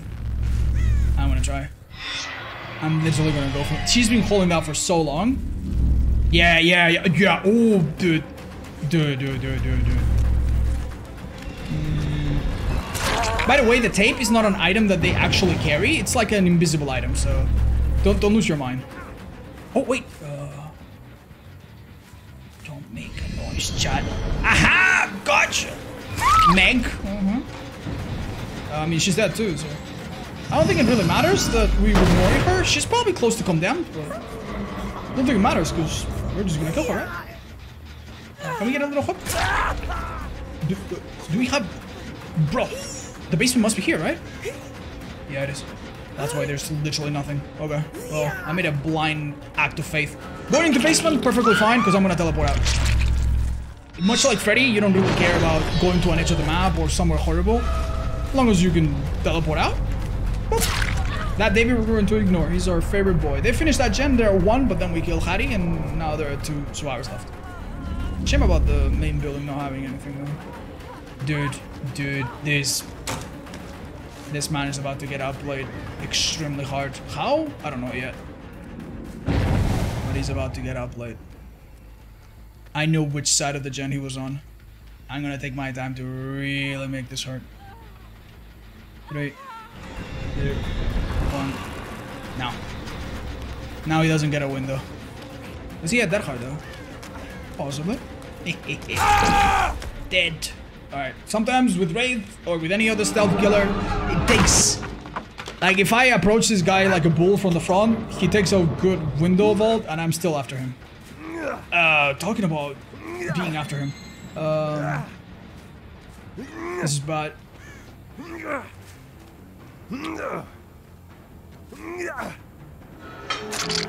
Sometimes it really pays off to just take uh, an extra second. Ooh, they got this shot. They got this.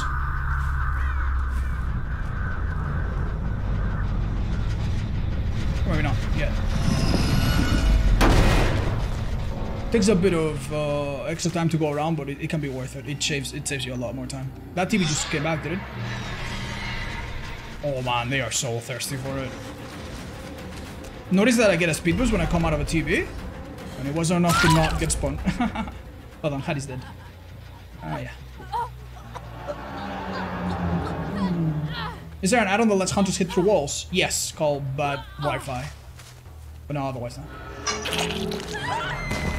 Alright, uh, near the end of the match, you can teleport around to see if the condemned climbs up or something. I guess.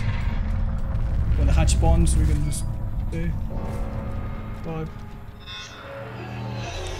Not much else to it.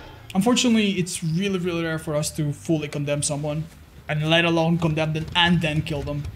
So I'm sorry that couldn't happen this match, but it's not gonna happen in a lot of years either until she gets buffed or something. No, I think this is a pretty normal match if you're if you're a bit lucky like we were. Mm. Execute the last one? Nah, the David played really well, and I think we did well too by just straight up ignoring him. You know.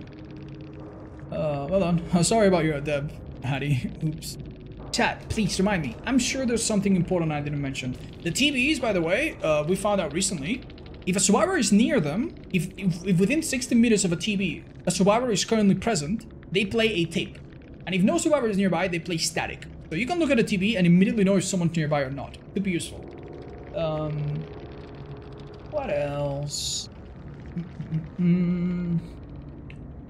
Uh, something that's not add-on specific. Audrey is pretty fun, yeah, she's fun. She's just a bit frustrating in the harder maps against the better survivors, but... Survivor DC next to a TV, the TV will non-stop play the tape. Ah, well, I guess DCs don't really fix it. Uh, would Tinker would be good on Onryo? For the info, yes. For the stealth, not so much. You could use something else, but yeah, Tinker is okay. Something with her height? Yeah, we did mention that she's very tall, so don't forget. You don't see as well, but neither do the the, the neither, neither do the survivors. But yeah, in many short loops, you can just hide behind them and they'll just mind game themselves many times. Carrying a tape builds out condemn. Yes, if you pick up a tape to pay, to place it elsewhere, that reduces condemn. But while you're doing it, it also builds it up. So it's a bit risky. Uh, that's why I was like, hmm, that Meg, that Meg. She must have been pretty close because she held the tape for a long time. And um, we could tell that she had a tape because she had the static on her face in the HUD. Hmm. Okay. I think that's mostly it for Sadako chat. Okay, friends, we are at the end of our journey, and we've reached the Dredge, which, as of the time of the recording, is the final killer released for Dead by Daylight. Uh, the Dredge is a fun killer. Uh, despite his very unusual looks, he's actually fairly straightforward. Uh, normal terror radius, pretty tall, and kind of noisy hard to sneak up on people, uh, despite being a somewhat stealthy killer sometimes. And normal speed. So, normal killer, you play Trapper, you switch to this, it will feel pretty natural. There is definitely a skill cap and things that you can learn, but he's a perfectly fine killer to learn the game with and learn the maps along with. So I definitely recommend him if you're if you're looking to spice up your gameplay in your first few matches. Um, on top of being a normal killer with the normal killer stuff, he has the ability to go into lockers while holding his power. He can teleport to lockers and then come out of them or switch to other lockers and then come out of those up to a limited amount. This is great for mobility uh, already. This is already pretty decent power. But while he holds his power, he leaves a little shadow behind and then he moves slowly and he can teleport back to the shadow, kind of like a Tracer in Overwatch kind of deal. And you can actually use this in loops. So in loops, he can teleport shortly distances to try to zone survivors and he can also teleport for mobility. That's mostly his power. On top of that, on the background, there's a timer going on for all survivors that advances every time survivors are injured, and they stay injured, every time survivors are hooked, and every time you use your power. And when this timer fully completes, then nighttime begins. And during nighttime, uh, the map becomes really dark, survivors cannot see past a few feet far away from them, and your teleport is much, much, much faster, to the point where you can actually kind of use it in chase effectively. Uh, you teleport to lockers, that is. And yeah, you also become undetectable and can see them glow white, which can help you find them from afar while they don't see you. Pretty cool stuff. Uh, quite a bloated kit, but it's not that difficult, really. Uh, unfortunately, I don't have a lot of great perks on him, so forgive me, I'm still leveling him up. His own perks are not the greatest, because you'll notice that Septic Touch works inside your terror radius. You don't have a terror radius during Nightfall. And Dissolution, which is otherwise a decent perk, works only inside the terror radius. And again, you don't have a terror radius in Nightfall. So both of these perks don't work out amazingly well during half the game for him. But other than that, uh, Darkness Revealed is okay, and we're gonna try to use it on some other funny perks, see what we can do.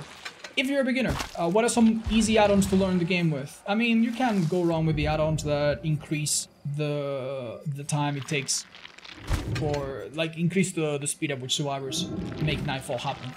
And I think this yellow add-on is also pretty good. Survivors can actually lock the lockers by pressing a, a button in front of them, and this slows you down coming out of them. With this add-on, you are one second faster. Uh, on your first games, I think it will help. We have a lot of flams, so let's go and use it. Okay, this map is a little bit unique. But I think there's something in map. But I think it might be a decent um, introduction to the killer. Hmm. I wanted to open a locker to find people, but it looks like we're already onto someone. Oh, yeah.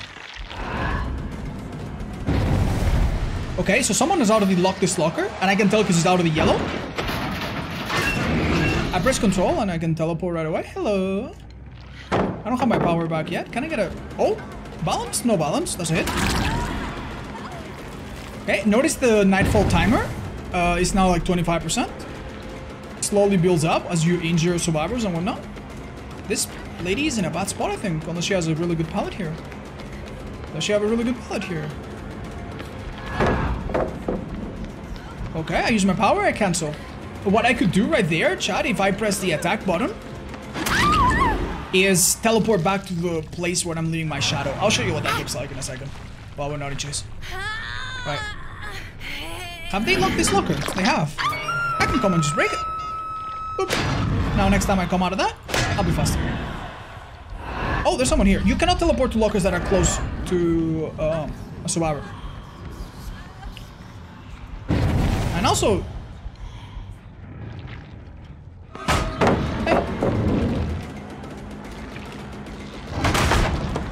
Right, so you press control and you leave a little shadow behind. But if you do attack button, boop, you appear on the shadow. So you can use this to zone survivors and to try to get hits and moves. And apparently you can also... Chat, you told me I could use my power to teleport. Uh, I need to get it back. Yeah, you can press control to enter a locker directly. Oh wow, I actually had never done that. Not super, super necessary, I guess, but... Hello. Are you guys stuck in here? Nah, you're smart. You got out. I'll break this. You don't need to break them. I'll just teleport to the ones that are not locked, I guess. Unfortunately, if two lockers are close together in a in a in close proximity, you'll always teleport to the one that's locked. That sucks a little. Wow. Oh, dude, you got me there. You really got me there. Alright, can we spook her? Oh, she actually ran into my shadow uh, remnant. And that broke it. Very smart, Elodie. Hold on, she understands I how to play. Alright, can we teleport somewhere to spook the life out of her? Notice that they locked it, so I come out slower. Not much slower with this add-on, thank goodness. But once you broke break the lock, that's it. That one locker will never be locked again. Hello. Whoa, this room smart. That's not a very good room, though. I'll catch you here. Nightfall? Soon. Damn. Okay, if she stays here, I reckon we can get a hit. Oh, but she's gonna go places, isn't she?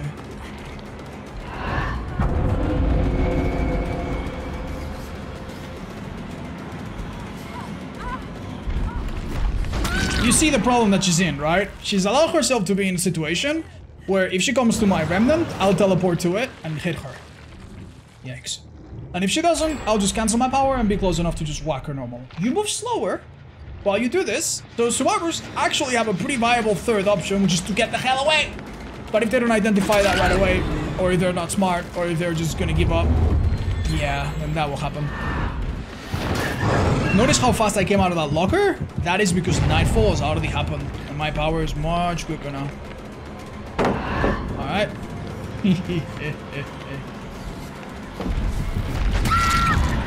uh, she was in a similar bind. Pallets like these are great for Dredge. And survivors cannot just break your remnant with a flashlight or anything like that, like artists. They really have to uh, think twice or, or really out, outfox you and outsmart you if they want to get rid of a situation like that. But yeah, that girl, you know, ideally the moment that she sees me do this, she understands that at least for a second, I'm kind of slower, and that might just be the moment that she needed to just get the hell out of there and hold forward to the next loop. Honestly, I don't understand why they quit. They were putting up a really good fight. I think they could have won this. Okay, nighttime's over. In a second, anyway.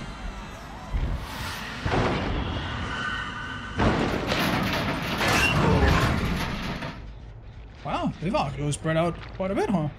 Oh, that bird got disturbed. Hello. Primrose as well? Oh, very nice. Is that a dead end? No, it's not. Oh, I think you'll get hit here, though. Here- Here's what I'm gonna do.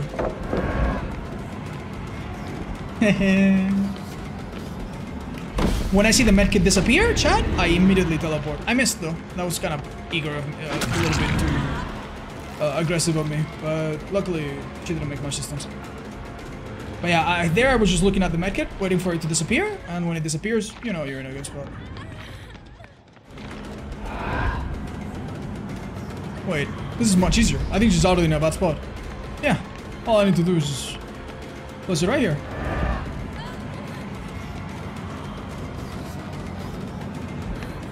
There you go, she's dead.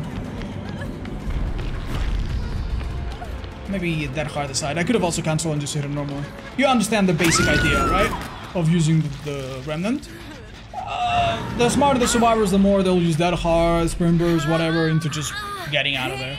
Uh, also, body blocks and teamwork can get in your way at times. But in pallets that are not extremely strong and are not interconnected with each other and with windows and so on, you can see it's pretty impressive. Or at least it, it, it immediately tests the survivors' uh, quick thinking. A test with uh, some, you know, some survivors that had it, uh, don't pass, I guess. See, this would be a lot harder to play, uh, to outplay, and these pallets are really safe as well. Well, not anymore because they finished this. Yeah, I think we got her.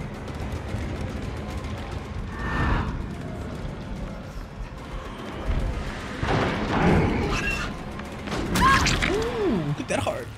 Uh, yeah, teleporting to lockers, if they're close, it's pretty effective sometimes. In Nightfall, even more so because it's so much faster. They have so little time to react. Can I get a hook here? Barely.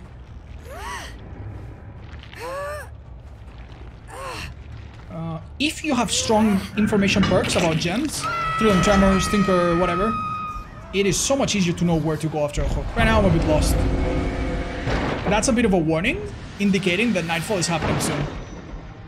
Oh, we need to get out, she's in the air. Nightfall, now! No! Ah! Never! Alright. I know exactly what she's gonna do. Well, I know almost exactly what she's gonna do.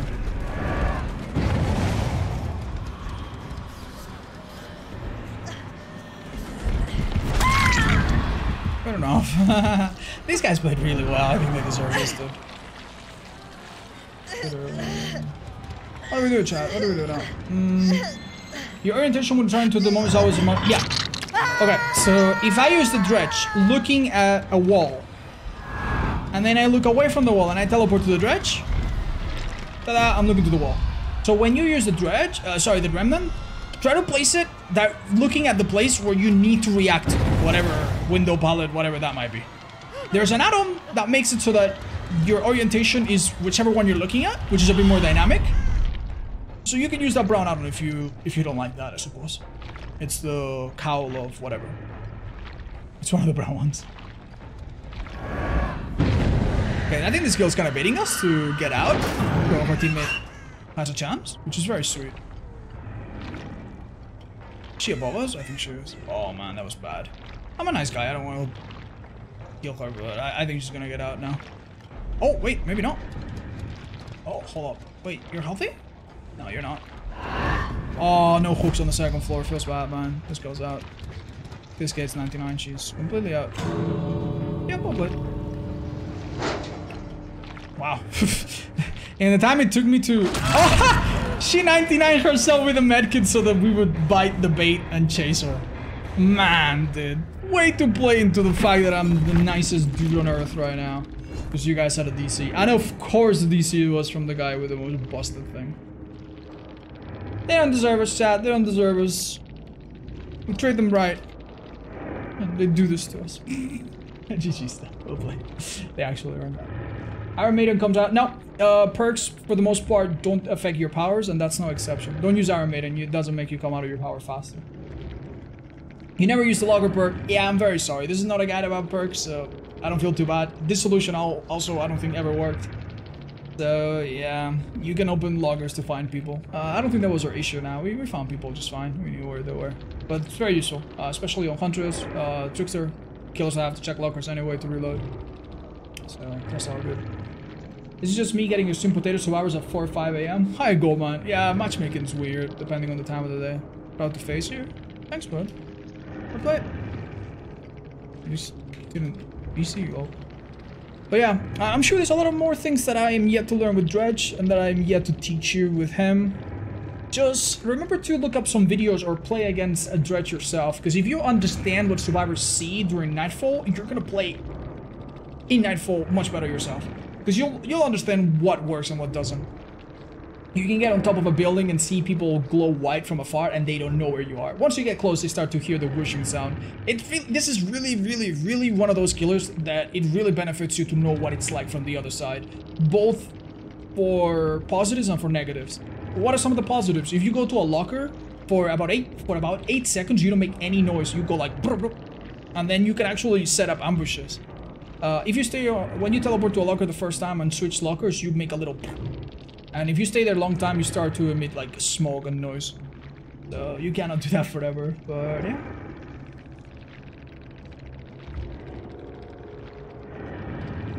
Uh, what do you think is the best build? I'll cover that in a future video, especially when the perk reworks happen. But thank you so much, Brett.